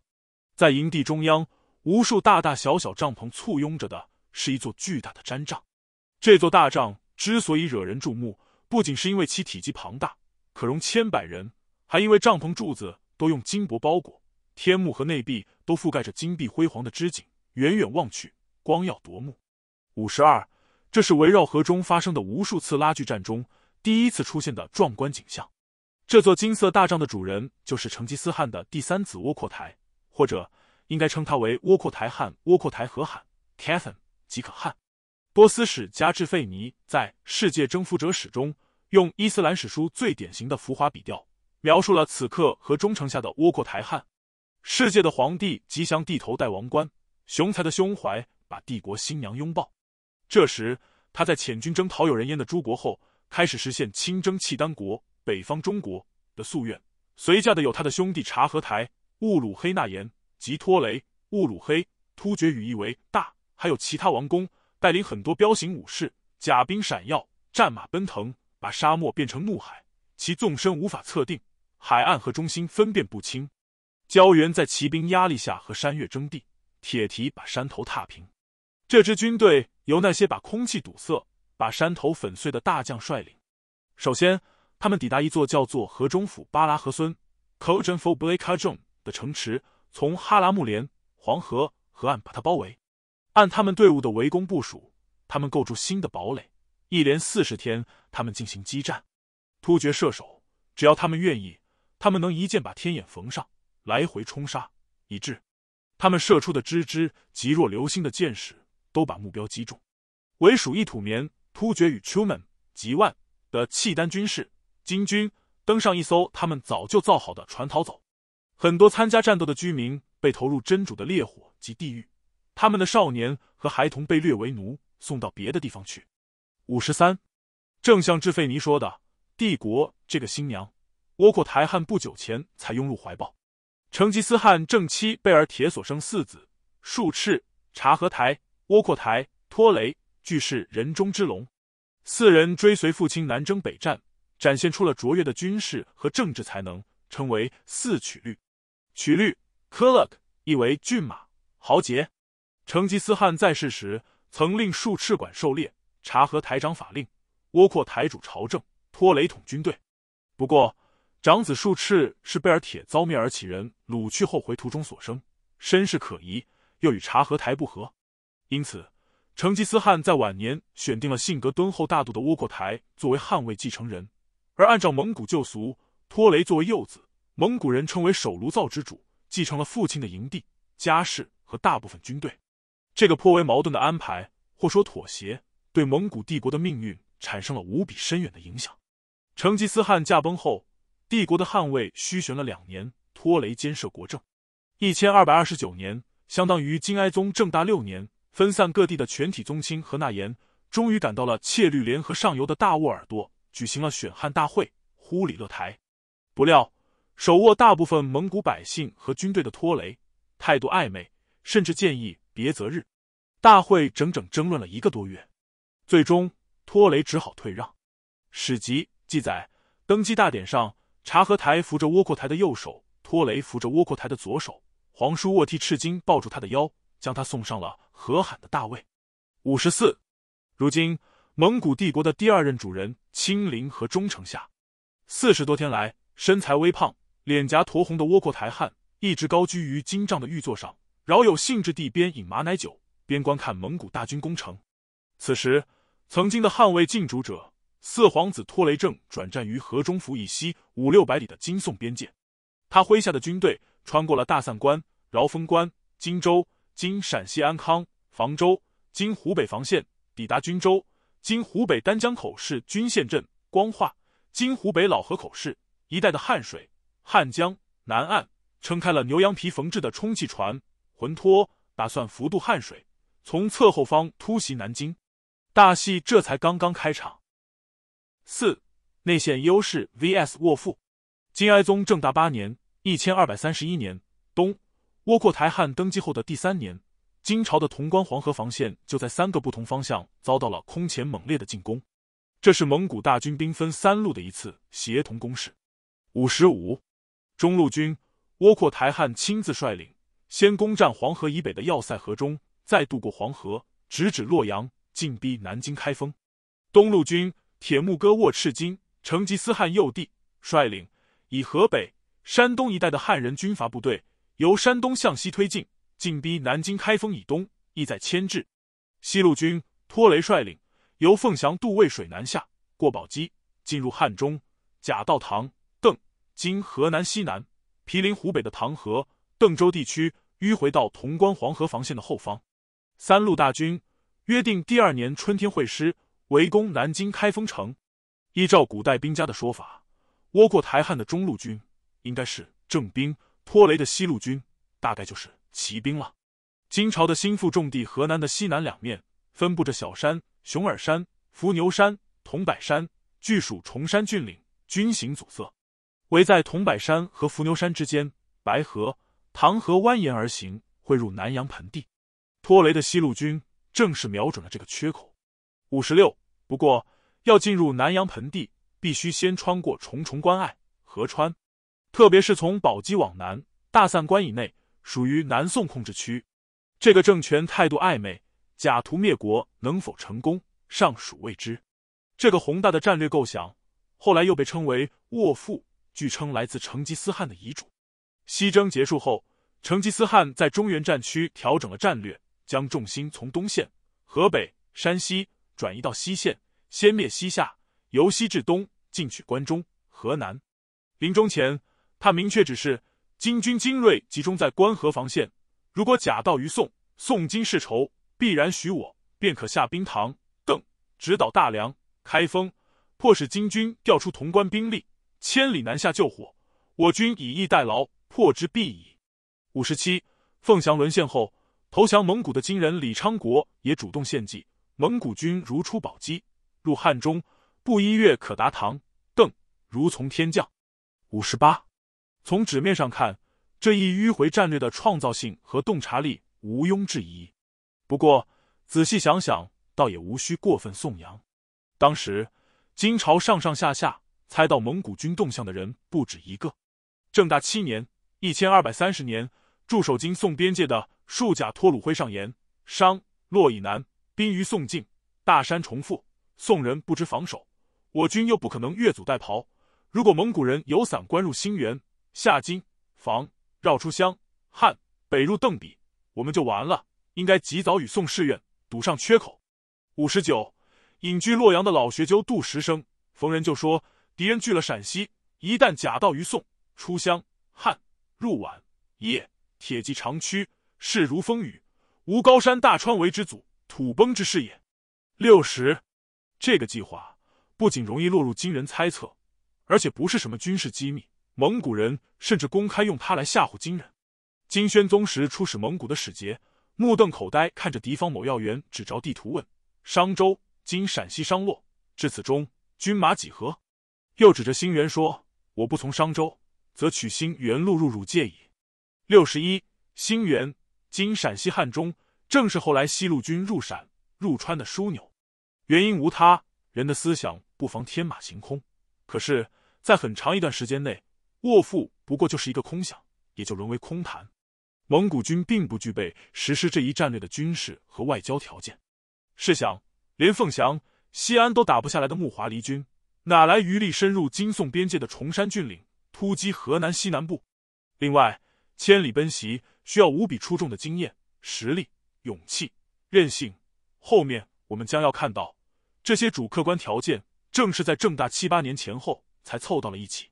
若是请一位十八、十九世纪欧洲的军事评论家，比如与克劳塞维茨 （Carl von Clausewitz） 齐名的若米尼 （Antoine Henry Jomini） 将军，替金军统帅部分析一下敌军的计划和对策，他大概会以蒙古三路大军的核心目标南京为原点，以南京至河中或邓州的距离为半径，画一个圆周。圆上的中心 C 点代表南京，D 点代表关河防线后的金军重兵，与 C 点连成直线，便形成九十多度角的 A、B 两点，分别代表蒙古中西两路大军。接下来，这个欧洲人会告诉金军统帅部，相对于分散的、独立行动的 A、B 两支蒙古军，金军 C 拥有那座战线或中心位置 （La Ligne Interrua ou Central），也就是一支军队对抗两支及以上敌军应该采取的路线。凭借这一优势。金军能在短时间内调动和集中全部兵力，趁敌军各部尚未集中之前，连续逐一击破他们。所以，如果双方兵力不悬殊，一切中央或内线的位置总是要比外线的位置暗。比如在金军两翼作战的蒙古军有利。六十二，如果这个欧洲人受雇于蒙古人，他可能会建议：若非十分肯定中西两路主力都能面对金军取得绝对优势，最好不要奋兵作战。毕竟。大量成功的战例，例如李世民对王世充和窦建德；萨尔浒之战中，努尔哈赤对明朝的杜松、马林河流；拿破仑在意大利对奥地利的伯利厄和撒丁军；坦能堡战役中心登堡对俄军萨姆索诺夫、伦南坎普夫，都来自名将对中心位置和那座战线的巧妙计算。这番道理，金人其实是懂的。不过，他们能不能及时做出最正确的反应，在统帅部内部，除了金哀宗。还要取决于三个人：金军官河防线上的守备部队和机动兵力，包括都尉军、中校军等，主要归二位统帅共同负责。完颜和达、伊拉普阿二人都带宰执头衔，一个是平章，一个是参政，指挥陕西行省下属的重兵，总部就设在潼关东边的文乡。和达 （Hada） 女真语译为山峰的经历很独特。本书开篇讲述齐国公主出嫁。年轻的何达就站在负责护送的侍卫清军队列中。他后来上前线任职，遇上蒙古军围攻平州，势穷力孤，不得不以本军降于阵。蒙古人允许他不剃发，继续留守平州。他趁机逃回了金朝，在战争中成长为一名良将，素有熟知敌情、习于行阵、重义轻财、与下同甘苦的美誉。普阿 （Pu Gamma A） 意为山鸡，是契丹人。也出身侍卫清军，金哀宗当皇太子的时候，就提拔他当清军总领。元光二年（一千二百二十三年）末，金哀宗入宫继位前，蒲阿奉命全副武装屯驻南京城东北，以备非常。他是金哀宗安插在前线的心腹，在决策上发言权更重一些。这种玩弄制衡的双头制，并没有给金军作战带来什么积极效果。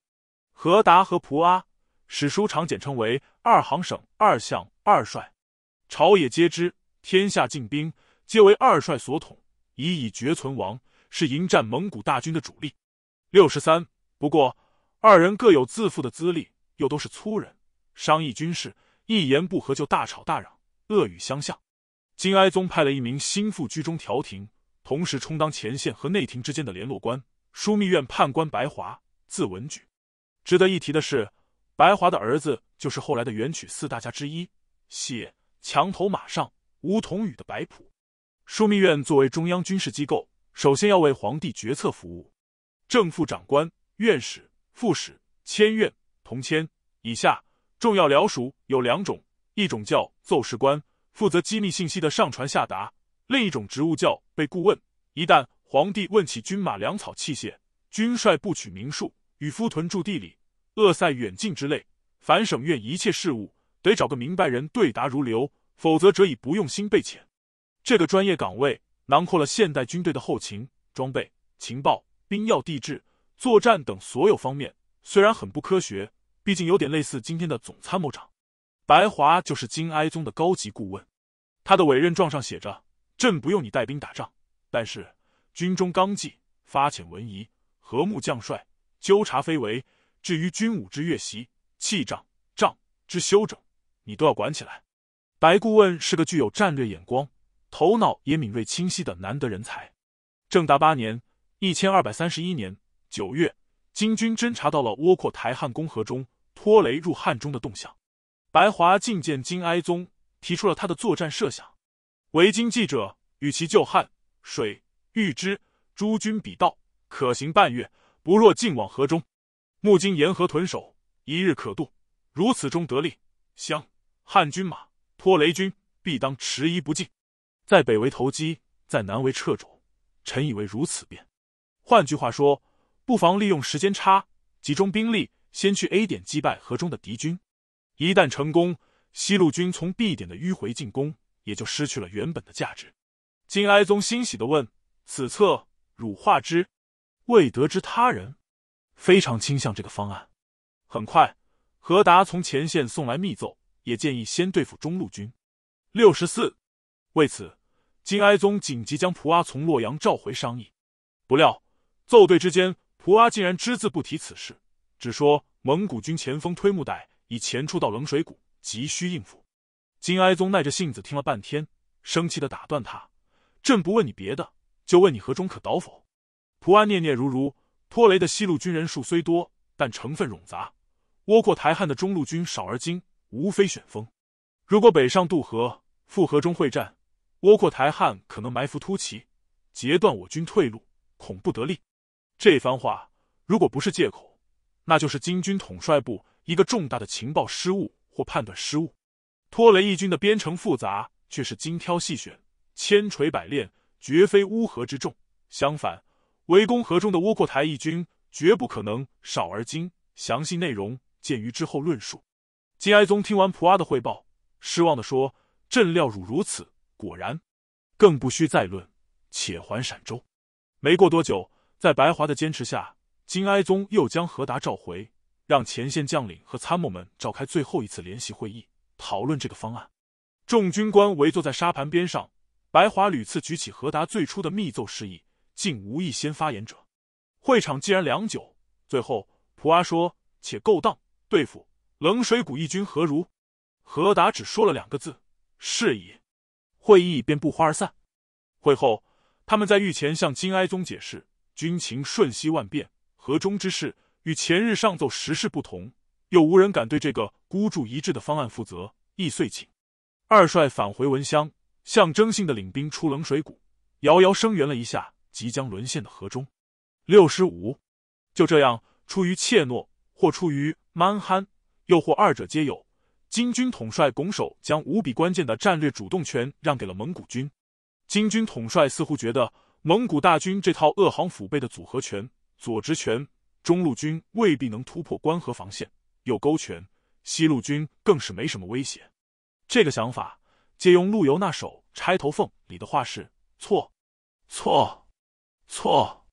据历史学家考证，负责执行卧伏的西路军是蒙古军和汉军中最能吃苦、最敢打硬仗的部队。西路军的指挥官是自幼跟在成吉思汗身边南征北战的军事天才托雷。成吉思汗评价：追求勇敢、荣誉、武功、降国定天下的人，就去效力于托雷汗。六十六。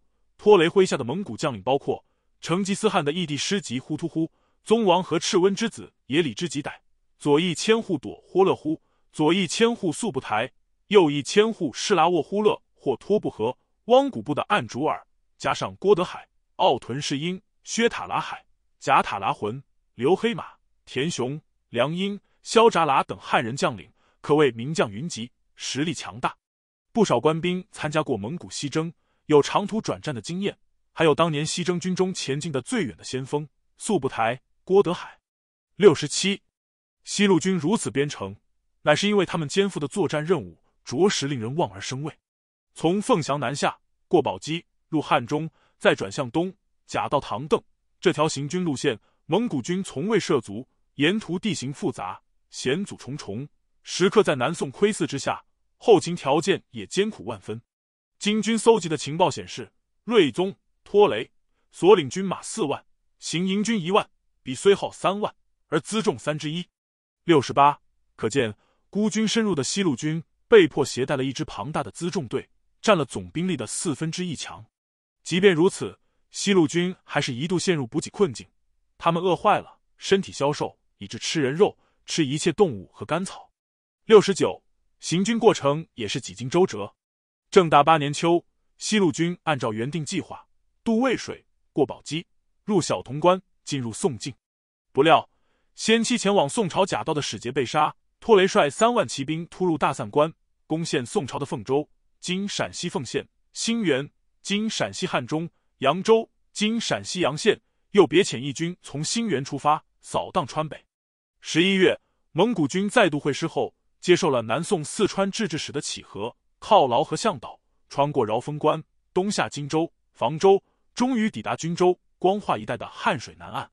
另一方面，不同于西路军历尽艰辛、跋山涉水，窝阔台汉亲率的中路军似乎更加从容不迫。中路军的实力并不逊于西路军。实际上，蒙古从博信到衰亡，从未有过大汉本人出征不率主力而只率偏师的情况。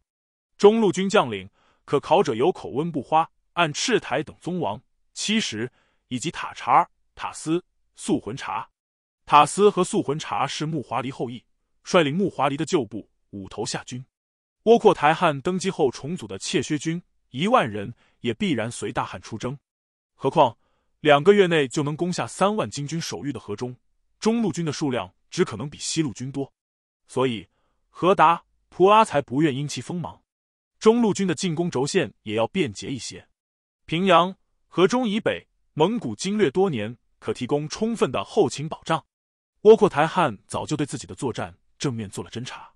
他派克烈部的素哥出使金朝，素哥此行必然要渡河入汴南京。金人故意带素哥绕过军事重地，将他锁在船内，七日始登南岸，又三巡乃达汴。不料素哥还是设法打探到了沿路的地理恶塞、城郭人民之强弱。回来后。他献上金廷招待用的黄金酒杯，窝阔台汗大喜，我得金鱼如手中矣。七十一，正大八年（一千二百三十一年）正月五日至七日，中路军拔掉河中这颗顽强的钉子后，沿河取东行，在洛阳东四十里的白坡（今河南孟州西南）渡河。这段黄河河道底部铺满石头，进入干旱季节后，水深不能寻丈两三米。金军河防上下千里。唯独觉得这一处地方相当危险，每年冬季枯水期都专门从洛阳调一支军队过来警戒。蒙古轻骑在向导速哥的指示下，在白坡涂设，虏获了泊在南岸的船只，将北岸的大军和辎重悉数运到了南岸。蒙古中西路大军分别推进到目前位置，原先的战略构想可说成功了一半。金军以为固若金汤的关河防线一下子出现了一西一北两个大缺口。这个时刻再不起而反击，就只有束手待毙了。第八章三封一存与亡有天命。正大九年（一千二百三十二年）的元旦到上元正月十五，是正大年号行用的最后一段时间，七十二。不过，这短短半月，对南京开封城内的军民来说，好像半年甚至半个世纪一般漫长。南宋高丽、西夏等国早已多年不派使节来贺正旦了。即便如此，南京城内上自宫阙，下到方向，还是一样准备辞旧迎新。按照旧俗，从小年开始就要陆续祭灶、驱挪、放爆竹、贴桃符、张纸灯，还要饮屠苏酒。这是一种用大黄、桔梗、川椒、桂心等药材酿造的药酒，能辟疫气。金代的文坛领袖、书法名家赵秉文年逾古稀，求他题写桃符的亲友仍然络绎登门。这一年，赵宅大门上又照例挂出老汉不写字的条幅，好让慕名而来的好事之辈望而却步。七十三。然而，这一切只是表面现象，其实城内四处弥漫着焦灼的气氛。看不见、摸不着，却又实实在在缠绕每个居民，浓郁到让人胸闷窒息。爆竹声中，强颜欢笑间，人人都会有意无意向东南方向凝视片刻，好像在期待些什么。上一年正大八年的年末中，西两路蒙古大军已对河南腹地形成了严重威胁。直到十一月下旬，拖雷的西路军掠过荆州、房州，眼看就要在荆州、光化一带渡过汉水。尚书省和枢密院还在建议金哀宗以逸待劳，未可与战。这次金哀宗反复斟酌，给出了一个斩钉截铁的答复：南渡二十年，所在之民破田宅，遇妻子，结肝脑以养军。今兵至，不能逆战，只以自护。京城纵存，何以为国？天下其为我何？朕思之属矣。存与亡，有天命，唯不负无名可也。七十四。总之一句话，南下决战。这个决定可谓姗姗来迟。上一年北上击破中路军的计划胎死腹中以后，整整三个月的宝贵时间已经浪费掉了。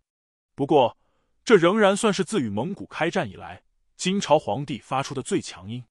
于是，关河防线上，何达、普阿统帅的重兵从文乡掉头，沿着洛南、商州、丰阳，经陕西山阳，顺丹水、丹江。而下进驻顺阳，今河南内湘西。很快，杨沃眼、唐阔迪拉布人的党项军、陈和尚的忠孝军驻守虎岭关，今河南济源西的军阀五仙的部队也相继南下，全军近二十万，会师顺阳，迎战西路军。七十五，现在是正大九年的正月，换句话说，自诸军奉命南下，已经过去了一月有余。刘琦，山西人。父亲是前监察御史刘从义，前面提到被选为千户军官充数者，自幼有神童之名。可惜科场失意，连举进士不中。他这年才三十出头，从南边的淮阳（今河南周口）赶到南京，与老祖母和母亲团聚过年，顺便进入太学读书。到了京师，刘琦听说平章、何达、参政、蒲阿带着八名都尉率领大军正在荆江、汉水与北兵相峙。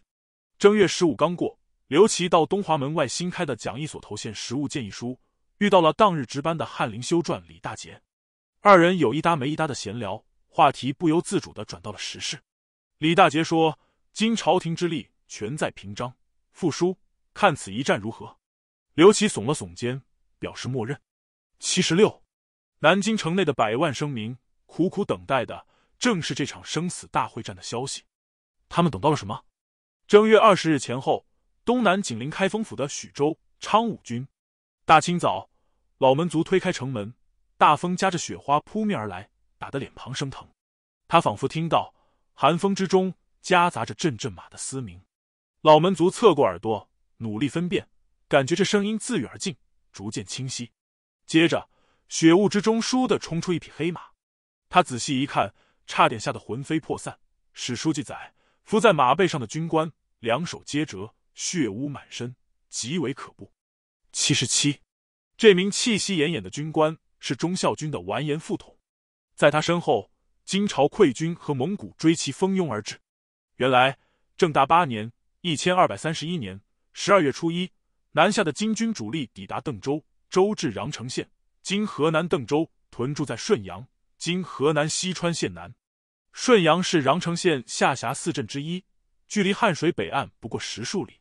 此时，何达、蒲阿麾下集结了骑帅蒲察定住、蒲察达吉卜、郎将按特木、忠孝军总领加古艾踏、完颜达鲁欢、总领加古伊特剌、提控步军张惠、完颜阿排、高英、樊、加古，则三都尉、忠孝军陈和尚，合计骑兵二万，步兵十三万，人数是对岸准备渡江的蒙古军的五倍。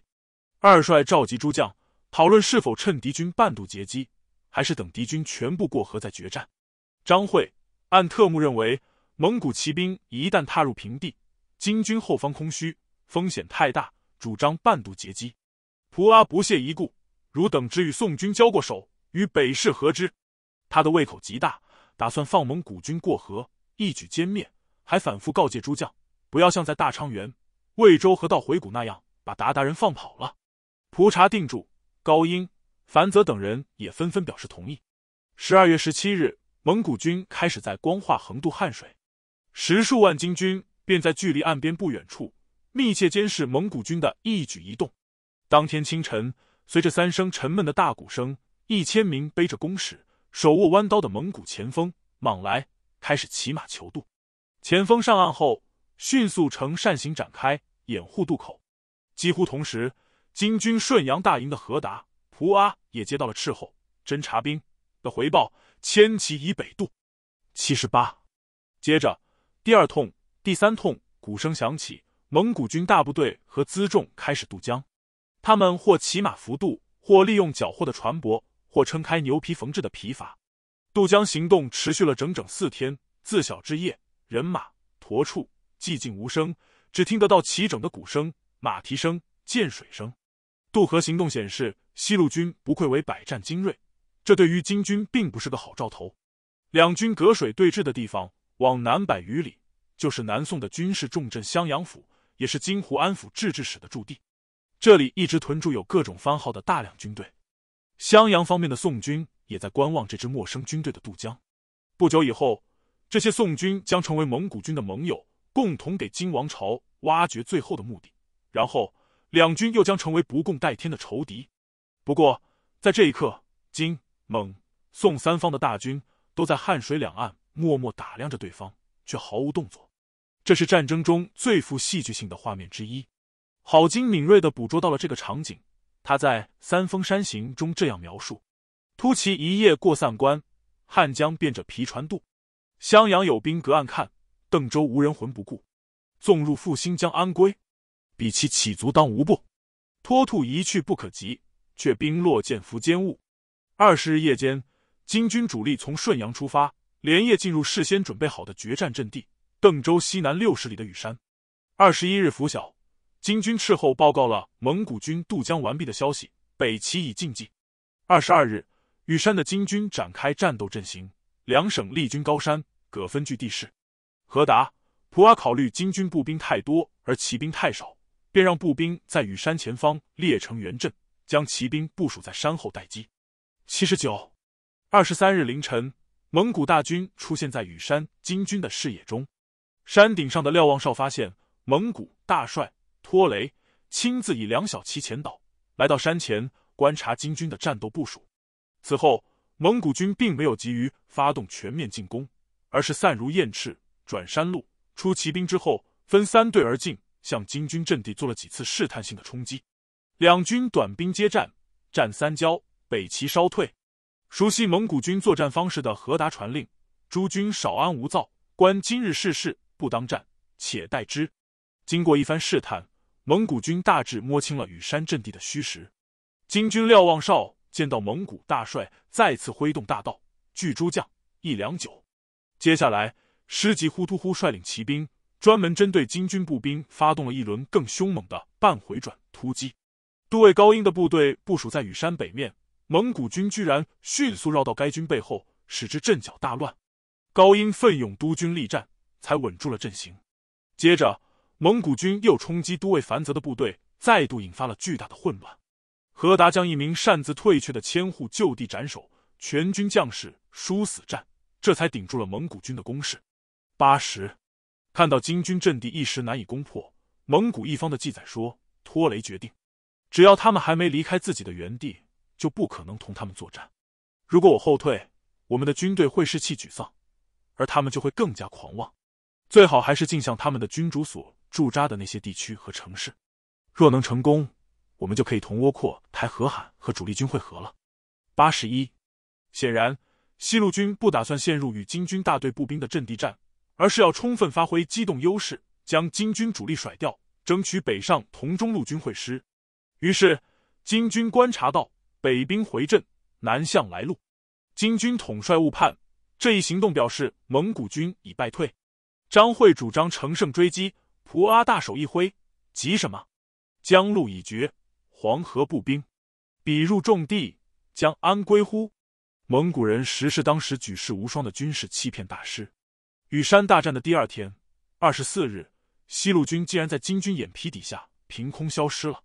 金军侦察兵回报，北兵忽不知所在，营火既无一号。八十二，这似乎证实了之前的判断。于是，何达、蒲二帅派出急役，昼夜兼程，向南京送出大捷的战报，并沿途宣布敌军已被击退。省院大臣接到捷报，在议事堂中摆下酒宴，痛饮欢庆。左丞李希举杯兴奋的大喊：“非今日之劫，生灵之祸，可胜言哉！”八十三。其实西路军前锋此刻已散漫而北，渗透金军后方，主力及辎重则悄悄隐蔽起来，与金军脱离了接触。二十四日至二十七日，一连四天，金军对西路军的去向几乎一无所知。直到二十八日，金军才发现羽山南面光化对岸的枣林中有敌军出没。他们白天生火炊饭，入夜之后不解甲，不下马。事后只见密林之中人影冲冲，五六十步而不闻音响，似乎别有所图。至二十九日止，雨山阵地上的十五万金军官兵已经紧张兮兮守了近十天，粮秣也开始短缺。何达、蒲阿商定暂时撤出羽山，回邓州休整。金军大军转向通往邓州的大道，需经过东面枣林的边缘。正当金军前队已过。后队未过的空隙，蒙古军突然从林中杀出，何达、普阿慌忙整队迎击。然而金军后队已被冲散，辎重也遭百余名蒙古骑兵掠走。何达、普阿率领的金军前队勉强赶在日暮时分进入了邓州城。高英、樊泽两军分别负责城外东西两面的警戒。这天直到深夜，邓州城楼还在不断传出当当当的钟声，一声比一声急促。逐渐消失在浓郁的冬雾深处，那是入城的金军在给迷路的溃军指示集结的方位。八十四二大雪满弓刀，正大九年一千二百三十二年正月一日元旦，金军休整完毕，在邓州城下举行了一次炫耀性的检阅。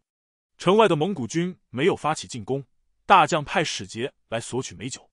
何达、普阿命人抬出二十瓶佳酿送给蒙古军。这大概是残酷无比的战斗中，双方唯一的一次稍具骑士风度的交流。正月二日，托雷率领西路军绕过邓州，取到泌阳、方城、襄城，兵锋直指东北方向的南京开封。邓州城内的金军畏惧敌军进逼京师，不得不跟随北上。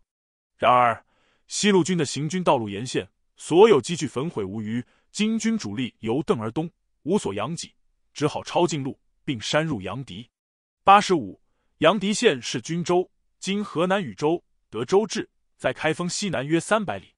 均州控汴、洛之交、通汝、颍、许州，知道。八十六，何达、蒲阿显然打算在此地阻截西路军北上。他们抄的近路就是三鸭路，这条行军线路相当于从南阳盆地出发，沿白河支流口子河谷北行，翻越伏牛山分水岭。再沿让河河谷抵达鲁山县，此道先后穿过百重山、分水岭和鲁阳关三个隘口，故名三鸭路，自古是南阳通往中原的捷径。八十七，何达、蒲阿刚进入三鸭路，就在百重山、五朵山遇见了从丰阳川（今陕西山阳）赶来增援的杨沃衍部队。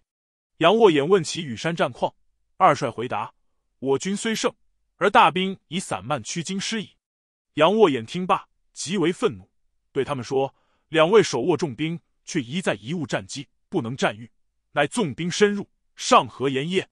八十八，托雷率西路军主力北上之际，派朵霍勒忽千户率三千进骑，担任后卫，尾随金军进入三鸭路。这支后卫不顾自身损失，经常上前袭扰缠斗。金军步兵翻山越岭，行进缓慢，正月十日才抵达鲁山。十二日，终于抵达军州以南百里的沙河引水之流。此时，西路军主力的五千骑兵早已在对岸列阵，待金军渡河后，尾随金军频繁袭扰，导致他们不能得食，又不得休息。黄昏时分，开始下起了小雨。翌日凌晨，雨转为雪。三千加五千，来袭的蒙古骑兵不断增加，接近万人。金军主力且行且战，苦不堪言。十三日。金军主力刚抵达军州西南二十五里的黄鱼店，雨雪大作，没法再赶路了，只好扎营休息。十五日午夜，一名进士抵达黄鱼店，召集全军将帅，传达了金哀宗激励士气的圣旨：两省军西赴京师，我玉门犒军，换一御马，然后出战未晚。然而诸将散去后，这名进士低声对何达、普阿说：“圣主还有密旨。”接着他传达了一段让人摸不着头脑的话。尽知张家湾透露二三百骑，以千卫孟两州两省当长切防备。何达普阿守御关河防线多年，如何听不出这道密旨的弦外之音？这是说，除了南阳腹地失守，蒙古军还突破了黄河沿岸的河中、孟津、吉县等渡口。对于北返的金军主力来说，这个消息无异于一记晴天霹雳。二帅接旨后，何达一把拽住普阿的袖子。请他留下来商量。普阿回头只说了一句：“只此而已，复何所意？”史家评价普阿已经吓得失魂落魄了。八十九，十五日天还没亮，金军主力冲锋冒雪，紧急向军州城开拔。这是整场战役中最微妙的时刻。一边，金军主力一路狂奔，以杨沃眼的部队打头，冲过蒙古游骑设置的路障，挪开堵塞大道的树木，急欲进入军州休整，再入援京师。在另一边，蒙古中路军于七日渡过黄河，十三日攻克郑州。托雷派魁屈涅联络上了窝阔台汗。口温不花，塔斯率中路军骑兵一万余人南下与西路军会合。九时，托雷掌握了四五万精兵，他敏锐的感觉到真正的决战时刻到了，机不可失，彼拖入城，未易图也。九十一，自黄鱼店前行不到五里，横亘着一道山岭。岭上有三座山峰起伏，三峰山，这是军州南面最后一道自然屏障，距离州城不到二十里。此刻，金军已经将动无人色，机不能军，蒙古军抢先占据了山岭周围，严阵以待。金军主力被迫应战，陈和尚以忠孝军一马当先，仰攻山岭上的蒙古军主力。紧接着，武先、高英军进攻东北侧山峰的蒙古军，杨握眼。樊泽军进攻西南侧山峰的蒙古军，或许是深陷绝境迸发潜力，又或是军州在望，令金军重拾斗志。十五日白昼的激战，蒙古军居然落入下风，被逼至东边一块高地。张惠、按特木又率金军骑兵从地势更高处乘上而下拥之，蒙古军再次不敌后退。不过血战近日，两军都颇为疲惫。金军取得阶段性胜利。却很难一下子吃掉数万骑兵。入夜前，金军在山下沟地立军为之，前后数百重，准备来日一举歼灭敌军。九十二，没想到午夜刚过，已经断断续续下了两三天的雨雪，突然转为暴风雪。郝经有诗句形容：“黑风吹沙河水结，三峰山行，陆河横倾数丈雪。金元时节是歌。”蒙古人相信，这个突如其来的天气变化。是由于神秘力量的干预。史籍记载，托雷汉下令施行法术，这是同下述各种性质的石头有关的一种炼丹术。当把它们取来，放入水中洗濯时，甚至在仲夏天气也会马上起风、变冷、下雪，变得满天阴霾。他们中间有个康里人精通这种法术，他按照托雷汉的命令做起法来。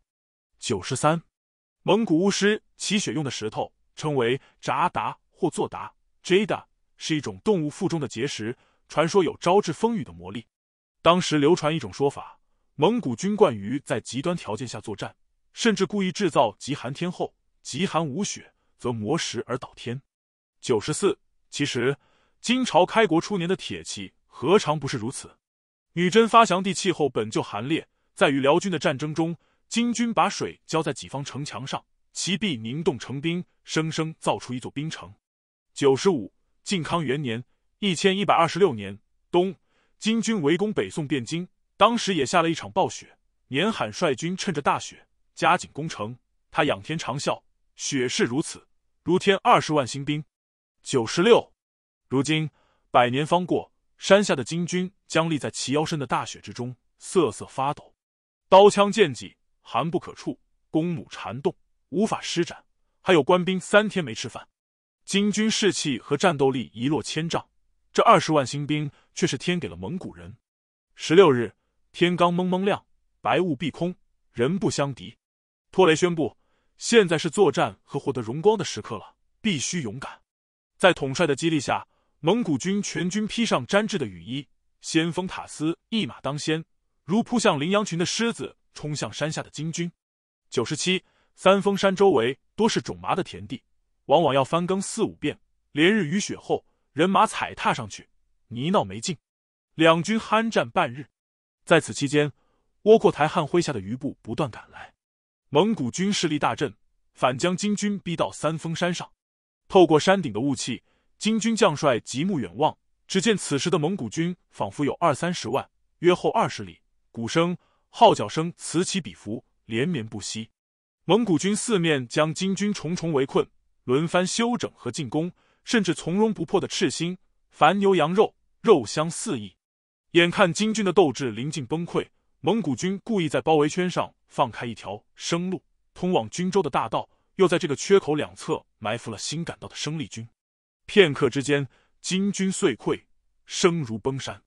此时正逢云开雾散，日光灿然，蒙古军追击数十里，沿途流血被盗，滋帐违纪。九十八。金哀宗苦心经营近十年的精锐大军，从此不复存在。十六日的日头偏西，残阳如血，长达一个多月的漫长战斗，阻截和反阻截，偷袭和反偷袭，追击和反追击，以如此短促的结局告终，令人唏嘘不已。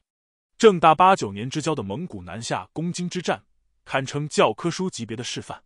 蒙古军的行动是间接路线战略、侧翼奇袭的典型成功案例。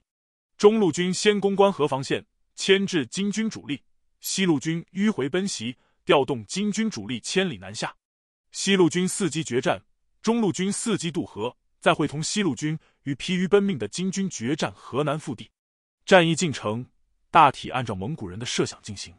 唐太宗李卫公问对是一部中古兵书，书中假托唐太宗、李靖两大名将一问一答，探讨了古代军事理论中奇政。这对玄奥的范畴，骑兵和正兵究竟是固定划分，还是随机应变？二人讨论的结果是：俗传骑兵旁击，骑士侧翼突击，先出合战为正，后出为骑；先出动为正，后出动为骑。大众所合为正，将所自出为骑。正面交锋是正，将军临阵应变是骑。等等，这些说法都未能穷尽骑正底蕴。唐太宗总结：我的正兵。让敌军误以为是骑兵，我的骑兵让敌军误以为是正兵，以骑为正，以正为骑，变化莫测，恰是孙子说的行人而我无形的境界。李靖无比佩服，跪拜说：“陛下神圣，迥出古人，非臣所及。”战役之初，蒙古中路军是正兵，西路军是骑兵。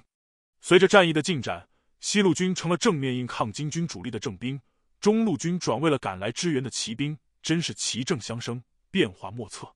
除此以外，蒙古军队只契约日，万里不推的军事素养，蒙古将帅敏锐、果断和坚忍的指挥个性，皆可圈可点。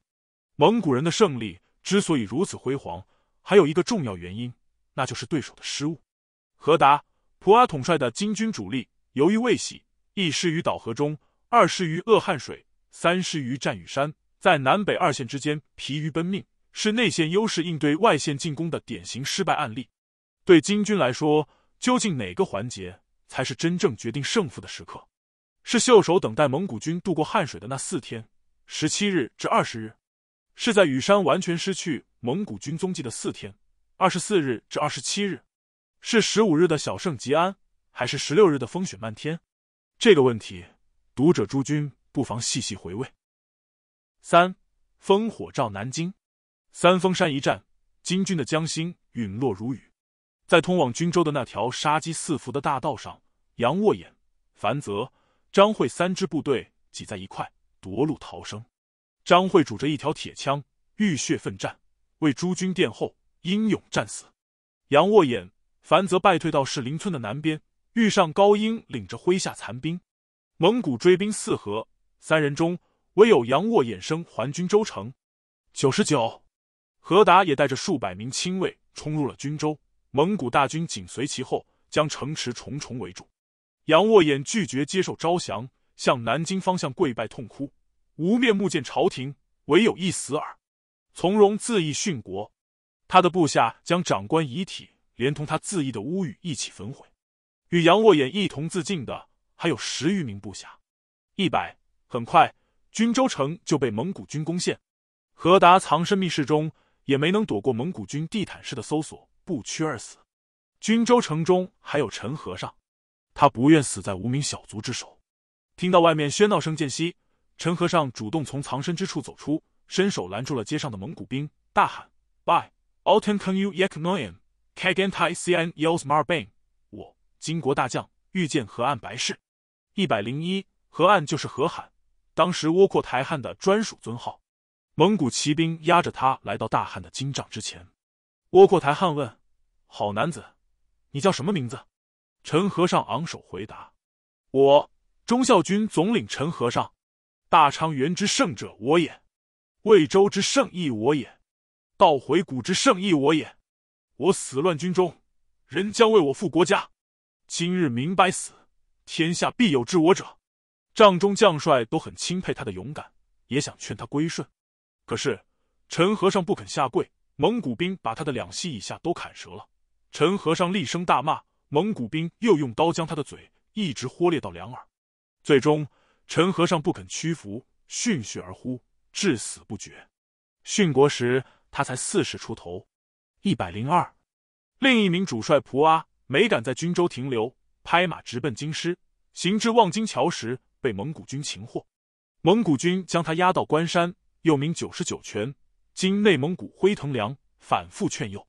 蒲阿被杀前，只是平静的说：“我金国大臣，唯当金国境内死耳。”一百零三，从三峰山包围圈中溢出的金军普通士兵人数其实不少。军州东南八十里外的许州昌武军，前面曾讲过，就连西北两百里外的洛阳，也接收了三峰溃卒三四千人。一百零四，然而参加三峰山大战的金军将帅，除了武先带着三十名骑兵躲入竹林中。后来逃亡至密县，今河南新密，上至二帅，下至中高级军官，或阵亡，或被俘，或失踪，绝大多数此后再未出现在历史记载之中。如果蒙古军派人专门清理战场，搜罗金军军官遗弃的军阶标志，金牌、银牌、木牌，所获大概能堆成一座小山。南朝名将谭道济被杀前自诩万里长城，能保卫家国。唐太宗对李也有同样的评价，可见。将才有多么宝贵！三峰山战败，金朝的京师南京开封，既失去了大和天险，更失去了不惧以身来杖毙他的将帅。不论是金人还是蒙古人，对这一点都十分清楚。三峰山战后，蒙古骑兵直趋南京城下，用长矛举着完颜和达的首级，高喊：“汝家所事，为黄河与何达耳。今何达为我杀，黄河为我有，不降何待？”一百零五。与当年野狐岭之战后的钟都几乎如出一辙。先是野战部队被歼，然后是都城受围，南京孤城，如今只剩下他自己的城墙可以依靠了。或许是不幸中的万幸，这一圈城墙并不寻常。严格说来，开封城成为金朝皇帝真正的驻币之所，还不足二十年。不过，自五代到北宋末年，这座城市一直是国都，根基深厚，还一度是当时世界上最大的城市。贞元元年（一千一百五十三年），开封正式定为南京，同时成为完颜亮梦想中的大一统王朝的首都。自正隆三年（一千一百五十八年）开始，动员天下民夫工匠，营造不遗余力，运一木之费至两千万，牵一车之力至五百人。许多上好木料采自陕西、山西等地，千里水运，途经三门砥柱之险，淹死了许多伐工。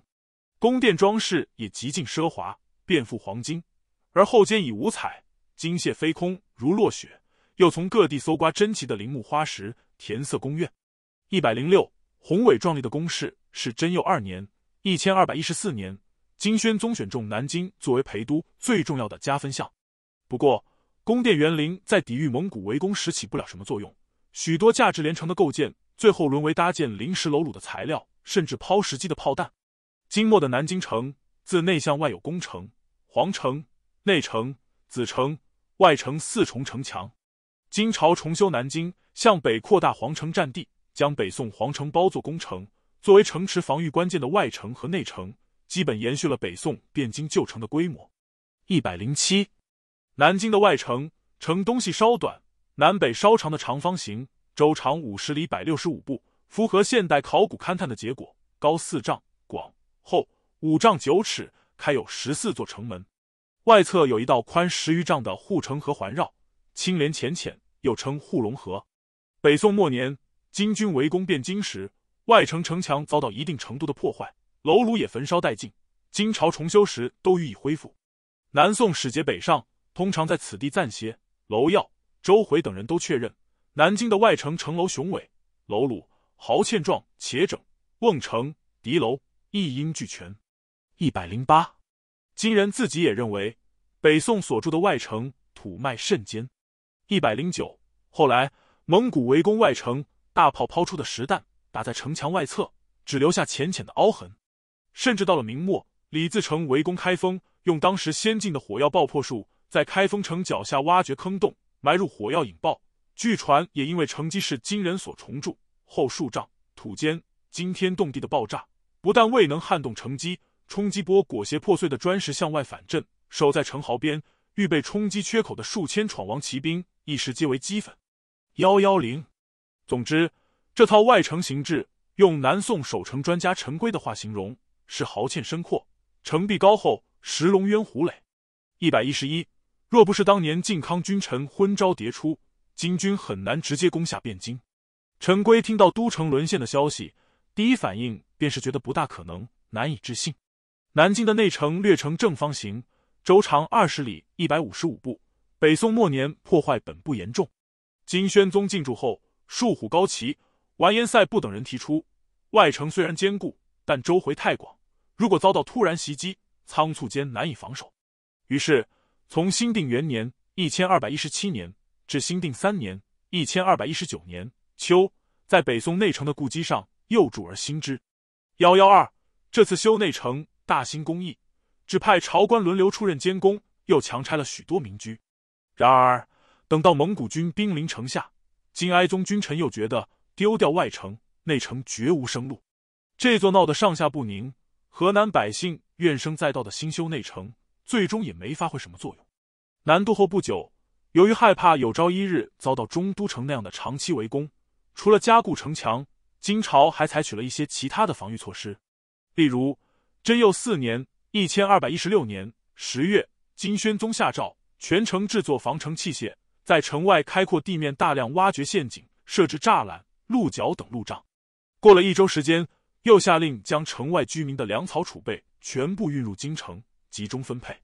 十一月，金朝颁布了专门针对守御京城的官兵的签赏规定，接着命令城外居民自行将房屋拆除，以免被蒙古军利用。末了，居然还颁布了一部毁城防器械法。一百一十三，到了金哀宗。或许是对关河防线和自己一手培养出的野战军过于自信，并不太留心京城的城防，因此这些基础设施、条令和经验，恐怕是三峰山惨败的消息传来，蒙古大军的围攻迫在眉睫，南京城仅有的前期准备了。尽管如此，高厚十几米的城墙同墨子终究系统总结，宋代更是臻于完善的守城术结合，外加金军装备的两种先进火器，半个多世纪以后。欧洲才摸到一点具用火药配方的门道，使得南京城仍是整个欧亚大陆上最难攻陷的堡垒之一。不久，蒙古军的攻城经历将会证实这一点。第九章困兽一帝国的攻城术。经过二十余年的战争洗礼，特别是西征的磨练，在围攻城池方面，蒙古军早就超越了要靠偷袭、诱敌和恐吓的时代。见第三章，不复是无下阿蒙。古代的要塞围攻 （siege） 是一项复杂而且艰巨的军事活动。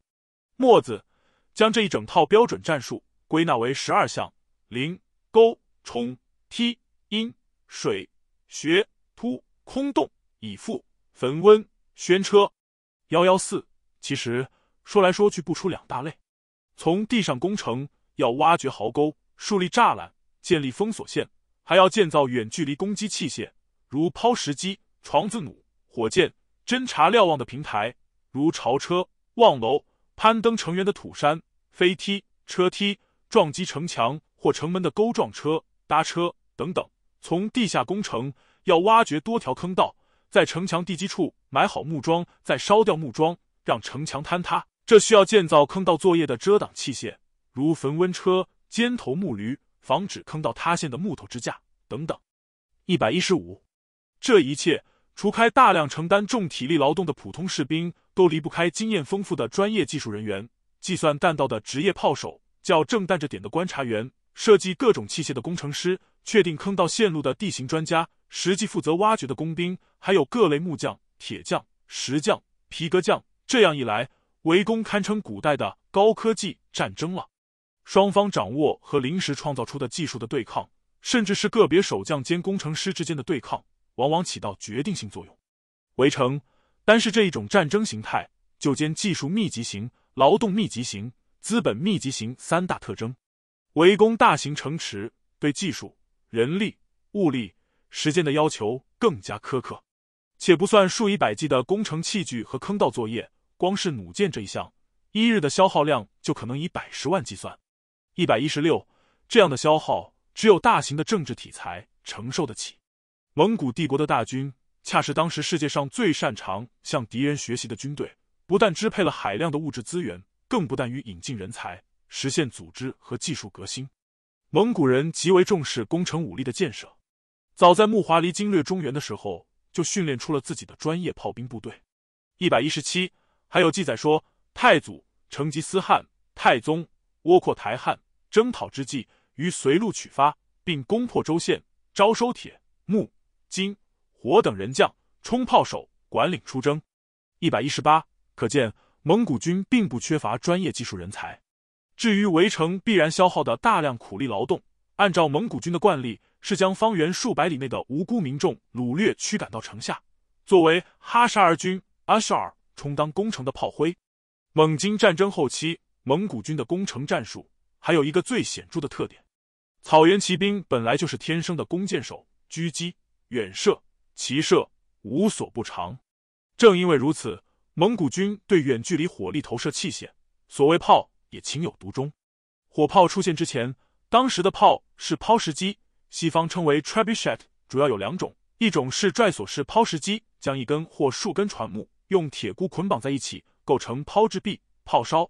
至于炮架上，一端系有装填炮弹的皮囊，另一端系上几十根拽索。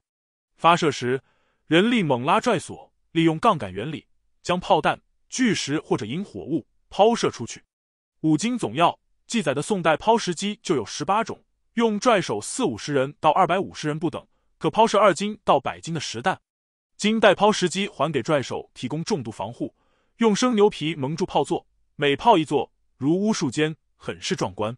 幺幺九，不过宋式抛石机有一个缺憾，就是射程不远，仅五十步开外。另一种配重式抛石机称为曼扎尼克，最初流行于中东地区。阿拉伯人对中国传入的拽索式抛石机做了改进。在炮梢尾部悬挂一块巨石或者巨铁配重物，利用配重物下落的动能代替人力牵引，射程更远，威力更大，甚至能通过增减配重比较方便的调节射程。后来元军围攻南宋的襄樊，一发击碎城楼的襄阳炮就是这种抛石机。幺二零，抛石机发展到中世纪已经相当精确，可以好几个小时连续轰击同一块区域。但是，不论哪种抛石机，安装、拆卸、调整射程、重新瞄准目标，都非常麻烦和耗时。一百二十一，因此，蒙古军的抛石机采用了装有轮子、可以推移的炮座，或者干脆以炮阵的密度和火力取胜。这些做法在当时的欧亚大陆上都相当先进。就在蒙古军围攻南京的前一年，一千二百三十一年秋天，萨里塔率另一支蒙古军围攻高丽的归州城。他们不仅建造了楼车、大床、云梯，还推出了十五架大炮车、三十架炮车，猛轰城门。一发炮弹擦过坐在城楼上督战的高丽将军金庆孙，将他身后的清兵打得身首迷碎。幺二二，更大规模的炮击出现在之前的凤翔围攻战。蒙古军在城外设炮四百座，专门攻击城墙一角。中国古代城池多是方形，当时的军事理论认为，攻打这种城池应该重点进攻城角，因为容易从两边部署火力。一百二十三，可见蒙古军不仅以数量见长，还了解炮攻的原理。难怪英国军事理论家利德尔·哈特 （Liddell Hart） 将蒙古重炮兵誉为现代军队炮火准备的鼻祖。一百二十四，正大九年。一千二百三十二年正月十七日，三峰山之战的次日，蒙古三路大军正式会师。窝阔台汗在众多宗王、万户和千户的簇拥下，视察了血污莫西的战场。他笑着对托雷说：“威辱不能至此结也。”某宗王说：“诚如圣谕。”然托雷之功，住在社稷，指他拥立大汗。托雷也赶紧说：“臣何功之有？此天之威，皇帝之福也。”大家纷纷赞叹他的谦逊。一百二十五，过不了多久，在场的人再回想这番富有深意的对话，也许会不寒而栗。接下来两个月，二月、三月，蒙古大军扫荡南京周围商、国、松、汝、陕、洛、许、郑、陈、博、颍、寿、睢、永等州的金军残部，然后窝阔台汗、拖雷一同北上避暑。只留下一员韧性十足的蒙古老将，负责统诸道兵，主持南京围攻。这位老将名叫速不台，成吉思汗的四斗之首。他从百夫长干起，追随成吉思汗南征北讨，参加过蒙古帝国几乎所有大型战役。速不台一生足迹所旅之地，大概超过任何一位中世纪欧洲或伊斯兰世界的著名旅行家。这位将军马不停蹄，越过帕米尔高原上白雪覆盖的群山，满目黄沙的大漠。碧浪翻腾的里海，清澈见底的多瑙河，花剌子模算端，罗斯王宫，条顿骑士，在他面前像麋鹿一样惊异。中亚的山城，罗斯的木寨，东欧的石堡，无不被他踩在脚下。有人说，速不台身经六十五战，灭国三十二，让西方人真切的体会到，亚洲也诞生了毫不逊于凯撒和亚历山大的名将。一百二十六，笔者总有点好奇，这样一段。今天看来仍然惊心动魄的阅历，对一个人的心灵会产生什么样的影响？一个能天才的思考、解决复杂战略战术局面的头脑，大概不会只充斥着嗜血贪婪的念头。尽管素不台不可能像诗人那样敏感冲动，或者像旅行家那样偏爱异国情调，但是这些人生阅历是否只令他的心更加冷酷坚硬，又或是会激起一种超越尘世的悲悯？这个问题没有答案。不像凯撒、格兰特。或者第二次世界大战那一大批名将，速不台不曾留下回忆录，甚至任何透露他个性的文字和言语记录。我们只知道，在完成这一切红业之后，速不台平静的退隐到突拉河、土拉河畔自己的营地，七十三岁高龄时离世。金国这样一个大帝国的轰然倒塌，仿佛只是老人闲来无事时凝视的长河上轻轻泛起的一道涟漪。正当速不台指挥大军围攻南京的时候。在遥远的蒙古大汗营地中，悄悄发生了一件本来足以惊天动地的神秘事件。这年四月，连配北返的窝阔台汗和拖雷两兄弟，经过中都，取到居庸关北口，进入关山避暑。不久，窝阔台汗忽然生了病，病得还很重。萨满巫师占卜后，发现是金国山川之神在作祟，因为蒙古大军掳掠人民，毁坏城郭，触怒了神灵。不料，御用的萨满巫师举行法事攘解。向金国山川之神献上人口和财宝之后，窝阔台汗竟然病得更重了。最后，萨满巫师只好说：“唯有大汉最亲近的人替他以身赎罪，他才能活下来。托雷听了，就叫萨满巫师说了一段祷词：“洪福的父亲将咱兄弟那选着，教你做了皇帝，令我在哥哥跟前行。忘了的提说，睡着时唤醒。如今若失了皇帝哥哥喝，我谁行提说住？唤醒着，多打打百姓，教谁管着？且快惊人之意！如今我带哥哥，有的罪孽都是我造来。”我又生的好，可以弑神。是物，你咒说着。一百二十七。说完，托雷将涤除疾病的咒水一饮而尽，又嘱咐兄长照顾自己的孤儿寡妇、妻子梭鲁和铁尼和蒙哥、忽必烈、序列兀、阿里不哥等十子，走出营帐，没几天就去世了。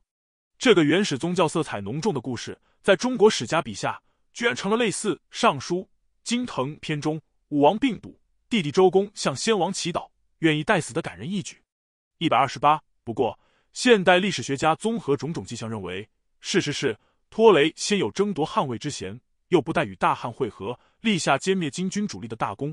窝阔台汉为消除隐患，装病下毒，谋害了托雷。看来那句威辱不能至此结也，暗藏着深深的忌惮。这是蒙古帝国的内核上出现的第一道明显裂痕。且不说窝阔台汗可能死于托雷遗孀的下毒报复。托雷之死是黄金家族的哥哥兄弟们第一次诉诸非常手段解决权力冲突，而且远远不是最后一次。蒙古宫廷内部，窝阔台系和托雷系、托雷系各分支之间兄弟戏强，党同伐异，几乎无休无止，最终导致这个欧亚大帝国加速分裂，昙花一现。一百二十九，说到底，这也可以算金朝在三峰山牺牲掉全部主力换来的一点意料之外的影响，但是。这些遥远的帝国宫廷议事，已经不能使南京城内近百万军民的命运发生任何改变了。二开心围城，正大九年（一千二百三十二年）正月，三峰山之战的噩耗传到了三百里开外的南京。身在城中的刘琦见证，京师大震。金哀宗听到自己苦心经营近十年的二十万精锐，一夜之间灰飞烟灭，精神登时崩溃。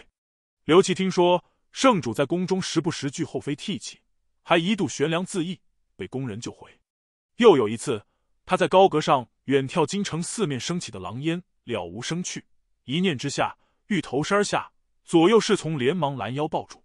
一百三十，正月十九日，稍稍振作的金哀宗亲自登上承天门，宣布大赦天下，同时发布了一道罪己诏，宣布改年号为开心。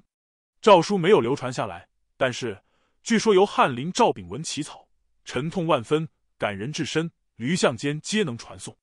四面八方仍在坚守的孤岛，比如洛阳，通过种种途径接到诏书，听完宣读后，举城痛哭。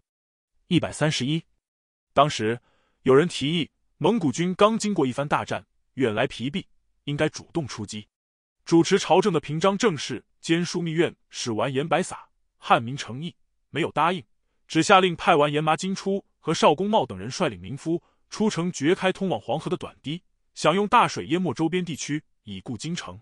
工程还没实施一半，蒙古游骑就蜂拥而至，一万多名丁壮活着逃回城内的只有二三百人。到了二月，南京城头才开始大规模搭建望楼、敌台、战棚，准备迎接大规模围攻。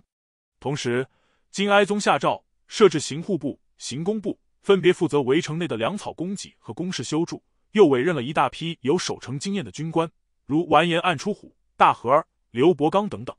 此时最大的困难莫过于人手不够，城内的正规军队所剩无几。南京东西两面各有一支都尉军，黄河对岸的魏州也有一支驻军，他们都是黄河防线的守备军队。如今防线已破，必然要撤回来充实南京的防御。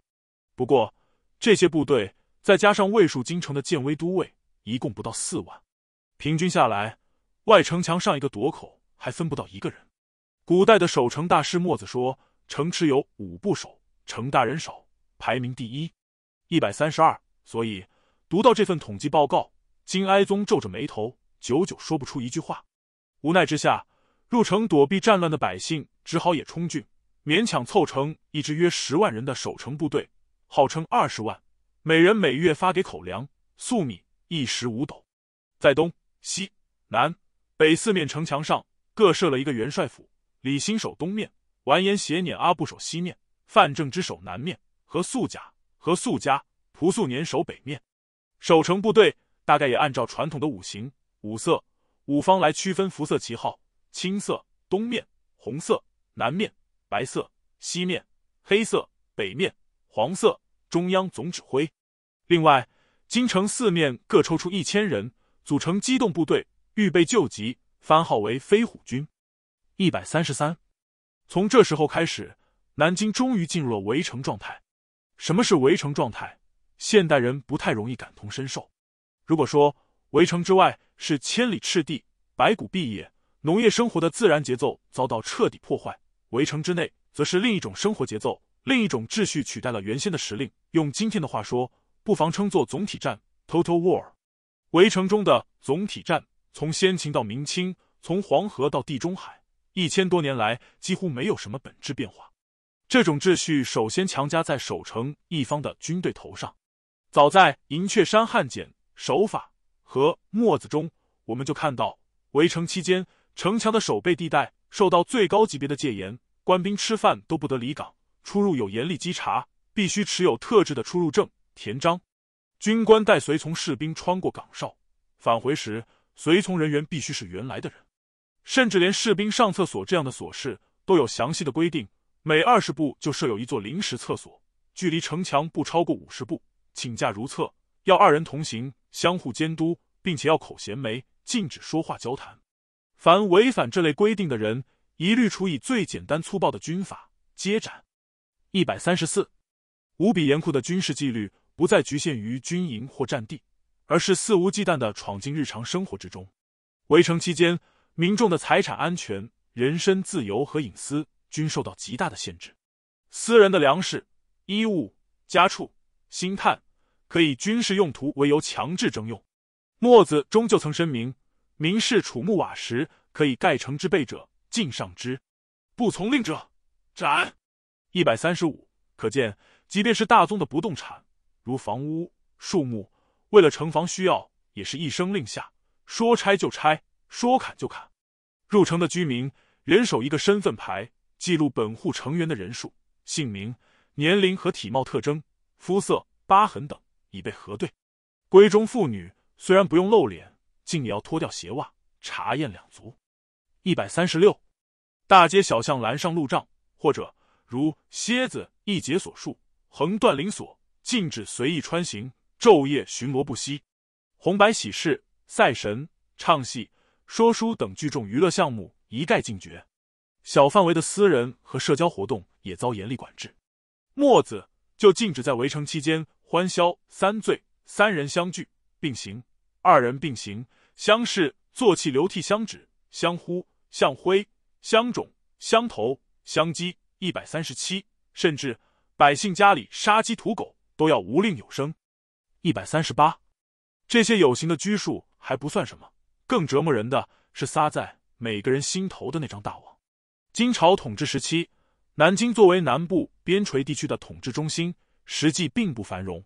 过往的南宋使节都发现，城内只是宫室壮丽，生计甚为萧条。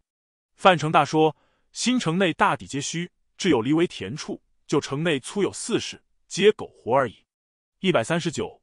金宣宗南渡以后，京城还发生过老虎袭击人的事件，甚至大白天的虎入正门，吏部及宫中有狐狼，可见四郊多么荒凉。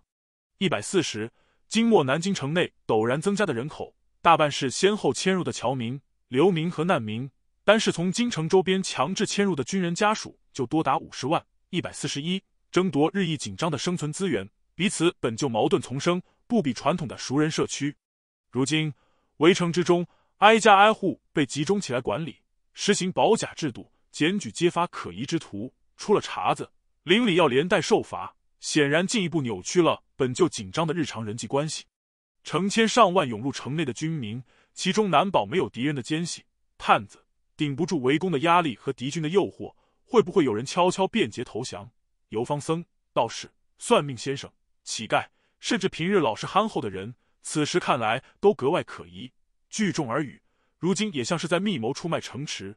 加上围城之中几乎从不缺席的饥荒、伤寒、霍乱、痢疾，这一切都会对围城中人的正常心智造成无比强大的高压。古今中外众多要塞的陷落，并非敌人攻破城墙，而是第五纵队的背叛以及人心的提防土崩瓦解所致。现在就看南京能否先挺过第一轮围攻的考验了。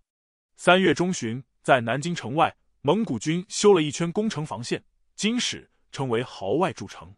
这道攻城防线周回一百五十里，设施周全，不仅有垛口、楼橹，甚至有壕沟环绕，深宽达一丈有余，堪称城池的翻版。防线上每隔三四十步就设有一座岗哨铺，有百余名卫兵警戒。接下来，速不台将面对攻城的第一道障碍——护城壕。就在这个时候，金人给他提供了一个出乎意料的便利。或许是缺乏玉石俱焚的决心，或许是为了等待更多援军抵达，金哀宗开始同蒙古人谈判。十九日，金哀宗册封哥哥守纯之子额可为曹王，预备送给蒙古军当人质。皇叔密国公完颜署主动提出，额可年纪幼小，承担不了如此艰巨的使命，希望由自己陪同，甚至代替额可。金哀宗哀怜叔父年老，没有答应。叔侄二人在隆德殿上相顾泣下。二十一日，尚书左丞李希奉命送曹王出城，建议大夫陪马阿虎代、太府监国世荣作为讲和使，一同前往蒙古军大营。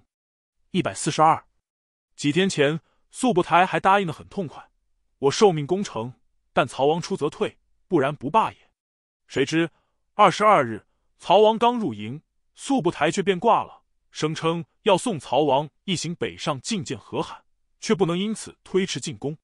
一百四十三，说话间，他堂而皇之下令把大炮等攻城器械推到护城壕边上，列壕树立木栅，又用木柴干草捆在一起，投入壕中。顷刻间就平十余步。白撒唯恐破坏和谈的气氛，下令城上不准放一弹一箭。城头站满了金军官兵，眼看敌军旁若无人，一步步填平城壕，心急如焚，却只能用刀枪拼命敲击盾牌。大声怒吼，表示抗议。隐约听到宫外的喧闹。金哀宗带了六七名侍从，骑马从城天门出来，沿着御街穿过汴河上的周桥，视察西面的城墙。当时刚下过一场雨，地上泥淖不堪。御街两侧的商贾、行人听到皇帝出行的警闭声，惊慌失措，来不及回避，只好伏在道旁。也有人朝御骑行三跪九叩大礼。金哀宗高声说：“勿拜，恐尼侮辱衣。”吩咐护卫让大家都散去。城中民众平日没见过皇帝，消息传开，万人空巷，扶老携幼，聚拢围观。众人推推搡搡，甚至有人误触到金哀宗的御衣。过了片刻，白撒等官员闻讯赶到，随从给皇帝捧上一顶斗笠。金哀宗瞥了一眼，只说：“军事暴露，我何用此为？”便继续视察防御。御其所过之处，守城官兵欢呼万岁。声音一浪高过一浪，有人高呼：“臣等战死无所恨。”还有人激动的泣不成声。趁这个机会，防守西南面的士兵黑压压一片，跪在金哀宗的马前，诉说：“达兵运土填壕，都快填完一半了。平章大人不准我等反击，恐怕阻碍何意？朝廷难道另有打算？”金哀宗回答：“朕不想生灵涂炭，答主若让朕称臣敬奉，朕无不应允。”朕膝下唯有一名过继之子，也送出当了人质。汝等暂且忍耐，待曹王到了，敌军还不撤退，汝等再死战不晚。仍然有官兵边拜边哭，高喊：“如今局势危急，圣主切勿寄希望于和谈。”金哀宗只好传旨，允许城上放箭，干扰蒙古军作业。金哀宗正要拨转马头回宫，驻守西水门的千户刘寿冲上前，一把扯住御马的缰绳，喊道：“圣主无信贼臣！”指白撒等人，贼臣尽，大兵退矣。护卫要拿下这个无礼之徒，金哀宗摆摆手说：“这人醉了，莫管他。”二十三日，蒙古军又驱赶成千上万的俘虏和无辜的妇女老幼，背负木柴干草填平护城壕，城上箭卒四下如雨，顷刻壕为之平。一百四十四。三巨石炮与飞火枪，远程火力的较量。从来都是围攻正式开始的序幕，用现代军语或可称作炮火准备和反准备。不多时，从蒙古军的炮兵阵地跌跌撞撞冲出来两个人，趁乱逃入了金军阵营。一问之下，这两人竟然是原凤翔府的炮军万户王阿驴、樊乔。凤翔陷落后，二人沦为战俘，被蒙古军挑出来继续操炮。他们逃入南京城内后，宣称自己蒙骗蒙古人，炮利于短，不利于长，把炮梢和拽索大大截短，导致击虽起伏，所击无力。一百四十五。不过，这显然是他们为了将功抵过编造出来的谎言。蒙古军炮轰南京的实际情况与二人声称的天差地远。史籍提到，蒙古军围攻南京，在城外架设了大量抛石机、曼扎尼克。一百四十六。刘琦回忆，蒙古军数炮攻城，炮飞如雨。一百四十七，金军也从城内发炮还击。金军也是用炮的行家，而且是蒙古军真正意义上的老师。太和六年（一千二百零六年），在围攻德安的战役中，金军一门九烧炮的指挥官弹无虚发，针对部署在城内的南宋炮兵，可以隔着城墙视不以目，而夺以翼，上游命中。宋军炮兵十分忌惮。一百四十八，炮兵的较量不仅是机械之间的较量，也是炮弹之间的较量。战争史书极不爱讲炮弹，其实很多时候炮弹比炮更重要。圆球状的实弹便于装运，能滚动产生更大破坏，是中世纪东西方军队的标准配备。蒙古人围攻南京的四十年前，十字军围攻阿卡城 （Acre），英王理查一世 （Richard I 狮心王）的抛石机抛射的石弹。源自他从西西里岛采集来的巨大岩石，一发实弹一下子击毙十二名穆斯林士兵，引得敌军主将萨拉丁 （Saladin） 亲至现场勘察。狮心王的炮弹号称无坚不摧，是打磨的光溜平滑的石球。一百四十九，金军的石弹很早就由专门的工匠严格按照规格批量生产。太和七年（一千二百零七年），金军围攻南宋襄阳，南宋守军注意到。金军的球状石弹都是专程从北方用牛车运来，以青石为底料，做工精致，是制式武器。一百五十，南京围攻期间，金军石弹底料则取自北宋故宫的太湖灵璧的假山，大小各有斤重，必须圆如灯球。相反，城外蒙古军的实弹却是不拘一格，磨米用的大石磨，冲谷用的大石对，破成两三块，照样可以抛射出去，而且棱角锐利。破坏力巨大，蒙古军抛石机的形制也同样骇人。宋代抛石机按照抛掷臂、炮烧的粗细，有单烧、双烧、五烧、七烧等几种型号。七烧炮也要动用二百五十人轮番拽放，而南京城下蒙古军的炮有至十三烧者。蒙古军还继续发扬集中火力的战术，每城一角制炮百余支，更地下上，昼夜不息。部署日。十级于里成平，一百五十一，一架抛石机由数百人轮番操纵，一日之内可射出数千枚实弹。抛石机的发射通常还带有一种奇特的巨响，离南京城墙数里开外都可以感觉到地面和屋瓦在微微震颤。百年前，金军围攻汴京，重点攻打城池的东南面，这次蒙古军却把主攻方向放在了西面，于是。金哀宗手下两大重臣，平章兼枢密使完颜白撒、参政兼枢密副使赤斩和喜，分头坐镇西南、西北两个地段。相比之下，东北面的攻势稍缓，东南面几乎没发生太激烈的战斗。一百五十二，赤斩和喜，女真语为 Hoti，意为小狗，在金夏的边境战争中表现活跃，又担任过凤翔的守将。元光二年（一千二百二十三年），木华黎率蒙古。西夏联军数十万围攻凤翔，连营数百里，东起扶风、岐山，西至陇州、千源，声势浩大，却未能得手。自从见识过蒙古军在凤翔城下数炮四百，专打一角的壮观场景，和喜摇身一变成了金军中的防御专家，极为傲慢自负。南京围城期间，见官陈可不断上书提意见，何喜恼羞成怒，把陈可叫到尚书省大堂质问。他不识可字，还想直呼其名，你就是陈山可吧？要按你说的，能退大敌，老夫世世代代给你家为奴。在场人无不窃笑。此刻，何喜镇守西北城墙，蒙古军在此处的攻势最为凶猛。炮声一起，何喜昂着头，噔噔噔走上城楼，从射孔向外窥探了一眼西边的攻城阵势。史书称，从这以后，整个围城期间，他自始至终语言失措，面无人色。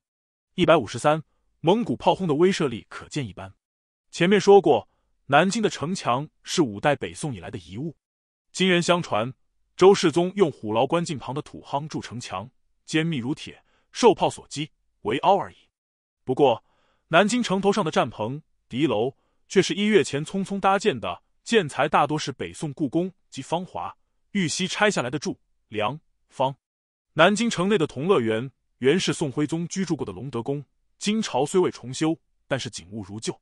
在这个季节，此处正是南京官民一同赏花饮酒的佳境。如今，不止园林假山化作石弹的原料，稍具规模的亭台楼阁也都扫地而尽。一百五十四，可惜这些合抱之木，尽管直径粗大，却经不起蒙古抛石机的一炮之威，随机而碎，必身其下的守军登时死伤狼藉。金军只好在工事表面铺上一层干马粪和麦秸，撑起绳网，粘入，缓和冲击。顶上再罩一层牛皮，看上去十分牢固。不料蒙古军将引火物通过抛石机射出，瞬息之间，金军的楼橹就燃起熊熊烈火，扑救不及。蒙古军还推出一种工程车，称为牛皮洞子，坑道兵躲在里面，直抵城下，挖掘城墙地基。金军在城上一时无可奈何。不过蒙古军弓弩齐射，千炮并发，造成遮天蔽日的实弹箭雨。却不能像西方中世纪晚期真正的火炮那样轰塌城墙、打开缺口，最多只能暂时压制城头的反击，让夺口后方的金军死伤相继。要攻陷这座坚城，蒙古军还得依靠最传统也是最惨烈的方式——以腹攀爬。伏在雉叠内侧的金军士兵神情凝重，城外弩炮发射的巨响接着矢石呼啸而至，四周碎石横飞，竹木爆裂，楼橹轰塌，袍泽的惨叫。废墟下的哀嚎，他们都听见了，但只是紧紧攥住手中的武器，只等敌人抵近城墙。一部分金军士兵抱着圆球状、冠状或葫芦状的铁疙瘩，这是河中守军用过的震天雷。震天雷可以当做手榴弹，抛下城头，炮起火发，其声如雷，闻百里外，杀伤面积远达半亩开外。飞溅的火点甚至能烧穿铁甲，还可以用铁链拴着，从城头吊到蒙古军的工程车。牛皮洞子前方实施精准爆破，人与牛皮皆碎迸无迹。一百五十五，还有一部分金军士兵手持一种长杆状的初级火器——飞火枪，一种枪头上捆绑黄纸筒的长枪，纸筒长约二尺，里面填色柳炭、硫磺、砒霜作为火药，再掺入铁渣、瓷片当做子弹。发射者举枪，辅助者拎着一个保存火种的小铁罐，点燃引信，枪头喷射出的火焰。远至一二丈，一百五十六飞火枪在野战中效果有限，但是用来守城，自上而下对准移动缓慢的近处目标，杀伤力明显倍增。就在蒙古大军将云梯、冲车和攻城塔推到城脚下，密如蚁群的突击队举起盾牌、鱼贯攀登时，就轮到金军的原始手榴弹和火焰喷射器大展神威了。负责各地段的百户军官声嘶力竭大吼：“发！”一直被石潭压得抬不起头的金军士兵闪身而出，用尽全身力气，咬着牙将震天雷砸下，将飞火枪扎下。只听一连数百声霹雳般的巨响，霎时盖过了城外的炮声。南京城仿佛被一圈刺眼的火焰和呛人的黑烟吞噬。等到硝烟散尽，蒙古军的第一批突击队几乎尸骨无存，城内城外俱哗然。眼见火器得力，守军士气大振。在随后的拉锯战中，金军甚至敢从城墙隐蔽处的暗门冲出来，偷袭城脚下的蒙古军。金哀宗坐在高阁上远远观战，欣慰的发现，虽然何达等名将在三峰山折损殆尽，一批作战英勇的军官又崭露头角。总领蒲察官奴高显、刘毅、义皆以力战有功，众数推之，皆擢为帅。在伤亡相继的血战中，晋升为新的四面守御军官。一百五十七。刘毅的儿子苦战不支，撤退回来，遭到父亲劈头痛骂。接着，刘毅眼看爱子身中数箭，大呼冲杀进蒙古军的重重包围中，最后消失无踪。一百五十八，攻城一方也不甘示弱。河北军阀张柔，字号拔都鲁 （Beater），勇士，以攻城汉不畏死著称。他喜欢披挂重铠，率敢死队先登，曾经脸颊中箭，折其二尺，拔矢以战。张柔参与进攻南京城西北面，看到金军屡次主动出击，他单骑陷阵，出入数次，所向披靡。一百五十九，正当城外、城上的战斗白热化的时候，城内的官僚却鼓捣出许多令人啼笑皆非的荒唐事。西南面的城墙归白撒坐镇，这里遭受的猛攻仅次于河西，楼橹垂旧折摧，建材的消耗也极为惊人。白撒生性贪婪，素有好货值之名，围城之中，他也没忘记发一笔国难财。一日，白撒突然下令，用竹子编成护帘，遮挡矢石。行宫部火速派人入城，翻了个底朝天，没想到平日比比皆是的竹料。一夜之间无影无踪，连一块竹片、一根竹条都搜不出来，真是多多怪事。白撒大发雷霆，扬言再不按时制办，就要行军法，将负责人斩首。行宫部的主事吓得面如死灰。这时，员外郎张衮凑过来，富尔悄悄说：“今多则吉矣，胡不及平章府求之？”主事恍然大悟，连夜给白撒府上的家童送去三百两银子。果然立竿见影，一大批竹子又凭空出现了。一百六十，白撒干的荒唐事还不止这一件。前面说过，金军有一种曲折屏障，叫迷魂墙，用来防止骑兵突袭城门。一个月前，白撒主持巩固城防工事，在他的授意下，南京城门的外侧修筑了大量这种短墙，委屈狭隘，容二三人得过。如今，金军打算主动出城。夜袭蒙古军大营，却发现这种墙碍手碍脚。等到费尽周折，穿过几方工事，敌人早就有了准备。围攻期间，白撒还招募了一千名敢死队员，在西南城墙脚下开了暗门，计划夜半偷偷摸过护城壕，烧毁蒙古军的炮架，以城上挂出一盏红色灯笼为进攻信号。不料，耀眼的红灯刚一挂上城楼，就被瞭望塔上的蒙古军发现了。没过多久，他又想出一个妙招。制作了一大批风筝，纸鸢放到蒙古军营上方，割断风筝线，给蒙古军士兵和战俘撒上一轮白花花的传单，企图动摇敌军军心。围城中人背地里讥笑：前日纸灯，今日纸鸢，宰相以此退敌，难以。右丞延展士鲁也不甘寂寞。不久前，士鲁还是太常卿，管着宫廷乐工，刚进入宰相班子不久的他，正愁没法展现自己的才干。如今。他灵机一动，让歌妓谱了一首《江水曲》，这是河北地区广泛流传的一首乡愁民谣。每至夜深人静，他就带着教坊乐队上城头合唱《江水曲》，似乎打算给蒙古人营造一种四面楚歌的氛围。一百六十一，幸运的是，这些在血与火边缘上演的荒谬把戏，没有造成不可挽回的灾难。金哀宗时常轻装简从，不张黄伞，巡视四面守御，所至之处。守城将士无不踊跃效力。三月二十三日，金哀宗经过南薰门，恰逢伤兵从城上撤下来，他毫不犹豫地翻身下马，亲手给伤兵敷上药膏，还针灸慰劳，又宣布将自己的私房钱、那副金帛器皿拿出来，预备赏赐有功将士。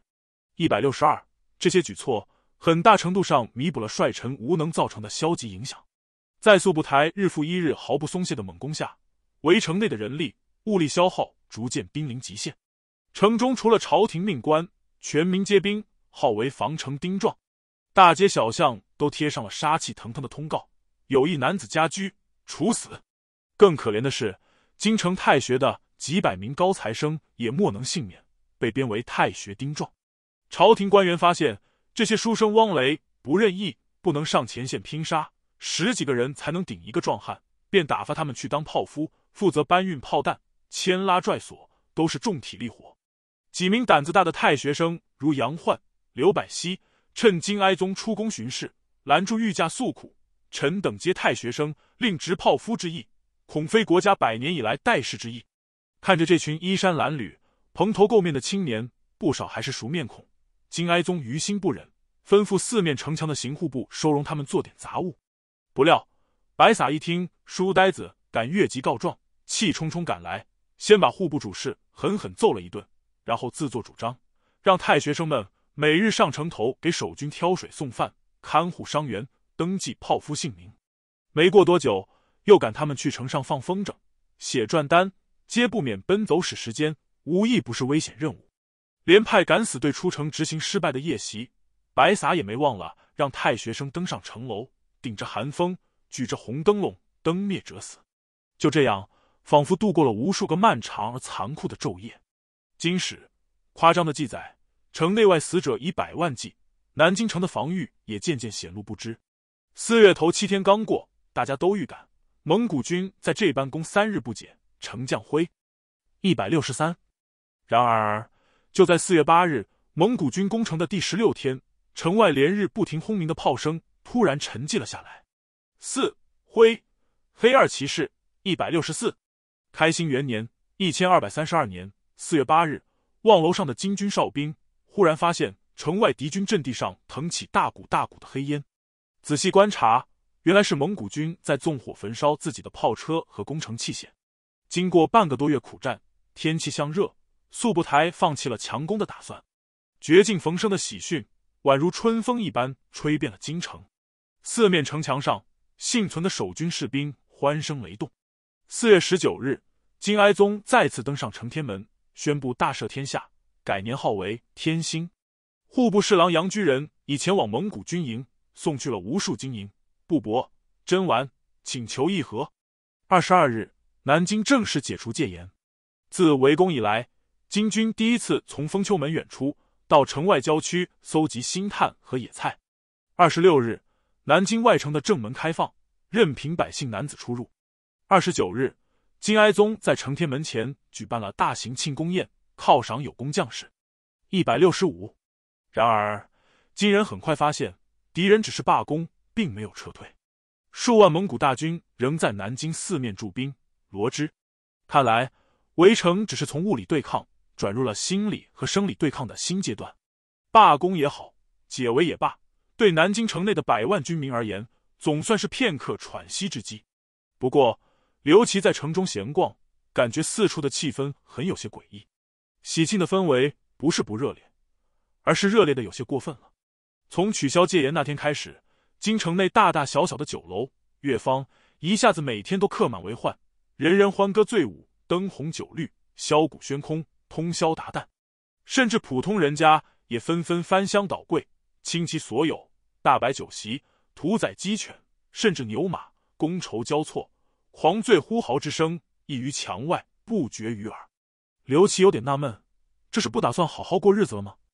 他后来回忆，得知兵祸不解，全城士庶往往纵酒若歌乎，无酒生心。一百六十六，看来劫后余生的喜悦。猛然堕落成了末日降临前麻醉绝望的狂欢，这种大难将至的预感，仿佛得到了老天爷的回应。解严后没几天，一场凶猛无比的瘟疫席卷全城。大疫起于四月，持续五六十天，直到今天，历史学家还在持续争论这场汴京大疫的诱因和病源。一百六十七，根据流行病学研究，围城时期医疗条件、卫生状况和人口健康状况迅速恶化。最容易引起大疫病爆发。南京围城内外大量军民死于战火，尸体得不到及时妥善的清理，成为病菌繁殖的温床。尸体腐败后会污染附近的土壤、水源和食物。再加上不久前黄河在凤池口（今河南商丘西北）决堤，黄泛区生态环境遭受严重破坏，更容易加速病菌的传播。完全有可能，正是二十二日那支出城搜集星炭。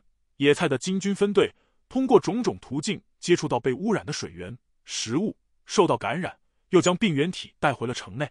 没过两三天，城内的感染者就接二连三倒下，症状无一例外，先是发烧、痰结、咳嗽，然后转为重症，遂至咳血、肾邪逆涌、割吐不已、肌肉干枯，十天左右必死无疑。一百六十八，这到底是什么病？有人说这是大流感。有人说这是流行性肠胃病或者传染性肝炎，有人说根据急速传染、死亡率高、患者大量卡血等症状，很像是肺鼠疫，俗称黑死病。如果真是这样，这场大疫就是十三世纪扫荡欧亚大陆的大瘟疫的一条支流。这次大瘟疫曾让欧洲人口减半，相当程度上改变了世界历史的发展趋势。不过，也有人认为，这次南京大疫只是局部卫生环境恶化引发的地方疫情，主要局限在南京及其邻近地区。这年春天，中国北方的气候又极其异常，本该春暖花开的五月，竟然大寒如冬。一百六十九，加上围城中的劳役困苦、罢工后的狂欢，绝大多数南京居民朝饥暮饱，起居不实，寒温失所，对疫病的抵抗力急剧降低，给疫情的恶化推波助澜。眼见瘟疫四处肆虐，城内的医师束手无策。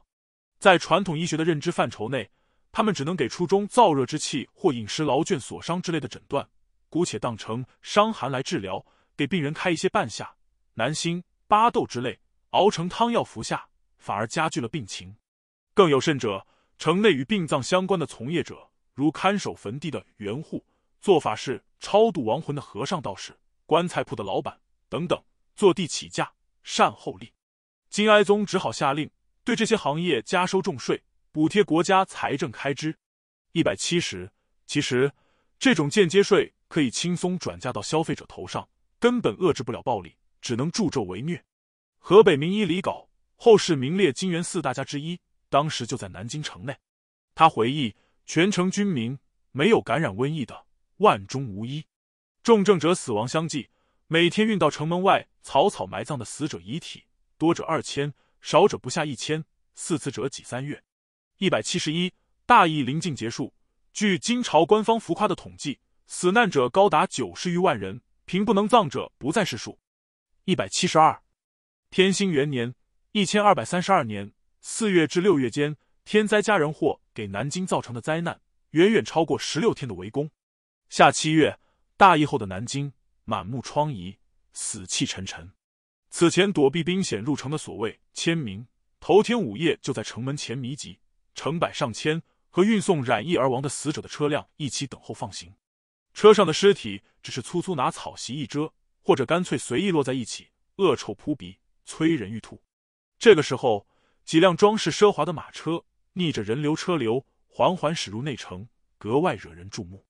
车上坐着的是蒙古大汗窝阔台的国信使唐庆一行。唐庆身世不明，仅有的资料显示。他在成吉思汗时期就是汉军的管军万户，多次出使金朝。三个月前，唐庆护送人质曹王北上，在关山觐见窝阔台汗。紧接着，他又风尘仆仆兼程南返。此行的使命显然更加艰巨，令金哀宗俯首称臣。蒙古人给金哀宗开出的议和条件如下：处尊号，拜诏，称臣，去冠冕，昆提发，为西京留守。交割京城，一百七十三。这七款条件，条条极其刻薄，诏单全收，实在与亡国无异。七月五日，为了避免拜诏称臣的尴尬，金哀宗借口生病，躺在卧榻上接见来使。唐庆一行旁若无人，大摇大摆踏入大庆殿，也不对金哀宗行礼。唐庆高声宣读完诏书后，还带来了窝阔台的口谕：“欲和好成，金主当自来，好议之。”一百七十四，接着双方起了一些争执，唐庆口出狂妄之言，金哀宗身边的进士听得咬牙切齿，恨不得让来人当场血溅龙池。自古有言，主辱臣死。听说蒙古使臣当众侮辱君上，朝野上下无不愤慨。当晚，飞虎军士兵申福、蔡元等人在城头喝酒，聊起白天发生的事，越说越激愤。最后，有人抽刀一拍桌子：“达达如此傲慢无礼！”左右谈不拢，不如先杀了这帮混账东西，让老子出口胸中的恶气。夜半时分，这伙飞虎军明火执仗，闯入使馆，将唐庆和他的两个弟弟山路、新路，连同十七名随员屠戮殆尽。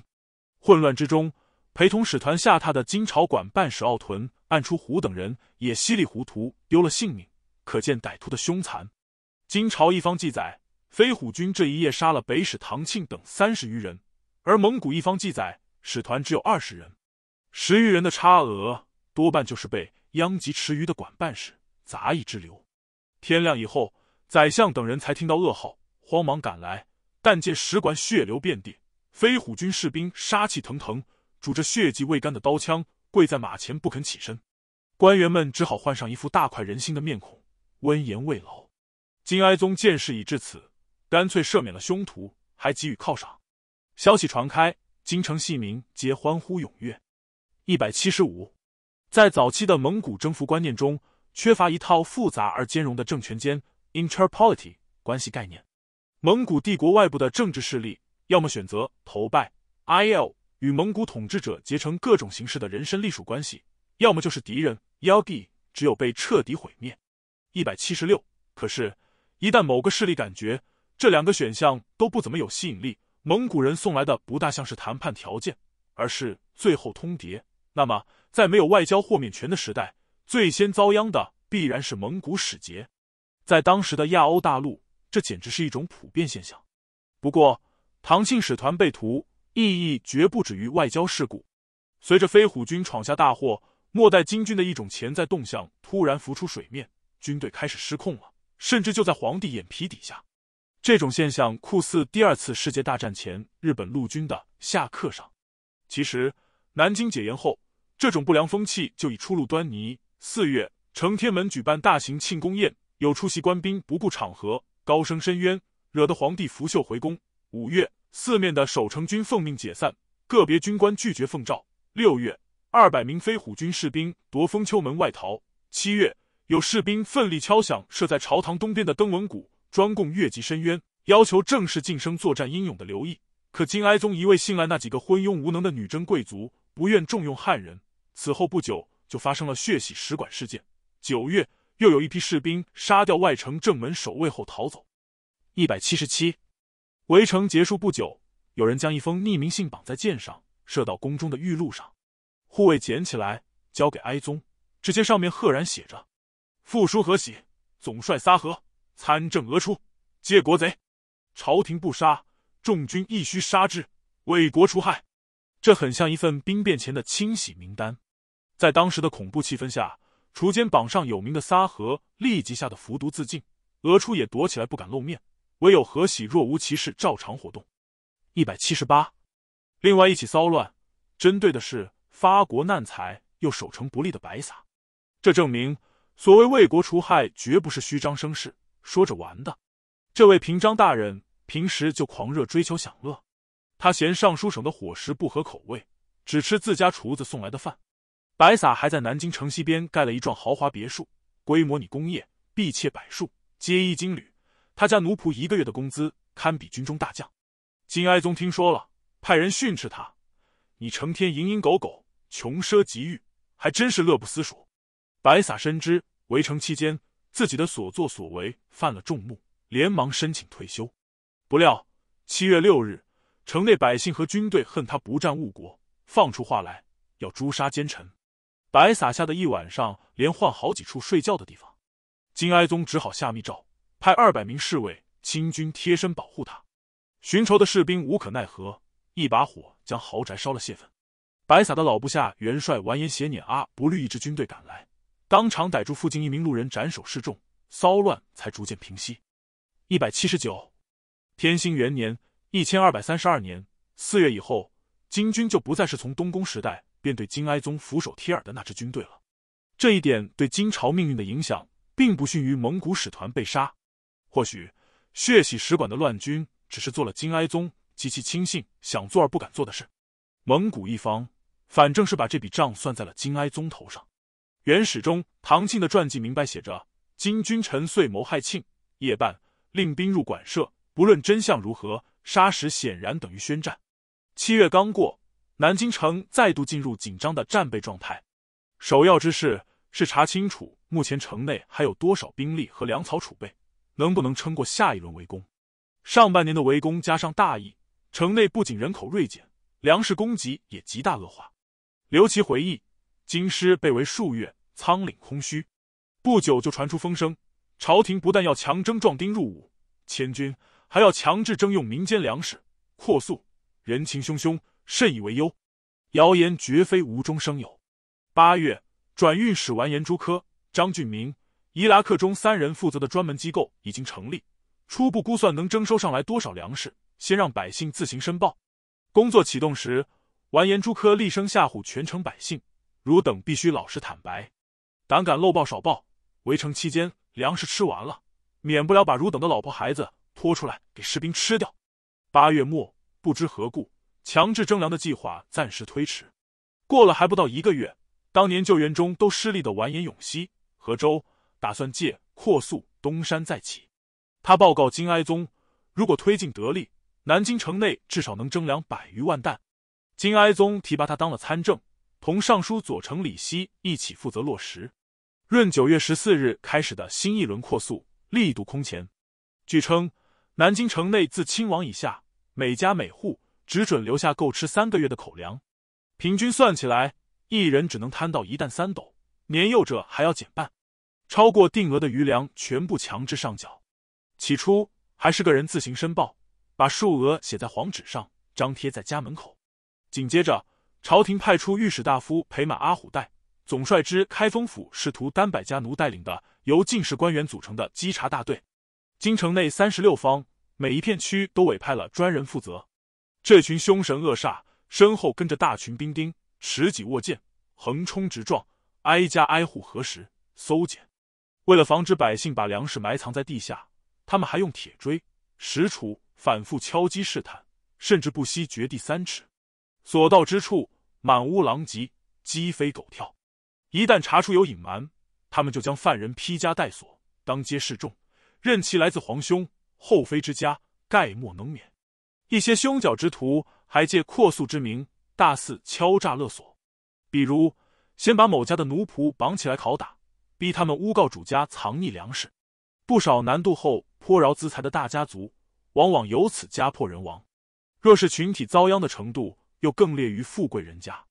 城内有一户。家中只有寡妇二口，就是婆婆和儿媳，丈夫早逝，又没有男性子嗣，寡妇不再改嫁，留下来赡养婆婆。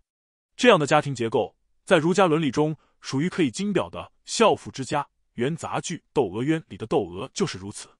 这户上报的存粮是豆六斗，核查后发现，这六斗豆子里面掺杂了不到三升的谷壳。棚子，片区征粮队长是完颜久助，久助。生性冷酷残暴，听到汇报，他觉得是杀鸡儆猴的好机会，狂笑无德之矣。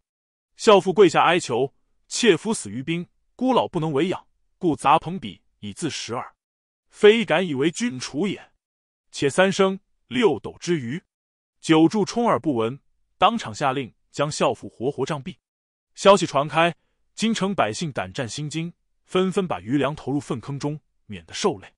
有人向李希汇报此事，李希听了，皱着眉头去报告参政大人。这人果真跑去找永熙。永熙撇了撇嘴：“老兄，我给你打个比方，譬如养蜂，俗话说花又不损，蜜又得成。其实不损花，哪来的蜜？何况京师危在旦夕，你是顾国家还是顾百姓？这件惨案只好不了了之。不久，李希和户部侍郎杨造。”还因为征粮不利被逮入狱，差点杀头。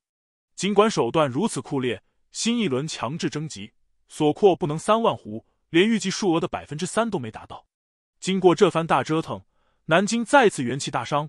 刘琦说：“京城亦萧然矣。”一百八十，不仅粮草征不到，援军也日趋断绝。金哀宗向四面八方送出蜡丸裹着的密信，请求增援，大多一去便杳无音信。当年最大规模的救兵出现在八月初，三峰山之战的幸存者武仙，不久前在邓州收拢溃军的完颜撕裂，二人几经周折，终于合军从汝州（今河南汝州）进发。为此，金哀宗派何喜屯驻南京以西二十里的杏花营，以便接应。后来又进一步前出到中牟（今河南中牟）。武仙、撕裂也是运气不佳，刚穿过南京西边不到八十里的密县（今河南新密）。就在金水河畔遇上了速不台麾下的蒙古军，金军如惊弓之鸟，不战而溃。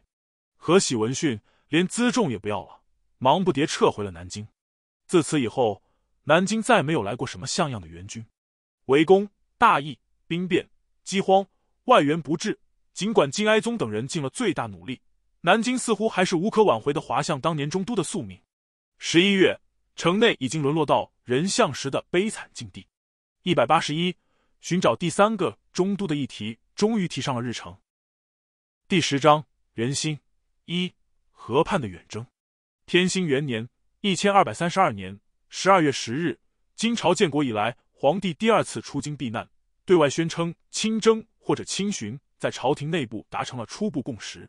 这天，金哀宗在大庆殿公布了随他亲征的人员和组织名单，熟面孔众多。右丞相、枢密使兼左副元帅完颜赛布，平章政事、全枢密使兼右副元帅白撒，全参知政事、枢密副使兼右副元帅完颜俄出，兵部尚书、全尚书左丞李希，元帅左监军、行总帅府事图丹百家，东面元帅高显，复以果毅都尉粘合咬住，军五千；南面元帅完颜卓，复以建威。都尉完颜沃论出，右义务论出，俄论出，军五千。西面元帅刘毅，上党公张开，复以安平都尉纪纲，军五千。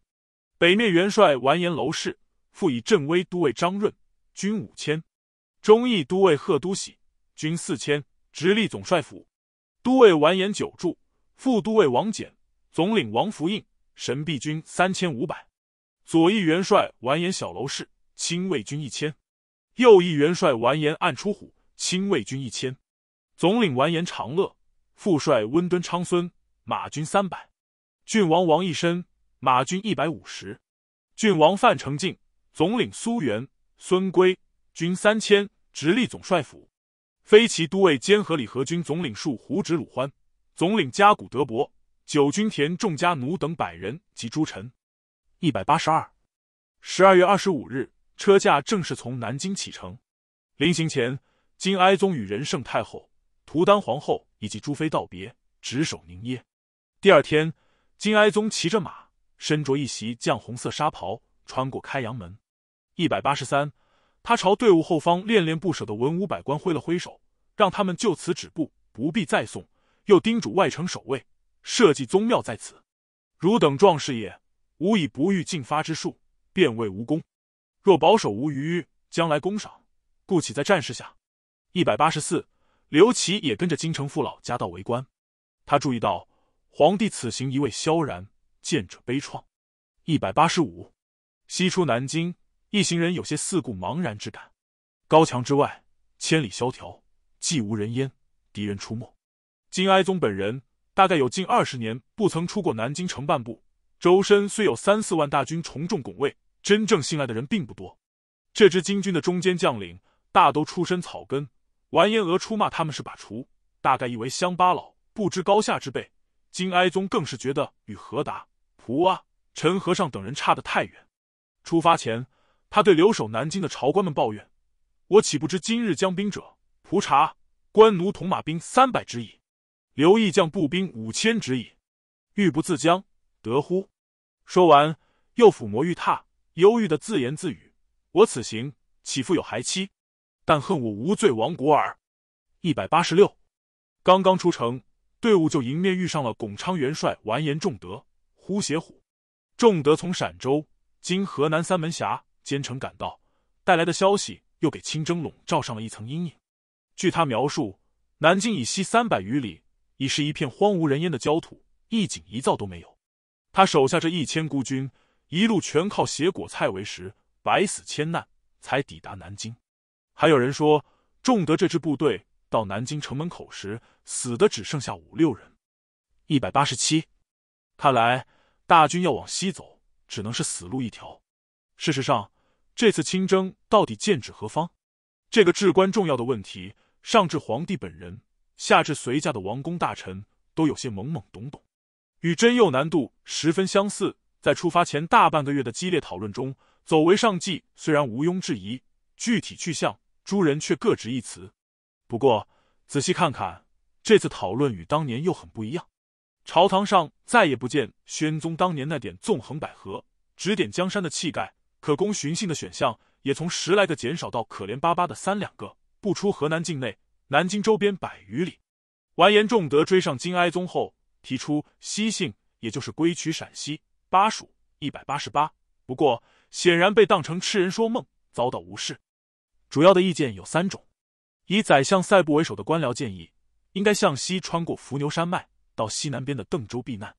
有人补充说，速不台的蒙古军屯住在西南方向，南京和邓州中间的汝州，不如从东面绕过汝州，从陈州（经河南淮阳）、蔡州（经河南汝南）进入邓州。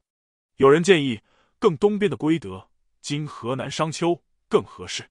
这座城市四面环水，足攻守御。军队将领如完颜洙、高显、王义深等人都赞同这个方案。十二月初，南京城内便轰传，皇帝要带着军队、太后和后妃去归德。把官兵家属留在南京等死。枢密院判官白华自三峰山之战后就被冷落一边，如今有人向金哀宗推荐他安练军务，又被重新启用。白华的见识的确要高出众人一筹，他提出了最激进的方案：归德虽然城池坚固，如果受到长期围困，粮草耗尽，下场依然悲惨。至于邓州，因为汝州的蒙古大军横亘半路，也行不通。白华深知。经过三峰山的豪赌，南京城内集结的这批军队是金朝赌桌上仅剩的一点筹码，除了孤注一掷，别无捞回本钱的可能。他坦率告诉金哀宗：“以今日世事，博图所谓孤注者也。为今之计，当直赴汝州，与之一决。有楚则无憾。但是远赴汝州，寻求与敌主力决战，又不如在南京附近决战，补给便利。总之，白华认为。”唯一的希望就是击溃河南境内的蒙古军主力，要么直接进攻汝州，要么在半途军州、郑州境内，或在南京城下决一死战。白华这个方案好处在于存亡决此一举，外则可以激三军之气，内可以慰都人之心，大概满足了年轻皇帝的自尊心，却并未得到其他人的共鸣。金哀宗亲征之前告祭太庙，举行誓师，对外宣布的大概就是白华的西进之策：今往汝州救蒙古。军马所占去矣。一百八十九，暗地里却可能是谋划绕道去邓州，直到队伍出门遇到了西边来的完颜仲德，才得知西进路段，又不好意思打道回府，大军只好掉头向东。十二月二十六日，金哀宗一行抵达南京东南边的陈留，二十七日抵达杞县，二十八日抵达襄邑附近古皇城。至此，他们距离第三候补目的地归德只有一两天的路程了。二十九日，金哀宗一行抵达黄河边的渡口黄陵冈。这时，臣僚们在去向问题上又产生了分歧。金军沿途清除了一些零散的蒙古驻军，俘虏中有一些河北人、和硕降将。不少人建议让这些降人做向导，渡河直奔开州（今河南濮阳），下一步就可以考虑河北的大名或者山东的东平，收复这些地方的汉人军阀，破竹之势成矣。不过，温敦昌孙提醒金哀宗，太后、皇后都在南京，圣主孤身前往河北，风险太大。若是去归德，一时也难以回京。最好先攻下南京隔河相对的魏州，建立与京师的通路。白撒的意见是，皇帝先驻跸归德，大军主力渡河进攻东平，经略河朔，同时吸引河南的蒙古军，减少压力。金哀宗同意了白撒的方案。可是没过多久。前往魏州方向侦察的忠孝军骑兵返回，蒲察官奴报告魏州有粮可取。白撒反对，京城且不能守，就得魏州，欲何为耶？极力主张北征东平。然而金哀宗坚持要去打魏州。一百九十，天兴二年（一千二百三十三年）正月初一，金哀宗在渡口边的御船上度过了生平第一个颠沛流离的新年。这天。归德的守将石展女鲁欢派人溯河送来了三百余船粮草，共一千五百担，大概是唯一让人欣慰的事情。一百九十一，既决定要打魏州，金哀宗便扣下了运粮船队，又挂上临时用布做成的帆，准备用来渡河。不过，这番亲征既妙誓师拜天，大张旗鼓出城，本来没采取任何保密措施。一路上，河南的父老乡亲献食及牛酒犒军，络绎不绝。金哀宗亲自出面感谢，人人为之感泣。有臣僚忽然想到，河南州县如听说皇帝远去河北，搞不好会大批投降蒙古，劝金哀宗下诏安抚，顺便也宣布大赦河北那些蒙古附庸，召集秦王之师。于是，金哀宗一连颁布了赦文条画十余款，派专使分头传送。没过两天，有臣僚忽然想到，这些印着玉玺的诏书，难免落到蒙古军手中。暴露皇帝出逃的消息和方位，大事不妙。尚书省的首领官张衮、白华、俄初，由于发诏时不顾后果，挨了一顿板子。一百九十二。尽管如此，蒙古军还是听到了金哀宗出逃的风声。金军渡河的日期就是正月初一。大队人马刚渡河完毕，只剩南面元帅完颜朱儿、建威都尉完颜沃论出麾下的五千人，加上忠义都尉贺都喜的四千人，近万名官兵正在南岸等待登船。就在此刻，蒙古军大举演至。最先赶到黄陵冈的是回谷乃率领的四千蒙古铁骑。金军登时阵脚大乱，权杖贺都喜挥舞黄旗，指挥后军背水一战，身中十六七箭。在他的激励下，人人殊死战斗，才勉强击退了蒙古军。金哀宗坐在北岸的御座上观战，派人送来百壶烈酒犒赏殿后的将士。没想到天意难测，蒙古军后撤不多时，河畔就刮起了猛烈的北风，黑云蔽天。浊浪翻滚，金军临时改造的运兵船全部被吹往南岸，寸步不能移。南京城下的老对手速不台、张柔等人恰好率主力赶到，发起了更加凶狠的冲击。顷刻间，金军土崩瓦解，被挤到水中溺死的就有上千人。完颜卓、贺都喜、哥什烈俄论战死。完颜沃论初一看大势已去，连忙跪下，手捧鹰枪向蒙古军投降。完颜卓。完颜沃论初麾下的建威都尉军一直戍守京师，是所谓十三都尉中仅剩的一支建制完好的精锐。金哀宗看到这一幕，心疼的从御座上跌下来，捶胸顿足，懊悔无比。风高浪急，蒙古军追兵一时也无法渡河。在狂风刮起的漫天黄土中，金哀宗率护从官兵在北岸为阵亡将士遥遥设计，哭之，又当场将完颜沃论出的两个弟弟斩首陪葬。一百九十三，还没摸到魏州的城墙，清征大军的兵力就折损了四分之一。金哀宗等人只好硬着头皮向魏州方向前进。然而，魏州也是一块难啃的骨头。这座小城，严格的讲，应该叫新魏。就魏州饱经战火摧残，金宣宗南渡以后，将魏州的州治迁到了更靠近黄河北岸的宜春渡，在距离河道几步远的地方修筑了一座新城，三面平水。为北面受敌，而以石包之，又派重兵屯驻。这是一座城墙有石砖包砌的小型要塞，号称南京的北面门户。蒙古军屡攻不下。正大九年（一千二百三十二年），关河防线遭到迂回，南京危在旦夕，金军被迫放弃新魏州，撤回南京。一百九十四，蒙古克烈部大将万户撒吉斯卜华趁机进驻，号称新魏达鲁花赤。这回。轮到金军自食其果了。一百九十五正月初五，金哀宗将亲征临时指挥部设在了长垣古蒲城，今河南长垣东边的瓯麻冈，离魏州大概二百余里。一百九十六，完颜仲德最后试图劝阻金哀宗，他扯住御马的马嚼子，跪下恳求：“存亡在此一举，魏州绝不可攻。”金哀宗挥手令他退下，参政不知。一百九十七。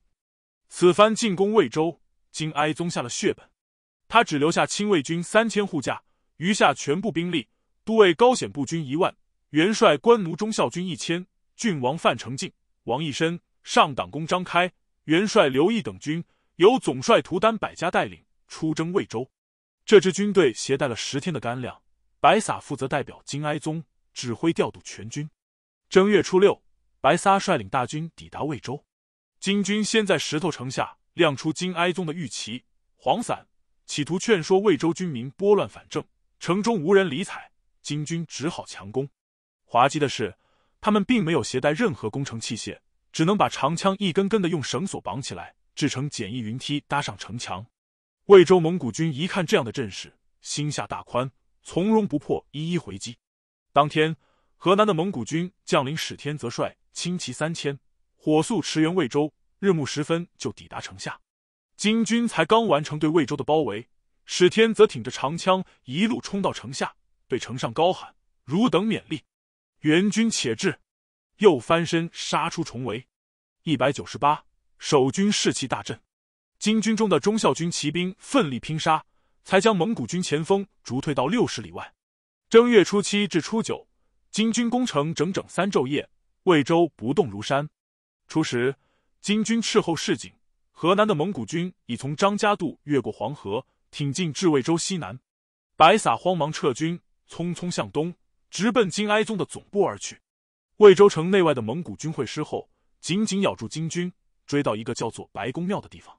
蒙古一方记载，当时参战的援军有速不台麾下的张柔、郭侃等汉军部队，还有察剌，他是元木华黎麾下契丹大将石摩野先的长子，所部就是精锐的黑军。一百九十九正月十二日，双方在白宫庙展开激战，金军一败涂地，白撒等人丢下大军逃回了长垣。刘毅、张开等人纷纷在逃亡途中被杀。二百魏州决战的消息尚未传到。金哀宗已经等得不耐烦了。刘琦说：“这位主上美龄大士，则退怯自举，确实有几分道理。”二百零一，从此地到魏州，加紧赶路不到两日行程。白撒一去就是八九天，形势似乎不妙。正月十三日，白华忽然接到召开紧急御前会议的通知。他走进御帐一看，宰相赛部等官员和留守将领官齐刷刷在场，商议的竟然是拔营启程。尚书省郎中完颜胡鲁拉负责记录某军前锋，某军殿后，可就是不说明到底去哪。会议结束后，白华一把拉住胡鲁拉打听究竟，对方装傻充愣，一问三不知。其实金哀宗感到在长垣附近暴露日久，太过危险，计划让左丞李希、郎中胡鲁拉去归德打前站，然后带着护从诸军沿黄河北岸一直走到归德西北的凤池口过河。这天半夜。白华在自己的行军帐中睡得正酣，两个黑影慌慌张张掀开帘子，把他推醒。原来是尚书省的同僚张衮、额可。两人告诉白华：“你还不知道吧？圣主已登舟。”白华听完有些发懵。额可赶紧说：“就在刚才，平章、白撒和肃家元帅官奴回来了，说我军在蒲城遇上了达兵，一败涂地，遂拥主上登舟，军资一切尾弃，只令忠孝军上船。”马西留营中，冀州已行数里矣。白华觉得很荒谬，反问俄可：“你怎么没跟着一起走？”额可很委屈，按昨日的安排，够资格上船的只有胡鲁拉，其他人等一律跟随大军不行，所以我不敢。二百零二，呃，可的讲述大致符合当天夜里发生的事情。入夜后不久，魏州的拜训传至，点检磨碾误点，总领温敦昌孙刚好在执勤。连滚带爬冲入金哀宗的大帐，连声敦促圣主赶紧上船。金哀宗大吃一惊，问道：“正当决战，何惧退乎？”话音刚落，白撒领着一股残兵败卒逃了回来。惊魂未定，金军已溃，大兵尽在堤外，请圣主信归德。金哀宗在他们的簇拥下，也没来得及收拾行装，匆匆上船，顺流逃向归德。事起仓促，整座御营中。侍卫皆不知，巡警如故。这时是夜半四更，一点多，营外还是一片漆黑。正月十四日，天大亮，护从诸军才发现，皇帝已经轻舟一夜二百里，安然躲入了归德。今史本纪写的更加简单而委婉。金哀宗夜弃六军渡河。其实，所谓的天子六军，不过是总帅图丹百家带领的几千名亲卫军。他们按照预定方案，一部分人登舟。一部分人步行，顺着黄河岸边向凤池口进发，中途被蒙古军发现，死伤惨重，兵遂溃。二百零三，金哀宗走的实在太匆忙，御帐中一气文书、食物一片狼藉，有一个朱红色的册子，里面存着一些金哀宗的私人物品，也落在了蒙古军手中。册子里有一个小纸卷，题为《和硕中心颂》，作者是杨焕，就是南京城内。差点被充作炮夫的太学生领袖，文章是献给金哀宗的。记住，金哀宗壮之至红切中。二百零四，和硕中心颂，今天已经看不到了。从题目判断，大概和名垂千古的《大唐中心颂》元节撰文颜真卿书单属于同一风格。《大唐中心颂》讲的是安史之乱后，唐玄宗入蜀避难，唐肃宗创下中兴大业，他匹马北方。独立一呼，千挥万余，戎卒前驱，顺利收复两京，宗庙在安，二圣重欢，地辟天开，捐除仙灾，瑞庆大来。或许正是这一点相似之处，深深打动了壮志未酬的金哀宗，便随身携带玩赏，时时自勉。据说，因为这篇文章，金哀宗还挨了生母慈圣太后的一顿训斥。老太后听说战局刚有些起色，就有人开始宣扬什么圣德忠心，很不高兴。帝年少气锐，无惧心，则交代生。今幸一圣，何等忠心？而若被产之如是。二百零五。不管怎样，由于这篇歌功颂德的文章落入蒙古人手中，后来在金元之交被尊为一代文宗的杨老夫子，当时也许太过高估了蒙古人的文学修养，只好把自己的姓名从杨焕改成杨焕，又将错就错改成杨英，唯恐有人秋后算账。随着魏州之战落幕，金哀宗光复和硕的最后一丝希望，或者说残梦，就这样随着红切中的和硕中心颂，连同成千上万金军阵亡官兵的骸骨。被无情抛弃在了寒风萧瑟、芦苇丛生的黄河岸边。二人生四朝宴。天兴元年（一千二百三十二年）十二月十日，金哀宗公布了亲征护从人员名单，同时还任命了留守南京开封城的军政班子。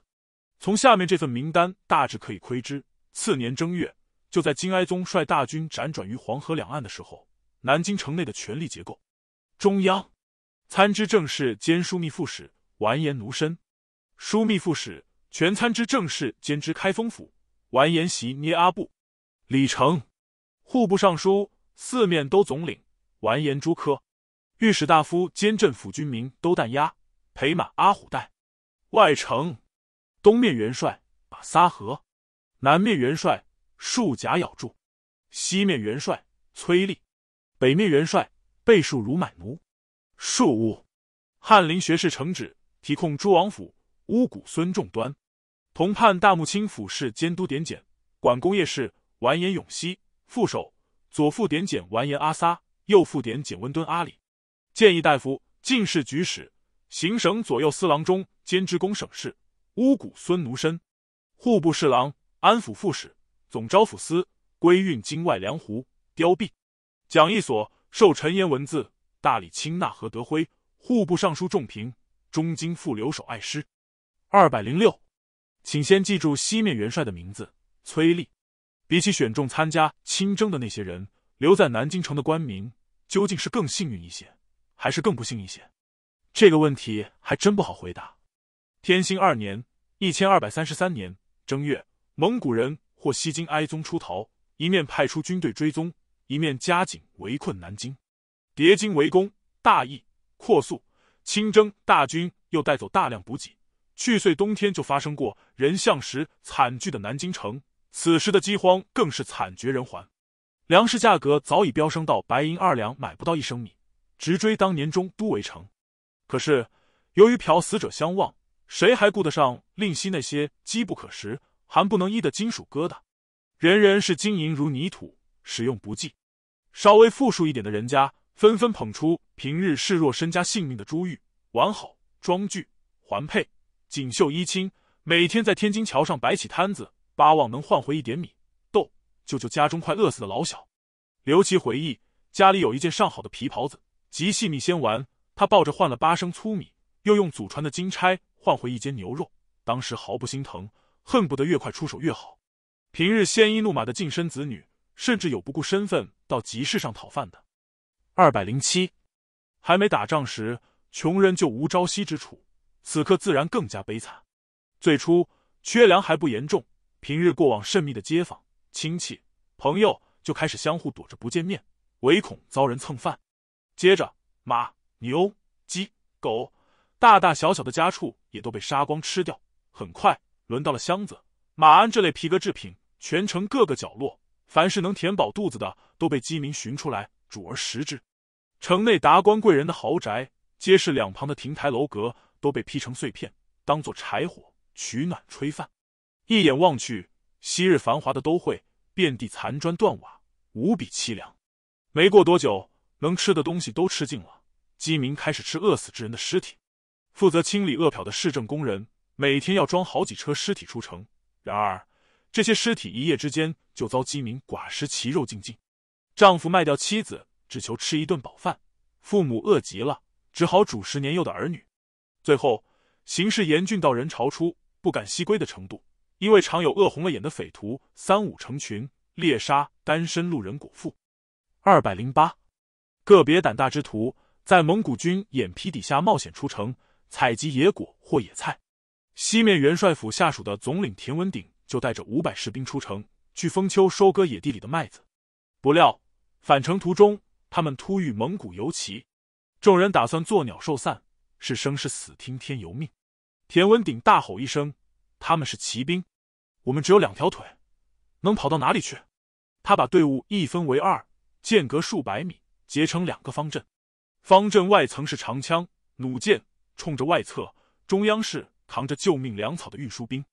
两队交替掩护，缓缓朝城下撤退。蒙古骑兵不知深浅，不近不远跟着他们。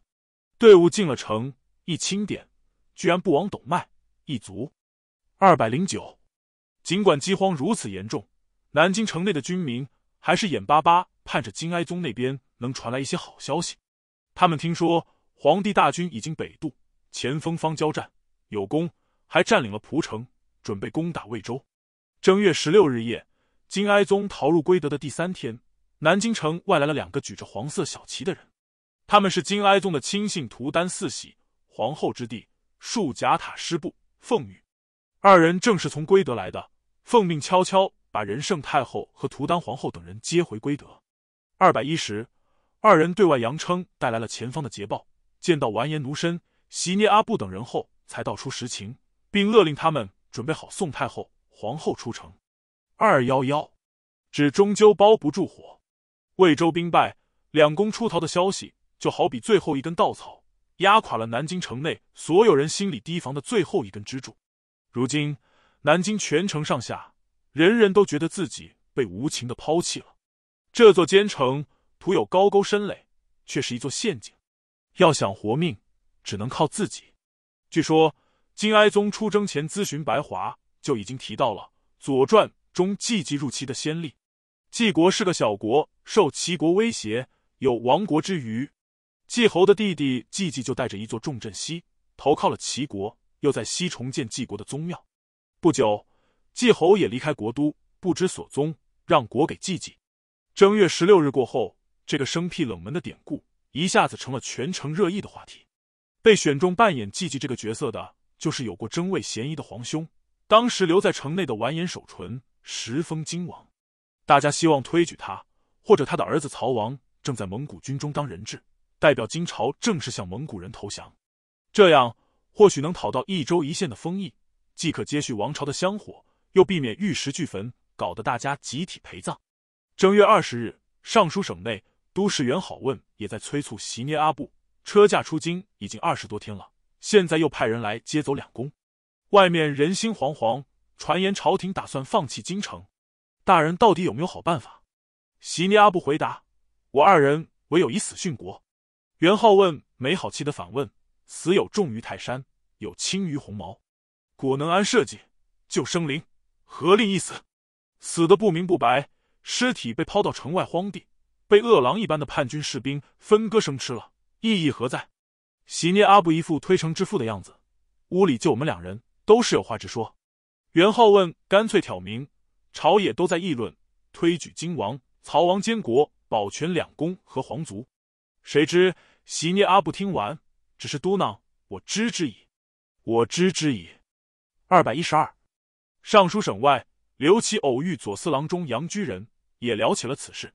杨说：“事情是好事情，谁敢带这个头？两位执政大人也知道，无非怕担责任而已。”于是满城的怒火。纷纷指向了为首的完颜奴身、席涅阿布等大员，大家都怨恨他们只知死守，不懂变通，甚至翘首盼望有一毫杰出，而为之就是名。二百一十三，其实这个时候距这个豪杰挺身而出，只有不到两天时间了。正月二十一日上午，尚书省都堂经过令史许安国、左司都事袁好问等人反复沟通，终于召开了在京百官。僧道和居民代表共同出席的大会，决定南京的前途。奴申、席尼阿卜二人站在都堂的屋檐下，身后跟着杨居仁、袁浩问等僚佐。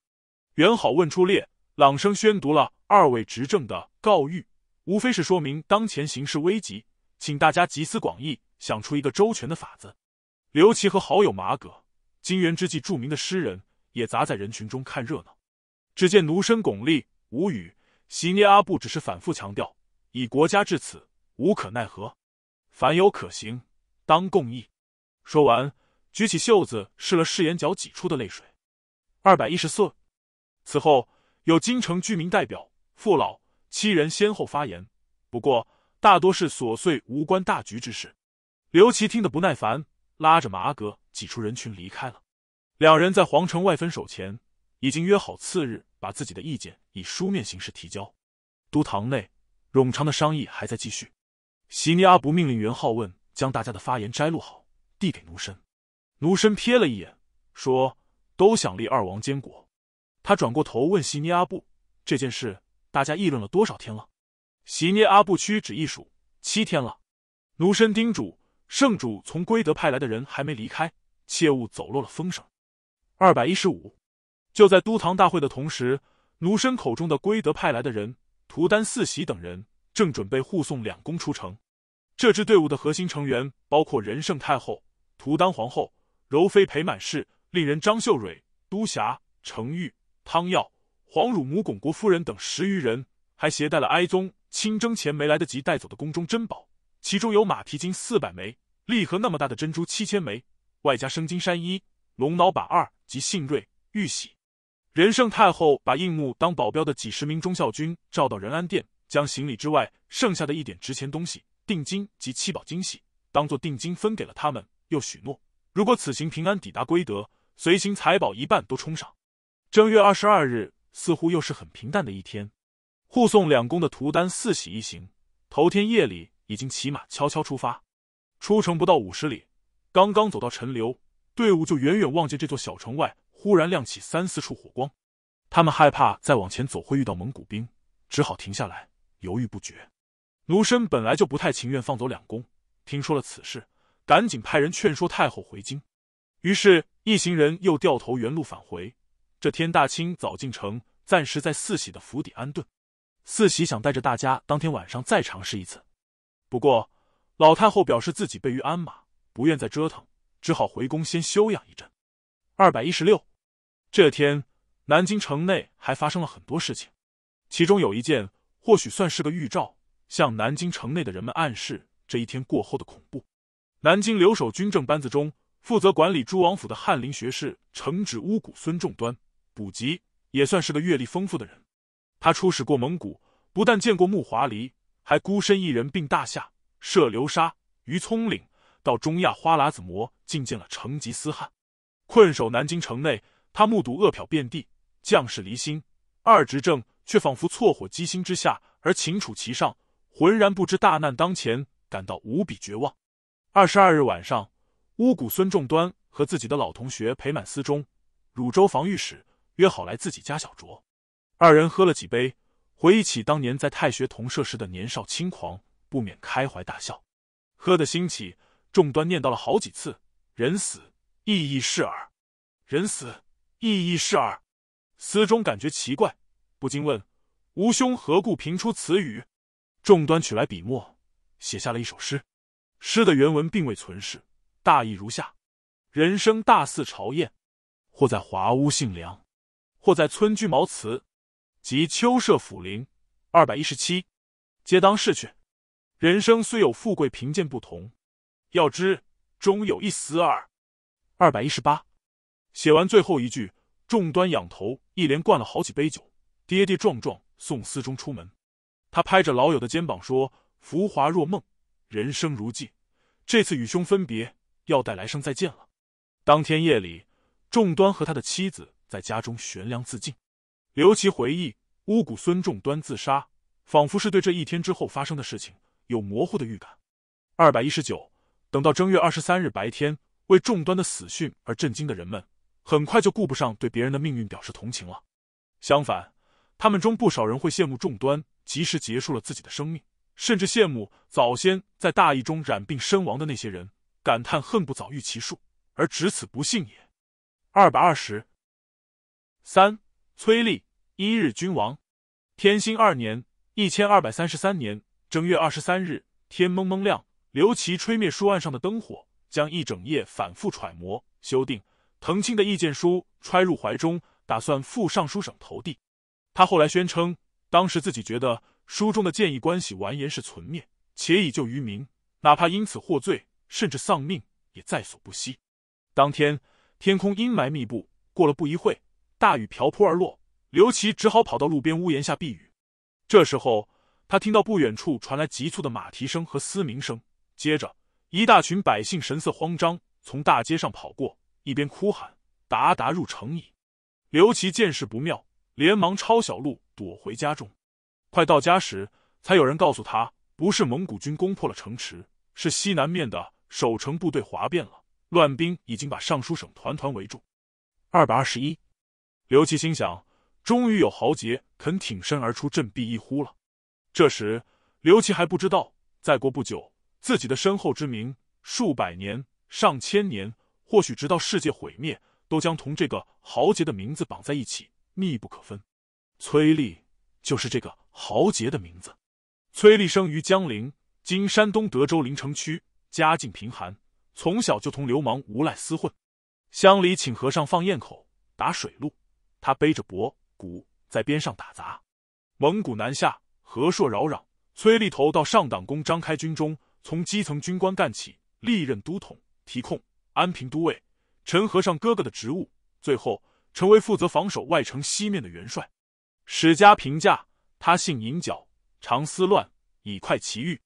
崔立还有个好哥们，叫姚安国，是个刚从牢里出来的前军官，一身蛮力，饭量害人。崔立把他召入西面守军，属为招抚，天天鱼肉美酒招待，深信总有一天能用得着他。和多愁善感的巫蛊孙仲端不同，目睹京城摇摇欲坠，完颜奴身、席捏阿布昏聩无能，求生欲极强的崔立，本能的感到自己的机会到了。他先把家眷接到西面城墙自己的驻地，打算如果起事失败，就带着家人投奔蒙古人。二十三日清晨，刘其刚出门纳会，完颜奴身、席涅阿布等人正在都堂议事，忽听外面一阵喧哗。出门一看，要安国杀气腾腾，提着一把滴血的斩马刀，后面紧跟着崔立，两人带领西面守城部队中的二百余名亲信，从尚书省大门口一路杀到堂下。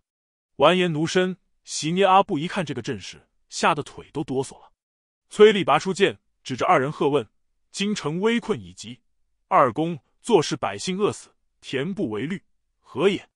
二人慌忙解释：“汝辈有事，当好一知，何惧如是？”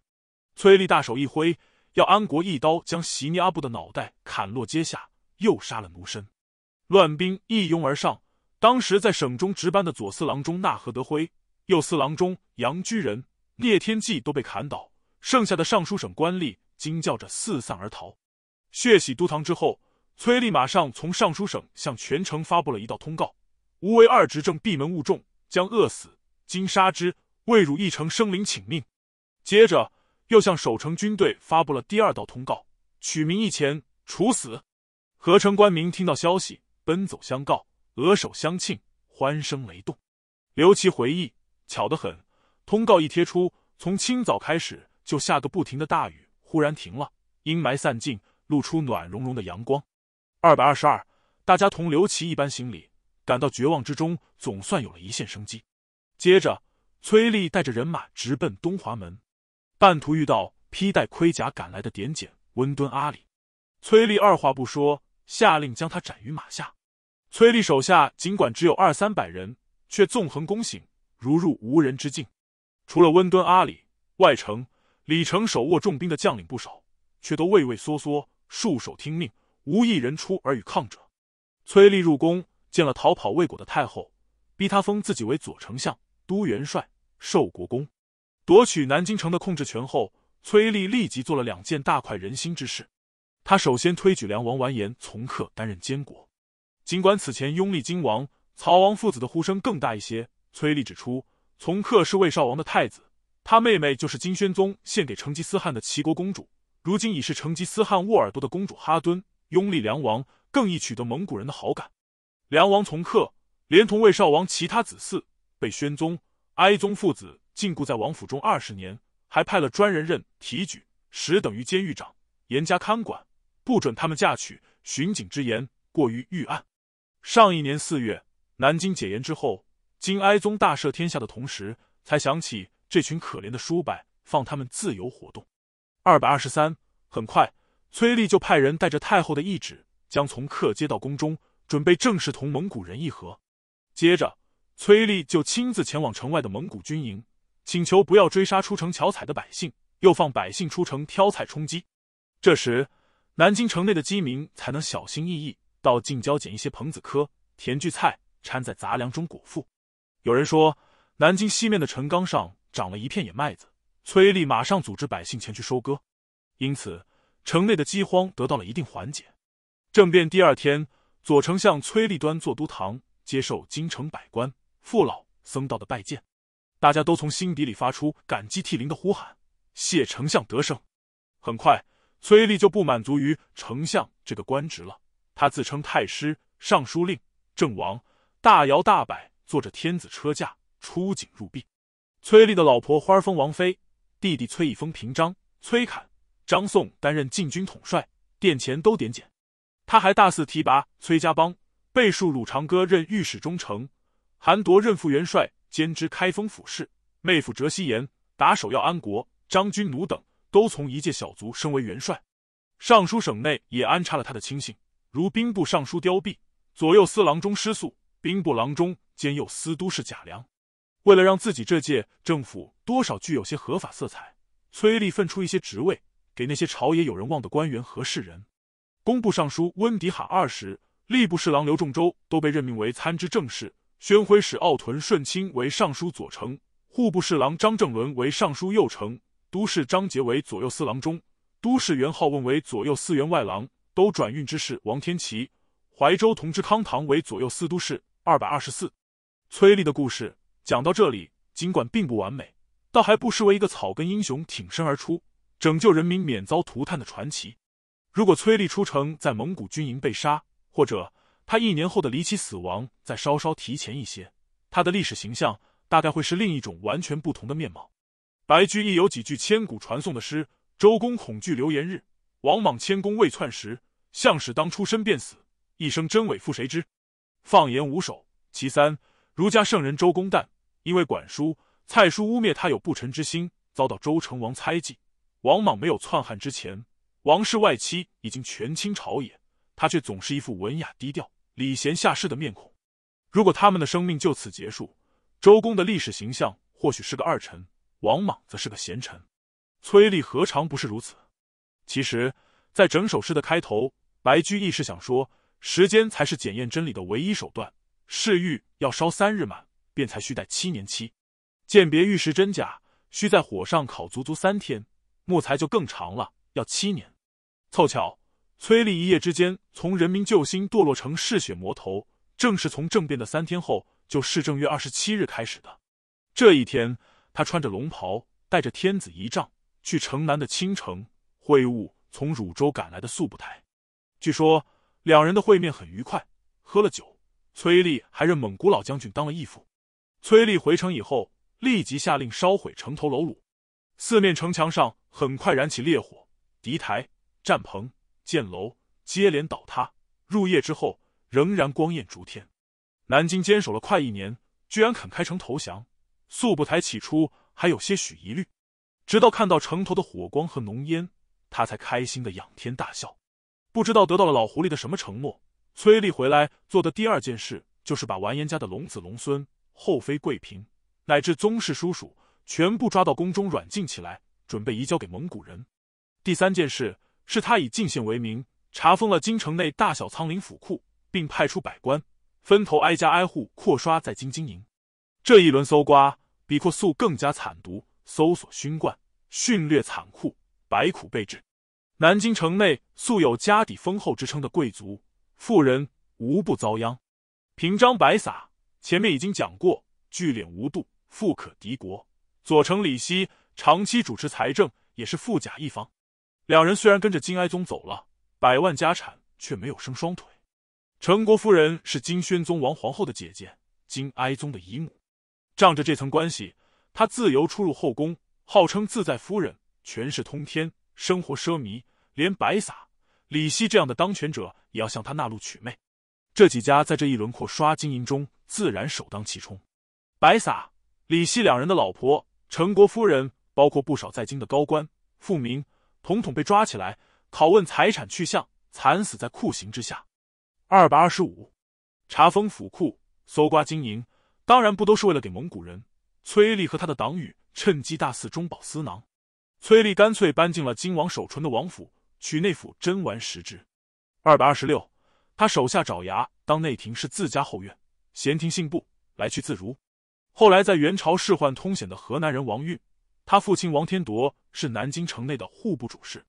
崔党好友撺掇他一起去宫里面窃取金贝，他感叹说：“国家如此，怎能忍心做这种人面兽心的勾当？”二百二十七，如果只是向富贵人家搜刮金银，祸害有限。崔立干的第四件事更加禽兽不如，他借口速不台索取护从金哀宗逃亡的官员家属，将家眷都召集到尚书省。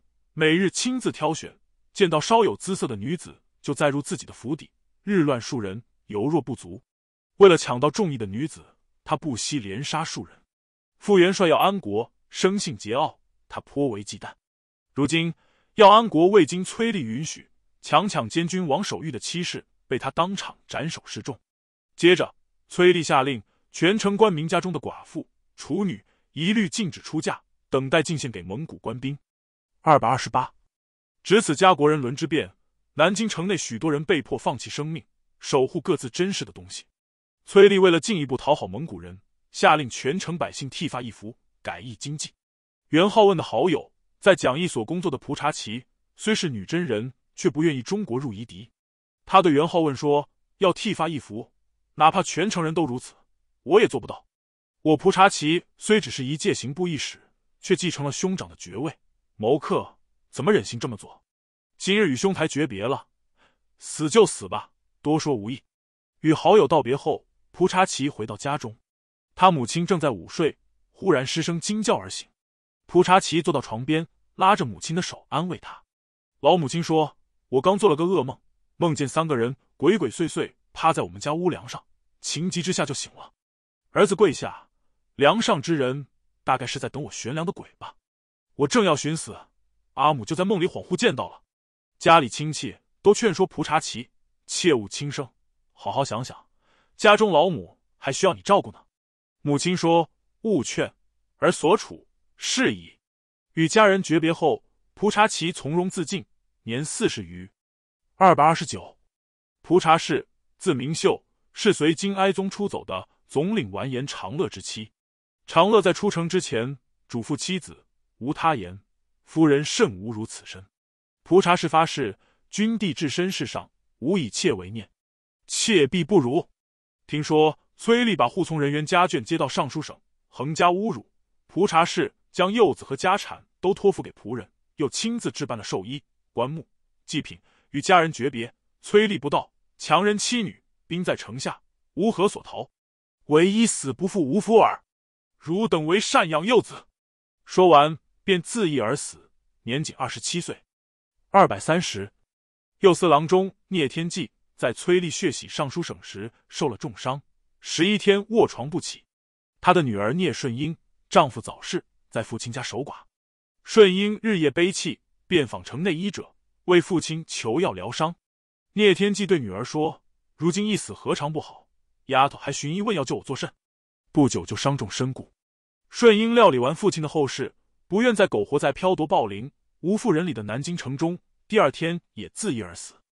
二百三十一，崔立发动政变后，不屈从叛党而自尽的金朝官员，从军政班子以下，还有谏议大夫、进士举使乌古孙奴身、御史大夫裴满阿虎代、户部尚书完颜朱科、奉御完颜芒哥、大理卿大何德辉、右副典检完颜阿撒、完颜奴身之子麻英。二百三十二，围城中的女性，决心亦不受辱的。有临洮总管驼满胡土门之妻乌古论事，参政完颜素兰之妻完颜芒哥之妻温特罕氏，夫妇相约殉国。二百三十三，就在崔立的爪牙将京城化为无间地狱的时候，他本人正做着小国寡人的皇帝梦。以崔立的文化水平，多半不知道本朝开国之初还扶植过傀儡大楚皇帝张邦昌、大齐儿皇帝刘裕来统治中原占领区，这不算问题。那些垄断了专门知识的人，所谓斯文败类，自然会如逐臭而来的苍蝇一样，成为新建主的智囊，诱惑他源流其故事，以济非分。二百三十四，二月十日，用于国家最高典礼的天子衮冕、皇后礼服就连夜赶制完毕，送到了金王府崔丽家中。崔丽还多次入宫，逼迫仁圣太后写信给金哀宗，开导天时、人事，劝告他识时务者为俊杰，赶紧投降，并派金哀宗的乳母巩国夫人送信到归德。为了进一步清除未来崔氏王朝的障碍，四月十八日，崔丽将太后、皇后、梁王监国从客、金王守纯，连同其他全体皇族，一共五百余人，用公车三十七辆，统统送到宿部台位于青城的大营中。青城。有名的大梁实际之一，其实是南薰门外五里地的一处斋宫。北宋皇帝祭天之前，要先来这里斋戒。说来也巧，靖康之变，金军大将年罕受降的地方正是倾城。不管是崔丽和他的义父事先达成了默契，还是蒙古帝国内部早已做出了决定，这五百多名皇族男女，除了太后、皇后和少数妃嫔，第二天继续北上，剩下的人都死在了蒙古军的屠刀之下。二百三十五。据说，徘徊在病死、饿死边缘的京城百姓，听说皇族有资格北迁，一些胆大之辈就偷偷混在队伍里出城，稀里糊涂做了刀下亡魂。二百三十六，郝经有一首《倾城行》，描述当时倾城喋血的场景，如在目前。末了，还对靖康百年后的天道好还发了一番感慨：“环山压城杀气黑，一夜京城忽流血。弓刀何踏满夜庭，飞主喧呼总狼藉。”驱出宫门不敢哭，血泪满面无人色。待楼门外是倾城，匍匐赴死谁敢停？百年寒玉尽徒地，死物不散昏清明。阴府清闲端可怜。二百三十七，白首随立依旧行。最苦爱王家两族，二十余年不曾出。二百三十八，朝朝点数到堂前，每向官司求米肉。男歌女妹自夫妇，面面相看冤更苦。一旦开门见天日，推入行间便诛戮。当时筑城为郊寺，却与皇家做东事。二百三十九，天兴初年，靖康末，国破家亡，库相似。君取他人既如此，今朝亦是寻常事。君不见二百万家族尽赤，八十里城皆瓦砾。二百四十，白骨更比青城多，遗民独向王孙弃。祸本骨肉相残贼，大臣避君犹拥塞。至今行人不探城天门，行人但皆豪立宅。城荒国灭，犹有十仞墙，墙头密扎生铁骑。四月二十日，蒙古军列队从四面入城，可能同中都陷落有些不一样。蒙古军进入南京后，没有发生大规模的流血屠杀。尽管速不台早向倭阔台汉请求，南京负隅顽抗，应该按蒙古人的交战规则实行屠城，金人抗拒持久，失多死伤。城下之日，宜屠之。不过，当年中都城内完颜成辉的幕僚耶律楚材，如今已是大汉比较信任的碧蛇赤长，自称中书令。他听到这个消息，火速赶到哈喇和灵求见大汉。将士暴露数十年，所欲者土地人民耳，得地无名，将焉用之？看到倭阔台汉有些心动，深知蒙古人心里的耶律楚材，连忙又添上另外两块砝码。核心技术和虏获物、奇巧之功、后藏之家，皆萃于此。若尽杀之，将无所获。二百四十一，到南京陷落为止，蒙古人对中原汉地的占领已长达十余年。出于各种机缘接近蒙古统治阶层的中原人，除了耶律楚材，其实还有不少。他们纷纷利用各自的人脉，阻止蒙古军在南京造成更大规模的破坏。二百四十二，结果。蒙古帝国宣布这场战争最指完颜氏一家，又派人清点城内的儒释道三教人士，包括孔子五十一代孙，后来的衍圣公孔元错、医师、工匠、秀女等技术型人才，预备押送北上。不过，市战利品蒙古与欧扎为生命的游牧军队，不可能放过南京城这块送到嘴边的肥肉。蒙古军先将三教、工匠等人驱赶出城，然后纵入大略。先出城的技术型人才队伍暂时留在青城大营边上，随身细软也被洗劫一空。不久，速不台又借口追究唐庆使团被杀事件，炮制了一些小型血案，陆陆续续杀了不少人。二百四十三。不过，蒙古军掳掠财宝、人口似乎有一定时限。不久，全城下达了停止抢掠的禁令。禁令发布后，户部主事王天铎和一些好友在南须门附近拼死护下了一百多人，使之免于沦为蒙古人的军区士兵的奴隶。二百四十四，五月二十二日，南京城的三教、医师、工匠、秀女一行人正式启程，刘琦和太学诸生也在其中。其实，这支队伍里有不少滥竽充数的难民混进来，只为刀下求生。领队的人将达鲁花赤王德珍，山西人，奉蒙古人的命令到太原集中考教这群工匠，才发现很多人生无一技之长，什么也做不来。王德珍可谓谆谆善诱。大伙儿会扶着锯子锯木头吧？会，那就算匠人了，别怕。接着，他耐心教授这些难民营造的技艺，积以日月，后皆为良工。二百四十五，在此期间，任谁也想不到的是，蒙古军头一个洗劫的目标就是城内郑王的豪宅。据说，崔丽眼睁睁看着蒙古人冲入王府，将他多日聚敛的妻妾宝玉整车整车运走，只能嚎啕大哭，无可奈何。二百四十六，又过了几天，惊魂甫定的南京百姓渐渐露面，同蒙古士兵进行贸易，用最后一点财物换一些军用干粮充饥。